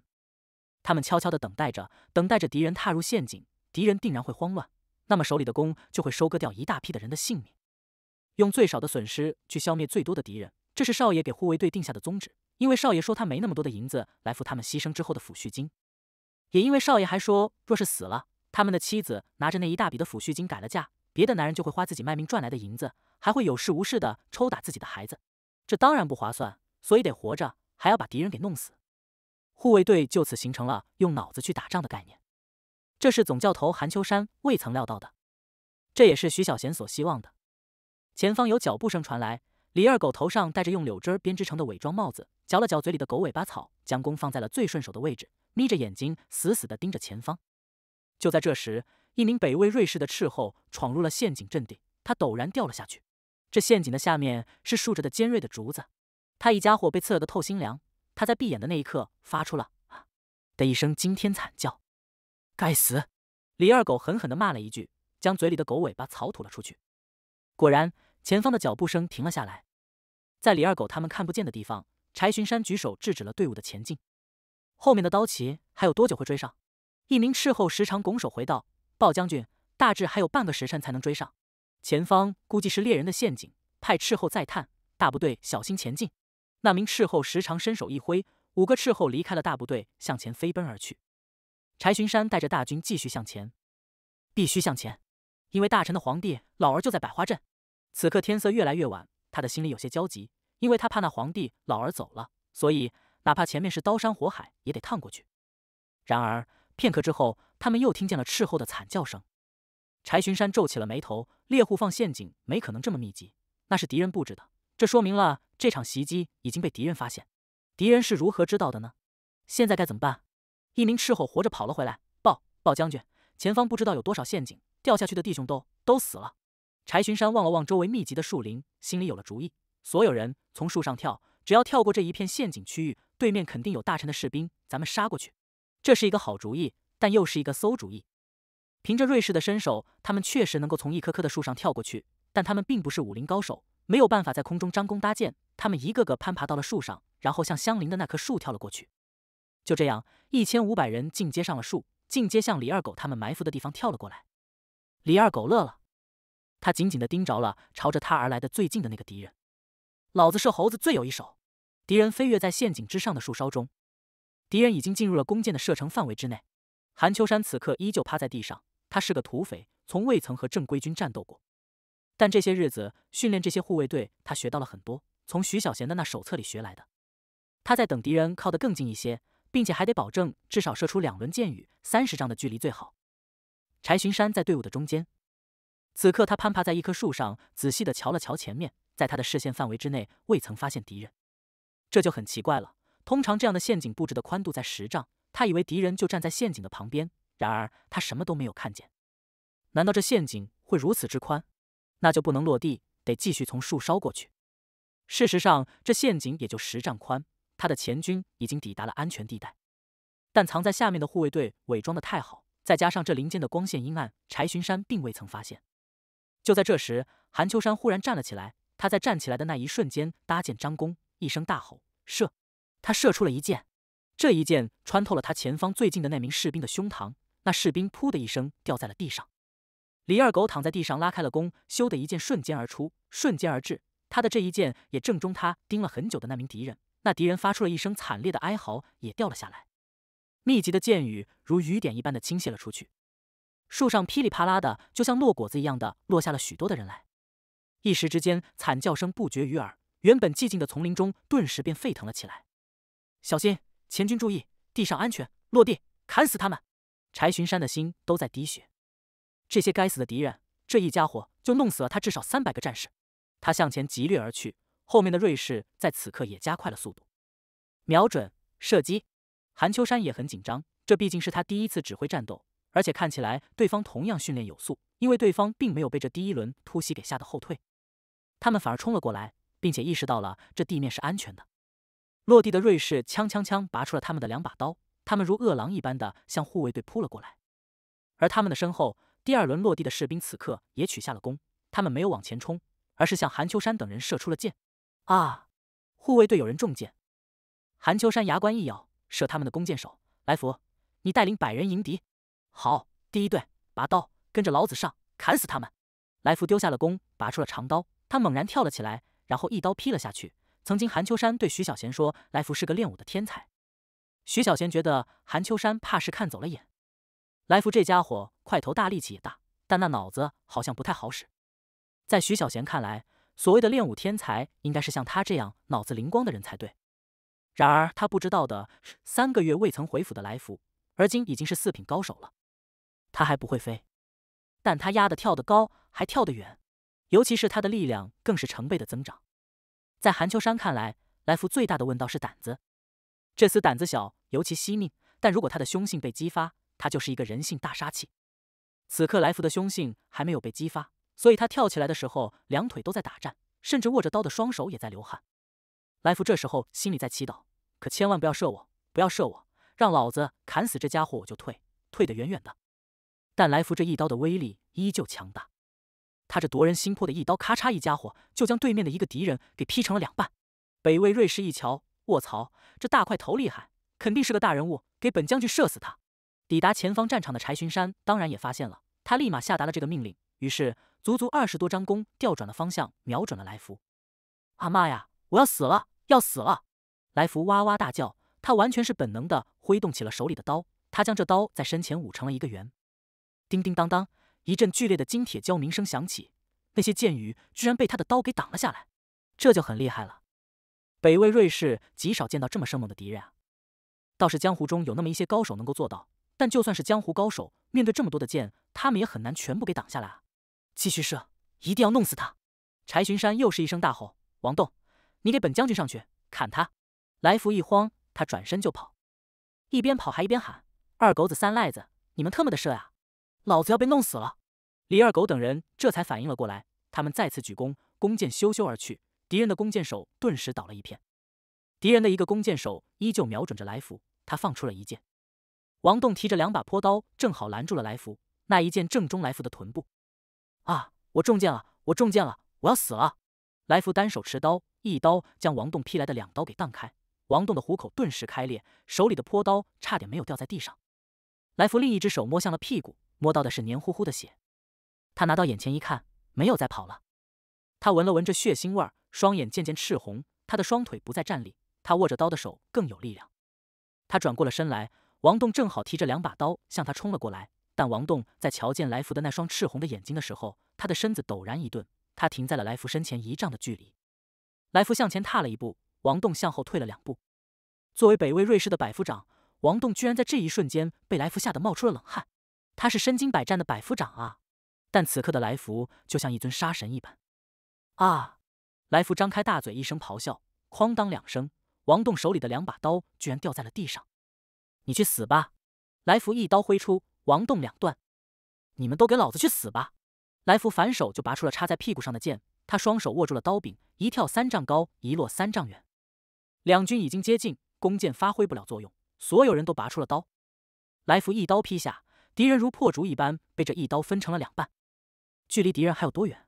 皇家刀骑统领向古焦急地问道。一名刚刚跑回来的斥候来不及喘气，他指了指身后。将军，前方一里处发生了战斗，一方正是我们追逐的敌人，而另一方身份不详。身份不详是个什么意思？就是就是小人无法判断他们是那一路的军队。这样啊，那我们得快些过去，不然他们肯定会被北魏瑞士全部击杀。不是，将军，北魏瑞士恐怕会被他们给全部击杀。相谷一惊，友军莫非有很多人？也就千来号人，还没北魏瑞士的人多。相谷皱起了眉头。因为哪怕是刀骑遇见了北魏瑞士，在没有战马的山林中作战，在人数相当的情况下，他也没有必胜的把握。就算是胜，那也一定是惨胜。而现在有一支不知名的千人队伍对上一千五百人的北魏瑞士，他们非但没有被击溃，反而能够将北魏瑞士给全歼了。大臣哪里来的如此强悍的军队？他陡然一惊，莫非是传说中的刀锋？天下敢说比刀骑更厉害的，就是那一支从未曾出现过的刀锋。据说那支刀锋是开国大元帅许云楼所创。由最初的刀旗中的精锐组成，在大臣建国之后，却没有被皇上握在手中。有流言说刀锋对当今皇上不满，糟糕！万一刀锋真的对皇上不利，皇上身边可没有任何力量。全军都有，火速前进！相谷率领三千刀骑向前飞奔而去。与此同时，望月带着一千五百名正儿八经的刀锋战士也向渠山扑去。他们穿过了那片荒地，进入了丛林之中。对于山地作战，他们同样熟悉。因为他们就在这渠山里待了足足十四年。大管家说有敌人来袭，但大管家没有说有多少敌人，也没有说敌人从何而来。当然，对于刀锋而言，这些并不重要。只要是敌人，哪怕是数以万计的敌人，刀锋永远会一往无前。当望月所部向这山林里奔行了一里左右路程的时候，他们听见了前方惨烈的厮杀声。望月一惊，抬头望向了前方。不好，这渠山中唯一有一支队伍，就是百花镇护卫队。这护卫队在渠山里训练，大管家说这是小少爷捣鼓的军队。小少爷是个文人，他哪里懂得训练士兵？虽然韩秋山等人是江湖高手，可他们是土匪啊！韩秋山等人叫那些护卫队的武功没有问题，但若是论行军打仗的章法，望月心里一凉。来晚了一些，小少爷的护卫队只怕就要全军覆没了。所有人加快速度！一千五百人如狼似虎的向密林深处扑了过去。相谷所部抵达了战场的后方，望月所部抵达了战场的前方。他们进阶望向了那处战场，满眼的骇然，尸体到处都是尸体，地上摆着的，树上挂着的，还有看不见的陷阱底下被戳死的。双方杀红了眼。他们手里的刀高高举起，然后劈下，浑然不顾敌人的刀捅入了自己的肚子里。肠子从腹部流出，他们居然空出一只手来给塞了进去，然后继续举刀，一声大吼，又向面前的敌人劈了下去。望月看见了来福，此刻的来福就像月光一般皎洁。来福早已进入了忘我之境界，他冲在最前面，双眼血红，全身都血红。他的刀滴着血，一刀砍死了一个敌人。那大刀一轮，如旋风一般扫过，又劈下了一名敌人的脑袋。他如入无人之境，他带着队伍杀入了敌军中军。他撩起衣袖，擦了擦那双被鲜血迷糊的眼睛，然后看见了一个将军模样的人，他正是柴巡山。柴巡山心里比约了狗还要难受，这是北魏瑞士啊！莫非对方是传说中的刀锋？妈的，肯定是刀锋，不然天下哪里还有如此厉害的军队？他们的战意高昂，他们的刀法厉害，他们的配合协同还极好。短短的一炷香的功夫。他的一千五百人，而今恐怕就只剩下了五百人，而对方呢，至多死了两百。这个大块头简直就是一尊杀神，还是杀不死的杀神。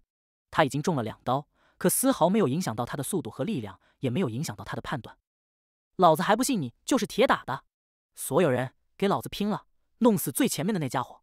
柴巡山一声大吼，他提着双刀也向来福冲了过去。没有人知道这战场的前后来了两股军队，他们已经焦灼在了一起。除非一方死绝，否则这战斗难以停下。北魏瑞士也是厉害，被弄得就快全军覆没了，他们依旧未曾溃败。他们在柴巡山的带领下，嗷嗷叫着向来福扑了过来。来福，小心！所有人包围他们，给老子砍死他们！韩秋山一声大吼，他一跃而起，手里的长刀向冲向来福的敌人劈了过去。战场后面的相谷伸手一挥，上！小心陷阱！战场前方的望月枪的一声拔出了长刀，弟兄们！冲！身在战场中央的来福不知道来了两股援军，他只知道挥刀砍下、劈下、扫向四方。夜雨刀法有九刀：第一刀断叶为砍，第二刀斩雨为扫，第三刀七风为撩，第四刀排山为势，第五刀倒海为脚。而今百花村护卫队的队员们都学到了第三刀，但来福已经学会了第四刀，尚未能领悟第五刀。此刻的来福进入了人我两忘之境。夜雨四刀仿若融入了他的骨子里，在他强大力量的支撑下，四刀源源不断，浑然天成。没有敌人能够近得了他的身，而他带着舞动的刀却进入了敌人的阵。他一刀劈下，敌人若海浪一般向两边分开。他将大刀一抡，单手托刀而行，笔直的向迎面来的柴巡山冲去。他踏前一步，长刀猛地一甩，刀势顿起。何为角？刀如长龙入海，一往无前，是为角。他豁然开朗，在长刀甩至身前的时候，他双手握住了刀柄，一抖，长刀发出了呜咽之声，仿佛在哭泣一般。他双腿一曲，如箭一般的射了出去，长刀就这样刺了出去，不是笔直的，那刀身在他双手的抖动之下蜿蜒而行。柴巡山豁然大惊，他没法判断出那无数的刀影中那一道才是真正的刀身。他陡然定住，然后退，连退三步，来福前行，一步三丈，一刀递出。柴巡山低头，一捧鲜血在他的腹部炸开，那不是一个窟窿，他的腹部被搅烂。然后他突然发现自己矮了一截，他的身体从腹部断成了两半。天边最后的那抹晚霞敛去，天尚未黑，有夜风轻拂。百花学堂早已下了学，那些孩童们也都各自归了家，这里安静了下来，只有凉亭中徐小贤等人依旧还坐着。他忽然抬眼望向了大管家常伯，沙狼要不了这么久。大管家沉吟片刻。这狼群有点凶，北魏来的大管家位置可否？老奴也不知道。但小少爷请安心，无论是从哪里来的狼群，他们都会有来无回。徐小贤皱起了眉头，极有深意的看了唐无望一眼。他认为来的应该是土匪，毕竟这是大陈北境偏远的凉邑县，没可能有大臣的士兵敢冒天下之大不韪来攻打。而凉邑县境内的土匪，唯有红莲教稍微有点气候，但红莲教被丈母娘给弄怕了。他们也没可能吃了雄心豹子胆来打百花镇的主意，那么唯一可能来的就是北魏的人。北魏跑来攻打百花镇，这就只能说明丈母娘的商队遇见了麻烦，也或者是百花玉纸动到了北魏纸商的利益。但百花玉纸这才刚卖去北魏，何况带去的数量对于北魏市场而言微不足道，所以这个猜测也不成立。那唯一的可能就是面前的这个富商了。所以他看着唐无望问了一句：“大叔，你欠了人家北魏商人的银子，跑这里来躲灾祸的？”唐无望愣了一下，半天才想明白徐小贤这话的意思。可他的这番迟疑举动落在徐小贤的眼里。徐小贤就觉得自己猜中了，大叔做人要厚道啊，看你这面相倒是生得有些尖酸刻薄。这话一出，唐无望脸色陡然一变，云皇后心里也大吃了一惊。魏公公眯着眼睛看向了徐小贤，手握在了刀柄上。徐小贤依旧盯着唐无望：“你是大商人，我呢也算是一个小商人，我明码实价、童叟无欺的做买卖。可你呢？咱们这百花镇没有招谁，更没有惹谁。这一年来，莫要说土匪。”就是窃贼也没有一个，但你来了百花镇，你是个商人，不去抓紧时间做生意，天天逗留在百花镇，我一直不知道你有何意图，现在才知道，原来你在这里躲着祸事。唐无望的神色放松了下来，他忽然露出了一抹微笑，嗯，你继续说说，这还能有什么好说的？杀人偿命，欠债还钱，北魏的匪人既然杀到了这里，百花镇没有任何人和那些匪人有仇，唯有你是个例外，他们肯定是来找你的。我可把丑话说在前头，不是我徐小贤不敢担当，而是我徐小贤绝对不会去帮一个陌生人背这黑锅。现在是我的人在和那些土匪战斗，你大致不知道我的规矩。原来徐小贤果然是想偏了。唐无望愈发的轻松了起来，他端着茶盏呷了一口，茶水已经凉了。说说看你的规矩是啥？这打起来一个不好就要死人，若是我的人死了，每一个人要赔偿抚恤金一百两银子，这钱得你出。唐无望倒吸了一口凉气，抚恤金朝廷也有。却仅仅只有十两银子，这徐小贤是在敲诈朕啊！你不信？去岁去凉州城，本少爷跟着凉邑县的捕快押解税粮税银，途中遇见了黑风寨的土匪，幸亏本少爷带着一群护卫队，最终弄死了黑风寨的那些土匪，但本少爷的护卫队也死了五个，伤了十三个。这规矩就是在那时候立下的。在你的眼里，他们的命或许分文不值，但在本少爷的眼里，他们的命比皇帝老儿都还要金贵。唐无望又瞪大了眼睛，云皇后心肝砰砰直跳。生怕徐小贤又说出什么出格的话来，魏公公上前一步，唐无望却将杯子递给了魏公公，斟茶，退一边去。徐小贤丝毫不知道他正站在死亡的边缘。我今儿个就好生的教教你，他们是家里的顶梁柱，你明白吗？他们若是战死，对于他们的妻儿而言，就是这天塌了。他们的妻儿未来的日子怎么过？他们失去了丈夫，失去了父亲，也就失去了对未来的希望。给你说这些也是白费口舌罢了。徐小贤很生气的摆了摆手。总之。我的人没死，咱们啥事没有。若是我的人死了，你若是不赔付这抚恤金，你别想走出这百花镇。魏公公放下茶盏，忍无可忍，他一声大吼：“大胆刁民！”徐小贤转头就恶狠狠地盯着魏公公：“你这公鸭嗓子怎么跟个阉人一样？你家主子在这有你说话的地方吗？不懂规矩，要不要本少爷教教你？”你魏公公的手又按在了剑柄上，他活了一辈子，哪里被人如此对过？退下！唐无望厉声地说了一句。魏公公极为不甘地退到了后面。唐无望对徐小贤这番话和这番表现，非但没有生气，反而心里是极为赞赏的。他原本以为徐小贤就是个文弱书生，最多也就是懂一些经商之道，却没有料到这小子还很有性格。就是要有这样刚强的性格，否则以后怎堪大用？但对于徐小贤的那份慈悲心，他是不认同的。一个人若是太慈悲，就会有许多的羁绊，做任何事就会有诸多顾虑。古往今来，成大事者莫不是有一颗坚硬如铁的心？那些太过慈悲的人，要么死得早，要么就只能出家去当和尚。《论语·泰伯》有言：“民可使由之，不可使知之。”这百花镇既然是你一手建立起来的，这百花镇的所有人既然以你马首是瞻，你就是他们的首领。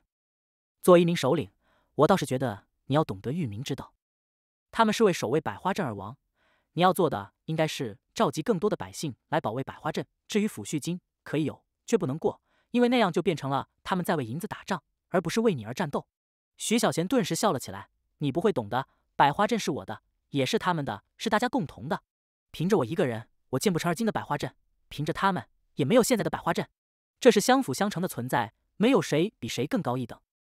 育民便是于民，民可于一时，却不能于一世。这和谁可载舟，亦可覆舟是一个道理。将百姓视为人，他们便会尊称我一声少爷。”若是将百姓视为猪狗，视为可利用的工具，那么百姓也会同样看你。这就是公平。你是个生意人，你不懂。对于徐小贤和唐无望这番论明的话语，无论是大管家还是云皇后，都在安静并且仔细的听着。大管家忽然发现自己对小少爷的了解是极少的，云皇后也察觉到对徐小贤的认识仿佛冰山一角。原来徐小贤对老百姓的态度是这样，他将每一个人视为平等地位之人，哪怕是自己这风烛残年的残疾老者，他也一视同仁。所以，这就是他说的公平。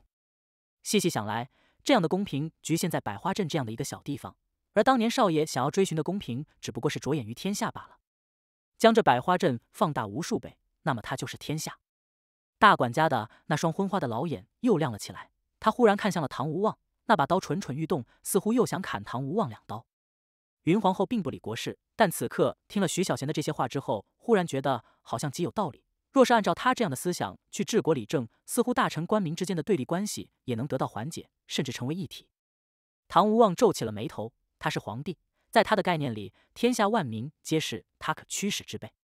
徐小贤摇了摇头，嗤笑了一声。再说回你刚才借用的那句话，《论语》泰伯的这一句断句不是你这样断的，他的全句应该这样断句才对：兴于诗，立于礼，成于乐。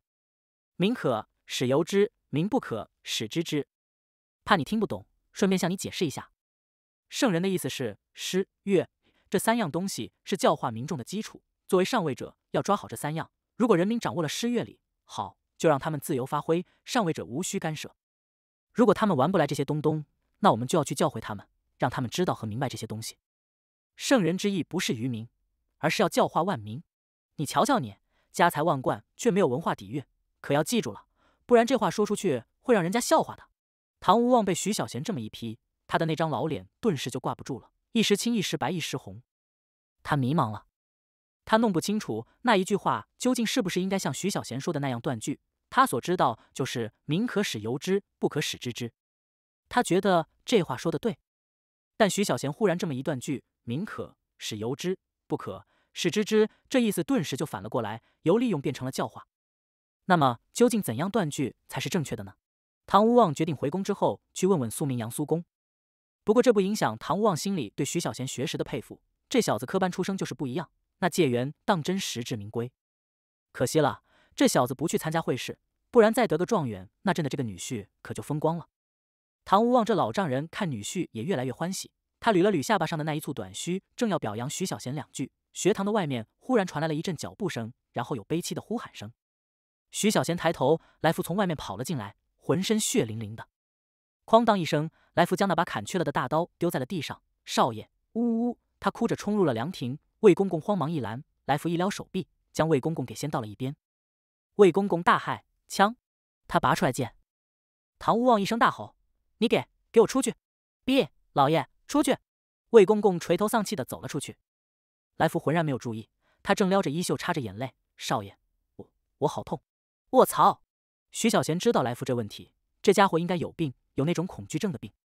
别怕，少爷在这，快给少爷瞧瞧。来福转过身子，将屁股凑到了徐小贤的面前，屁股上有个洞，这时候倒是没流血了。这厮的自愈能力特别强悍。还有呢，还有这里和这里。来福抬起左臂，肋下中了一刀，腰上也中了一刀，这伤势就很严重了。徐小贤皱起了眉头，哪里来的敌人？有多少？按照来福现在的武功，要将他伤成这样是挺难的，那就说明敌人很厉害，人数还很多。听说是是什么北魏瑞士，有一千五百人。徐小贤心里一沉，他听简秋香说过北魏瑞士的厉害，只是这北魏瑞士是国家的军队，可不是土匪，他们为啥跑到了这里来？你坐下，给少爷详细说说。来福又哭了，少爷，小人屁股中了一箭，不能坐呀。这特么的，总没可能我来抱着你吧？那你简单给本少爷说说，咱们死了多少人，伤了多少人？呜呜呜！少爷，都是小人不够厉害，小人没有保护好他们，小人砍死了三百八十六个，但咱们这边也死了三百二十七个。伤了一百二十三个，唐无望陡然一惊，他当然知道来的是北魏瑞士，只是他没有料到这个哭哭啼啼的大汉居然杀了三百八十六个人，那可是正儿八经的北魏瑞士，可不是什么土鸡瓦狗啊！他是刀锋的人，这么说来，刀锋非但没有生锈，反而比以往更加厉害了。那这一战，刀旗有没有赶上呢？他给了刀旗命令，不允许刀旗进入百花镇。对于那一战，此刻他一无所知。大管家也大吃了一惊，他知道来福是护卫队的人。这么说来，北魏瑞士首先遇见的是在山里训练的护卫队，那刀锋有没有赶上呢？徐小贤很生气。他站了起来，拍了拍来福的肩膀：“你先带着所有的伤员去城里周氏医馆，让郎中赶紧给大家包扎治疗，所有费用记在少爷的头上。你给周掌柜的说，用最好的药，不要让弟兄们留下后遗症。快去！好，少爷。那小人，小人走了。”来福哭着离开，走路的时候两腿都在打颤。徐小贤这时候一脸严肃的盯着了唐无望：“我不要你的解释，三百二十七人啊！你知不知道我这边死了三百二十七人？”魏公公又冲了进来：“大胆滚！”徐小贤一声怒吼，将二品中的高手魏公公给吓得退后了两步。他又看向了唐无望：“你知道这意味着什么吗？”他的拳头捶在了石头桌子上，砰砰砰的响。这意味着三百二十七个家庭的破灭。他深吸了一口气，满脸愤怒的在凉亭中焦躁的走着。这特么简直是飞来横祸！赔钱！每人一百两银子，伤者每人三十两银子，一个字儿都不能少。妈的！北魏瑞士杀了老子三百多个弟兄，这笔血债，老子要让你们用血来还。赔钱！或是你引来的，死的是少爷我的人，赶紧的，他们的家人正在悲痛之中。你虽然是个商人，但商人也得讲良心、讲道理。徐小贤这时候很生气，是真的生气。三百多号人啊，花了那么长的时间，付出了那么多的代价，才让他们变得更厉害，却没料到受到了这无妄之灾。一家伙被那狗屁北魏瑞士给弄死了三成，北魏瑞士这笔账，少爷我记住了。山不转水转，水不转路转，总有一天，少爷我要带着他们连本带息的把这笔账算了。唐无望这时候也很生气，老子是堂堂大臣皇帝，他们是你徐小贤的人，他们更是老子这个皇帝的人，就连你徐小贤同样是老子的人，你凶个屁呀！再凶，老子剁了你！于是唐无望也站了起来，双眼一瞪，气势汹汹的吼道：“朕朕没钱。”要命一条，要钱没有？你想怎么着？哼哼，滚刀肉！少爷，我最会切的就是滚刀肉。来人！外面的韩秋山一听，立马带着五百还能战斗的护卫队队员冲入了百花学堂。徐小贤和唐无望大眼瞪着小眼，他指了指那五百人，眉儿一挑，咬牙切齿的说道：“你给少爷我瞧瞧，他们谁的身上没有沾满鲜血？那是敌人的血！那敌人原本是来要你这小命的。本少爷最后再问你一次。”你给不给三万六千三百九十两银子？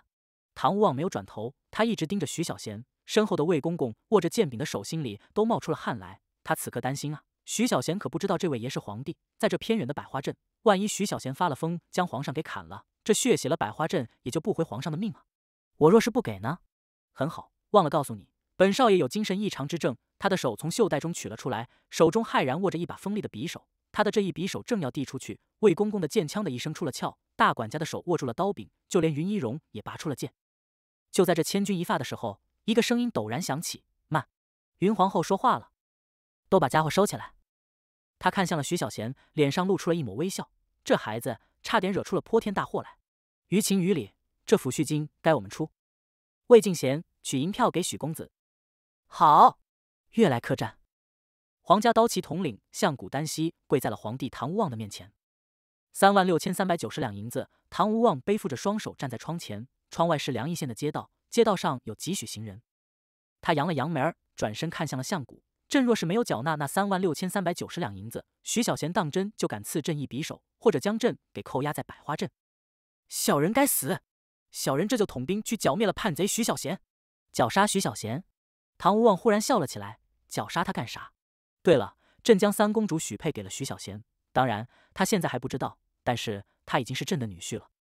相谷一惊，抬起了头来。那张英俊的脸上露出了一抹愕然，他的嘴唇动了动，却没有说出一个字，而是又垂下了头去。朕知道你倾慕于三公主，你是东郡侯府夏重山的外甥，算起来你和若曦也是远房表兄妹。朕还知道夏昭荣对你很喜欢，曾经对你父亲向前提起过一嘴，说等若曦长大了将你招为驸马。朕叫你来，其一就是要告诉你这件事，你放弃对三公主的等待吧。京都女子那么多，便再去寻一良配。其二是想问问你，当时的战况究竟如何？相谷深吸了一口气，双手抱拳一礼，回陛下：我军抵达战场的时候，百花镇护卫队已经和北魏瑞士杀得难解难分。当时之战局，百花镇护卫队以一千人对北魏瑞士一千五百人，他们非但没有落入下风，甚至还全面盖过了北魏瑞士。他们的个人能力很不错，协同配合的能力更强。陛下。那是一支训练有素的部队，他不是什么护卫队，他的战斗力比之刀旗。若是在山林中作战，他们比刀旗应该更厉害。刀锋未曾参战，刀旗也未曾参战，因为当我们抵达之后，战争很快就已经结束。他们的刀法和我们的完全一样，应该是简秋香派了人专门训练的他们。但他们的战术战法却别具一格。末将以为那战法就像是一种艺术。哦，唐无望皱起了眉头。怎样的一种艺术？末将也说不清楚。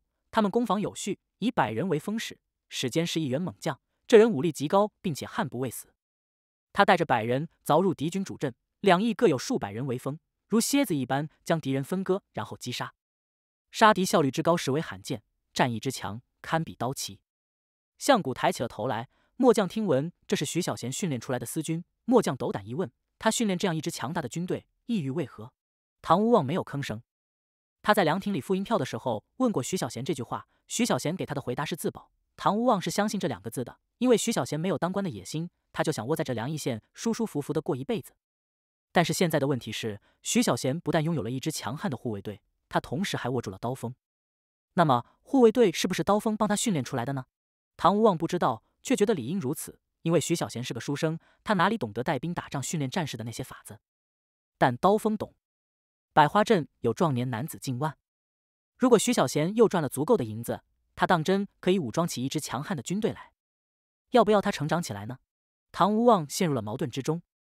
人是会变的，现在的徐小贤想的是偏居一隅，可若是当他手里握住了强大的军队，再有大管家或者是简秋香在一旁推波助澜，他们若是告诉了徐小贤的身世，当徐小贤知道他的父亲就是许云楼，就是死在了漠北战场上的那个开国大元帅之后，他还会甘于在这里平庸吗？他会报仇？他找谁报仇？当然是找朕报仇。朕怕他报仇吗？朕当然不怕。那就让他成长起来，看看他有没有他爹许云楼那样的本事。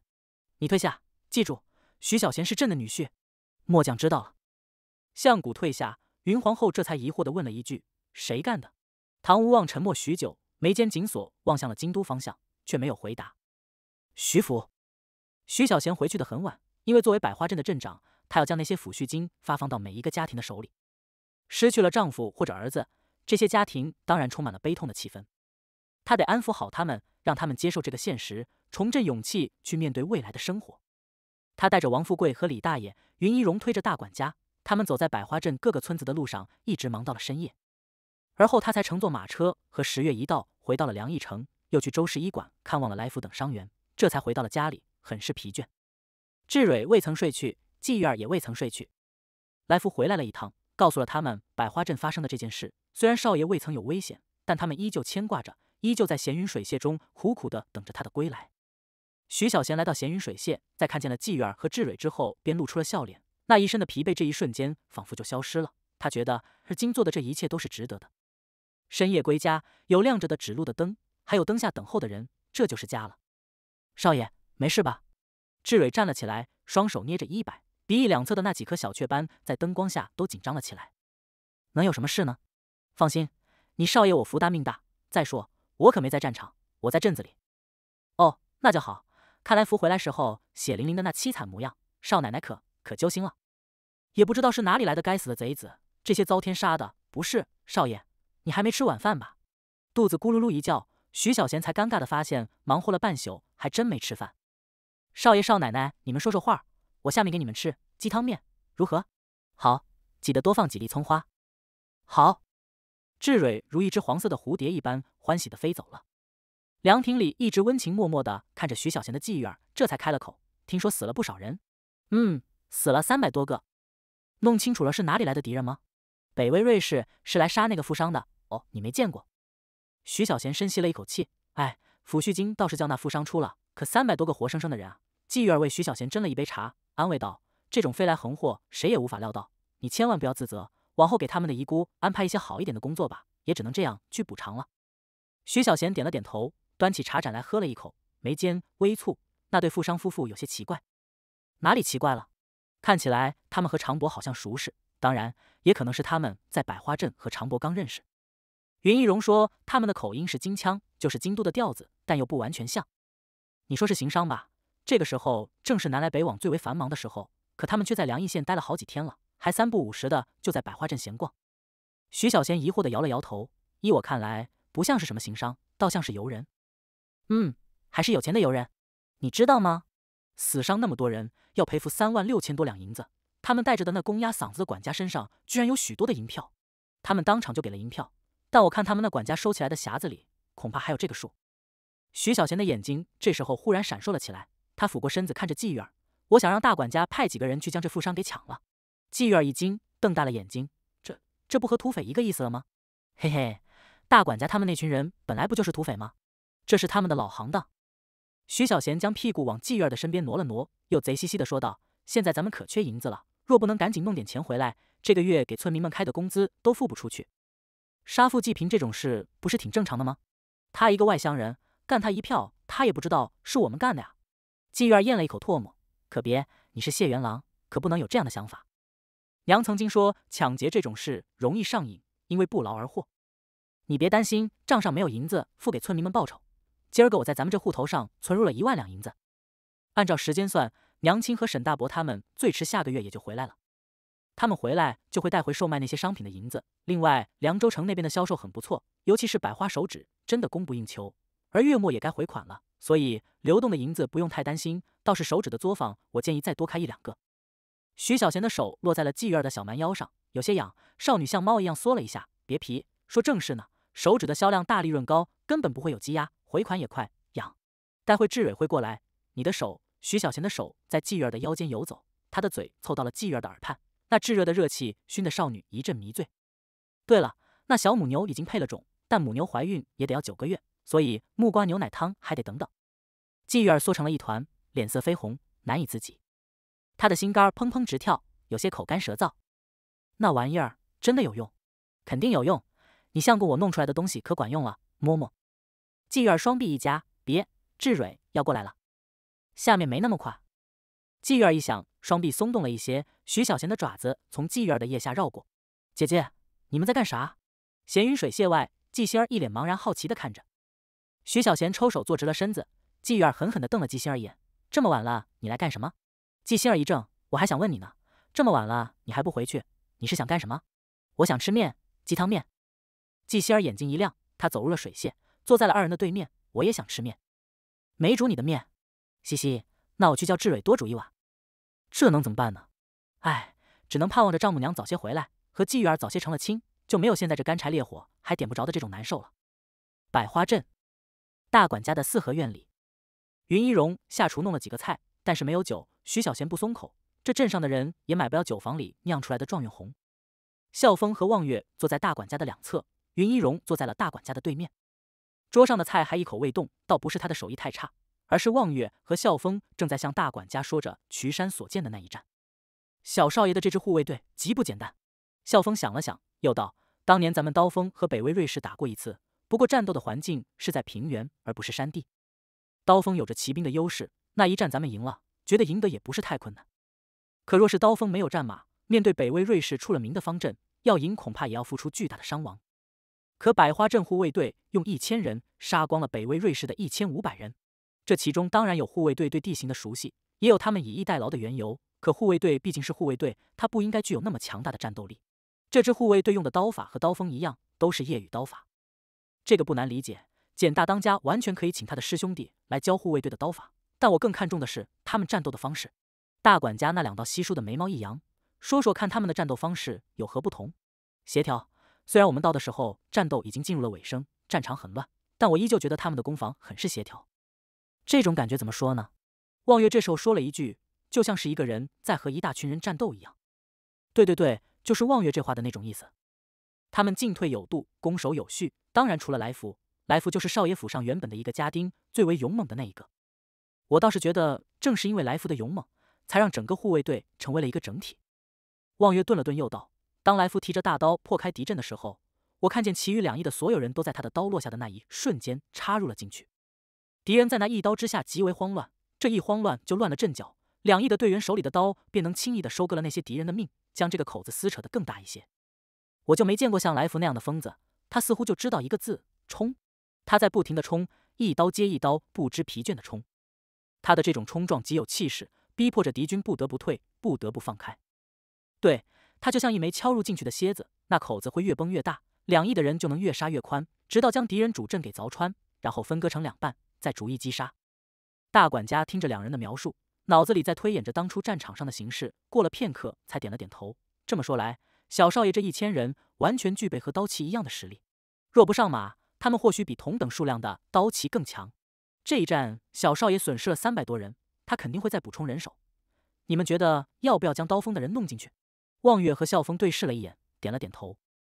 我觉得刀锋需要学习那样的战法，也不知道那战法出于那位兵法大家之手。好，改天遇见了小少爷，我给他说说。大管家拿起了筷子，菜都要凉了，吃饭。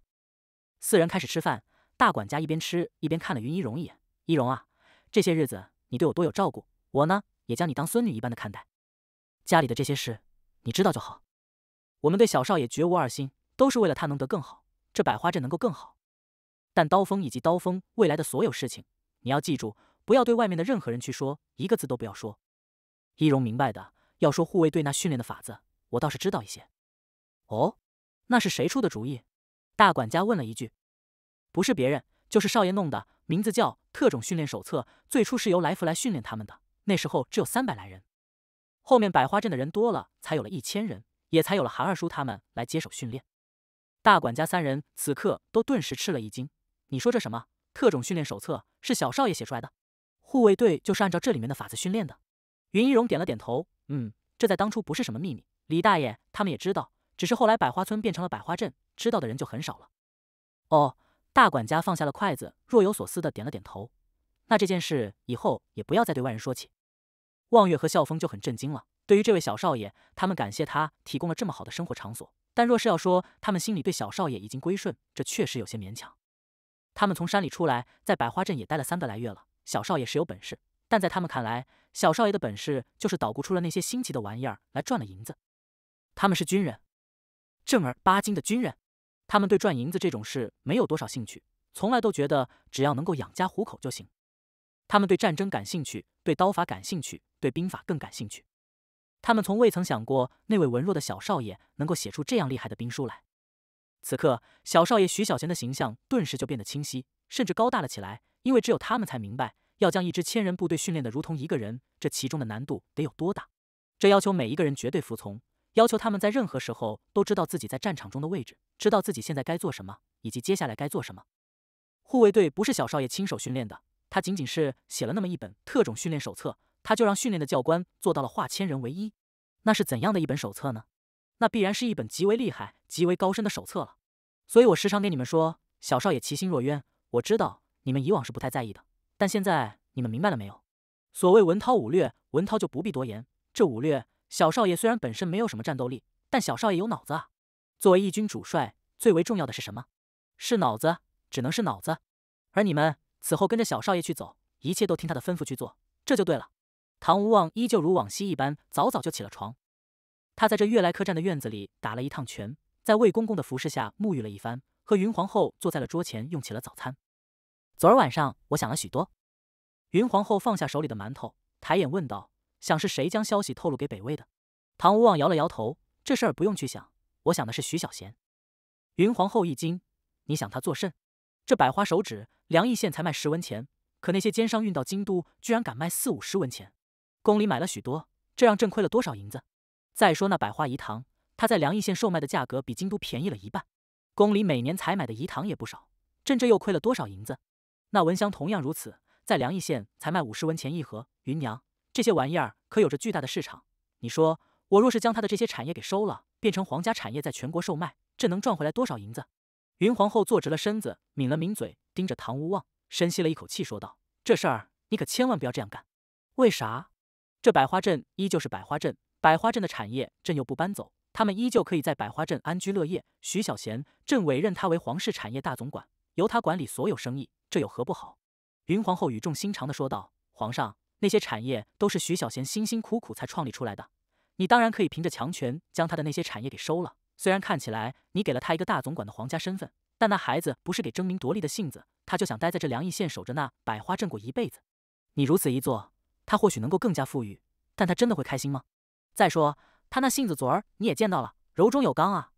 你觉得他会答应吗？臣妾敢保证，你如果要将他的那些产业给夺了，他就敢将那些产业毁了，甚至甚至他就真的敢带着刀锋和陛下对着干一场。皇上，你那样做对徐小贤不公平，又不公平。唐无望怔了怔，埋头喝了两口粥。好吧，这事儿我不会强求，但还是想问问他有没有这样的心思。吃饭。待会咱们就去见见张桓公，今儿个再找个时间去徐小贤的府上坐坐，晚上请他去淡水楼吃吃饭。吃饭的时候，朕再探探他的口风。你放心，朕说了不会强来，就不会强来。说完这话，唐无望转头问了魏公公一句：“华神医到哪里了？我今儿个觉得有些头痛。”回老爷，华神医正向梁邑县赶来，按一位昨儿说他今儿个会到。昨儿傍晚，梁邑城来了足足十辆马车。这些马车从凉州城而来，是阮氏纸业的马车，送来的是石车的手纸，张氏纸业所造的手纸。与马车同来的是阮氏家主阮行远的大公子阮经天。被父亲派到这破地方，阮经天当然不高兴。自从去岁周阎王那厮被徐小贤弄死之后，凉州城的势力发生了一些变化。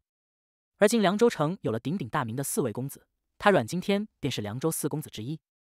另外还有三位。一个是柳氏染坊的大少爷柳时月，一个是武氏盐厂的二公子吴子敬，另外一个则是凉州最大的布商萧氏绸缎的二少爷萧炎。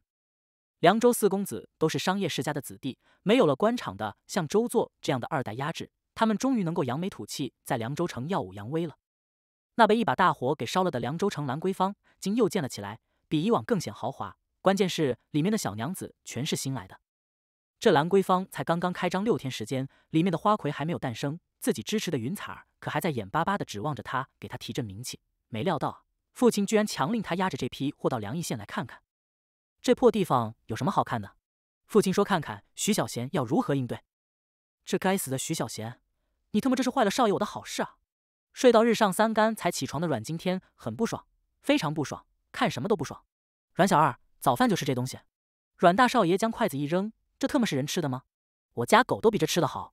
你就是这样招待少爷我的？阮小二吓了一大跳，连忙躬身回道：“大少爷，梁义城这地方真的不能和凉州去比啊！这已经算是凉邑城最好的早餐了。要不要不晚上小人再带大少爷去淡水楼吃吃？那地方的饮食做的真的好。为什么不是中午就去？”阮小二一怔，咽了一口唾沫：“大少爷，今儿个是咱们这手指正式上市售卖的日子呀！徐小贤那小子，咱们尚不知道他还有什么手段，今儿个这第一天肯定得将徐小贤的那百花纸业给打压下来，不盯着。”这这万一出了岔子，小人不好向家主交代。大少爷您，只怕二娘会趁着这机会在家主的面前说您的坏话。阮经天一想，这阮小二说的有些道理。二娘那个贱人也有一个儿子，那就是他的同父异母的弟弟阮伟的。他可是做梦都在想着如何将阮氏这偌大的家业掌管在阮伟德的手里，可不能让他给得逞了。对了，这次父亲派自己到这来，会不会就是他的主意？这女人心思儿极为阴狠，母亲说不定就是他给害死的。幸亏父亲尚未糊涂，没有将她立为主母。那这件事，本少爷就把她办得漂漂亮亮的，让父亲对自己刮目相看。等本少爷继承了家业，哼哼，你们都得给本少爷滚出去！他如此阴恻恻一想，对这件事上了心，也来了兴趣。给本少爷取一双新的筷子来，吃完饭咱们就开门营业，务必要将徐小贤的百花手指给打压的永远爬不起来。宣传，对，宣传！你现在就去找人，在凉邑城的大街小巷都张贴上阮氏手指上市的消息。直接告诉所有人，咱们阮氏的手指只卖八文钱一卷。本少爷倒要看看他徐小贤能亏损多久，弄死他，本少爷就能回凉州城享福去了。快去办，给你一个时辰的时间，一个时辰之后，阮氏纸业正式开门营业。天光微亮，徐府前院的那扇门开了，季中坛穿着一身官服走了过来，常威围着他打着转。志蕊正在厨房里煮着豆浆，蒸着馒头，忙活着。四喜和丸子在打扫着卫生。他们见到了季中坛。纷纷躬身行礼，道了一声早。季中坛走入了主院，徐小贤刚刚起床，他洗漱了一番，来到了闲云水榭，煮上了一壶茶。听说昨儿百花镇遇见了袭击，徐小贤点了点头，将昨天百花镇发生的事详细的说来。季中谈皱起了眉头，这个中年男子看来身份不仅仅是个巨商这么简单。徐小贤一怔，伯父有何高见？你想想，北魏瑞士是和大臣刀旗一般的存在，大臣会派出刀旗跨国去对付北魏的商人吗？这显然不可能，除非是这个商人的身上带着关于大臣的秘密，还是极为重要的秘密。那么北魏瑞士既然是潜伏在渠山里，为的是干掉这个商人，那么这个商人要么就是掌握了北魏的某个秘密，要么他还可能是大臣的某个高官大员，不然北魏不会费这么大的力来做这么危险的事。徐小贤也皱起了眉头，他又仔仔细细的想了一遍，这个商人的行迹颇为可疑。他在梁邑县已经待了十来天了，去的最多的地方就是百花镇。我原本以为他会是宣州府张氏的人，是去百花镇偷学手指的造纸工艺的。但根据百花镇的线报，他仅仅是在百花造纸作坊前看了看。他更感兴趣的是那状元红，这就很奇怪了。我还去问过刘能，他说这一行人是从凉州那边来，那么他们就不是从上阳县方向过来的，也就和北魏无关。他是南来，而不是北归，那么他就没可能带着北魏的秘密。如此一分析，徐小贤忽然瞪大了眼睛，他俯过身子看着季中谈。对了，凉州刺历户部不是至今都没有颁发委任状吗？也就是说，谁都不知道凉州刺历是谁。但其叔父已经回了北凉府，这凉州刺历肯定不能空着。伯父，你说会不会是新上任的凉州刺历？他跑到咱们凉邑县来调查了？季中谈一惊，想了片刻，摇了摇头。就算他是新来的凉州刺吏，北魏杀他干啥？看他那年龄，可有些阅历了。徐小贤扣了扣桌子，他以往肯定也是在哪里当官的。对了，他说的是一口并不地道的京腔，这说明他不是京都本地人士，却也在京都当过一段时间的官儿。他会不会是在京都当官的时候得罪过北魏？这极有可能啊。咱们大臣和北魏有着商业上的往来，据说偶尔彼此的官员也会就某些问题往来。就拿这漠北三州来说，大臣不是一直想要要回来吗？听说谈判了许多次，也或许是他出使北魏的时候伤害到了北魏的利益。或者是得罪了北魏的某个大人物，我觉得应该是这样。徐小贤这信誓旦旦的分析，说的季中谈一愣一愣的。他叫什么名字？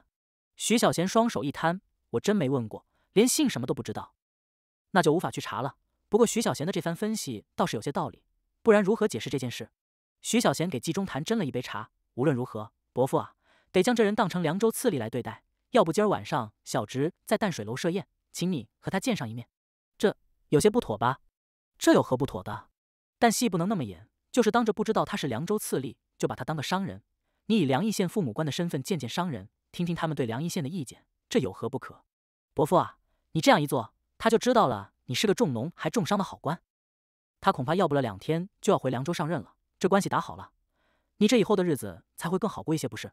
季中谈捋着两撇八字胡须，小眼珠子滴溜溜一转，这女婿脑瓜子当真灵活。本官就把他当成普通的商人，在言语间表达自己对商人来梁邑县做生意的希望，也顺便说说这梁邑县目前的困难，当然也得提出解决困难的办法。将百花镇作为话题的重点，将渠河水库作为一件大事，将接下来要推广的一田两种作为明年的施政方针。这是在向一个商人讲解梁邑县未来极好的前景，没有别的意思，就是希望他们能够带来更多的商人在梁邑县安家落户。他如果真的是凉州刺吏，如果是一个想要做出一番政绩的好官。那么这步棋可就走对了，想来他会对自己另眼相看。季中谈心里直乐呵，脸上倒是沉得住气。他端起茶盏来吹了一口，义正言辞的说道：“凡之为官者，当一心用在民上。巴结上官这种事，伯父不屑于去做。但梁邑县若是能够引来更多的商人，对梁邑县的经济发展还是有很大帮助的。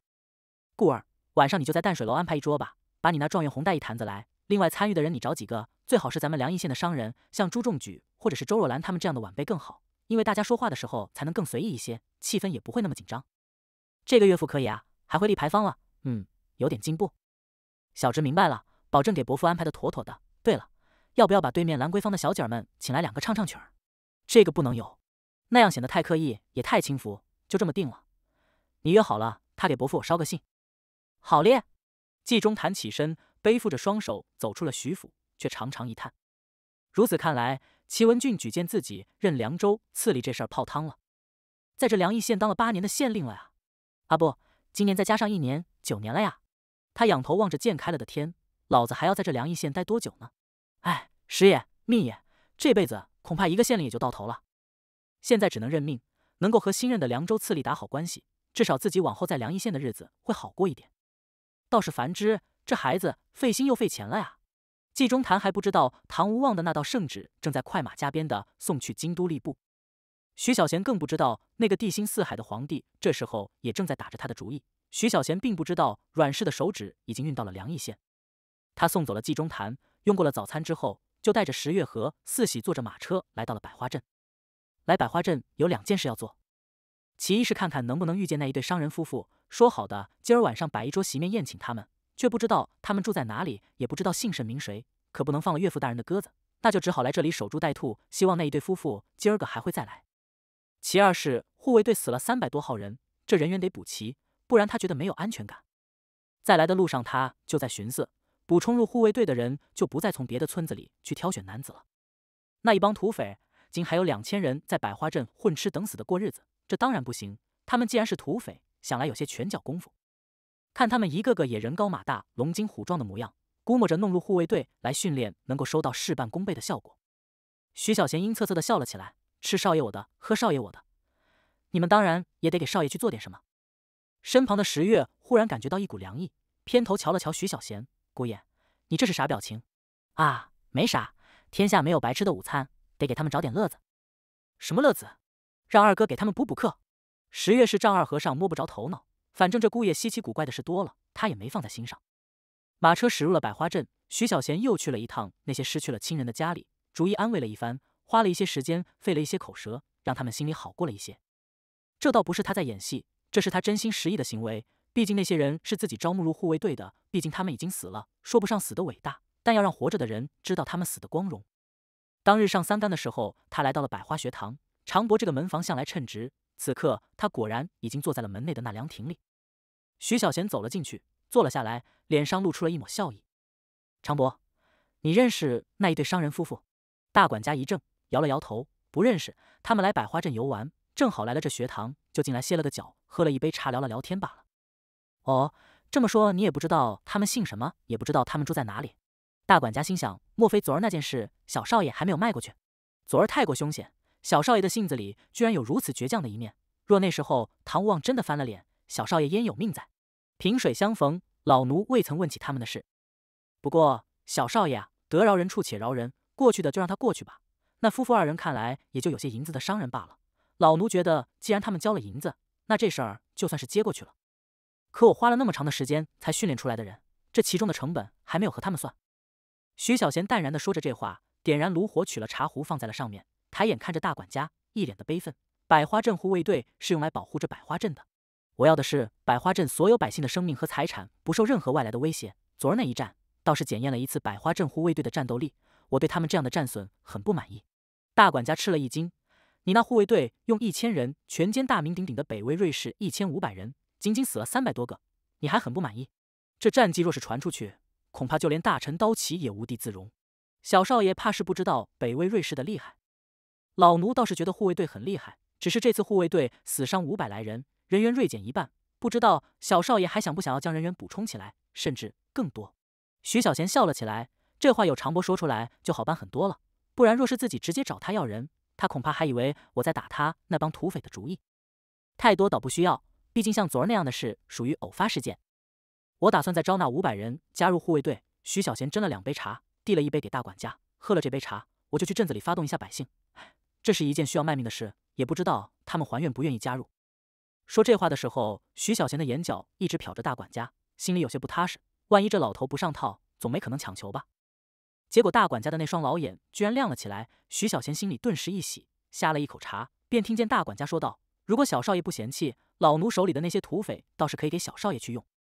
遇到这种情况，就不能表现得过于热情，得矜持一些才行。”大管家这时候看着徐小贤的视线有些炙热，这是最好的将刀锋顺利过渡到小少爷手里的法子。只要小少爷同意，以后刀锋就再不存在，或者说其中的一部分不再存在，他们将变成百花镇护卫队中的一员。只不过他们依旧握着刀，依旧有着强悍的战斗力。徐小贤深吸了一口气，放下了茶盏，还想了片刻，这才说道：“以后可别再说他们是土匪，而今他们都是良民。这护卫队呢，我也不瞒着你，我是全权交给韩秋山，也就是我伯母简秋香的二师兄来训练的。我对韩秋山有几点要求，其中最重要的一点就是纪律，就是服从，就是令行禁止。长伯，我是不太了解你的那些人，我担心个什么呢？他们在山里懒散惯了。”以前干的那些活儿，也都是大口喝酒、大口吃肉的那种豪迈勾当，但百花镇护卫队却不允许这样。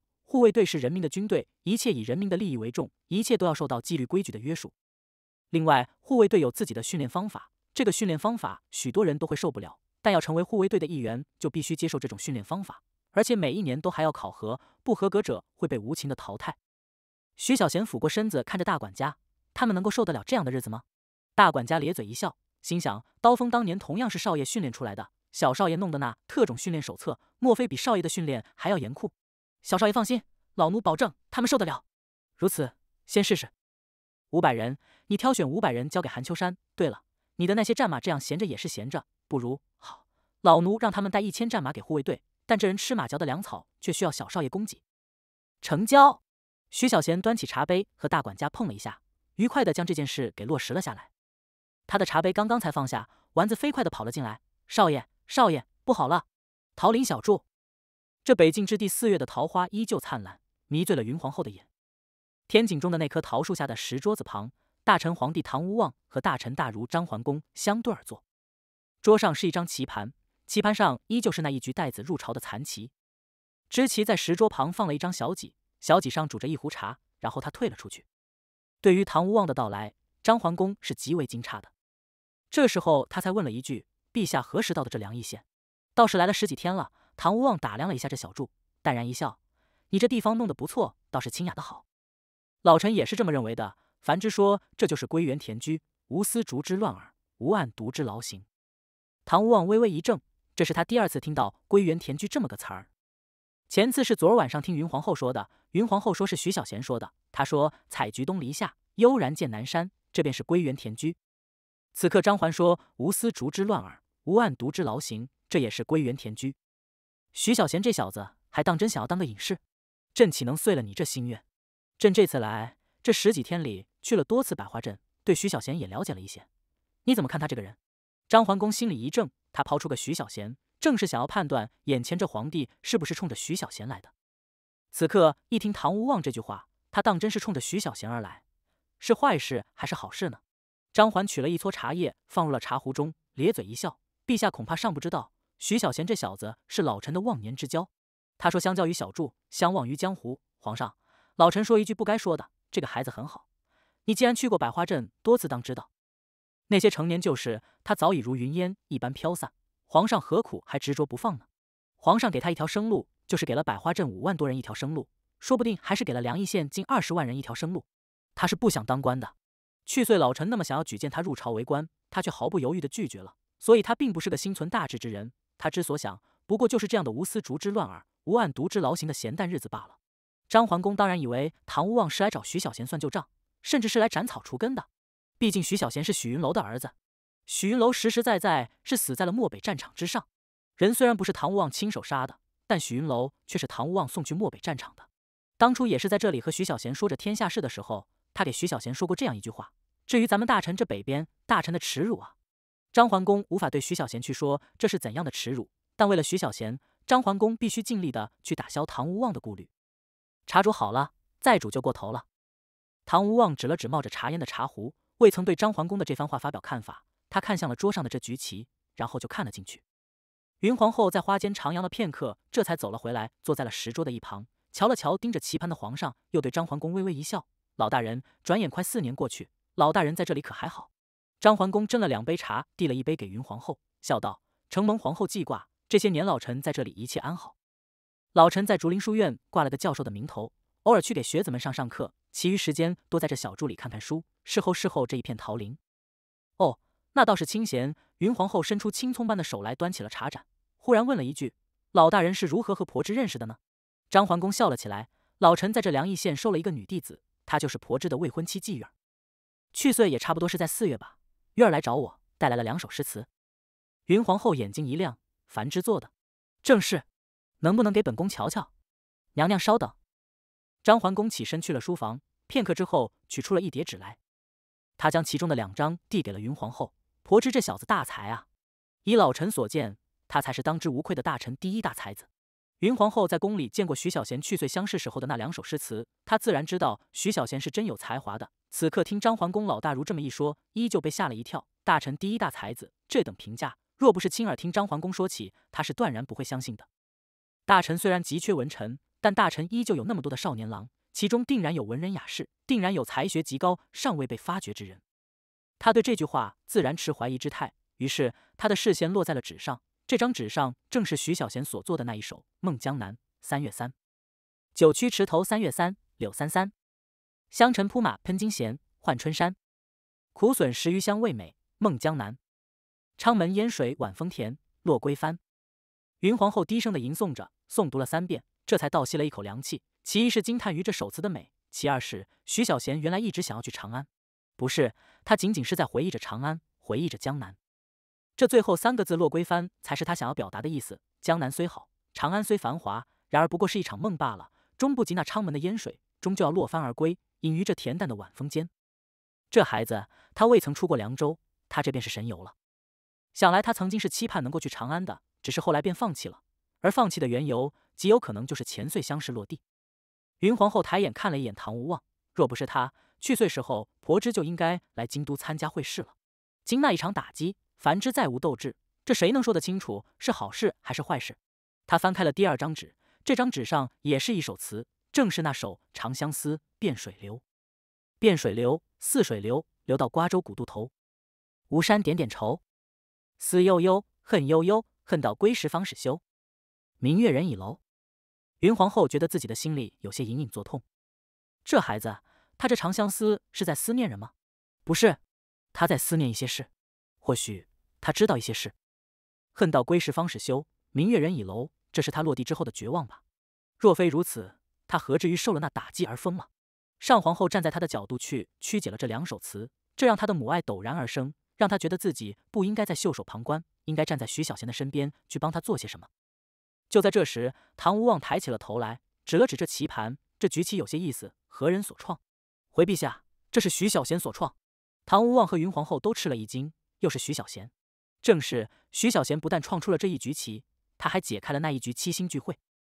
唐无望愣了片刻，此局何名？张桓公沉吟片刻，此局无名。张桓公终究没有说出这局棋的名字叫“带子入朝”，因为“带子入朝”这个名字能有诸多理解，偏偏他是徐小贤所创，偏偏徐小贤具备带子入朝的理由。眼前的这位皇上多疑，他若是知道徐小贤将这棋局命名为“带子入朝”，他恐怕会联想很多，那当然是对徐小贤极为不利的。刚才你说徐小贤解开了齐贤窦阡陌所创的七星聚会，唐无望起于草莽，他不是什么文人，更不是什么雅士。待人这个玩意儿，往往就是这样，越是缺乏了什么，就越是对什么上心。自从登基为帝之后，他不能在群臣的面前表现出自己草莽的那一面，他必须变得更为儒雅一些，至少看上去得有文化一些。于是他请了不少人来教他，无论是是诗词文章，还是琴棋书画。当然，他的主要老师依旧是苏明杨苏公，但这位齐贤窦阡陌也是有银玉佩，能够随时入宫面圣的人。窦阡陌是大臣大儒之一。淡泊名利，在长安书院挂了个教习的名头，成天都在钻研这棋局。这七星聚会是窦阡陌毕生最自豪的一局棋。这局棋唐无望当然见过，还是窦阡陌在皇宫的后花园摆给他看的。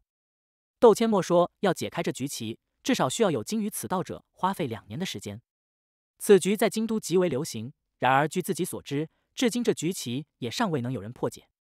可张桓公说徐小贤破了此局，他当然就难以置信了。张桓公一缕长须，淡然一笑，又对唐无望说了一番曾经对苏菲说过的话：“对婆芝解了此局，他仅仅是看了几眼，就将这棋局给破了。”唐无望和云皇后顿时就瞪大了眼睛：“你可记得他是如何解的？”张桓公点了点头，在棋盘上摆出了七星聚会的阵势：“皇上、皇后，请看。”他一步步的走着棋，唐无望死死的盯着棋盘，将那每一步都记在了脑子中。过了半炷香的功夫，棋走完了，棋盘上各剩三子，和局。等等，你。你再复盘一次，再慢一点。于是张桓公又花了一炷香的功夫，再次走完了棋局，结果依旧如此。这一次唐无望记住了，他很高兴，这破解之法还未曾传入京都吧？张桓公摇了摇头，这破解之法目前就老臣、老臣那弟子季玉儿，还有苏菲，就是江南苏府的那位大才女知道。好，婆之果然大才。唐无望暗自窃喜，等朕回到宫里，将窦阡陌给召入宫中。朕和他对弈此局，定然会吓他一大跳。这老匹夫对朕的棋艺向来不屑一顾，甚至觉得教朕棋艺是在浪费他的时间。朕给了他银玉佩，然而除非朕叫了太监去书院请他，否则这老匹夫从不会主动入宫来和朕聊聊棋艺。哼哼，这一次朕就要让你知道这破棋有什么了不起的。朕出巡一趟，闲来无事，得那灵感一思，不也就解开了？至于以后徐小贤进了京都，窦阡陌就算知道了实情。那也是一年半载之后的事了。他想着，窦阡陌看着自己轻易破开这七星聚会之后的那副震惊、吃瘪的模样，顿时就笑了起来。婆芝这孩子，朕来梁邑县，不是像你想的那样，是要对婆芝做出什么不利之举的。你在京都那么些年，理应知道，朕也不是那种刻薄寡恩之人。徐小贤是朕的大哥，大臣开国大元帅许云楼的儿子。有些事你不知道，但现在朕得给你说的稍微明白一些。朕一直关注着徐小贤。若不是朕看着他，或许早已夭折了。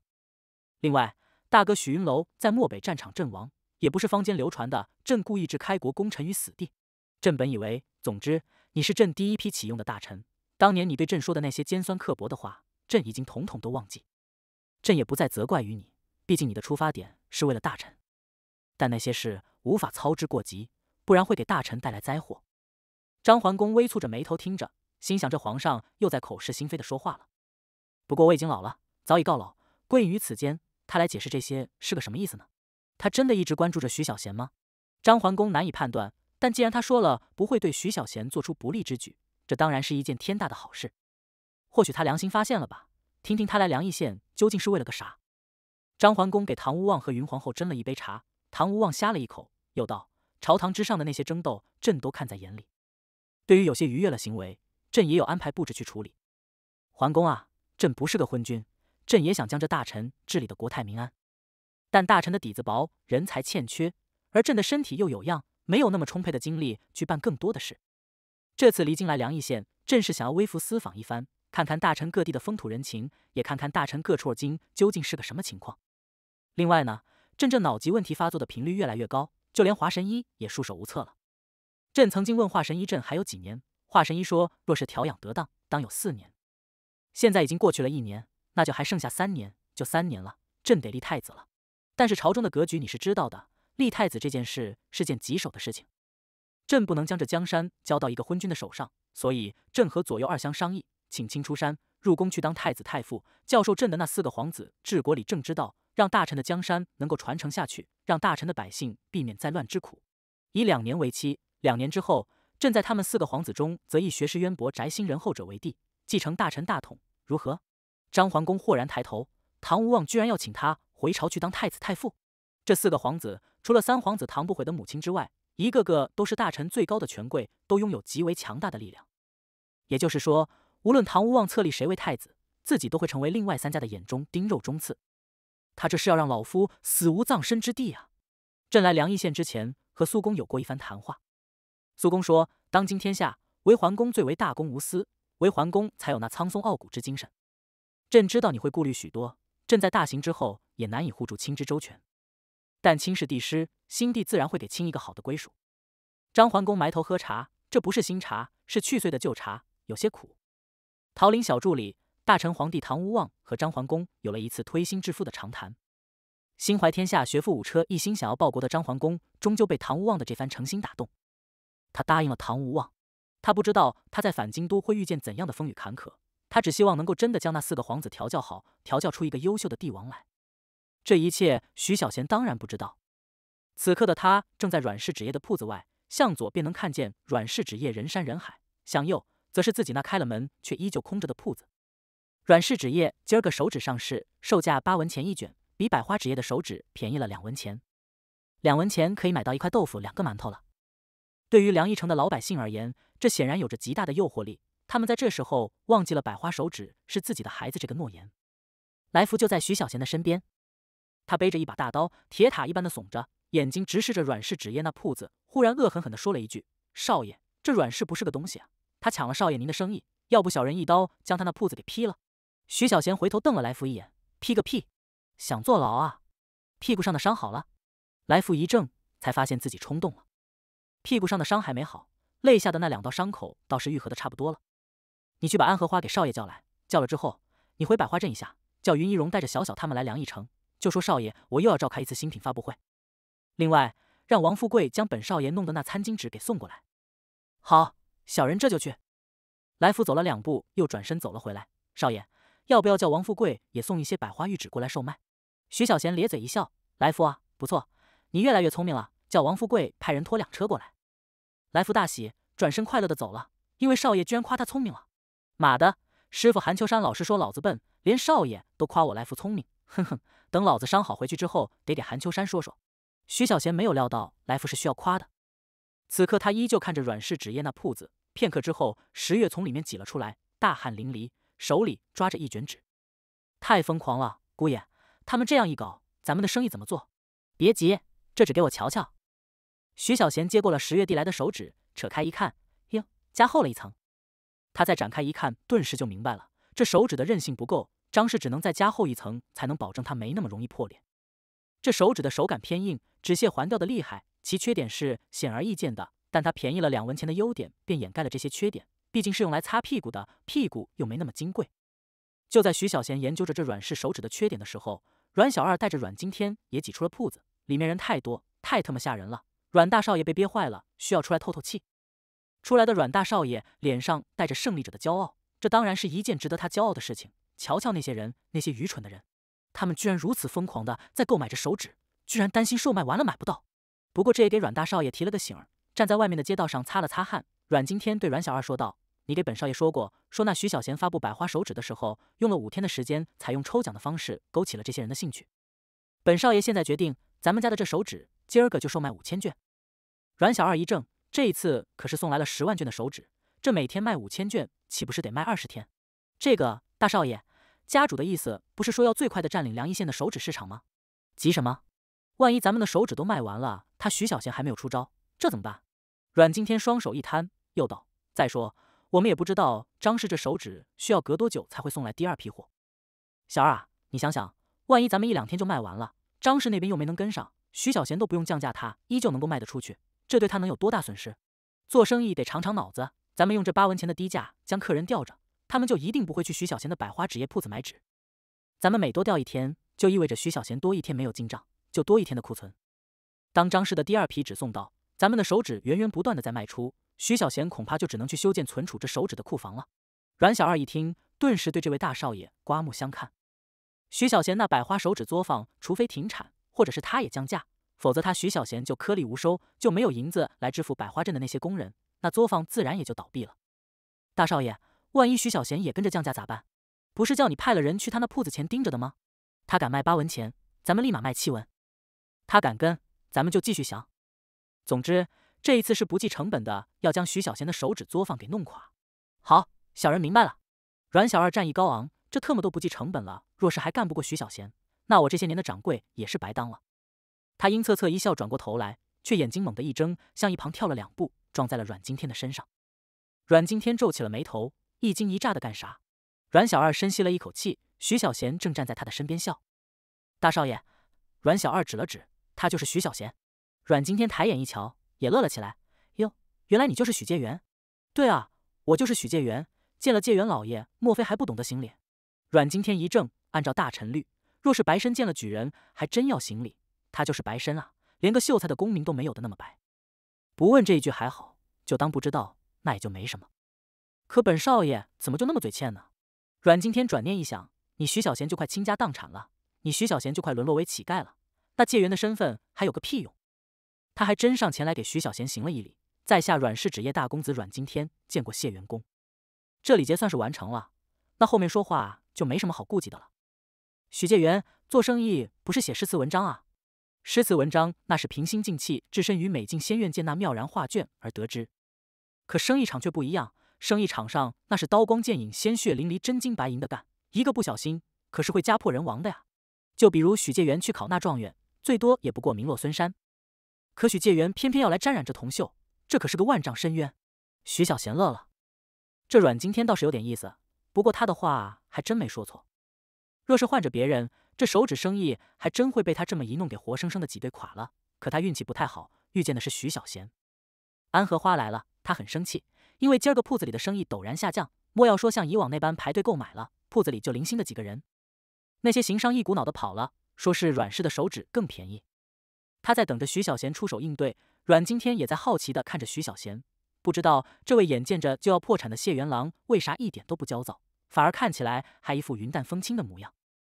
这大致就是死鸭子嘴硬吧。阮经天如是想着，便见徐小贤忽然回头向他打了个招呼：“阮公子，我去忙活了，你这纸我建议你尽快卖完，不然待会我就怕你卖不出去了。”阮经天一怔，看着徐小贤离去的背影，脸上露出了一抹微笑：“嘿嘿，本少爷会上了你的当吗？”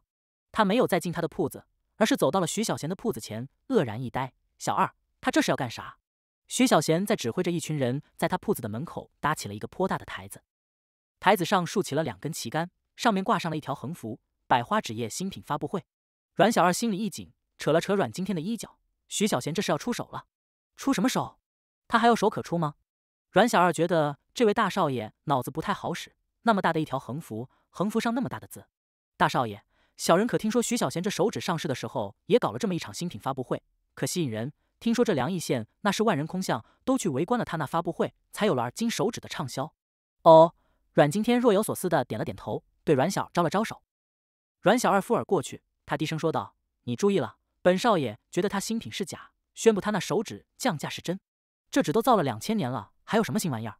但这家伙也有两把刷子，借着新品的由头将人吸引过去，然后宣布降价，这才是他的真正目的。依旧是那策略，敌不动我不动，敌动。”我们就动得更厉害那么一些，我倒要看他徐小贤能跟多久。阮小二心想，你怕是对徐小贤不太了解，知道是造了两千年了，可这之前有手指吗？没有。徐小贤弄出了手指，现在极有可能他还真的又弄出了什么新的指来。难道这小子要放弃手指去经营他的新指？这新指又是个什么指呢？他能有手指那样大的销量吗？显然没可能。屁股得天天擦，但诗词文章却不是天天做。屁股人人都有一张。但才子文人的数量却有限。咦，大家快来看呀！徐小贤在这呢！一声咋呼在阮小二的耳旁响起。阮小二最怕听到这样的声音，他的心里陡然一惊。果然，许多的人听到这句话之后跑了过来。喂喂喂，许公子要发布新品了，肯定又是什么好东西！快快快，咱们去前面占一个好位置。你特么别挤，挤个屁呀！别理他，他不知道许公子的新品发布会有多么精彩。说的也是。百花手指上市这么久了，徐公子一直未曾有新的动静。等了这么久，这次肯定又有大招。我说，你们若是真的支持许公子，就去他那铺子里买啊，就多两文钱，质量比这软式好了不知道多少。我说你们傻，你们还不承认？来来来，本少爷对比给你们瞧瞧。这厮是娄永年，他这一吆喝还真吸引了许多人的视线。他将两种不同的手指摊开来，又大声的说道：“首先，这色泽上软式的手指有许公子的白吗？没有。”其次，在手感上，你们对比一下，摸一摸，许公子的手指虽然只有三层，却柔软坚韧，真正实现了对你们屁股的最好的呵护。再看这软式的纸，质地偏硬，还易碎，所以他不得不采用了四层来加固。你们以为是占了便宜？四层的玩意儿和三层的手指一般大小，那么长度肯定就没有许公子的手指那么长。这意味着什么？意味着软式手指比百花手指少擦了许多次的屁股，就便宜两文钱，这真的值吗？本公子觉得你们。全特么眼瞎，娄永年这句话有些招仇恨，但这话却有几分道理。甚至有人将两种纸给扯了开来，再一对比，结果显而易见，阮氏手指比百花手指短了一大截。卧槽，阮氏就是个骗子！妈的，这短的这一部分最多也就值两文钱啊！关键是还没许少爷的纸好用。退货退货，不行，这亏老子不能吃！让让让让，我要退货！退货退货，阮氏骗子，我们都要退货！娄永年笑了起来，他看着又疯狂涌入了阮氏铺子的那些人，摇了摇头。渔民的人生就是这么容易操控，且看你阮氏如何应对。阮小二就吓了一大跳：“大少爷，不好！遇事别慌，阮今天眉间一蹙，有了，给所有买了咱们手指的人每十卷送一卷，你去办。我瞅瞅徐小贤还有什么阴招。别说这一弄，那些渔民们又开心了，十卷赔一卷，这总长度也差不多了吧？不过阮小二的心却在滴血。”这一上午的时间，可是卖出去了足足三千多卷，这就白白的亏损了三百多卷啊！阮经天倒是觉得无所谓，三百多卷才多少钱？不过区区二两半的银子还没到，就是少爷我吃一桌席面的银子，对于阮氏而言，九牛一毫都不到。他丝毫没有将这事放在心上，他又看向了那搭起来的台子，心想：徐小贤搞这么大的台子，莫非他还要请来戏班子在上面唱戏不成？这是商业的竞争，玩这些花里胡哨的东西，并没有什么大用。最终依旧得落在价格上来，所以徐小贤这不过是在博人眼球罢了。这时候，大臣皇帝唐无望和云皇后也在魏公公的陪同下，在十几个龙御卫的保护下走到了这里。这是怎么回事？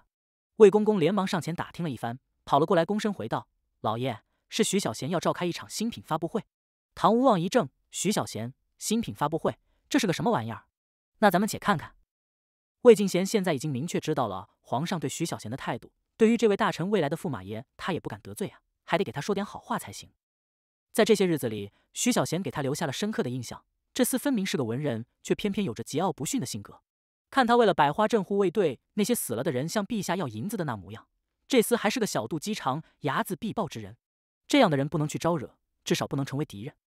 魏公公如此想着，又道：“是这样，阮氏就是凉州最大的纸商阮氏，在这凉邑城里开了个卖纸的铺子。”今儿个他这铺子也上市，开始售卖手指，比比许公子的手指便宜了两文钱，所以许公子决定要召开一场发布会来予以反击。老爷要不要压一下阮氏？在魏晋贤看来，只要皇上说一句话，张泽相就会主动的将这市场让出一部分来，徐小贤的日子自然就会过得更滋润一些。可唐无望却笑了起来，这样好啊，能够便宜两文钱，得到实惠的是老百姓嘛。且先看看他如何去应对。娄永年正好站在唐无望的旁边没多远，他听到了后面这句话，于是看了看唐无望，京都来的。我说，你们这些商人真的是被猪友蒙了心。许公子那手指，我都怀疑你们用过没有。阮氏的手指能和徐小贤的相比，差得远了去了。再说了，许公子卖纸所得利润全部是拿去建设百花镇的，这阮氏呢，他们的意图是击垮许公子，然后垄断这市场。你们和那些老百姓一个样，有眼无珠，只知道当下。看不见长远，娄永年悠悠一叹，忽略了唐无望那双要杀人的眼睛。他望向了正在忙碌的徐小贤。若是徐小贤的造纸作坊倒了，你们那屁股就会变得金贵起来，因为张氏造出来的手纸将会卖到百文钱一卷去。这些瞎眼的老百姓们，又要回到用棍子的时候喽。唐无望深吸了一口气，用眼神制止了龙玉卫，向娄永年靠近。这位公子，你这话倒是有些道理。不过这阮氏极有财力，背后还有张氏支撑，徐小贤他哪里有多少银子？如果阮氏就这么跟他耗着降价，徐小贤那作坊岂不是也得倒闭？娄永年又看向了唐无望，咧嘴一笑：“大叔，这你就不知道了。咱们许公子那智慧近乎于妖，百花纸业可是他的命根子，岂是这阮氏能够击败的？”他伸手一指：“你们瞧瞧，这围观的人是不是越来越多了？阮氏铺子里的人是不是越来越少了？放心吧，待会定会有好戏上演。”唐无望没见过什么新品发布会，但字面的意思容易理解。这么说，徐小贤弄出了新的制品来。云皇后看着站在台上的徐小贤，脸上又洋溢起了满满的温情。这孩子为了百花镇，当真太不容易了。回宫之后，得请皇上将他的手指也纳入皇商采购，让他肩上的担子能够轻一点，让他活得更惬意洒脱一些才好。就在这时候，街巷的另一头响起了喧天的锣鼓声。那锣鼓声由远而近，有人在大呼起来：“哇，百花馆的美人又出来了！梁一城的老少爷们，咱们又有一场好戏可看了。”还在阮氏铺子买纸的傻子们，许少爷的后宫团到了，还不出来看个热闹？这话有些奇异。云皇后瞅了唐无望一眼，唐无望倒是没有对这句话生气。以云一容为首的百花馆的小娘子们，一个个穿得花枝招展，她们敲锣打鼓的来到了徐小贤的铺子前面，然后进了那铺子，鼓声停歇了下来。接着是王富贵亲自带来的几辆马车，马车上装着一口口的木箱子，他们将木箱子抬入了铺子里，然后恋恋不舍的离开。台子前聚集了山海般的人群。唐无望等人在中间，十几个龙御卫紧张的护着，生怕出了岔子。阮氏铺子里的人空了，阮小二也挤到了阮经天的身旁，心里一声叹息：这徐小贤在梁邑县的号召力实在太强大，以至于他现在很担心东家会不会被徐小贤给弄垮了。这个念头吓了阮小二一跳，阮氏那么强大的财力，怎可能被徐小贤这小蚂蚱给弄垮了呢？徐小贤站在了台子上，他手里依旧拿着用纸卷成的喇叭：“诸位父老乡亲，大家上午好。”一声大吼，下面的街坊们顿时爆发出了震天的掌声来。云皇后此刻心里居然也激动了起来，她看着站在高台上的徐小贤，那阳光正好洒落在他的身上，那一袭白衣的少年此刻似乎金晃晃的，他成为了所有人的焦点，他成了万众瞩目的对象。这一幕怎么那么熟悉？似乎在哪里见过？对了，当年云楼大哥沙场点兵也是如此的恢宏气势。距离第一场新品发布会，转眼之间就过去了半年。这半年里，百花纸业在大家的呵护下茁壮的成长了起来。请让我徐小贤代表百花镇五万多的老百姓，向梁义城的老少爷们们致以深切的感谢。徐小贤鞠了一躬，又迎来了山呼海啸般的掌声。瞧瞧，老子给你们说吧，就便宜两文钱，还没徐少爷的纸好。为啥不支持徐少爷？对对对，幸亏我没买阮氏的纸，我一定会支持徐少爷。我那女儿还想要嫁入百花镇呢。妈的，老子那婆娘非得要我买阮氏的手纸，说是便宜。以后老子不听婆娘的话了，坚决支持徐少爷。就冲徐少爷那谦虚的态度，他可是举人老爷借元郎，他居然向我们鞠躬了。小老看看徐少爷有何新品，待会无论如何都要买一些。老百姓的窃窃私语自然也传入了唐无望的耳朵里。他愣了片刻，极有深意的又看向了徐小贤。百花闻香，天下无双。百花纸业伴你美好生活每一天。这里是百花纸业新品发布会的现场。上一次咱们发布了呵护大家屁股的手指，手指的诞生改变了所有人千年以来的陋习，让大家明白了原来入宫也可以如此舒服。那么今儿个咱们百花纸业又要发布哪些划时代的新品呢？徐小贤就此打住，他一脸微笑的将视线扫过了众人，所有人的脸上都是满满的期待。就连唐无望的心都被徐小贤给吊了起来。指这个玩意儿，他还能玩出个什么新花样来？姐姐，姐姐！继父季仙儿从外面飞奔来，他就像一阵风一般的刮到了后花园里，令正在说着私密话的季玉儿和周若兰都吃了一惊。淑女，形象呢？火烧到你屁股了？季月儿的脸儿有些红。刚才正和周若兰说到那洞房中要注意的事，这还没有听完呢，却被季希儿给撞没了。少女有些不开心，她瞪了季希儿一眼，端起了桌上的茶杯，又道：“就算是某个大将军瞎了眼，当真娶了你，人家可也是希望自己的妻子温柔贤惠的，娶一个火炮放在家里，是个男人恐怕都受不了。”季希儿一怔，我好心好意骑着马跑回来告诉你，徐小贤在弄新品发布会，你居然还如此对我，好心当成驴肝肺，那我就懒得理你了。季希儿脖子一扬，转身就走，撂下了一句话来。哼，某人的相公可正在那么多的女人面前出风头呢。这春天到了啊，男人那花儿一旦开了，可是有不少的蜂蝶去采蜜的。季玉儿一惊，站住！你叫我站住，我就站住，那样我多没面子。再说我又不是淑女，我也不在乎形象。至于那位眼下的大将军，嘻嘻，我还没遇见呢。不是，季仙儿，许郎在干啥？季仙儿回头，眉眼一飞，就差手里拿着一张手帕一摇了，还能干啥？就是开个新品发布会呗。既然你没兴趣，本姑娘倒是要去瞧瞧那热闹了。说不定呀，有一天本姑娘找不到那瞎眼的大将军，抓一个会经商的谢元郎也是不错的。季仙儿瞥了季玉儿一眼，抬步又往前走去。喂喂喂，等等我！季玉儿砰的一声放下了茶盏，从凳子上跳了起来，就向季仙儿跑了过去。周若兰目瞪口呆，季仙儿回眸一笑：“咦，淑女啊，形象呢？火烧到你屁股了？报应来得如此之快，这是季玉儿始料未及的。”但现在可顾不得这些了，他恶狠狠地瞪了季希儿一眼，贫嘴，还不快走！我这时又不想走了。那新品发布会有啥好看的？又不是沙场点兵，你要去自己去，我没兴趣。红衣少女脖子一扬，嘻嘻一笑，我就气死你季玉儿！五两银子！季玉儿果断地抓住了季希儿的命脉。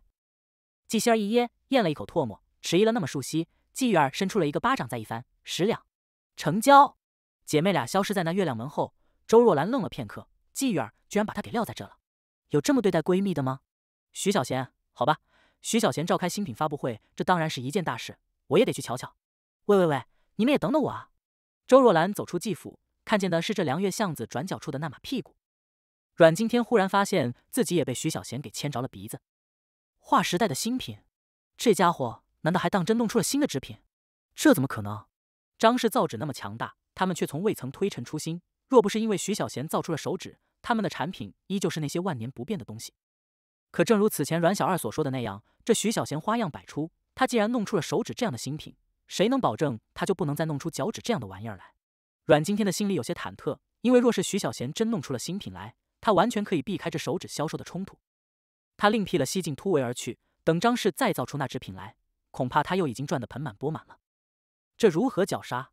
这没办法把他的造纸作坊给挤兑垮呀！莫急，说不定他是虚张声势。再瞧瞧，徐小贤在那高台上淡然的来回走了两圈，等下面的一大群吃瓜群众的胃口都被吊了起来的时候，他才又走回了高台的中间。他看见了那一对富贵夫妻，他冲着云皇后咧嘴一笑，笑得云皇后脸上的喜意更浓。这孩子真有意思，这孩子他若是我的儿，那该有多好啊！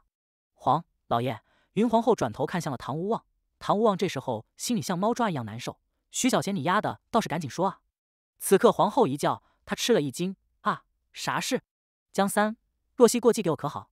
她是皇后，名义上虽然有个儿子，但这个儿子却在景国为质子。除非是大臣强大了，将这个儿子给接回来，否则唐不归恐怕永远都难以再归。那么皇后膝下就无儿无女，这实在有些凄凉。我想的是，确定了某个儿子之后，将这儿子过继给你。这样，就算我某一天死了，你依旧能够很好的活着。我叫若曦，若是你真将某个儿子过继给我，恐怕他的生母会对我更加怨恨。这事儿回去再说。好。此时，一匹大白马从街巷的另一头冲了过来，停在了人群外。季玉儿放眼一瞧，来晚了，这么多的人根本就挤不进去，怎么办呢？妹妹，带我飞进去。这落在人家头上怎么办？不管，我想要靠台子更近一些。对了，把面纱蒙上。加钱五两，好，准备了。姐妹二人蒙上了面巾，季仙儿站在了马背上，拦腰抱起了季玉儿。她深吸了一口气，心里有些惴惴。飞倒是已经熟悉了，但带着一个人飞，这可还真的是大姑娘上花轿头一遭。一个人飞也是飞，两个人飞同样是飞。看在那五两银子的份上，红衣少女银牙一咬，那两条大长腿一发力，她抱着鲫鱼儿飞了起来。她飞到了人群的上空，她想要飞到那台子上去，然而这才飞了一半，她陡然觉得内力不济。她抱着鲫鱼儿向茫茫人海落了下去。好死不死，这里真是中间，下面正好是唐无望。唐无望吓了一大跳，这还有刺客？十几个龙御卫顿时将唐无望和云皇后围得更紧了一些。他们甚至拔出了剑，准备将天上掉下来的这两个人儿捅两个窟窿。啊！季星儿一声尖叫，他看见了下面寒光闪闪的剑呀，这落下去岂不是完犊子了？他强提了一口真气，往前飘了那么一点点，那地方站着的是阮经天和阮小二。云皇后抬头，便正好看见天上一红一白两个姑娘掉了下来。砰！季希儿砸在了两个人的头上。阮经天陡然觉得脑袋仿佛被从天而降的一记闷锤给狠狠地锤了一家伙。他脑子顿时就晕乎乎的，甚至两只眼睛看见的都是小星星。阮小二也不例外，他就像喝醉了酒一样，就向阮经天靠了过去。阮经天又不会武功，再加上平时被那酒色早已掏空了身子，他也软了下去。季仙儿抱着季儿也有近两百来斤啊，他最后的那一口真气已经涣散，当真是实打实的落下来的，还不是头上脚下，他是躺着下来的。原本应该砸到更多的人，可其余的人发现了不对，他们蹲了下去。这力量就实打实的由阮经天和阮小二给分担了。二人受了这一记重击，他们的两眼冒着星星，却没有倒下去。人山人海的，没地方给他们倒啊！季星儿就觉得腰有些痛，她落在了地上，放下了姐姐，才发现姐姐被吓得冷汗淋漓，花容失色。徐小贤当然也看见了，他摇了摇头，季星儿这技术，哎，造成这样的空难也在情理之中。回去之后可得告诉季玉儿一声，万万不可让季星儿带着飞。他马力不够，驾驶技术还不行，带不动的。阮经天这时候使劲的甩了甩脑袋，将眼前的那些小星星给甩了出去，又推了阮小二一把。睁开眼，陡然发现面前站着两个俏生生的美人儿。这，阮经天倒吸了一口凉气，他那眼珠子就转不动了。季玉儿和季仙儿虽然蒙着面巾，但依然罩不住他们光彩四溢的那亮丽色彩啊。阮经天阅女无数，但像眼前这样清丽脱俗的女子，他实在是没有见到过。这一时之间，他忘记了自己的脖子还在痛，更忘记了找季玉儿姐妹俩算账。他咽了一口唾沫，拱了拱手：“两位小娘子，在下阮氏大少爷阮经天。”枪的一声，季仙儿手里的剑出鞘一尺，他瞪了阮经天一眼：“你闭嘴，看发布会呢。”阮经天吓了一跳，他果然闭上了嘴，觉得这小娘子太过泼辣。不过本少爷真的很喜欢呀。不是，你们砸到了本少爷，还这么凶呢？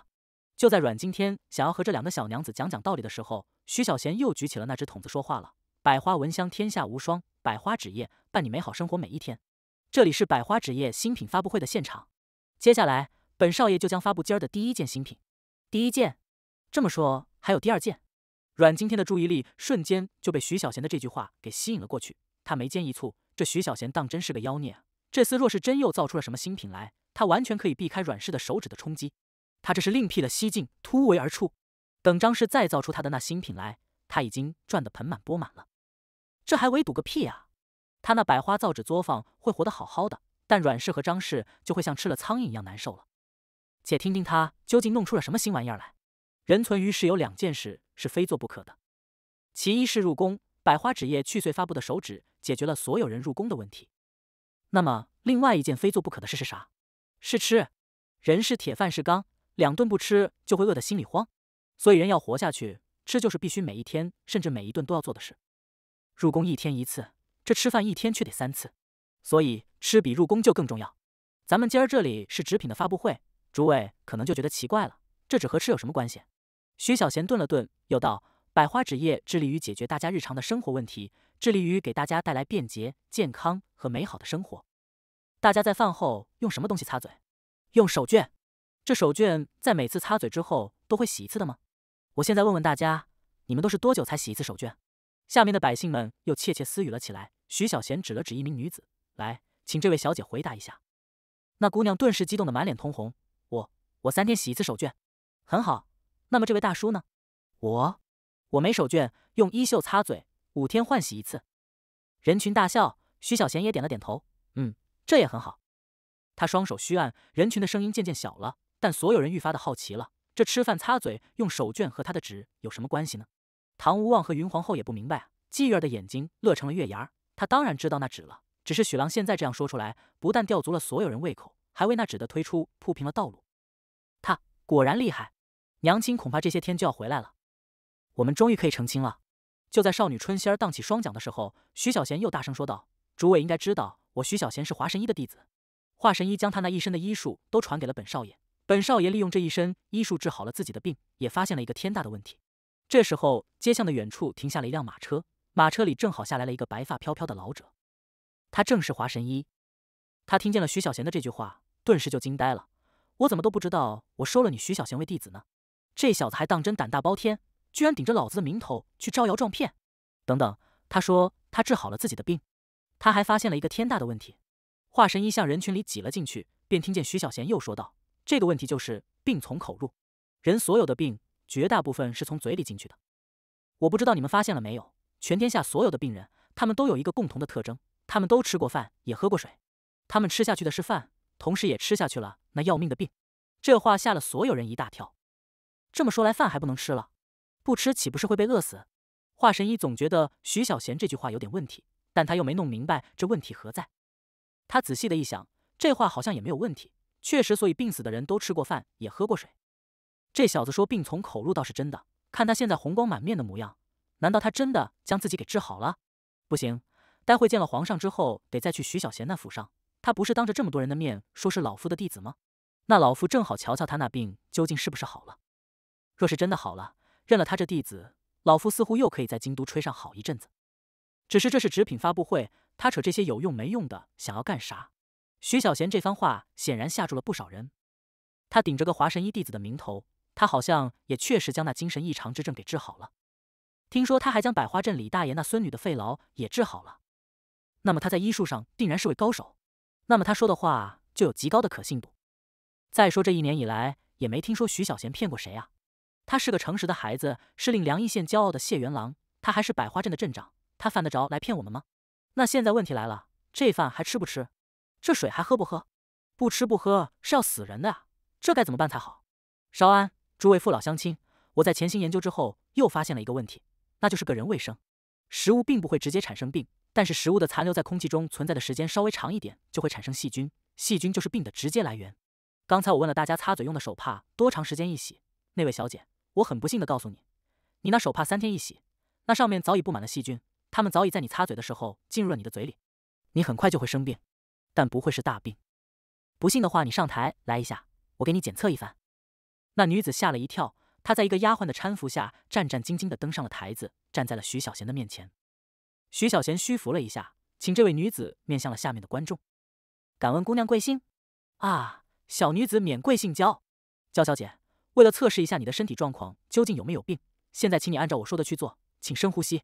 对，继续深呼吸，再来，好，继续。全场鸦雀无声，尽皆望着台子上，就连华神医也不例外。这小子这是一种什么检测方式呢？行医不是望闻问切的吗？他这一手是个什么讲究？就在这时候，徐小贤又说话了。现在请焦小姐对着所有人大吼，一口气吼出来。啊，对，就是这样，继续吼。啊，别停。吼到体内的气全部排空为止！啊，这位焦小姐的声音明显的变小，然后就在所有人震惊的视线中，她砰的一声一头栽倒在了这台子上。哇，她真的有病！徐少爷厉害，这位小姐果然病得不轻。徐公子，这里这里，我我也想请你帮忙测试一下。人声鼎沸，华神医就惊呆了，那女子不会是托儿吧？不然她怎么就真的晕过去了呢？还是这徐小贤已经青出于蓝而胜于蓝了？他都不用切墨的。他难道早已通过望就知道了那女子有病？不仅仅是华神医惊呆了呀，唐无望和云皇后也目瞪口呆了。这唐无望倒吸了一口凉气，婆芝这医术似乎超过了华神医了。魏公公醒过神来，躬身一礼：“老爷，临行前得请许公子帮您瞧瞧。”唐无望的眼里闪过了一抹色彩来，且再看看。他眯着眼睛望向了徐小贤，没人知道他此刻在想着什么。徐小贤心里有些愧疚的对那吓傻掉了丫鬟说了一句。扶你家小姐先去下面休息一下。那丫鬟这才醒过神来，费力的将那位娇小姐给半拖了下去。徐小贤又冲着人群虚按了一下双手，他看向了那脸色惨白的大叔。那位大叔，你更要注意了，五天一洗的衣裳，那袖子上全是细菌，你最好去找个大夫看看，说不定病已经在侵蚀你的身体。那位大叔突然倒向了他身边的一个人，那人连忙一让，砰的一声，那大叔倒在了地上。卧槽！徐小贤自己也被吓了一跳，其余人更是大惊：“许公子，许公子太厉害了！”他仅仅是问了两句，结果两个人都因病而倒了。我的天，原来我们用来擦嘴的手绢和衣袖才是病的主要来源，那以后肯定不能再用了。那用什么来擦嘴呢？徐小贤这时候正好看见了周若兰挤了进来，他连忙招呼了一声：“喂喂喂，若兰，叫你家郎中快点来救人。”周玉周掌柜在这里啊！他不但看见了，此刻还听见了，心想：许公子这样的岐黄高手，恐怕不屑于出手。那就由周氏医馆来给这人医治吧。周玉挤到了这中年男子的面前，将他扛在了肩上，挤了出去。人群的视线跟随着周玉，直到周玉消失不见，他们这才收回了视线，再看向徐小贤的目光便充满了敬畏和尊重。这位年轻的徐府少爷不仅仅是界员，他还是一位悬壶济世的高手啊！只是这手绢都不能用了，该怎么办呢？徐小贤这时候扫视了一眼众人，面色变得严肃了起来。大家都看见了。若是你们依旧心里存有疑惑，这不怪你们，因为细菌病毒这个东西太高深，你们不会懂得。那么如何解决这吃饭的卫生问题，不让细菌侵蚀大家的身体呢？这么长的时间以来，我一直在潜心研究一种新的产品，它更卫生、更便捷，也更能呵护你们的健康，带给你们幸福生活的每一天。现在我宣布，这种产品已经研发了出来，它的名字就叫百花餐巾纸。有请百花纸业形象代言人云一荣登场。让他给大家详细介绍百花餐巾纸的使用方法和功能功效。咚咚咚咚，一阵喧天的锣鼓声响起，穿着一袭白裙、戴着面巾的云一荣粉墨登场。他俏生生地站在了台子的中央。他向所有人盈盈一礼，然后取出了一个颇为精美的盒子。这个盒子是用纸做的，三层瓦楞纸，同样是徐小贤捣鼓出来。这盒子上印刷着极为精美的图案，上面开了一个口子。他一手托着这小小的盒子，一手从上面的那口子里扯出了一张纸来。百花闻香，天下无双。百花纸业，伴你美好生活每一天。这里是百花纸业新品发布会的现场，奴家云一荣，我为百花纸业代言。这就是许公子耗尽心血研究出来的餐巾纸，它比手指更白净，也更柔软，关键是它没有丝毫的粉尘。云一荣抖了抖手里的纸，又道：“它是用来擦嘴和擦手的。当然，若是您不缺银子，他当然也能擦屁股。”病从口入。手绢这种东西便是罪魁祸首。为了大家的健康，奴家希望大家能够改掉昔日之陋习，丢掉你们的手绢吧。往后余生，百花餐巾纸和你们朝夕相伴，不离不弃。人们看着台上的那位美人儿，视线却都聚焦在了那盒子上，因为这关乎着所有人的健康和性命。它显然比这美人儿更为重要。后台那锣鼓忽然又咚咚的响了两声，接着便见一穿着一身绿色裙儿的女子抱着一把琵琶走了上来。她是莫小小。她在台上奏响了琵琶，云一荣在这琵琶声中冉冉飞起。他依旧一手托着那纸盒子，另一只手落在了这盒子上。他飞到了人群的上空，一边飞一边将盒子里的纸给扯了出来，然后洒落。那些雪白的纸便如雪花一般的向下面的人群飘了去，人群再次沸腾了起来。魏公公很紧张，因为人群在流动。他死死地站在皇上的身侧，示意十几个龙御卫的高手将皇上皇后身周两尺之地给圈了起来。他们就像一个圆一样，被人群挤得荡来荡去，却未能破开。一张纸飘到了云皇后的面前，她身上一抓，抓住了这张纸，展开来一看，这是一张比巴掌大不了多少的纸。这纸确实比那手指更为洁白，入手更觉柔软，也没有丝毫的纸屑粉尘。他笑了起来，用这样的纸来擦嘴，倒是稀奇。稍远处的阮经天看着天上飞的云衣容，眼睛都看直了。这，他咽了一口唾沫，这梁邑县怎么会有如此多的美人儿？前面那两个，他放眼一瞧，将他差点给砸晕的那两个美人儿，被挤到前面都快看不见了。那两个美人儿蒙着面巾，天上飞的这个也蒙着面巾，看那妙曼的身姿儿，那仅是修长白皙的长腿儿。他抿了抿嘴唇，忽然发现来这梁邑县是对的，不虚此行啊！小爷我要在这梁邑县多待一些日子，凭着阮氏的名头和财力，小爷我无论如何都得抱回一个美人来才行。如此想着，他忘记了正事，恰好这时候也有一张纸飘到了他的脸上。他刚刚伸出了手来，想要抓住，可紧接着他就啊的一声发出了凄惨的尖叫。阮小二吓了一跳，抬眼一瞧，一名女子一爪子挥在了大少爷的脸上。那一爪子显然是用了力的，天可怜见的，大少爷的脸上出现了三道血痕。不就是一张纸吗？这特么的！那女子抢到了这张纸，浑然没有在意刚才伤到了人。他正在乐呵，看着手里的纸从乐呵变成了狂喜，他还跳了起来呀！我抢到了，我抢到了！这纸，这纸真好！他拿着那张纸，挥动着手臂，还在跳，一边跳一边冲着台子上大声的喊道：“许公子，看这里，我是如花呀！”你是我的时光，也是我的岁月。这特么莫非是个疯子？阮小二哪里见过如此疯狂的场面？大少爷被他所伤，这事儿得说说道理，对吧？于是阮小二一把抓住了姬如花的手臂。姑娘，姬如何正兴奋呢？他一甩手，将阮小二的手甩开，还在兴奋的直跳。我说姑娘，阮小二这次手上用上了劲道。姬如花吃痛一惊，没跳了。她盯着阮小二，愕然问道：“这光天化日之下，你这小老头想干啥？”不是，你刚才伤到我家公子了。你家公子又是谁？阮小二一指，姬如花心里一紧，她看见了阮经天，太惨了。这少年怎么脸上血乎乎的？这和本姑娘有啥关系？我家少爷这脸是被你刚才给抓的，你说有没有关系？姬如花不愿意了，她双手往腰间一插：“你哪只眼睛看见的？你问问周围的人，他们谁看见了？”再说，本姑娘心里仰慕的只有徐小贤一个。你家这公子，姬如花上上下下打量了阮经天一眼，眼里满是鄙夷。你家这公子，本姑娘可瞧不上，滚！又一张纸从天上飘了下来，姬如花一瞧，转身就扑了过去，再没搭理阮小二。这阮小二就郁闷了，他忽然发现这满场的人都没有一个证人，所有的人都望着天，看着天上的那个不知道飞了几圈的人儿，也看着那些飘扬的纸片。少爷，咱们赶紧去包扎一下。阮经天那个气啊！他看不见，但是听见了的。这梁义县的女人怎么如此的不讲道理了？这能怎么办呢？走走走，快扶本少爷去医馆。阮小二扶着阮经天走了。云一荣起起落落在天上飞了五圈，他回到了台子上。莫小小停下了手来。云一荣又向全场的老百姓道了一个万福。他气沉丹田，声音陡然在全场响起：“这就是百花餐巾纸，它洁白无瑕，柔中带韧，它可用于饭后，亦可用于茶后，它还可以在洗手后净手。”它也可以在入宫后当手纸来用。诸位父老乡亲，百花产业一直致力于改善人们的生活，让人们的生活更美好、更便利，也更健康。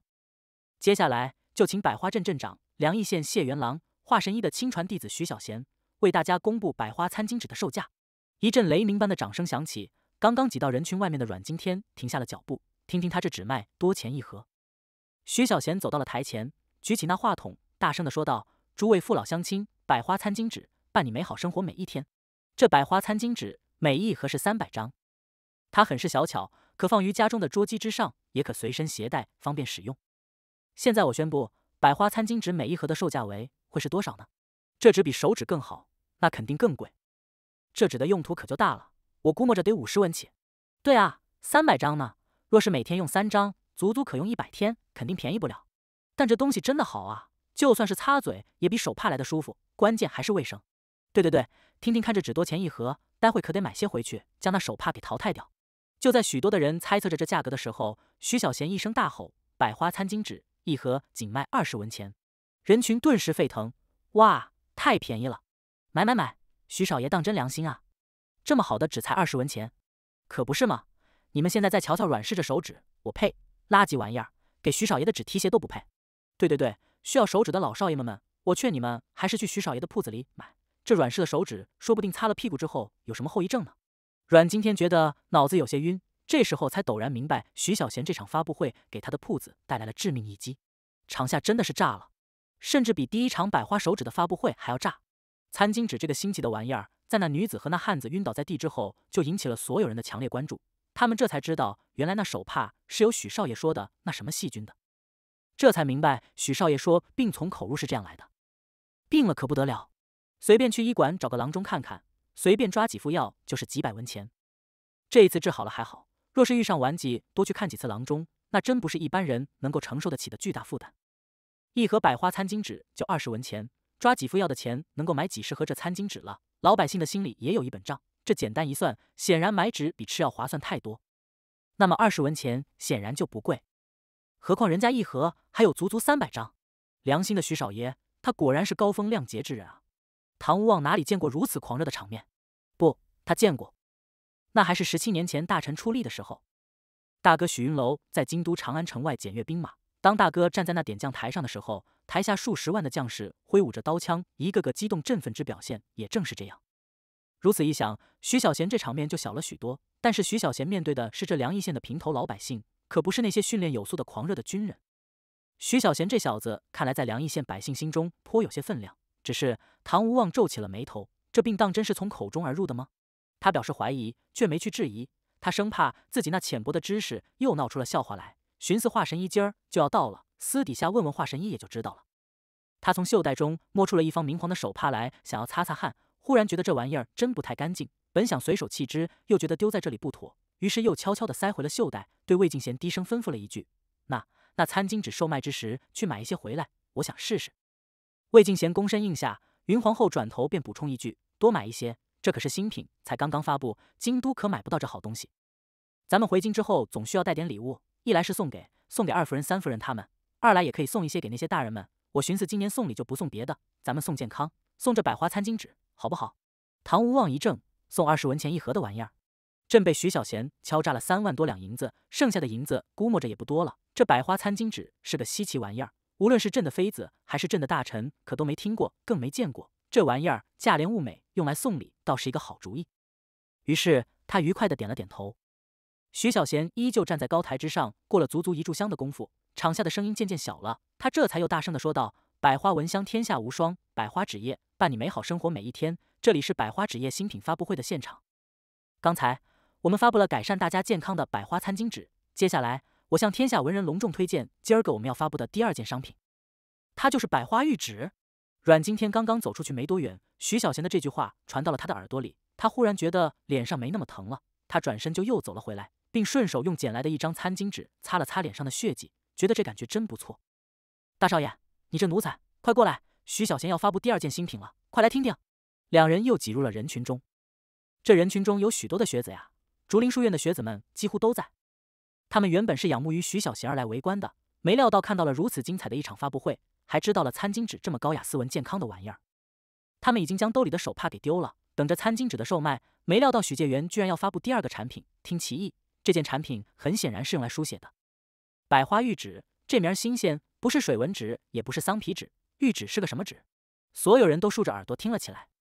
曾经许多的学友问我一个问题：我是怎么考上介元的？其中有什么诀窍？这个问题，今天在这里为大家解答。这话一出，人群又沸腾了起来。哇，许介元这是要传授心得了？好生听听，许介元可不一般，人家拿一次介元，他可是连拿了两次介元的人。对对对，尤其是第二次，他可是带着那精神异常之症去参考的，成绩三个甲上两个甲中，放眼整个北境，这也是妥妥的第一呀。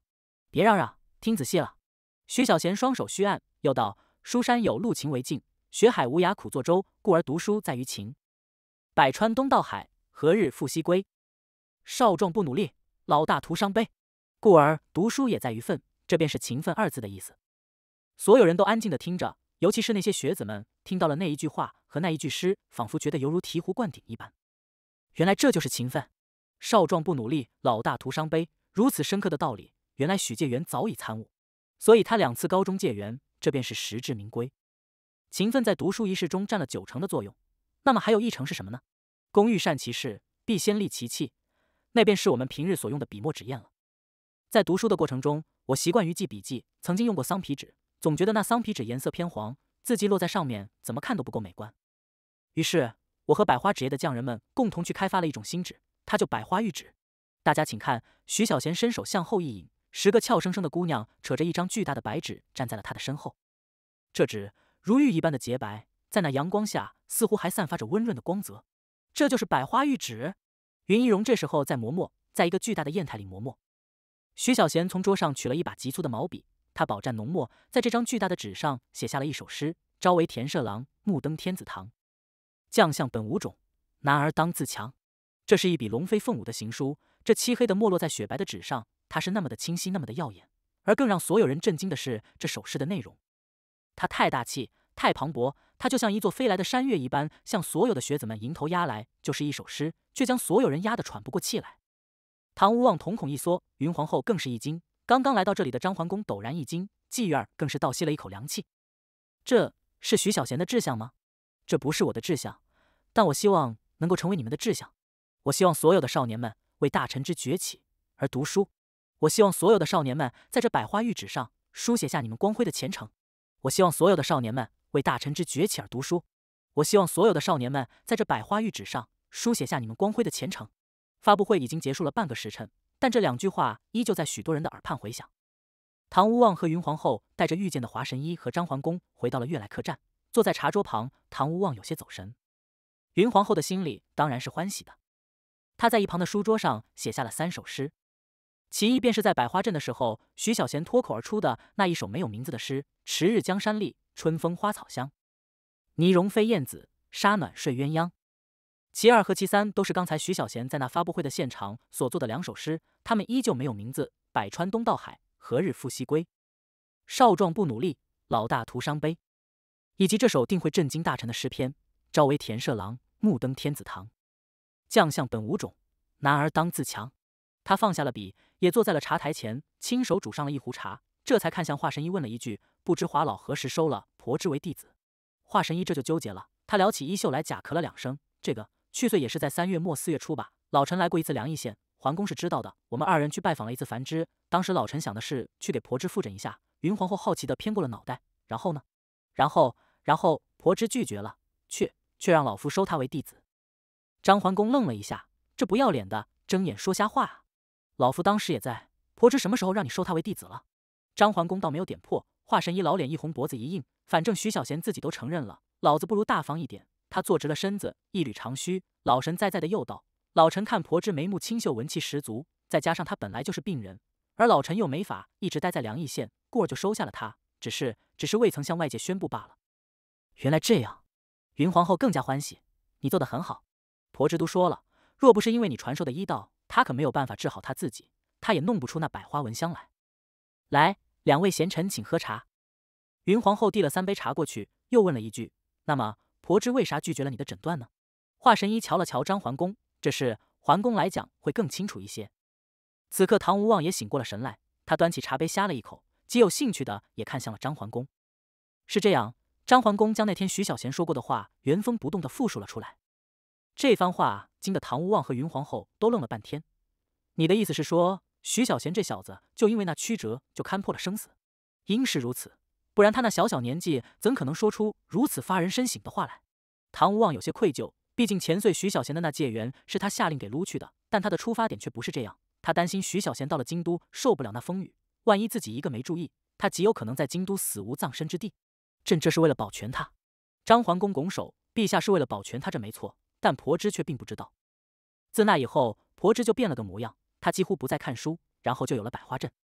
祸兮福之所以，福兮祸之所伏。老臣不知道这是好事还是坏事，但他不想当官这个心思儿显然未曾改变，不然他不会在刚才的发布会上说这不是我的志向。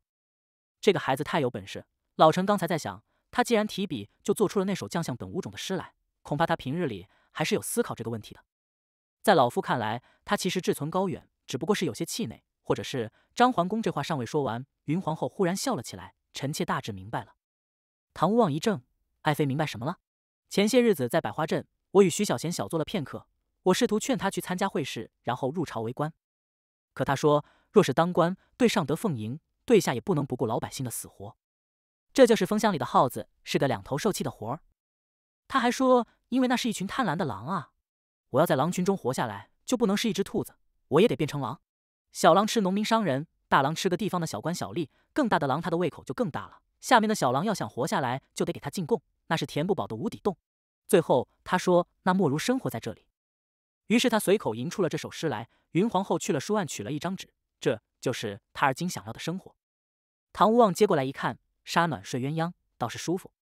可他分明也有目登天子堂的念头啊，这小子心思儿倒是复杂。他放下了这张纸，看向了张桓公。而今大臣官场真的有他说的这般恶劣吗？张桓公沉吟片刻，点了点头。樊之一针见血。好，既然大臣有着这样的问题，既然他徐小贤明知有这样的问题，那他如何去破解呢？他仅仅是抛出了问题，却没有给出解决的方法，这不行。张桓公一怔，连忙说道：“陛下，他毕竟还是个孩子呀，他从未曾走出凉州，更没有接触官场，这样的事，莫要说徐小贤了，就算是老夫。”就算是右相，恐怕也难以给出解决的法子。就任由这样烂下去，这样烂下去的结果是什么？是大臣十七年的江山毁于一旦。当年离朝灭亡，不也正是因为官场腐败，导致民不聊生吗？此乃前车之鉴。朕唐无望深吸了一口气，语气极为严肃。朕而今既然知道，就断然不能让这样的事再次发生。张桓公沉默了片刻，其实陛下早已知道。老臣斗胆一问，那毒瘤，皇上当真能下刀割去吗？此间顿时寂静。云皇后有些紧张，张桓公有些后悔，说出了这句话。华神医担心这句话刺激到皇上，让他那头痛的脑疾又发作了。唐吴妄想了许久，似乎在权衡其中利弊。正在局中，徐小贤既然已经诊断出了大臣的病，那就找他这个局外的人开一剂方子。走，咱们去徐府拜访一下徐小贤。记住，他至今依旧以为朕和皇后是一对商人。徐府，闲云水榭。徐小贤搂着季玉儿，感受到的是少女的火热和温润。天气暖和了，就是好。季玉儿穿着一件雪白的长裙，没了那厚厚的棉袄包裹。徐小贤的猪手这么一抱，就抱得季玉儿身子一紧。痒，痒就对了。相公给你挠挠。这大天白日的，你放手，万一待会智蕊来了，多难为情的。徐小贤倒是不担心智蕊，他担心的是季星儿。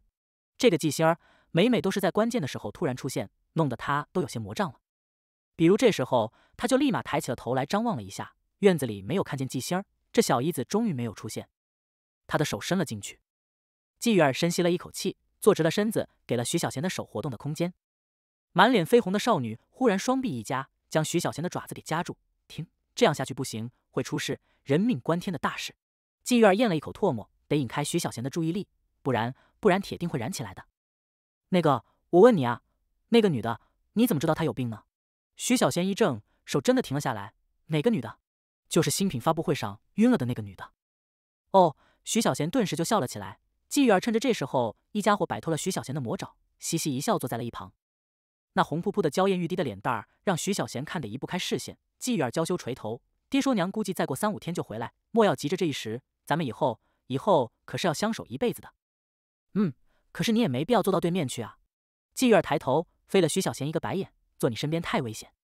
哎，说说你怎么知道那女的有病？这能怎么说呢？这只能怪这古人没文化了。你试试，深吸一口气，然后一直吼，吼到最后。你就算没晕倒，也会两眼冒星星。少女一脸好奇，那双秋水般的明眸一眨，这是什么道理？脑子缺氧造成了她的晕厥。氧是什么？就是空气。哦，季玉儿若有所思，其实啥都不懂。那那位大叔没有这样，他为啥也晕了？他是被自己给吓晕的。季玉儿顿时就无语了，他不知道徐小贤这话的真假，想来恐怕是真的，因为许郎可从没骗过自己。百花玉纸你宣布了售卖八文钱一张，这作价是不是太过便宜？毕竟销往北魏的百花玉纸价格定在二十五文，我是这么想的：一来是这百花玉纸的成本也不过两文钱，让梁邑县的学子们受益一些，就当做是做一件善事；其二呢，这个定价卡在了阮氏一等品相的桑皮纸之下，肯定会对阮氏的桑皮纸造成极大的威胁，他肯定会降价。若是阮氏将一等品相的桑皮纸从十文钱降到八文，这毫无意义，因为百花玉纸比桑皮纸更好，那他就得降得更多一些，比如降到六文钱，仅仅比百花玉纸便宜两文。对于学子而言，这也没啥大的竞争力，除非他敢降到四文钱。季玉儿眼睛一闪，他听明白了徐小贤这话的意思，这就是价格的错位竞争。百花玉纸有徐小贤的那番现身说法的宣传，他在学子们心中的地位更高，毕竟是谢元郎用过的纸，毕竟是用来书写光辉前程的纸。学子们会想要讨个好的彩头，就会觉得徐小贤是因为用了百花玉纸才中了那戒元。所以，除非是家里贫穷，亦或是桑皮纸大降价。否则，阮氏的桑皮纸就撼动不了百花玉纸的地位。那手纸你也宣布降价到六文钱，我觉得阮氏那八文钱一卷的手纸对咱们十文钱的定价也构不成威胁啊。因为我们的餐巾纸买到了二十文钱，当然也因为我需要阮氏手指降得更低。一样的道理，阮氏手指品质远不及我们的百花手指，它若是和百花手指仅仅只有两文钱的差距，对咱们的百花手指也构不成威胁。咱们的手指降价到六文钱。那么阮氏就得将他们的手指降价到三文，甚至更低。徐小贤邪恶的一笑，不是说阮氏财大气粗吗？我倒要看看他阮氏能够亏损多久。百花镇的第三个造纸作坊，而今也投入了生产，但依然远远不够，所以还得继续修建。等沈大哥他们打通了东西商道，等北境马帮将铺子开到了大陈各个重要的城镇，那时候会需要大量的商品，无论是蚊香，还是饴糖，还是纸张，或者是状元红。所以月儿啊。下一阶段百花镇的发展，咱们得提上日程了。我是这么想的。徐小贤这话还没说完，志蕊风风火火的跑了进来。少爷，少爷！徐小贤转头，啥事？张桓公和荷华神医带着几个人来了。哦，带他们进来。好。志蕊又飞快的跑了出去。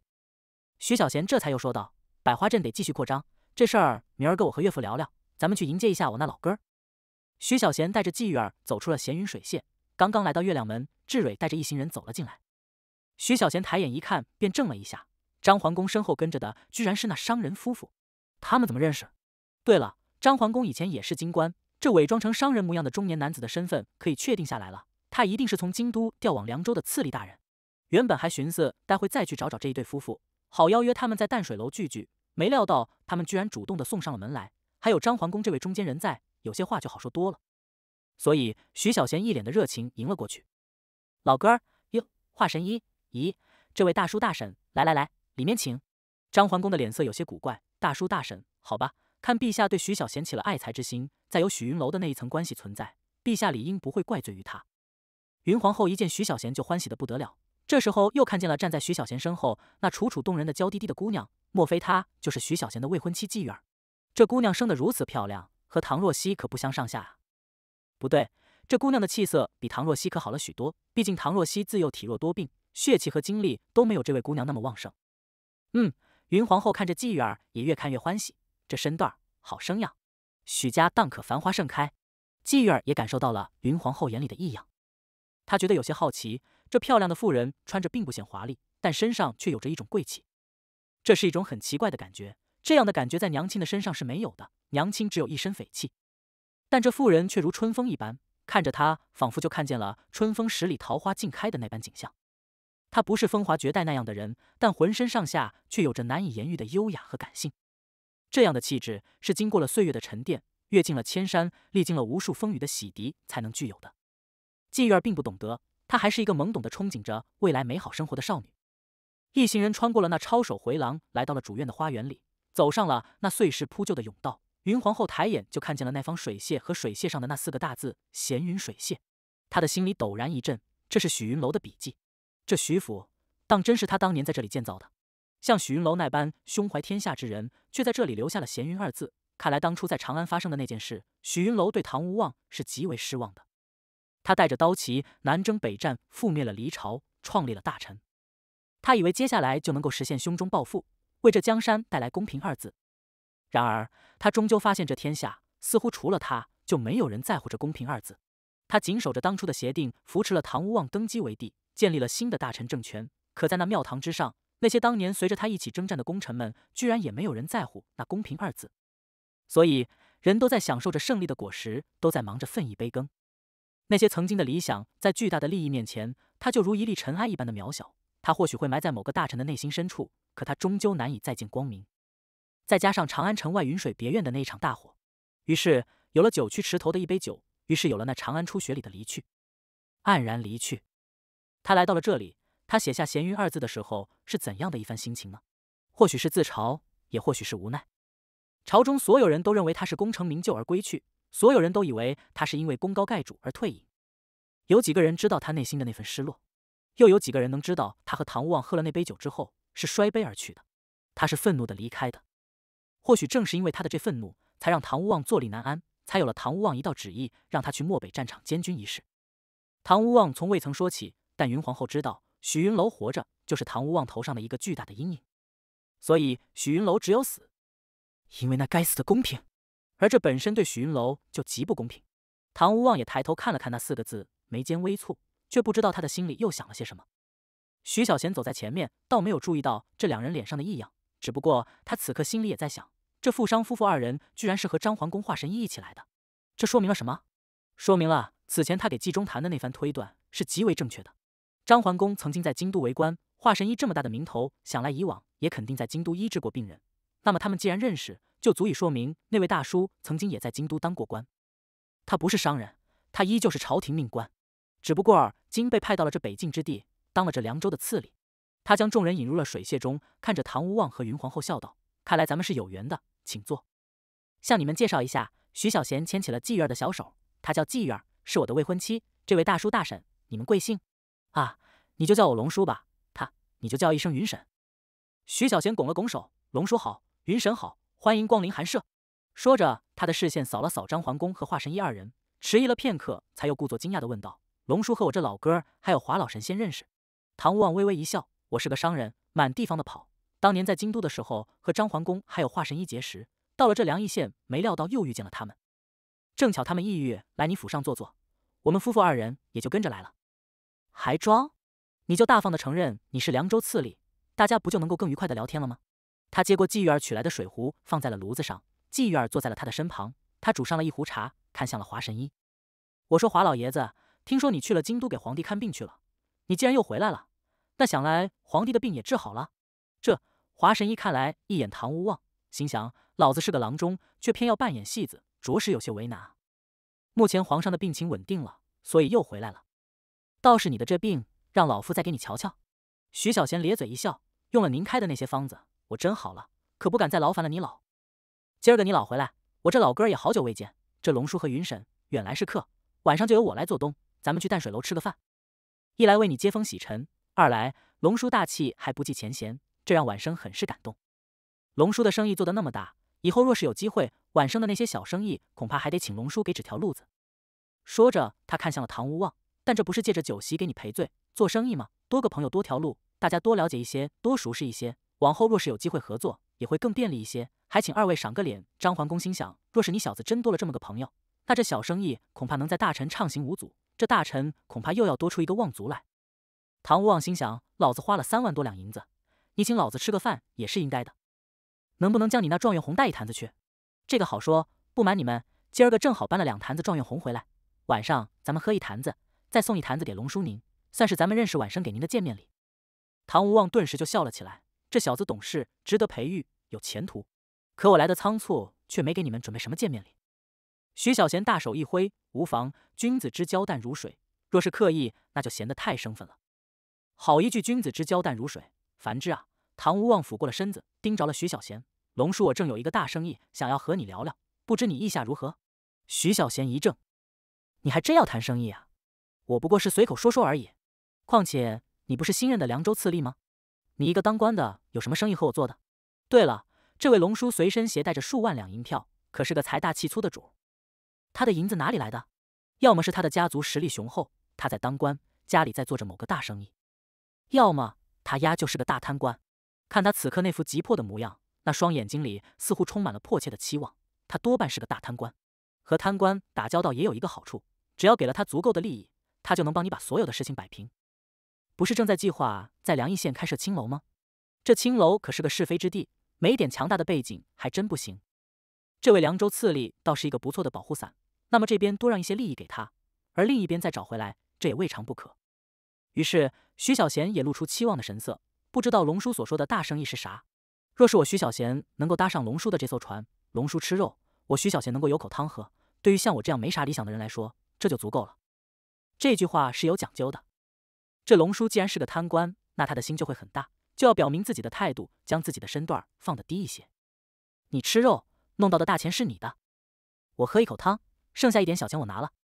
他还没啥理想，那么就不会产生利益的冲突，这生意就能够长久的做下去。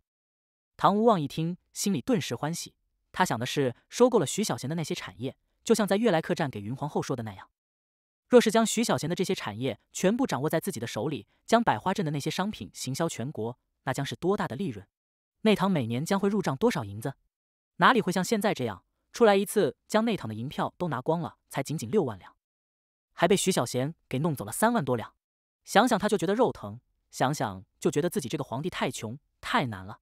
我对你这百花镇的所有产业都很有兴趣，全部卖给我，如何？徐小贤一听，脸顿时就黑了。你这分明是汤都不想给本少爷喝一口啊！你会不会当官？这种杀鸡取卵的事也干得出来？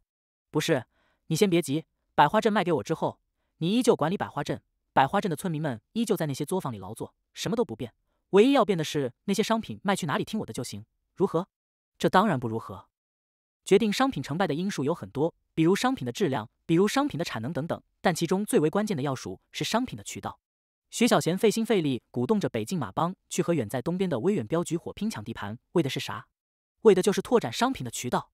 这位次吏大人倒是有些脑子，明面上看自己啥都没损失，说不定他还能投入大量的银子来扩大百花镇的产能。但他却扼住了渠道，他就扼住了百花镇的命脉。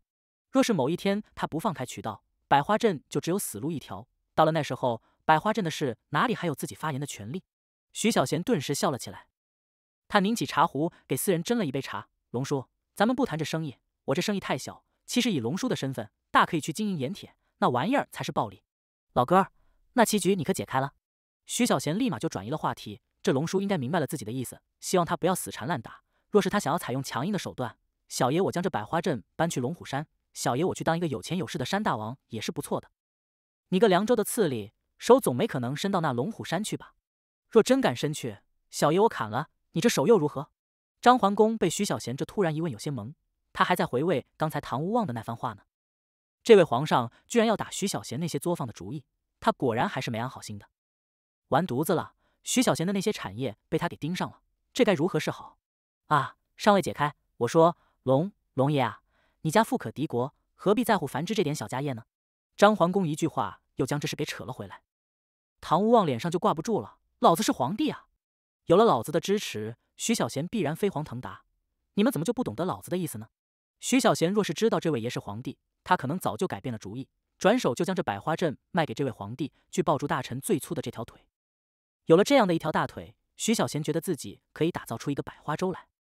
可他不知道呀，他就以为这位龙叔是个次吏。说实话，就算是要去抱，他也会去抱齐文俊那位府台大人的大腿。这次吏的大腿，他觉得细了一些。徐小贤，我就问你，你就没打算将百花镇的产业继续扩大，就没打算将那些商品行销到全国各地？莫非你想的就是占有这凉邑县的市场，最多再占一点点凉州城的市场完事了？唐无望以为的是徐小贤这小子没啥理想。阮氏既然已经在凉邑县开始了铺子，阮氏的背后就是张氏，人家有着雄厚的财力，还有着传承了数百年的技术积累。阮氏既然已经通过手指向你发难，这就意味着张氏不愿意看见你成长起来。我承认你的纸比张氏的好，但张氏要打压你办法多的是。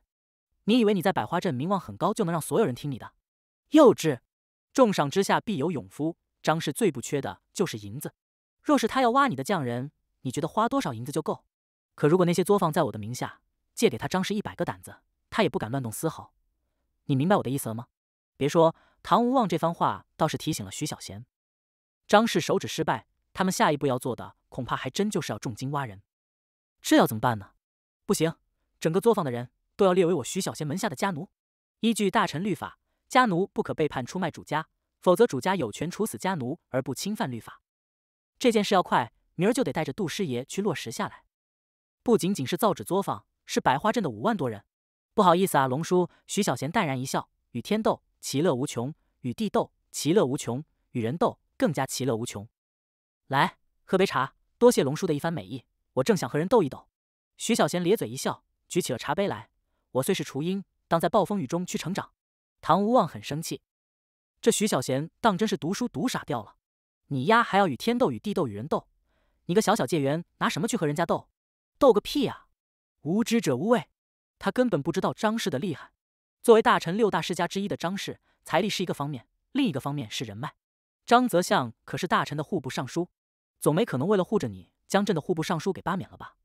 张泽相都不用亲自出手的，他只要给下面的官员一个眼神，你徐小贤就万劫难逃。哎，大哥的这儿子怎么也如此倔强呢？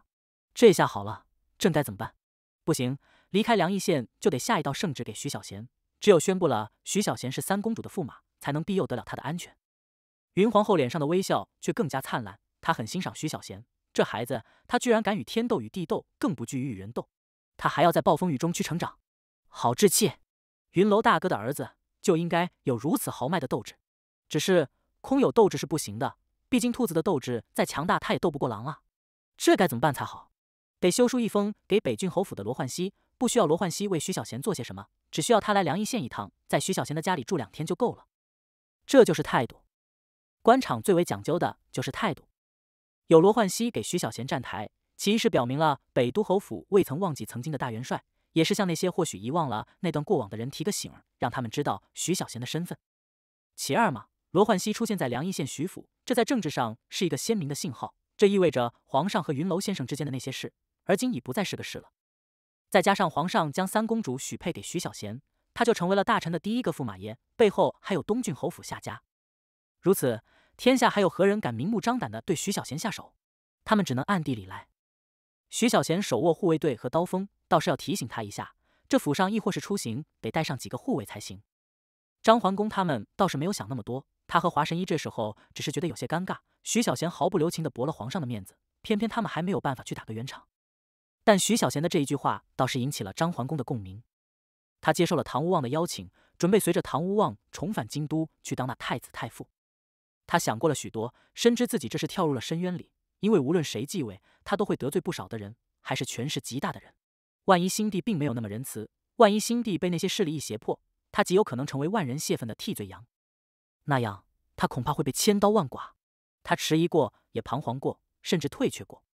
但为了大臣，他还是希望能够搏一搏。万一教导出了一个好皇帝，一个敢于面对强权、敢于去割掉大臣毒瘤的皇帝，那么他便死而无憾。此刻，徐小贤说：“与天斗，其乐无穷；与地斗，其乐无穷；与人斗，更加其乐无穷。”张桓公的心里陡然升起了一股豪气。那么，老夫就去京都培养出一个好皇帝来，和这天下的那些蛀虫们斗一斗，就算万死又如何？好！张桓公忽然大吼了一声，吓了唐无望一跳。他转头看向了张桓公：“好什么好？这家伙不识时务！你这老东西，居然帮他敲边鼓！老弟，老哥支持你。生而为人，许多是不可放弃，这便是原则，这就是坚守的底线。有件事，老哥得告诉你一声，老哥这两天恐怕要离开梁邑县去京都了。”徐小贤一惊：这张桓公就孤家寡人一个，在这梁邑县待得好好的，跑去京都干啥？皇上召你回去？正是。夕阳虽然就快落山，却也有余温洒向人间。此去长安，老哥当发挥这余热，为大臣再做点什么。徐小贤瞧了瞧张桓公，有个凉州刺历在这，有些话他现在不好说。那明儿个我去桃林小筑，再陪老哥坐坐，顺便说说那一局棋。甚好，老哥等着你来。徐小贤端起茶盏来呷了一口。京都这个时候，皇上召张桓公入京都是为了什么？他没有去多想，而是抬头看了看天色，笑道：“月儿。”你去瞧瞧伯父回来了没有？若是回来了，咱们这就去淡水喽。好。季月儿起身向众人道了一个万福，抬步走出了闲云水榭。唐无望一怔：“你是说季中坛也去淡水楼吃吃酒？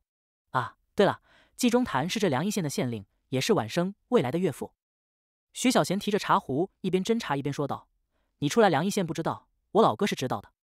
我的这位未来的岳父大人，他摇了摇头，放下了茶壶，又道：说来你都不信。”他在这凉邑县算上今年就待了足足九年了，这时他不会当官，他倒是让凉邑县的老百姓日子过得下去，却没有余财来进贡啊。听闻玉历台考评他年年都是优，却偏偏没人提拔他。宫中无人，不如归田。他偏偏又不愿意归田，说这一身所学当报效朝廷，当对得起皇上。龙叔啊，你不知道，我这岳父大人为了这凉邑县的发展，那两撇胡须都没剩下几根了。去岁凉州莫名增加了凉邑县的下粮赋税，他带着县衙所有的官儿都蹲在了那些乡镇上，苦口婆心的劝说那些地主乡绅，最后实在没法子了，将这烫手的山芋丢到了我的手上。他苦啊，却无处去诉说。哎，徐小贤一声叹息，又摇了摇头，将这岳父的形象初步的给树立了起来。唐无望一听，顿时就惊讶了。这位季县令，他虽然是你未来的岳父，但我还是要说两句。他巧立名目收纳入城税，这不是为了中饱私囊吗？徐小贤不知道，那道圣旨已经抵达京都，户部已经任命了金科榜眼罗淑然就任凉邑县县令，吏部已经派了人前往凉邑县来捉拿季中坛归案了。罗淑然、罗三便是跟着吏部的官员一起来的，这是陛下从凉邑县发回来的密旨，八百里加急送到京都的。那处理这件事就得十万火急，所以他们跑得很快，而今已快要抵达凉州地界，距离这凉邑县最多也就十天半个月的行程了。中饱私囊，徐小贤咧嘴一笑，我倒是希望他能够中饱私囊。那样，他意味深长的看了唐无望一眼。那样，他恐怕能够和新上任的次吏更好的打好关系。新上任的凉州次吏，朕不是都还未曾批复的吗？照徐小贤这么说来，那纪中谈莫非还是个清官？朕误会他了。不对，他徐小贤是纪中谈的女婿，他自然要说纪中谈的好话了。至于纪中谈究竟是不是个清官好官，朕还得再看看。无论如何，他私自收这入城税就不合规矩。他可以请示户部啊，这么重要的事。户部肯定会商议，拿出一个条陈来。你只知其一，不知其二。这入城税是晚生建议他收的。唐无望心里一沉，果然是徐小贤的主意。这小子好大的胆子！这凉邑县的降雨年年都不丰沛，尤其是在插秧的季节，整个凉邑县一半的良田因为缺水，导致了秧苗无法正常生长，带来的直接后果就是庄稼欠收，间接后果就是老百姓日子没法过，税赋收不起来。故而。我那岳父决定为梁邑县修建一座水库，来解决这靠天吃饭的问题。但是梁邑县穷啊，你们应该也看见了。为了整个梁邑县的百姓，能怎么办呢？呵呵，徐小贤冷笑两声，不是我说，就现在朝廷这办事的效率，若是他向户部请示，一来一回至少得两年。两年之后，户部批不批这一大笔银子还是两说。等那银子下来，梁邑县的老百姓又要多遭受几年的罪了。水库必须修，现在已经修好了一大半。龙叔若是有暇，改日我可带你们去看看。户部不拨银子，地方财政没有收入，活人总不能被尿给憋死吧？这些年也因为梁邑县地界没有什么土匪了，行商们渐渐的多了起来。于是我就建议他收了这入城税。这是没有办法的办法。你们是商人，恐怕不知道修那水库需要消耗多少银子。你们更不知道那水库对梁邑县有多么重要的作用。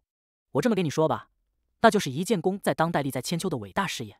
今年秋收之后，农闲了，渠河水库将完成后一半的工程。当梁邑县所有的排灌沟渠贯通之后，汇集的是梁邑县的万顷良田，解决的是千家万户的吃饭问题。去岁为了那下粮税赋，梁邑县可差点出了大乱子。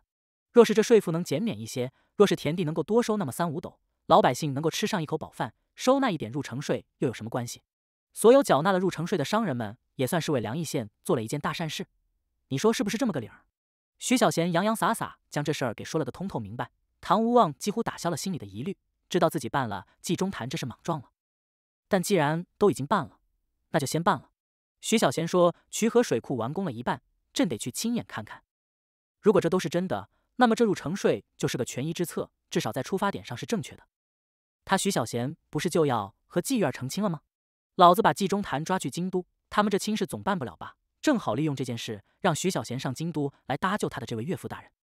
唐无望的脸上并没有流露出多少表情来，但他的这沉思落在了徐小贤的眼里。徐小贤愈发笃定，这人就是新上任的凉州刺吏。若真是商人，谁会闲得蛋疼去思考地方官员的施政问题？对于冀中谈的介绍，得就此打住，再多说就有了夸耀之嫌。这火候得把握好了。于是徐小贤转头看向了张桓公：“老哥，你这一走，恐怕短时间再难回来。”此去京都路途遥远，我呢，你知道的，又很懒，所以估计没法去京都看你。京都那地方听说冬天也是挺冷的。既然是皇上召你去的，烤火的银子他理应会给我，没法给你送木炭了。你可得多备一些，莫要冷到了身子。我建议老哥，你去了京都，在那一房妾室，老哥的身子骨依旧强健，但别太折腾，就是暖暖被窝，睡得热乎一些。张桓公老脸一红，行将就木之人，可别去祸害了人家姑娘。到时我走了之后。那桃林小猪就交给你了。我若是数年之后有回来，也有个落脚之处。我若是没有回来，你就自行处理吧。好，徐小贤点了点头。你放心，那院子里的桃树我很喜欢，我会把它们打理的好好的。你回来之后定会有惊喜。他抬头望了望天，时候不早了，走吧，咱们去淡水楼。你不是请了季大人吗？春耕了，谁知道他又在哪里忙活？咱们先过去，月儿等到了他回来，自然会带他过来。一行人起身离开了闲云水榭。唐无望转头又看了看那四个字，云皇后也转头看了看那四个字。徐小贤叫上了四喜，让他将两坛子的状元红抱上了马车。志蕊，志蕊飞快的跑了过来，捏了捏衣摆：“少爷，啥事？待会你去告诉月儿一声，我们去淡水楼等他们。”好咧。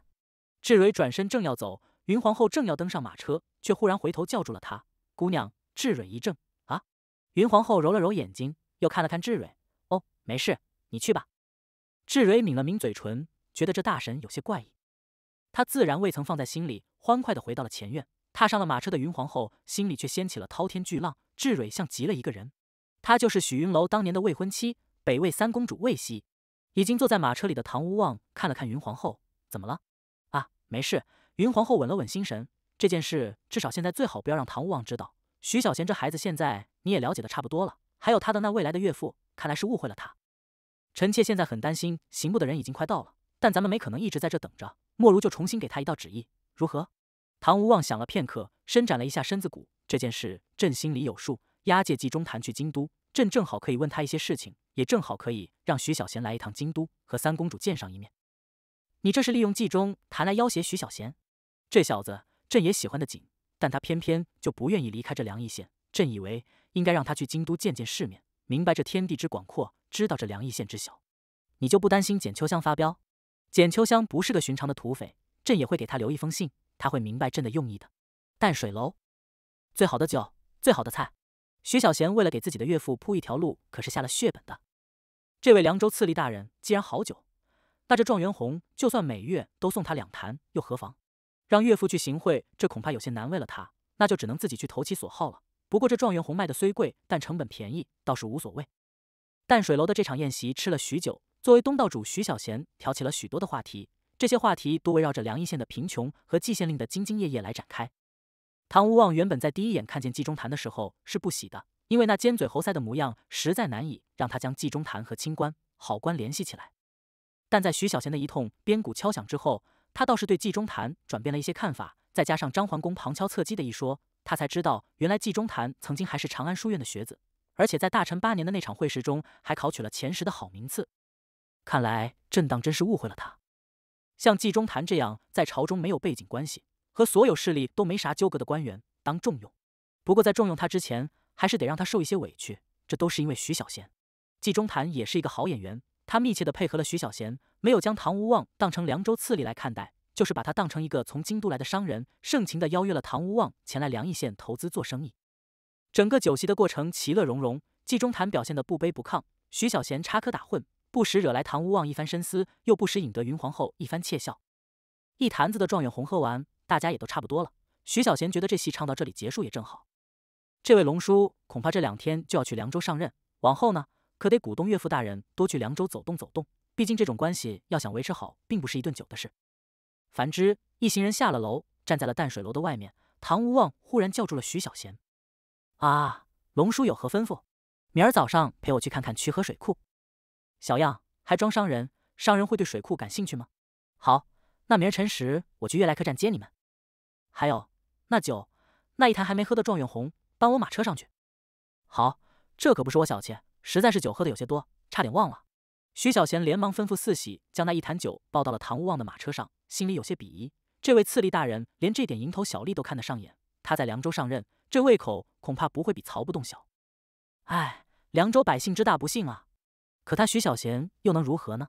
过好自己，忧国忧民的人往往死得早。众人在淡水楼前别过，目送着唐无望他们的马车离去。季中谈这才皱着眉头对徐小贤说道：“凡之啊，这人的城府极深，可不太好打交道。”席间，唐无望几乎都是在喝酒听着，他没有对梁义县治理的好坏发表一句话的意见，偶尔就哼哈两句，都是模棱两可之言语。这愈发说明了他就是个当官的，只有当过官，还当过不小的官的人，才从来不会在陌生人的面前去表露他心里的主见。伯父啊，这不代表他就没有主见，这只能说明咱们和他关系尚浅。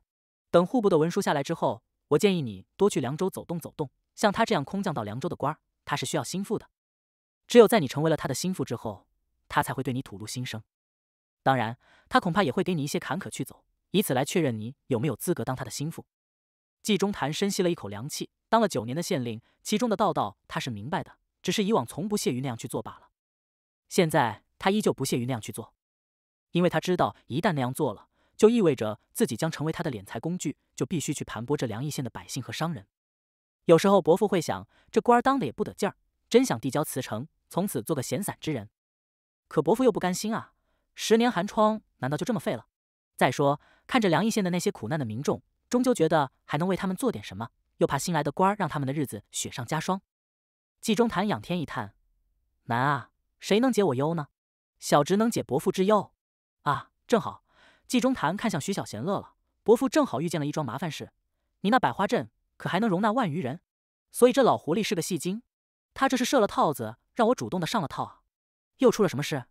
石井镇有四个村子的农户和当地的地主闹起来了。缘由是地主将分给佃农的那一份减少了一成，这事儿弄得挺大，那几个地主差点没被打死。地主们报了官，可法不责众啊。再说伯父觉得那几个地主也该打。现在的问题是地主不松口，农户不耕种。今儿个那些农户派了几个代表来了县衙，希望能够去百花镇安家。他们保证听从你的所有安排，保证和百花镇的那些人一样，靠自己的劳动去赚取养家糊口的钱财。你说当这官儿难不？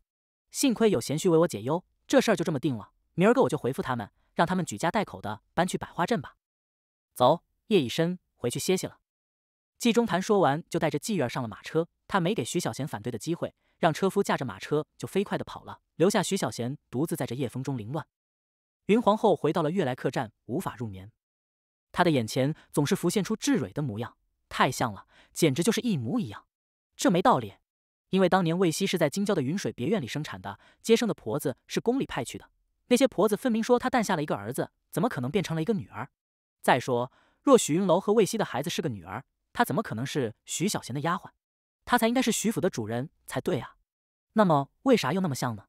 这件事，金想要再去问问那些接生的婆子都没可能了，因为云水别院被那疯女人派了人一把火给烧了，那些婆子也都被杀了。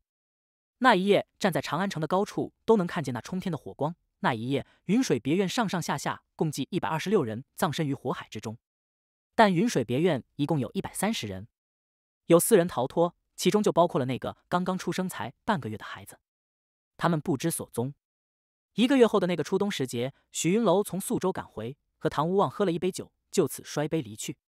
又一年之后，也就是大成二年初，许云楼出现在了梁邑县，带着一个孩子，是个儿子，他就是徐小贤。那么志蕊呢？难道仅仅是巧合？朝阳尚未升起，徐小贤背上了他的那张一弹弓，也带上了十月四喜，驾着老马破车来到了悦来客栈。咦，徐小贤瞧了瞧那位云婶。云婶的气色不太好啊，昨儿晚上云皇后一宿难眠，此刻脸色有些苍白，眼睛也有些浮肿，精神头儿也没有往日所见那般旺盛。这人到中年还能那般折腾，徐小贤不禁多看了唐无望两眼。这位大叔看起来身子骨不错，依旧是龙精虎猛的样子。龙叔，准备好了没有？我建议你将你所有的家丁都带上。为啥？你不知道曲河水库那地方淹没的是青龙台，也不知道那青龙台有什么宝贝。我第一次去呢，那地方是青龙寺。等我第二次再去，人们说跑得了和尚跑不了庙，可我第二次再去，那庙都跑了。唐无望一怔，淹没的是青龙台。徐小贤就觉得这龙叔有些奇怪了。你不是应该对庙跑了这事儿更关心的吗？你这关注点有些不一样啊。是啊，那地方修水库最合适。青龙寺的和尚也还算懂道理，他们早早搬走了。唐无望沉吟了片刻，走去看看。马车里，唐无望的脸色有些黑。青龙台是当年镇河大哥结拜之地。这徐小贤，他怎么偏偏就把水库的位置选择了那地方呢？这次来凉邑县，朕本来就打算去青龙台坐坐。想想当年，再想想往后，现在青龙台没了。云皇后忽然转头看向了唐无望。京都早有传言，说许云楼将夜雨刀法的第十刀的刀谱埋在了青龙台。其实你我都知道，那恐怕不是什么刀谱，而是一段密文，甚至里面极有可能写了当年云水别院之事。你去青龙台，刀锋就在青龙台吧。唐无望眯起了眼睛，云皇后转移了视线。他看向了车窗外，淹了好，其实你是希望他被淹了的。他忽然又转过了头来，和唐无望对视着，丝毫没有退让。大成二年秋，你将西郡侯赵东来调去了白鹿州的天青山里剿匪，禅书心已经穷途末路，他需要让数万的刀骑去剿吗？漠北战场正打得如火如荼，你明明知道漠北战场大臣的兵力不敌北魏瑞士，却将这北境之地的北都后罗焕熙调去了漠国的南疆战场。臣妾想问问你。若是当时你将西郡侯赵东来调去南疆战场，将罗焕熙调去这漠北战场，云楼大哥他会死吗？你剿匪是假，让云楼大哥去死是真。你担心云楼大哥将你干的那些龌龊事给抖出来，所以你还收买了禅书心，让他以和尚的名义在青龙寺建了寺庙，意图找到云楼大哥留下的那些秘密。唐无望的眼睛眯成了一条缝，却忽然又睁开来，还笑了起来。云娘，你知道的太多了，那是不是也要一把火将我烧死？你错了，这些都和朕无关。那和谁有关？别急，朕也在查。可调兵之事，总得要有你的虎符才行。兵是朕调的，至于其中缘由，你不知道也罢了。云皇后眯起了眼睛，她仔细的盯着唐无望，一时之间不知道他哪一句话是真，哪一句话是假。看来这些年你也不像表面那般闲着。唐无望转头看了看云皇后，什么都不要去查了。若是你继续查下去，恐怕对徐小贤不利。你威胁我？你就当我是威胁你吧。两人同时转头，各自看向各自这边的窗外。明儿个返程回京。唐无望看着窗外的风景，声音很是平静，就像什么事都未曾发生过一样。就让魏静贤去采买一些百花手纸和百花餐巾纸。另外，你还需要什么，就给魏静贤说说。以后再要出来一趟就不容易了。朕知道你喜欢婆芝那孩子，你自己寻个时间再去看看他。当然，他要不了多久就会进京，朕答应你。回京之后。就将三公主过继到你的名下，这样徐小贤也就是你的女婿了。咱们吵了一辈子，我最多还能活三年，这三年就不要再吵了。有些事我只能带去皇陵里，等某一天你也葬在了皇陵，我再给你解释。云皇后依旧看着窗外，路边有许多的野花已经盛开，花间有许多的蝴蝶正在翩翩。她忽然露出了一抹微笑，倒不是因为唐无望的这番话，而是她觉得这田野的景色很美，这样就已经很美了。那么当百花镇百花盛开的时候。它会是怎样的一种美呢？徐小贤这孩子还是留在这凉邑县的好。那样他才会如那小溪里的水一般清澈，那样他才会如这些野花一样纯洁烂漫。答应我一件事，说吧。放了冀中坛，让徐小贤留在凉邑县。这些年我也累了，那些事也已经过去了，我不再去查。往后余生，我就在宫里待着，直到将你送入皇陵。放了冀中坛可以，但是徐小贤必须进京。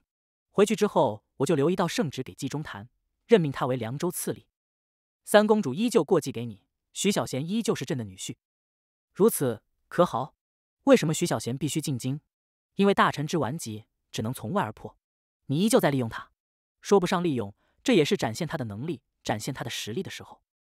芸娘，你想想，三年之后我已归天，徐小贤若是还没有能够树立起他的威名，还没有在京都站住脚跟，他能够守住这百花镇多久？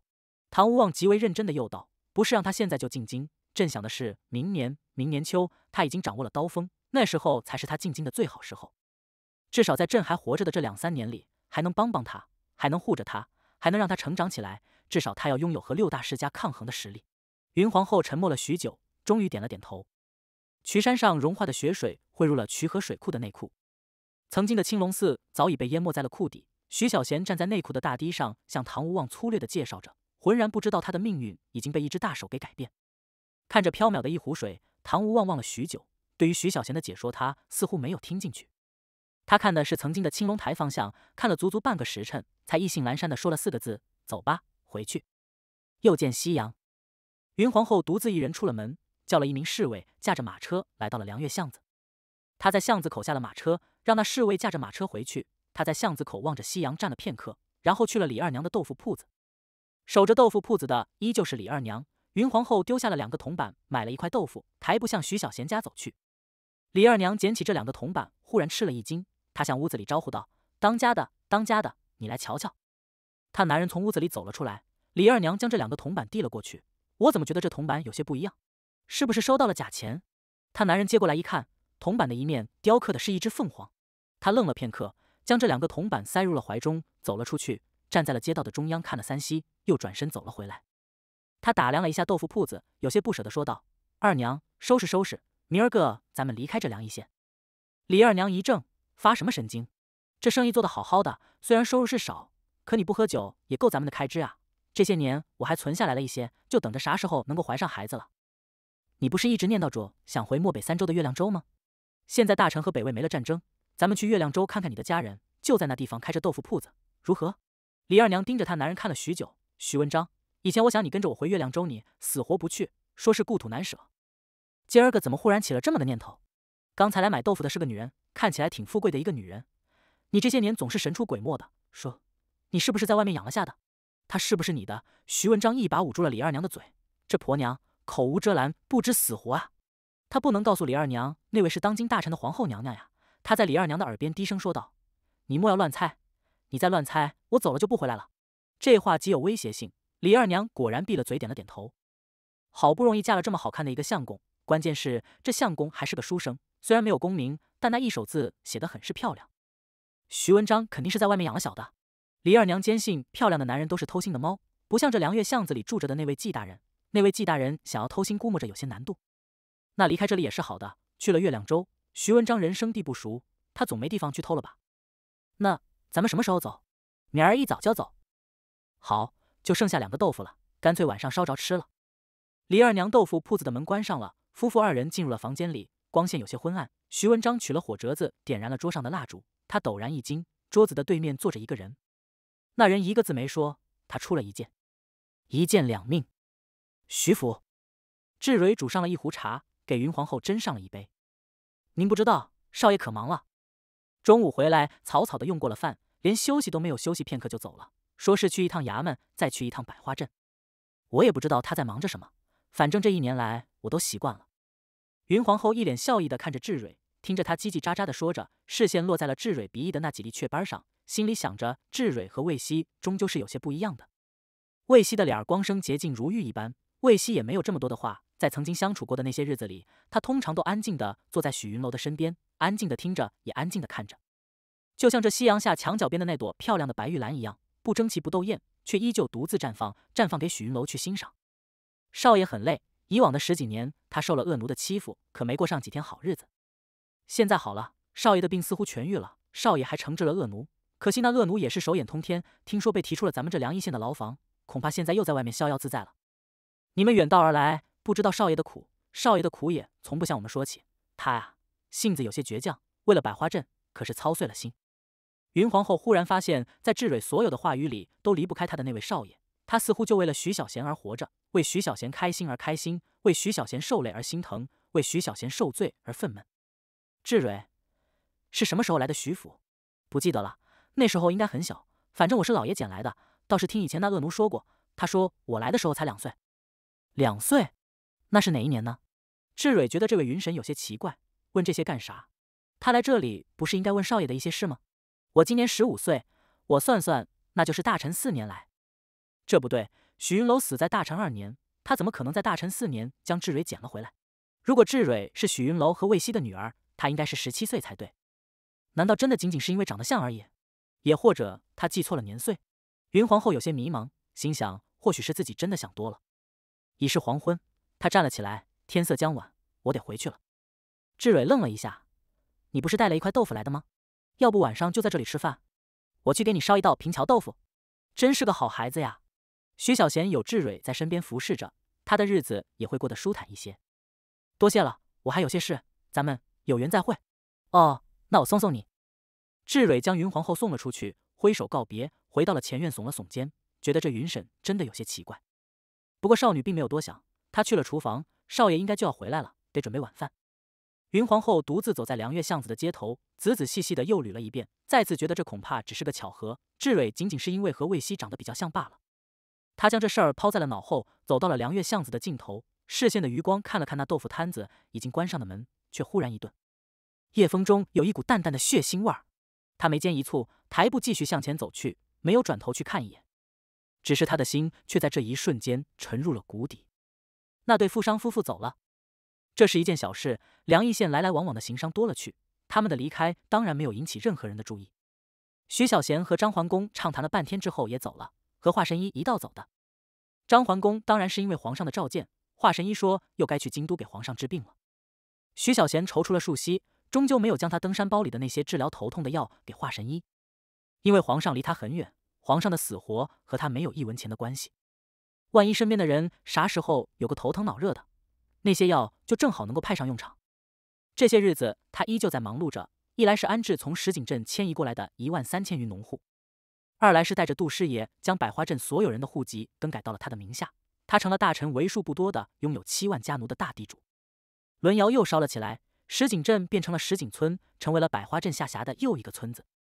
现在这个村子才刚刚开始建设，还是一片狼藉的景象。这没他徐小贤啥事了。他此刻正在李大爷的家里。李大爷家的院坝围着许多的人，都是百花镇的妇人。他们此刻正惊奇地看着中间的少爷徐小贤从箩筐中取出了已经切成了块、拌好了草木灰的那些土豆疙瘩。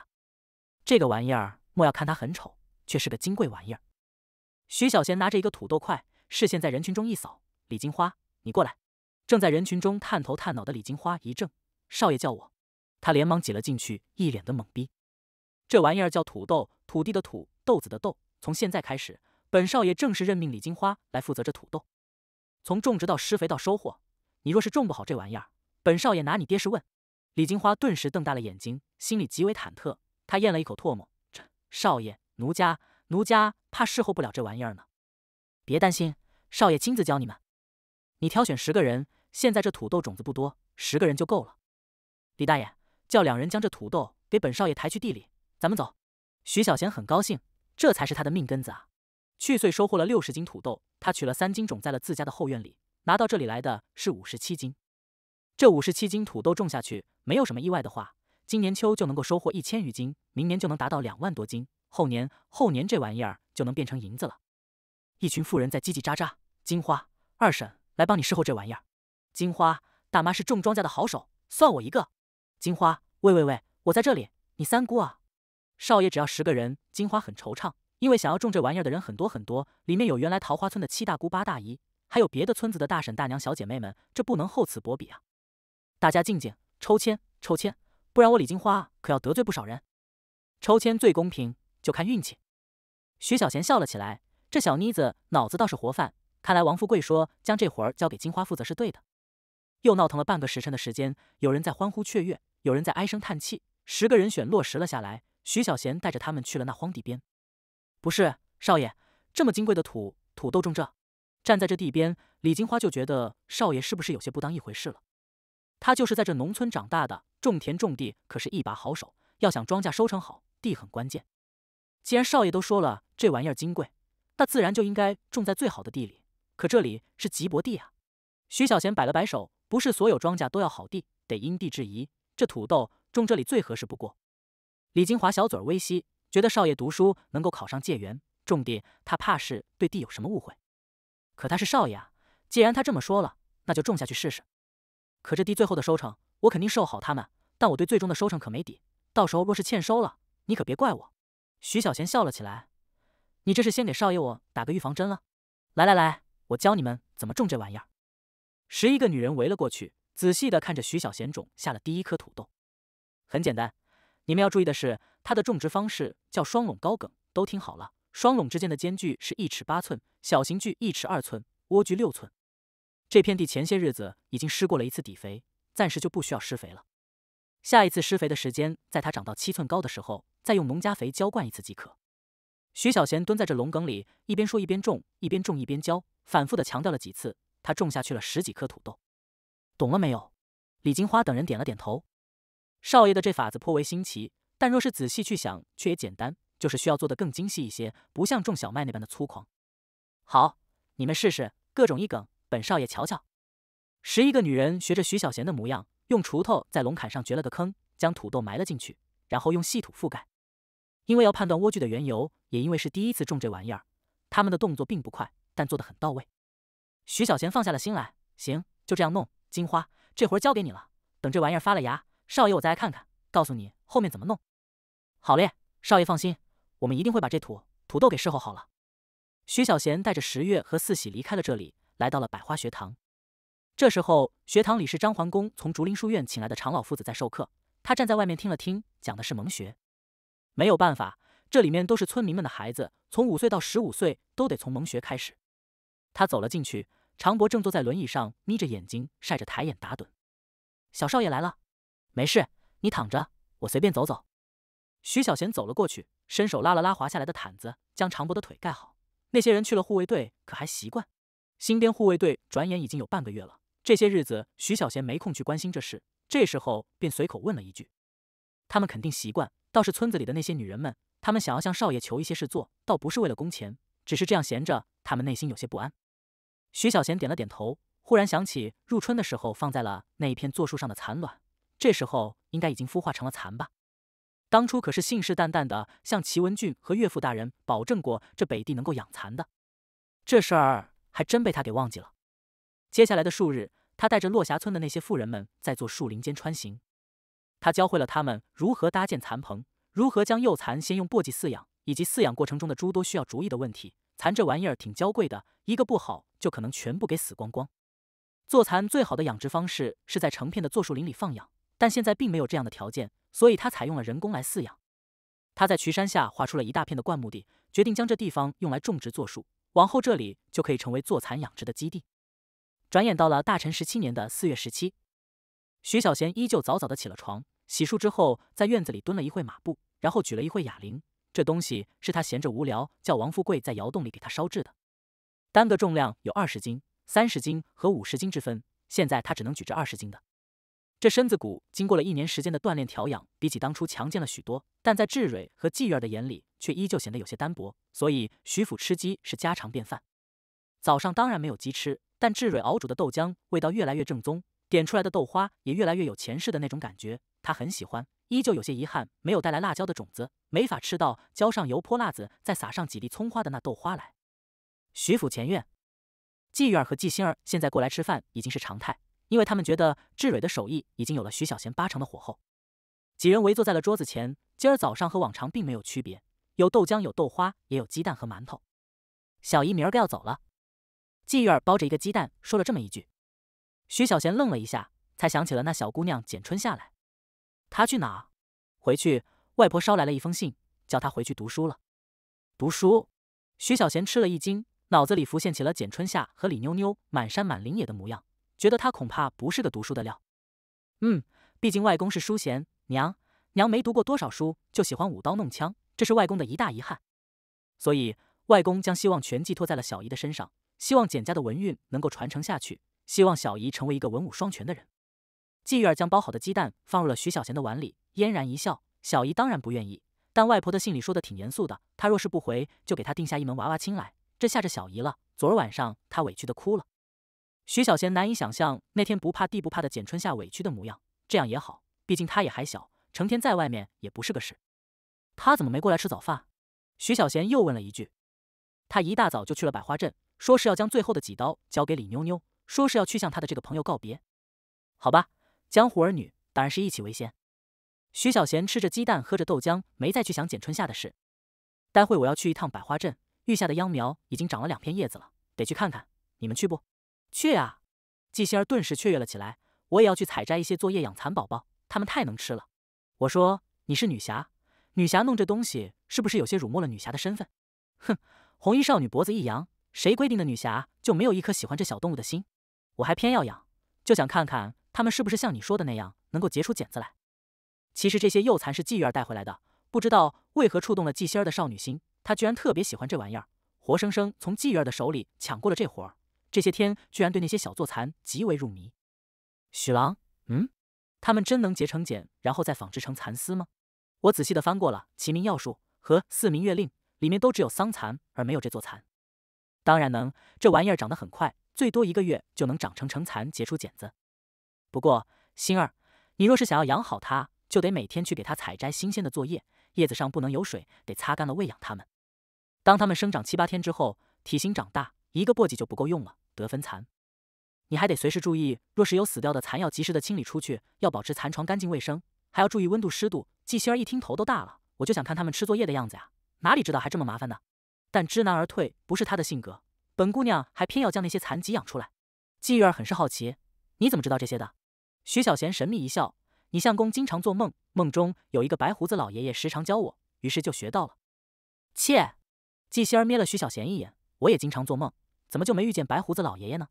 因为你智商不够。”季希儿杏眼一瞪：“徐小贤，别嚷嚷，叫姐夫。”徐小贤和季玉儿乘着四喜家的老马破车来到了百花镇外的秧田边，这里拢共有两千三百亩的稻田，每一亩秧田播种稻谷三至五斤，按照百分之八十的出苗率来算的话。一亩秧田的秧苗可栽种四十亩稻田，所以需要的秧田是五十八亩。去岁播种黄豆的时候，他留下了六十亩的水田没有动，用来作为今春育秧之用。黄四郎是徐小贤从村民里选出来的种水稻的好手，这些秧苗以及这两千多亩的田地，徐小贤交给了他打理。今年已经四十六岁的黄四郎种了一辈子的地，没料到搬到了这百花镇来，居然被少爷给看中，他很激动，又觉得肩膀上的担子很重。这些天，他一直在秧田边，从未曾这么上心地观察着秧苗的生长。这些秧苗培育的法子是少爷教给他的。少爷说，这叫润湿育秧，在秧田开沟渠，分箱播种，用泥浆踏谷，用薄膜覆盖。少爷说没有薄膜，就用造纸作坊里的那百花玉纸加在每一箱的秧苗上，用来保温催发秧苗的生长。这很浪费，但少爷却坚持。而今看来，少爷的法子确实不错，因为秧苗的长势极好，已经穿破了纸，开始长第三片叶子了。黄四郎带着一群农人正在香田里将那些纸给揭开。徐小贤这时候正在脱着鞋袜，挽着裤管。季玉儿一惊：“你干啥？我下去瞧瞧。”黄四郎等人转过了头来，愕然地看向了徐小贤。徐小贤光着脚踩入了秧田里，正向他们走来。给地主老财种了大半辈子田的这些农人们，这时候就惊呆了。那些地主老财们或许懂得种田，但绝对没有任何一个会下到田里来，因为这活儿低贱。徐少爷可是这偌大的百花镇的镇长，他还是举人老爷谢元郎，他居然下了田，莫非是我们将这秧田侍候的不好？黄四郎等人顿时心里就忐忑了。少爷，你快上去，小人这就过来。别，等等，少爷我。田埂上的季星儿也惊呆了，这姐夫他果然是不一样的，他居然真下了田，倒是有点意思。季玉儿抿了抿嘴儿，他是不太认同徐小贤去干这活的，毕竟身份有别，这些人可都是徐府的家奴啊。也就是徐府的仆人，徐小贤是掌握着他们生死的主人，这本就是下人们该干的活儿。他这个主人去掺和一脚，有点失了身份。这怨不得季玉儿这么去想，因为这个世界的阶级地位就是这么划分的。他不是什么士农工商，没有这个说法，农人在大臣的地位最低，是依然是最高的存在。文人排在第二，商人位居第三，工匠位居第四，而农人是第五的存在。徐小贤有举人的身份，他当然是文人，他可以见任何官员而不贵，甚至他所拥有的农田都不用向大臣缴纳任何税赋，这便是举人的特权。何况这些人还是他的家奴了。但季玉儿转念又一想，这许郎好像从来没有这样的觉悟。他和农人们相处甚欢，他甚至看那些农妇们也没有居高临下的感觉。他带着那些农妇们在渠山抓蚕，教他们怎么去搭建蚕床，怎么处理作业等等。他总是那么事无巨细的去说去教，从未曾有过半句怨言。所以他显得特别的不一样，所以他赢得了整个百花镇所有人的发自内心的尊重。要将足足七万人变为家奴，这不是一件容易的事，因为村民们可以反对。可偏偏他带着杜师爷在百花镇宣布了这一决定之后。所有的村民没有一家一户提出反对的意见，他们在略微思索之后便答应了。七万人过户到他的名下，仅仅只用了两天时间。这是因为衙门的人手不够，或许这便是他平日里多次说起的平等吧。也或许正是因为他心怀这份平等，这些村民们才如此认同他、相信他吧。季玉儿的眼里闪烁着折折光芒，忽然释然，对自己刚才的那想法有些羞愧，觉得自己也应该像许郎一样，往后成了亲，可不能摆出了少奶奶的谱来。那样，许郎定会不喜。他若是不喜了，梁邑县可是有许多喜欢他的女子，比如姬如花。徐小贤可不知道季玉儿想了这么多。此刻，他走到了黄四郎等人的面前，笑道：“别这样看着我，这叫沾地气，对身体好。”不是，少爷，您身子骨金贵，这低贱的活儿是小人们干的，是不是小人们没有做好？黄四郎依旧忐忑，万一做的不合少爷的心意，少爷将自己一家子逐出了百花镇，去哪里能谋到这么好的生计？你想多了，你们做的不错。徐小贤望了望偌大的一片秧田，然后弯下了腰，看着近前这一箱田里的秧苗。少爷，我其实最会干的就是这活儿。四郎、黄四郎等人站在这箱沟里，齐刷刷的都弯下了腰，视线却看向了徐小贤那地方。润湿玉秧和你们以前采用的水培玉秧有些区别，这前面的区别你们也都知道了。现在秧苗长到了一心两叶，徐小贤伸手拨弄了一下秧苗，又道：“这时候就要尤其注意水分管理，你们记住要做到三看来浇水。”一看这床面是否发白和秧苗的根系生长情况，二看早晚这秧苗的叶间是否吐水，注意水柱的大小，三看午间时候这叶心会不会因为温度过高而卷曲。若是苗床发白，根系发育良好，早晚这叶间不吐水或者水珠很小，而午间有叶心卷曲的现象，则在辰时浇水，这叫以水调气，以气促根。但要记住一点，首日灌水要深水护苗，次日排水至半寸。然后待床面水层自然落干，再灌浅水，要做到浅水不接后水。这玩意儿真的是徐小贤的专业。单单秧苗的培育方式，他就知道几种，但他选择的是这润湿育秧之法，因为这个法子比水培育秧先进，又比两段育秧或者软盘育秧便利。他很是详细的给黄四郎他们上了一课，这一课当然让黄四郎等农人惊呆了。他们忽然发现自己种了大半辈子的田，在少爷的面前居然就像白痴一样。徐小贤拔出了一棵秧苗，仔细的给他们讲解了根系的发育。告诉了他们在什么样的情况下该追农家肥，在什么样的情况下该用草木灰，甚至徐小贤还说起了等黄豆收割之后，那些农田该如何去翻耕，该怎样去上底肥，该怎样利用排灌系统来控制稻田各个阶段需要的水分。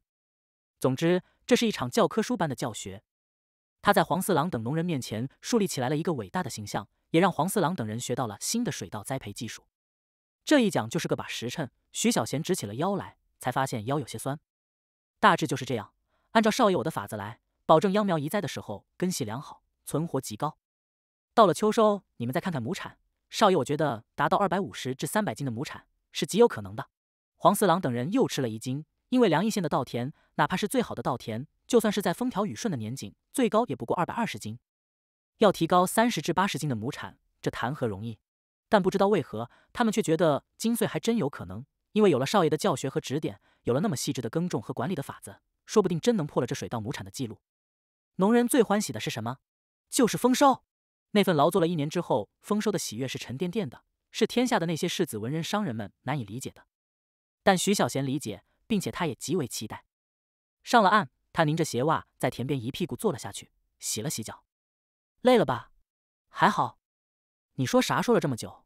季玉儿蹲在徐小贤的身边，摸出了一张手帕，递给了徐小贤，擦擦脚。别受了湿，我没那么娇贵。他抬眼望了望天上的太阳，历朝历代最难最苦的就是农民。锄禾日当午，汗滴禾下土。谁知盘中餐，粒粒皆辛苦。我教他们如何种田，如何种好田，秋收时候能够多收那么三五斗，他们锅里的饭水就可以少掺一些，就能够吃得饱一些。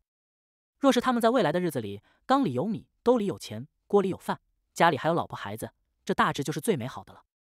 徐小贤在百花镇教农人种田，梁义成的阮氏纸业铺子里，阮经天很生气。咱们这手纸都降价到五文钱一卷了，他徐小贤那手纸卖八文钱，老子的纸比他足足便宜了三文。你告诉我，这些贱民为啥还是要去买他徐小贤的纸？阮小二耷拉着脑袋，大气都不敢出。他能说什么呢？第二批手纸昨儿个已经送来。又是十万卷，上一次的十万卷仅仅只卖出了一万卷，库存了足足九万，十九万卷纸堆满了他的库房，根本就卖不动。原本还想着将这些纸投放到凉州城去消化了，没料到老爷来信说凉州城这手纸也遇到了麻烦，因为徐小贤将凉州城的手纸也降价为了八文钱，足足降低了十二文，连运费都不算进去了。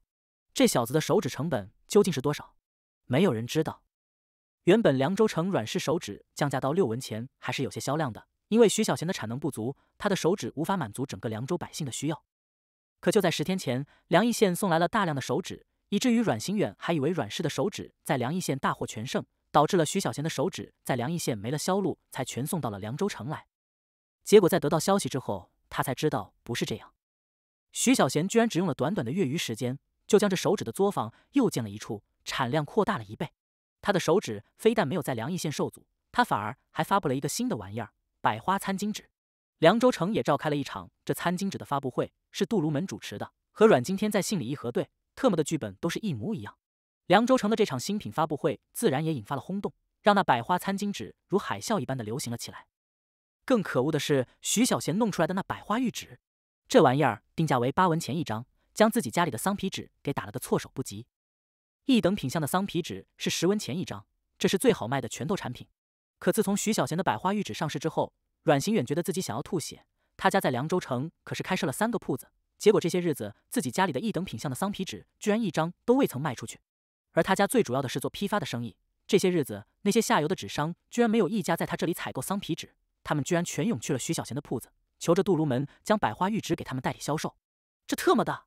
阮行远喝了一盅燕窝粥。顺手从那餐巾纸盒里抽了一张出来，擦了擦嘴，才愕然发现这玩意儿真特么好用。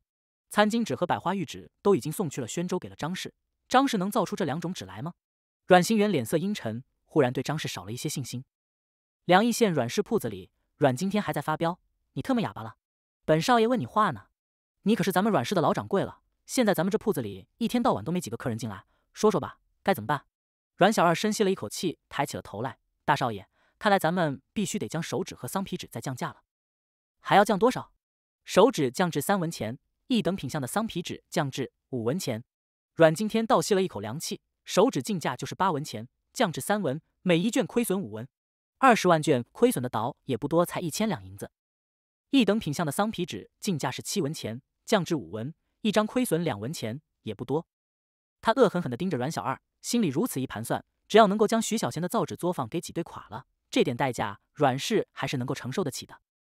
就这么干，去这梁义县贴上告示，宣布咱们的新价格。徐小贤穿上了鞋袜，带着季玉儿和季星儿以及十月去了百花镇的雪平沟。这里正在建造第四间造纸作坊。造纸一厂主要生产百花手纸，造纸二厂同时生产百花手纸和百花餐巾纸，造纸三厂生产的是百花玉纸。这造纸四厂吗，徐小贤打算生产更高端的纸，比如宣纸和香纸。衢山有青檀树，这玩意的皮是制造宣纸的主要原材料之一。原本的宣纸生产工艺极为复杂，它需要经过十八道工艺处理，上百道的流程，历经三百来天的时间才能造出成品。所以这东西那么贵是有道理的。徐小贤要采用的是折中之法，这里没有沙田稻草，只能用本地的稻草来替换。其中单单稻草的疗晒通常需要百来天的时间，然后将蒸煮过的稻草和青檀皮自然晾晒，用日光来漂白，故而整个过程耗时极长。徐小贤要用漂白剂来加速这一流程，故而这第四厂多了一道更为特殊的漂白工艺。这样生产出来的宣纸，事实上品质更稳定，它能够保留宣纸那独有的特点之一——青似蝉翼，白如雪，却无法达到宣纸的另一个特点——抖似细绸，不闻声。所以他没打算将这玩意儿叫成宣纸，而是另外命名为雪浪纸。宣纸的售价是五十文一张，而这雪浪纸的售价，徐小贤计划将它定为三十文一张。至于香纸，就是在增加一道工序，在揉纸的过程中加入香料，这个暂时还不忙弄，先将雪浪纸弄出来再说。其余的纸也有采用草木灰漂白，但这宣纸的白度需要更纯粹一些。最简单的方法就是用石灰水和草木灰融合，这样就能得到烧碱。这就是烧碱造纸法。少爷忙得满头大汗的王富贵跑到了徐小贤的身边，最多在十天，第四场就能建成投产了。王富贵很高兴，因为而今那三个造纸作坊按照少爷的吩咐，三班倒都供不应求。虽然少爷将手纸降价了两文钱。但少爷付给大家的薪酬却一文钱都没少。少爷果然是全心全意为百花镇的老百姓们服务的，成为少爷的家奴，这是整个百花镇的百姓的荣幸啊！徐小贤四处打量了一下，富贵，这雪平沟眼见着就没地儿了，但造纸作坊还得要开，你得再寻一处开阔点的地方，只要有水源，偏远一些无所谓。另外，新来的那一万多村民，他们估计过几天就能搬过来了，先让他们干一些杂活，去渠山伐木吧，伐那青檀木，给本少爷多弄一些回来，先堆在后面的料场。到时候这作坊建好了，通知少爷我一声。从老工匠里挑选百来个年轻力壮的出来。这第四场，少爷我需要一些有技术基础也有脑子的人。小人遵命。就在这时候，血瓶沟里响起了一个急促的声音：“少爷，少爷！”丸子跑了进来，气喘吁吁：“少爷，阮氏那纸又又降价了。”梁义成百花纸业铺子的门口，徐小贤瞧了瞧隔壁的阮氏纸业铺子，里面的人多了起来。这阮氏果然是财大气粗啊！居然敢降的这么狠的，三文钱的手纸，五文钱的一等桑皮纸，你这会亏多少？安荷花看见了徐小贤，他走了出来，很是生气，这厮怕是急红了眼。徐小贤笑了起来，我还担心他就此罢休了呢，急了才好啊。咱们怎么办？就在这时，阮经天也走了出来，铺子里人又多了，那些纸又能卖得动了，虽然亏了一些，但依旧是九牛一毛，无所谓。所以出来的阮经天心情很好，他一下子就看见了徐小贤。心情就更好了。哟，许介元，行礼。阮经天一怔，心情顿时就不美好了。这特么的，以后岂不是见他徐小贤一次就要行礼一次？可规矩还真就是这样，他能怎么办呢？他忽然觉得自己该读书，最不济也应该买个秀才。对，回了凉州城就想办法去买个秀才。他深吸了一口凉气，躬身一礼。许介元看起来心情还不错，原本不太高兴，但是看见阮公子这心情就高兴了起来。可真是本少爷的忘忧草啊！老子还成了你的忘忧草了，老子要成为你徐小贤的梦魇，要让你茶饭不思，寝食难安，要让你身无分文，像狗一样的流浪在街头。他阴恻恻一笑，然后探头探脑的往徐小贤的铺子里一瞧，今儿个铺子里的生意不太好啊，不太好就对了。你瞧瞧我家，可又兴旺了起来。所以许介元啊，做生意他真的不是舞文弄墨，他拼的是真金白银。不就是降价吗？本少爷降到三文钱又如何？只要能够招揽来生意。亏就亏了，因为本少爷亏得起。可许介元啊，你能亏多久呢？莫如趁着现在将你那作坊卖给本少爷，本少爷看着谢元郎的身份上给你一个好价钱，你觉得如何？错过了这个村，可就没那个店了。等你倒闭的时候，阮经天摇了摇头，一脸的怜悯。那时候你那作坊可就不值钱了。徐小贤也笑了起来。阮公子，若是我也将百花手指降价到五文钱，就比你贵两文，你怎么办？阮经天一怔，如果百花手指只比自己家的手指贵两文。岂不是这些人又会去买百花手指了？你徐小贤真敢将百花手指卖五文钱吗？你能亏多久？本少爷可以闭着眼睛去亏，拖你徐小贤一年半载，你那作坊恐怕也就倒闭了。哈哈，许介元有魄力，你敢将百花手指降到五文钱，本少爷就敢将阮氏手指降到一文钱。阮小二心里一惊，一文钱这得亏多少？一卷只亏七文，二十万卷，他咽了一口唾沫，这就是一千四百两的银子没了。虽然阮氏财大气粗，但这家业也是用了数十年的时间积攒起来的呀。在徐小贤的纸问世之前，阮氏每个月的利润也不过就三千两银子，这一家伙就亏去了阮氏半个月的利润。他反过来一想，又觉得也没关系，因为只要能够将徐小贤干倒，那么这凉州的市场终究是阮氏的，再赚回来这些银子也极为容易。而今阮小二可是将徐小贤的家世背景摸了个一清二楚，这小子赚来的银子还在源源不断的投入到百花镇，他的口袋里恐怕没几个子儿了。那么徐小贤他敢跟吗？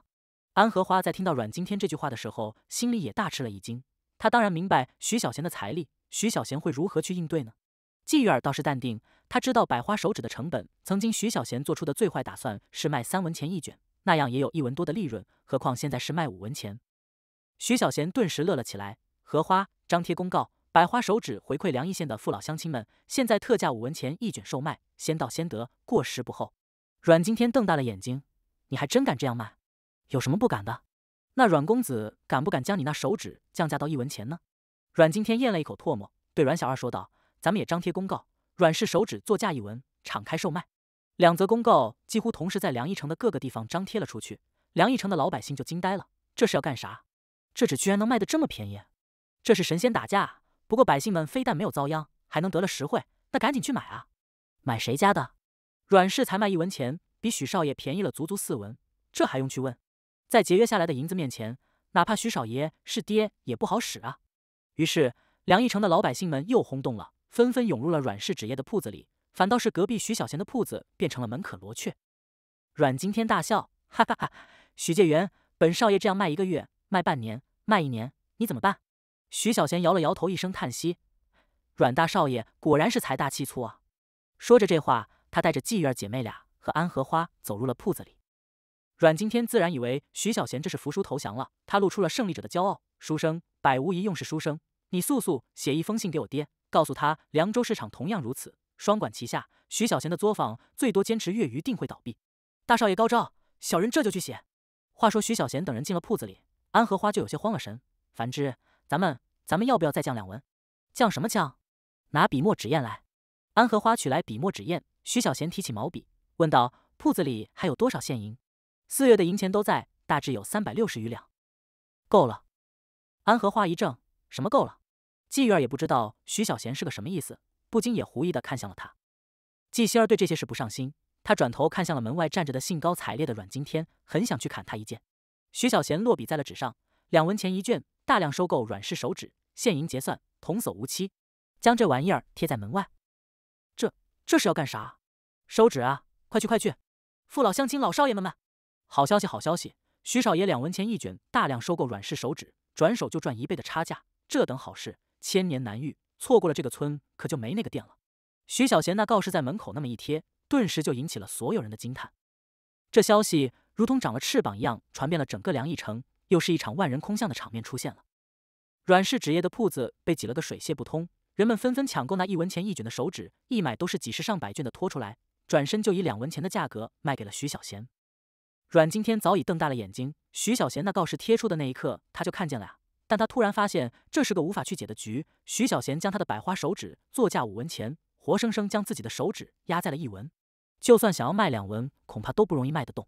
他将自己的手指定在了一文钱的售价上，然后用两文钱来收。这等好事当然会引起梁一城老百姓的哄抢，因为这不是在囤货，倒手就是一文钱的利润。他不知道徐小贤将这手指收去干啥，他只知道库存的那十九万卷纸，只怕很快就会卖光。徐小贤只需要花费三百八十两银子，就可以将自己库存的纸收购一空。下一批手指何时送来？无论何时送来，自己也只能卖一文钱。他依旧可以收购一空，自己的手指一卷，白白亏损七文钱；而徐小贤哪怕将那些手指拿去一把火给烧了，他也才亏损两文钱。这特么的，活脱脱杀敌一千，自损八百啊！不对，是杀敌二百，自损一千。这能怎么办呢？提高手指售价，那瞬间就卖不出去。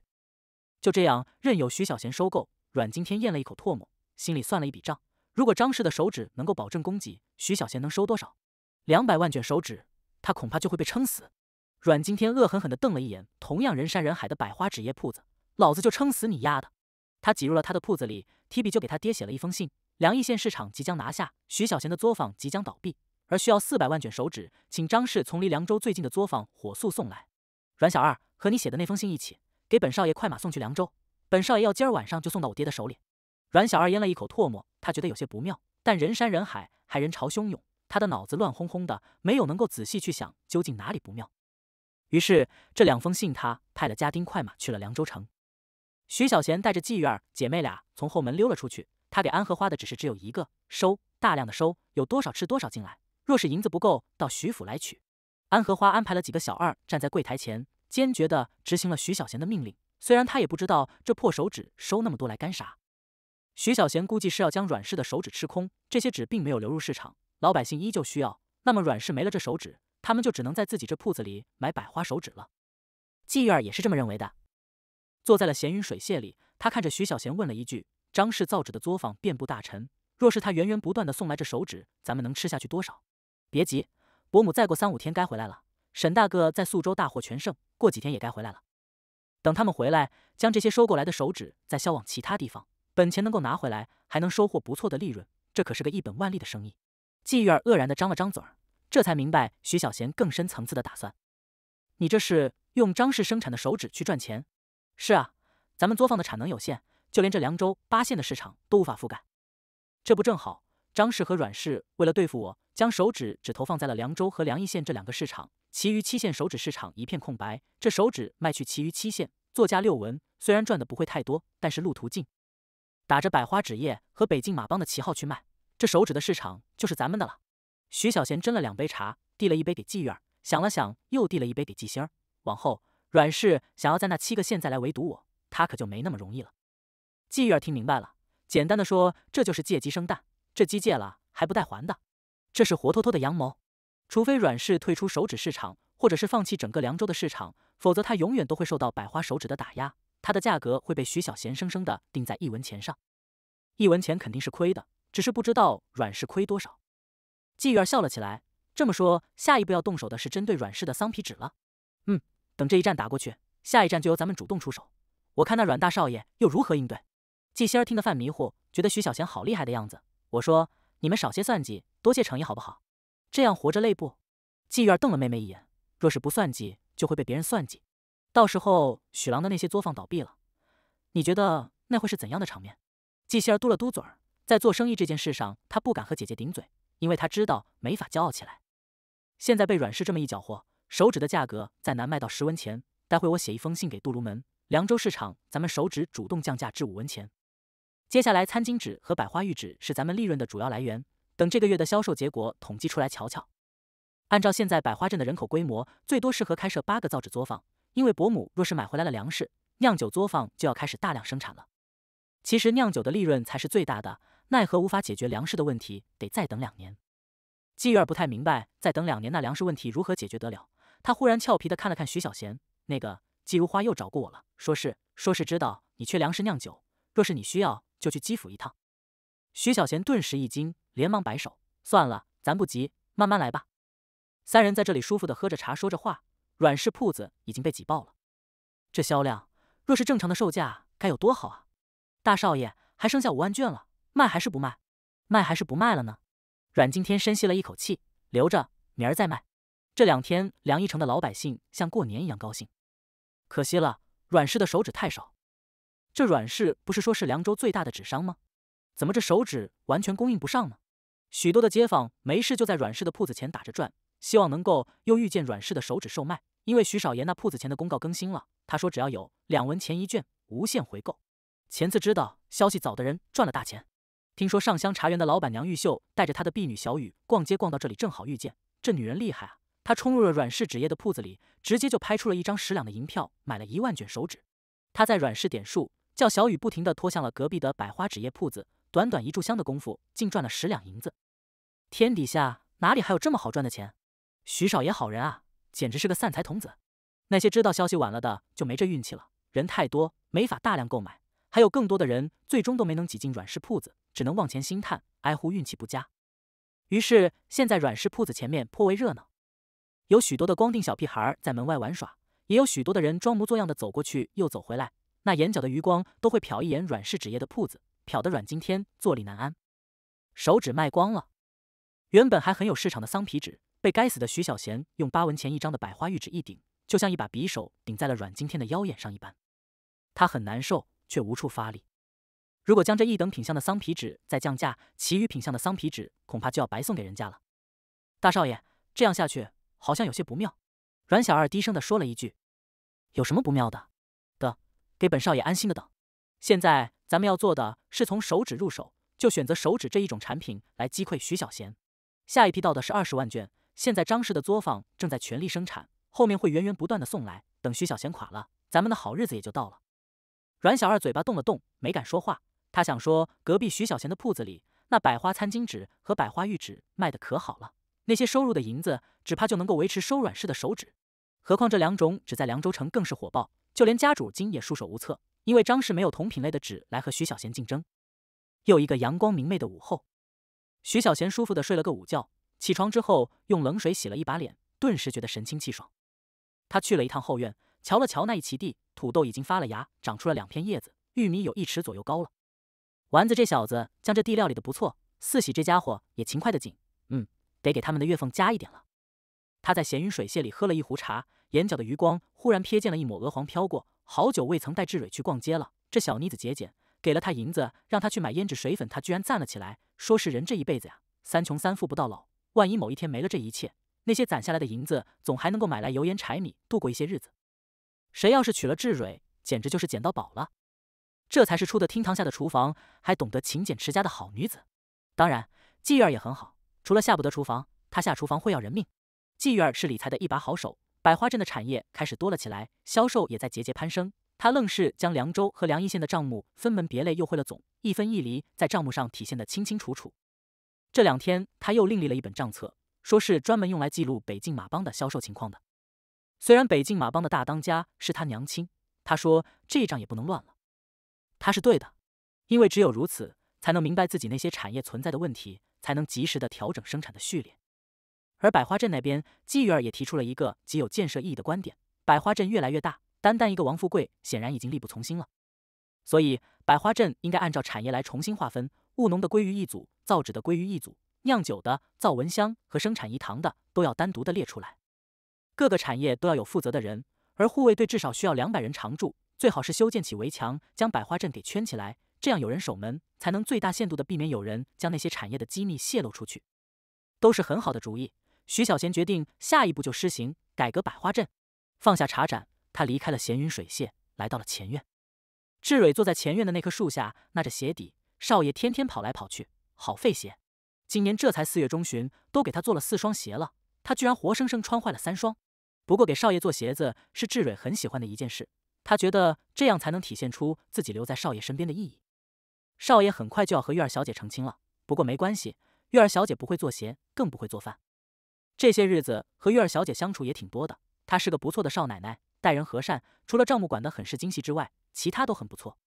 这是少爷的福气。少爷熬了十七年，这也算是苦尽甘来了。就在志蕊想着这些事的时候，徐小贤来到了他的身边。志蕊抬头来瞅了一眼，睡醒了。嗯，早醒了，咱们出去逛逛？志蕊愣了一下，手里的针落在了鞋底上，没有用顶针顶过去。去哪？去定方楼给你买些胭脂水粉啥的。这不就快到夏天了吗？志蕊心想，胭脂水粉和夏天有什么关系？不过他的心里很是欢喜，少爷这么忙，他还记得这种事。不用了，去年你买的擦了之后，这这脸也没变得白净多少，那雀斑还是那么明显，没啥作用，浪费钱。徐小贤蹲在了志蕊的身边笑了起来，我倒是觉得光洁了不少。至于那雀斑，你别在意，别人怎么看我不知道，反正我觉得挺好看的。志蕊心里一喜，就像吃了那麦芽糖一般的甜蜜。他偏过了脑袋，看着旁边的少爷，真的。你怕是在哄我高兴，这还能有假？这叫个性。若是你哪一天走丢了，就凭着那几粒雀斑，我都能把你给找回来。志蕊羞涩的垂头，将那针顶了过去。我才不会走丢呢，真别去买了，万一将他们给擦没了，你不就找不着我了？徐小贤一怔，还能这样理解的？他正要再劝说志蕊陪他出去走一趟，那堵墙上的那扇门忽然嘎吱一声开了，简秋香走了过来。丈母娘回来了。简秋香的身后跟着季儿。徐小贤站了起来。欢喜的迎了过去，丈母娘的脸上有些疲倦，但依旧挂着难以掩饰的喜意。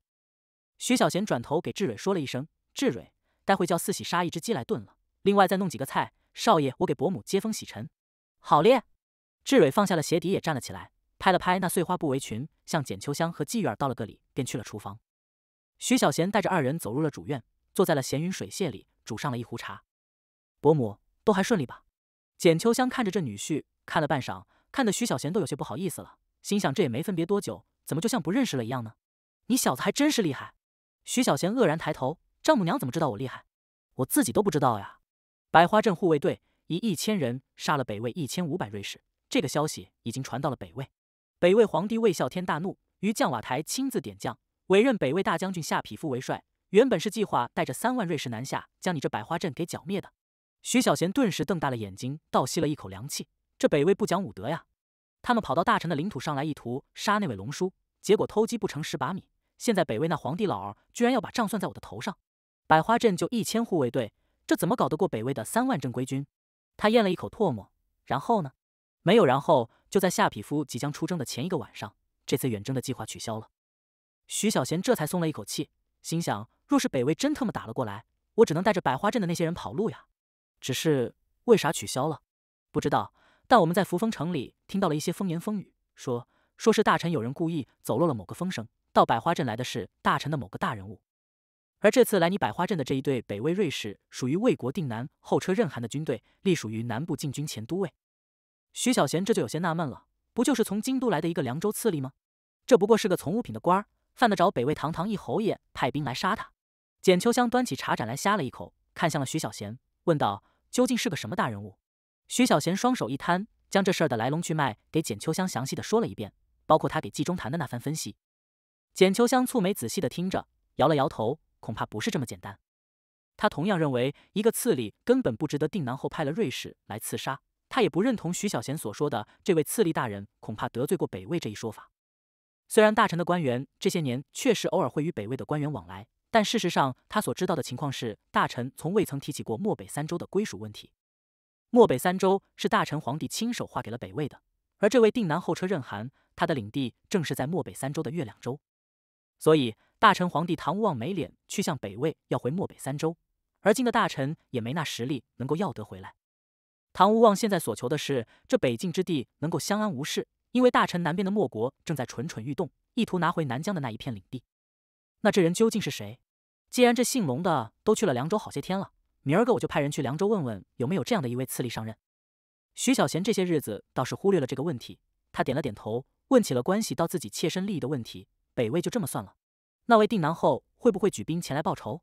这个问题，简秋香想了一路，甚至马帮还在漠北三州停留了几天，但是他没有听到定南后有举兵的消息。这件事似乎就这样莫名其妙的烟消云散了。说不准，我在月亮州的州府月亮城留了人开设了一个铺子，一来可以卖卖咱们的商品，二来可以收购一些粮食，这三来嘛，若是定南后有任何动向，咱们也能提前知道消息。徐小贤这才又松了一口气，还是伯母考虑周详，如此甚好。他忽然想到了一个问题。伯母从漠北三州过来，能够绕过上阳县咱们的边军吗？除非他们能够翻越大娄山。徐小贤沉吟片刻，大娄山，这又是个什么山？大娄山比渠山更高，山脉比渠山也更长，山顶常年积雪，传说飞鸟难渡过。那就是说翻不过来了。简秋香豁然一惊，想了片刻，从漠北过来，我们出上阳县走的是娄山关出去。大臣边军就驻扎在娄山关内，除非他们故意放行。简秋香深吸了一口凉气，也或者北魏找到了翻越大娄山的另外的路。徐小贤端起了茶盏，沉默了。如果北魏瑞士真是从别的路过来的，这就防不胜防啊！加强百花镇的建设迫在眉睫。如果北魏瑞士是从娄山关直接过来的，简秋香前面说是大臣有人故意走漏了消息，那么这个人也定然是权力通天的人，至少他能够指挥得动大臣边军。这个人想要借北魏的刀来杀了姓龙的，他们在京都时候恐怕是政敌。如果这位龙叔并不是凉州刺吏，他一定是京都的一个大官，跑这凉邑县来莫名其妙的走一遭。徐小贤忽然一震，大臣刀旗，他想到了那天望月回来时候说见到了大臣刀旗。原本他没有将大臣刀旗和龙叔联系在一起，原本他只是以为神出鬼没的大臣刀旗恐怕是得到了密令，藏在渠山里，想要伏击北魏瑞士的。大臣刀旗是他带来的。难道他也是大臣的某个侯爷，也或者是皇上的钦差？他将刀旗也藏在了渠山里，莫非他知道会有这样的一场突袭？他原本是想用刀旗来消灭了这股敌人，却没料到被百花村护卫队给提前撞上了。百花村护卫队成了牺牲品，他还有他带来的刀旗屁事没有的离开了。徐小贤此刻动摇了龙叔是凉州刺吏的这个推断，只是他依旧不知道这个龙叔究竟是个身份。简秋香听了徐小贤这番自言自语、自问自答的话，眼睛猛地一睁。唐无望，徐小贤一惊，大臣皇帝。